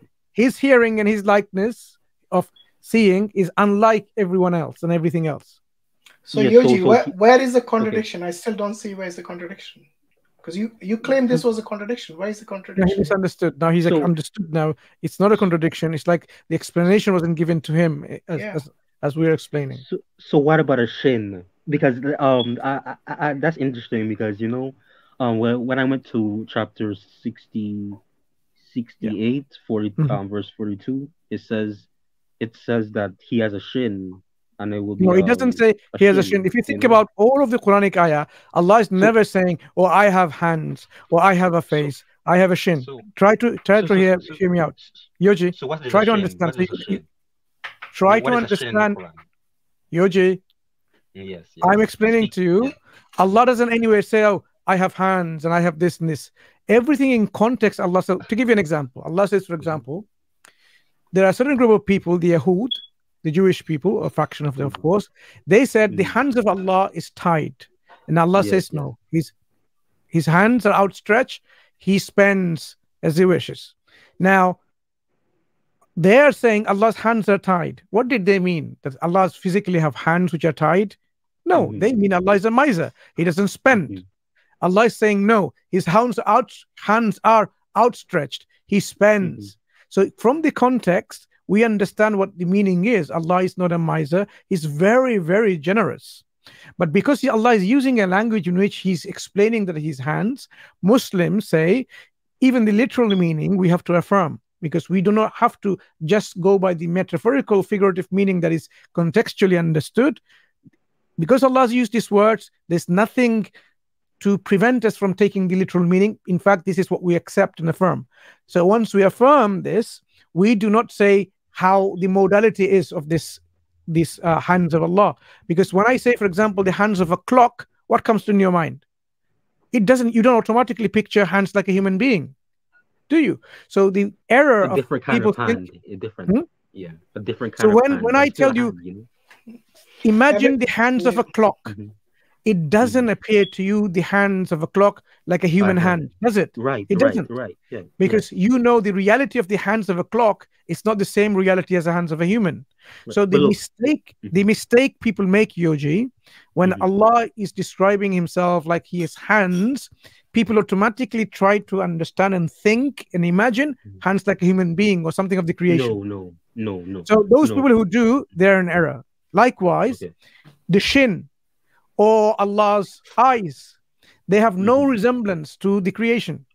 Right. But, But we look, affirm look, them look. because Allah described them. We don't Look. speculate about Allah who He is because mm-hmm. we are finite, limited human beings. We cannot speculate about the absolute creator of the universe. So whatever mm-hmm. Allah tells us, we affirm because we know, as He said, there is no similarity between Allah and the creation in His likeness. Yeah. Does that make sense? Okay. And and you do you, have yeah, you heard of of, yeah, this? kind of. have you Uh, have you heard that Muslims in Jannah will actually see Allah? Have you heard of this? See his form, yeah. Yes. What will Um, happen so- to you? Will you ever see your God? What happens to you when you die? What's your view? So um, what I, I, I only God knows. So I, I, I just tell people only. No, but God you knows say you because I- I can't- communicate to God, so you, He In- should have in- told in- you what happens to you after No, you die. Not, not, not, not vocally, not with a human voice. You know, like uh, all of that. You know. So how do They- you communicate then? He, he, he, he, he gives me stuff. You know. He gives me No, no. stuff How how, how do you communicate Mm-hmm. if it's not vocally? through through. If it's not through books, if it's Uh, not mhm. vocally, how do you communicate? Do you Through hear back? No, Do you it's hear not back vocal, so it's God not, says? It can't be No, hearing not back because it vocally. says not vocally. So how do you But he gives- he communicate? gives if it's me- not through books, nor is it vocally, feelings, you know. how do you communicate? You just It- it- imagine it- it- that you have it- no, no, spoken to it- it- someone? Is that no, how you communicate? No, it's, it, Yoji, it's I think explain. the question, hard Yoji, I think the question my my brother Hashim is trying to say is, do you hear back from your God? Not you meditating and speaking and praying and and re- re- reflecting. Do you hear anything back where like instruction says, Yoji, I've heard you. This is what you have to do, and this is what you have not to do, and so on. Do you hear anything like that back? Not in a human voice, not not in a in a voice, but he, he gives me signs that I am what I'm what I'm supposed to be doing. I, I'm supposed to be doing certain He stuff. gave you know? signs. Could yes, those that I'm, signs that be I'm supposed to do certain could stuff. those signs be Like, something which is not from God? Yes, yes, do, do, it, it can be, it can be. So it can be- you're it can be from the if- Satan. If, if, you're not knowledgeable about it and you've not practiced it for a long time, you will not know. So let me ask you this: Has have Mm-hmm. you ever asked God, or showed you? Has He ever shown you sign what will happen to you after a person dies? He he he he he doesn't give me that revelation because why would he give it to me? Why would God give me? No, but this is this is a common phenomenon. You know, people die. Everybody dies. So if you don't know what's going to happen to you after your after you die, and all this meditation of yours is just pointless. What's When- the point of you- your what what is the objective of your or the purpose of your life then? when when when you when you do it for God in this in this experience in this universal body, you do it for anything for God, then he, he will bless you, and when you leave this body, then What will happen you will need he he he he he knows only God knows, you know. So you don't know. That's the thing. You don't know. Right? Well, why would he tell me? I, I, that'll be a Why? spoil. Because spoiler. what is the purpose That'll of be a your life then? Tell me. If somebody asked you, okay, Yoji, Mm-hmm. you're going to live for 80 years. What have you achieved Mm-hmm. in these 80 years? Does is it tell you how to do good or bad, avoid the bad, do's and don'ts? It's not. It's not funny. So- I mean, so it- it's- it's- it's, it's- it's your afterlife. So I, I I don't like to um I don't like to you know um go into like I don't like to co- contemplate on what's gonna happen after this life. Why? I, I'm just I don't, I'm just Why? Why is that? Is know? no, no. But why is that? Do you believe that your end is going to be the end when you die? That's it. There's nothing after that. Yes, I, I I believe that you know I mean there's when when you finish your duty serving God, you you you How you go to how do you even to peace, serve you know? God when even you you don't know what you're supposed to do? For example, the the good and the bad. Has God communicated to you what is good, what you have to do, and what is Yes, bad and what you have to avoid? Yeah, so he guides me while I'm because I, I I- I've I've um He I've- guides I'm you. worshiping him. He guides me. He guides me without speaking. You know. How do you know the while- while difference between good and evil if he guides you? How would you know the difference? I would know I would know by by um by great insight, you know, great insight into what what is good and what is evil, you know. With great What do you mean, I- great I've- insight? Like be conscious, be conscious, you know. Go into my conscious and Is your is your guide me. morality based on your consciousness only? Yeah, because that, that that's my that is my true my true self. I if if if, if I'm so caught up in so in the emotions, then out my mind will be clouded. You know, if I'm so clouded, because it's like I'm going this way and that way, and you know the mind is telling me so I can't be all in the mind and emotions. You know, I, I have to see stuff as as it is as it is. No, but that's that's subjective, mm-hmm. isn't it? If it's just based on your own whims and desires, then No, no, no, no, no. For example, what what mm. differentiates you from a hippie who thinks it's okay to love as many women as possible as long as you're not okay. harming them? okay. You know what I mean by the- love as well, yeah? so so so so, so let's say let's see if if if, if you're if you're going into uh try to go into a relationship right and you um you did this this this person is like um less intelligent like they, they might not know certain stuff but you know more stuff more stuff than them more intelligent you won't go take advantage of them and try to have a relationship with them because you already know it, it, it doesn't have to be any any law No, no, I'm not talking about having relationship with to know some that, gullible person. I'm Mhm. saying that because you're both grown ups, okay? You Yeah, mutually yeah. consented to having a relationship. Is that for you morally right or wrong? No marriage, you have kids, you know, out So, of okay, wedlock, wh- whatever it is. so so so, so marriage is with a, a with a paper so the, the, there's spiritual um connection on certain levels there's levels of connection you know so at- the highest connection of your relationship it's it's, it's like you're it's like you're engaged with that person like you'll do anything for that person you know I'm not talking So about you- just you- one you- you don't need to sign a No, paper no, I- I'm not talking about Mhm. like a husband wife kind of relationship. I'm Mhm. talking about just, you know, like the hippie life where you have free love with anyone and everyone. That's what I meant. For you, is that So- morally right or wrong? That's the question.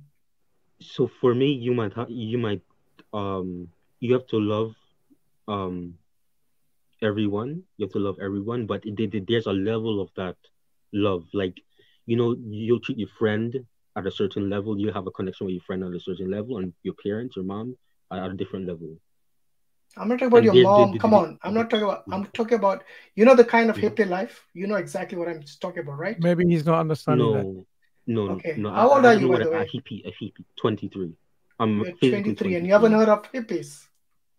It's okay. no no Okay, no I- i've been in the island Okay. a lot Yeah. yeah I think Which which island are you from? Um, um, Virgin Islands, the Virgin Islands. Virgin Islands. Okay, I'm sure Yeah. are hippies everywhere. But anyway, I mean, we're getting late now, so this spiritualist life, I think it's it's sub- something which you have already realized is is purely subjective. You think God Yes, is it- it- guiding you, it's- but it is basically you have made your life around the way you feel is right, rather than Yeah, actually you, communicating but with uh, God. you know, I I- I've listened to a lot of you guys' videos, and um, Hmm. they um, you the, you've been um debating with um subject subjective people, like they're very subjective, and you know they they they, they they only do it for for for for only their desires, like to to earn more money and to live a better No, no, life. no. But Desires I, I don't. doesn't doesn't actually just mean material. Like I said, you know, you could Mhm. be immoral person. Those are your desires. You know, you might be a womanizer. You don't need to be just okay, materialistic. There are okay. many ways of of following your desires. So so what what, what if I so so so so, so, so for me my, uh, I'm doing this to to uh, desire God's love and I'm No, not but that's for that's for what you're assuming. you You think it is God telling you all these things, no what but it's actually your own desires. You know, what you could what be a what, what victim it, of where, your own desires where where does desires come from?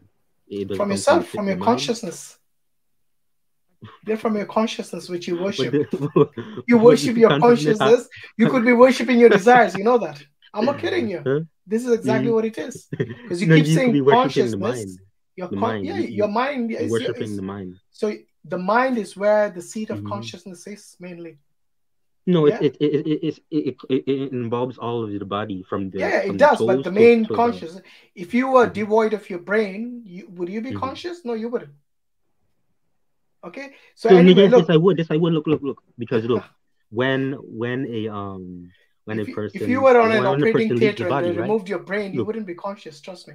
yes, yes. I I Okay, I- I'll so be that's the conscious, seat of your conscious. I'll be consciousness. conscious. It is. I'll I'm not saying I'll it be is the only place, but it's a major seat of your consciousness. So you're Okay. following your desires, my friend. At the end of the day, and that's what Allah says There- the there- There's no desire. Is it? The only desire for I, God. I was going to propose something um, radical, Yoji, because you want to connect to the divine. You want to Yes. experience the truth. you'll You say Allah. You'll say. Allah. I know that. So what I'm proposing, Yes. what I'm Yeah. proposing, as you're reading the Quran, hmm you know, become a Muslim and experience the connection that Muslims have. See how Muslims connect to God through their Yeah, they, prayer. yeah. I've been to with Christians. They they also connect to God also, No, I'm saying and no, no, no. I am asking you. This is a hmm suggestion. Become a hmm Muslim because you believe in God, and and, and when you read the. Quran and you become a Muslim, you will hmm see what we mean by God, and you will have that connection. Because what we believe, the Quran is the communication from the divine, and it has the divine hallmark. Why we are certain about it every how do you other book that? and every other religion that you talk about spiritual religions and, and hmm spirituality and so on the element of certainty is not there. If you open up after the introductory chapter of the quran introductory chapter is called fatiha the opening the second chapter is where it really begins. It hmm tells you like this is a book in which there is no doubt guidance hmm for surety. This is what you will receive. Once you understand and eh, take in the quran as, as a message from god you will have all the certainty what's going to happen to you when you die how to live your life how to conduct your life's affairs the do's and the don'ts. All of that is provided. This is where the real happiness comes once you know for sure because those look, people who are hmm searching Yogi, i'm just um, finishing and, and, and you yeah. let you speak to, to respond. Okay, okay, those people who are on their spiritual journey they're searching and searching. We have found what people are searching. We've already got the truth okay while in the truth the next thing is actually immersing yourself in the knowledge of this truth in practical manifestation of that connection that you have. And that's what we do living like a muslim someone who has submitted to the truth to god. People who are searching and seeking they're in the path forever and forever until they die. They keep seeking and they don't find the truth. Islam is that truth people are seeking. So we have the ultimate destination people are seeking the way. That's the difference between Islam and every other. Every other thing is like a path to, and Islam is the path which leads to that destination. So Islam is the destination. Every other ways of spirituality and so on is a path, is a way. It doesn't lead you to destination. So we are giving you the thing that you're seeking is Islam. Think about it. Mm-hmm. Think about it and I will hear what you have to say. But I, you're more than welcome to join in another stream because it's quite Yes. getting quite late. So, what do you have to say before we um, say goodbye to you? So um, I, I I would like to like um come back on probably on the next next stream.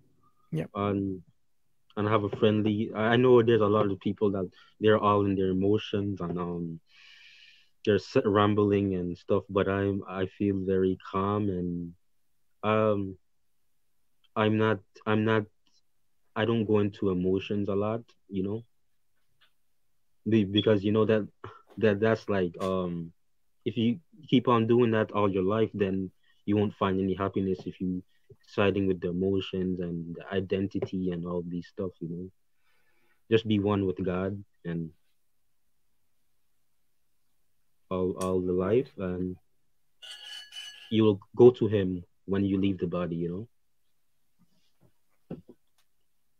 Um, Okay, yeah, I think we'll continue this uh, next time. It's quite late. ah yes But, that- uh, okay appreciate you. i'm your gladly yes Yeah, but do take care and um, you know read, carry on reading the Quran, and then next time we talk, uh, we can we can Okay. explore it further. okay Okay. okay You Yes, take care. yes, yes. Bye. Um, Hashim, nearly eight hours. I mean, Yeah, I know again. too, too long, and we've got a stream tomorrow as well. oh, I said okay. Oh. Yeah, yeah. So we'll leave it there, inshallah. So I just want to just say all the brothers and sisters who might be watching and our friends, still quite a lot of people watching live. Um, we really appreciate if there's any benefit in our discussions that we had. You know, alhamdulillah, you know, we're trying to do as best as we can. If we have made any mistakes and so on, do forgive us because, of course, we are human at the end of the day. And sometimes we might have uh, you know our approach may not be appropriate and so on. Like you know i was you know like the, that person earlier on ahmadi he, he was very irritating. That was saying like i'm going to remove you from the stream kick you out. I mean perhaps it was harsh words. But the reality is sometimes you know our uh, we are made up of emotions and it might come um, and become quite visible. So we do apologize if you have taken any offense in any way shape or form with this um, until then, you know, keep us in your du'as and always remember us in your du'as that Allah makes and keeps us sincere because the effort in going, you know, more than 100k and more and more, there might be an element where people think like we are somebody. Um, we are nobody. We are just brothers come together doing dawah and speakers corner, um, learning and trying to share the learning with you. So we don't want to feel in any way, in any time, some kibr in our heart, some pride in our heart that we're somebody and we're doing this for our own nafs, for our own self. So please remember, you know, the was to keep us sincere because dawah that we are doing is for Allah's sake. Lahu-ddin, You know, that's what we should all be aiming for.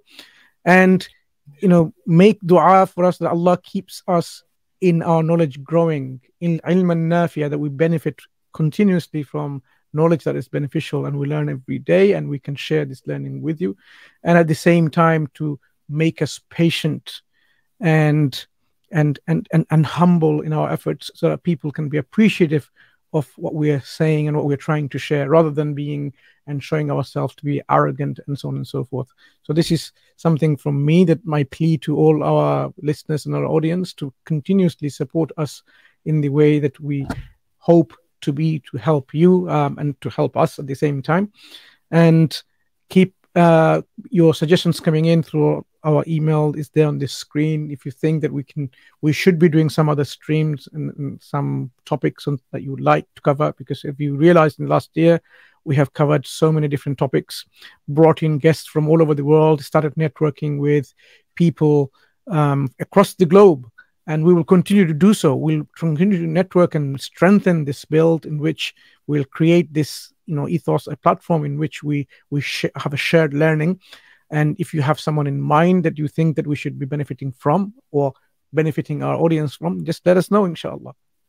Barakallah. Alhamdulillah. Yeah, I just wanted to thank everyone uh, for the generous contributions today with super chats. Sorry, we couldn't highlight any of those uh, because our live chat somehow on the StreamYard platform is, is not functioning. so we can see the chats in the um, in the YouTube studio, but uh, from there we can't highlight anything. It has to be in the StreamYard uh, window, otherwise we can't highlight. So apologies for that. It's something that's not in our control. Uh, we tried to speak to the the support team for the StreamYard. They said that you have to restart the the chat, so we couldn't do that either. So yeah, Barakallah Feek uh, for all the support, the contributions.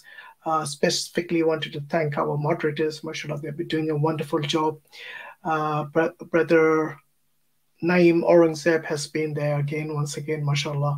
I hope his uh, dad is well. I don't know what the news, the update, I haven't got anything yet. Uh, so I pray that your, your dad's well now. Uh, and also to all the other brothers and sisters who have been moderating, uh, whose names we haven't mentioned, but uh, Jazakallah khairan to all of them. And also to uh, thank you for this 100 100,000 um, subscribers, this milestone. We couldn't have done it without you all. Uh, we thank Allah, obviously, first and foremost. Uh, and, uh, you know, we are want to show our gratitude in this little way we can with humility. May Allah accept from us all. And uh, may Allah keep us firm and sincere throughout our journey uh, on this path of uh, of our life, actually, until we die. We we pray uh, that Allah gives us the the opportunity to have the kalima on our tongues uh, as a during our last breath and uh, say amen all of you because we pray for all of you to have the same for the muslimun and inshallah we'll meet in jannah so jazakallah khairan uh, assalamu alaikum wa rahmatullahi wa barakatuh نحمد ونصلي على رسول الكريم سبحانك اللهم وبحمدك سبحانك أشهد أن لا اللهم إله إلا وبحمدك أنت أستغفرك وأتوب إليك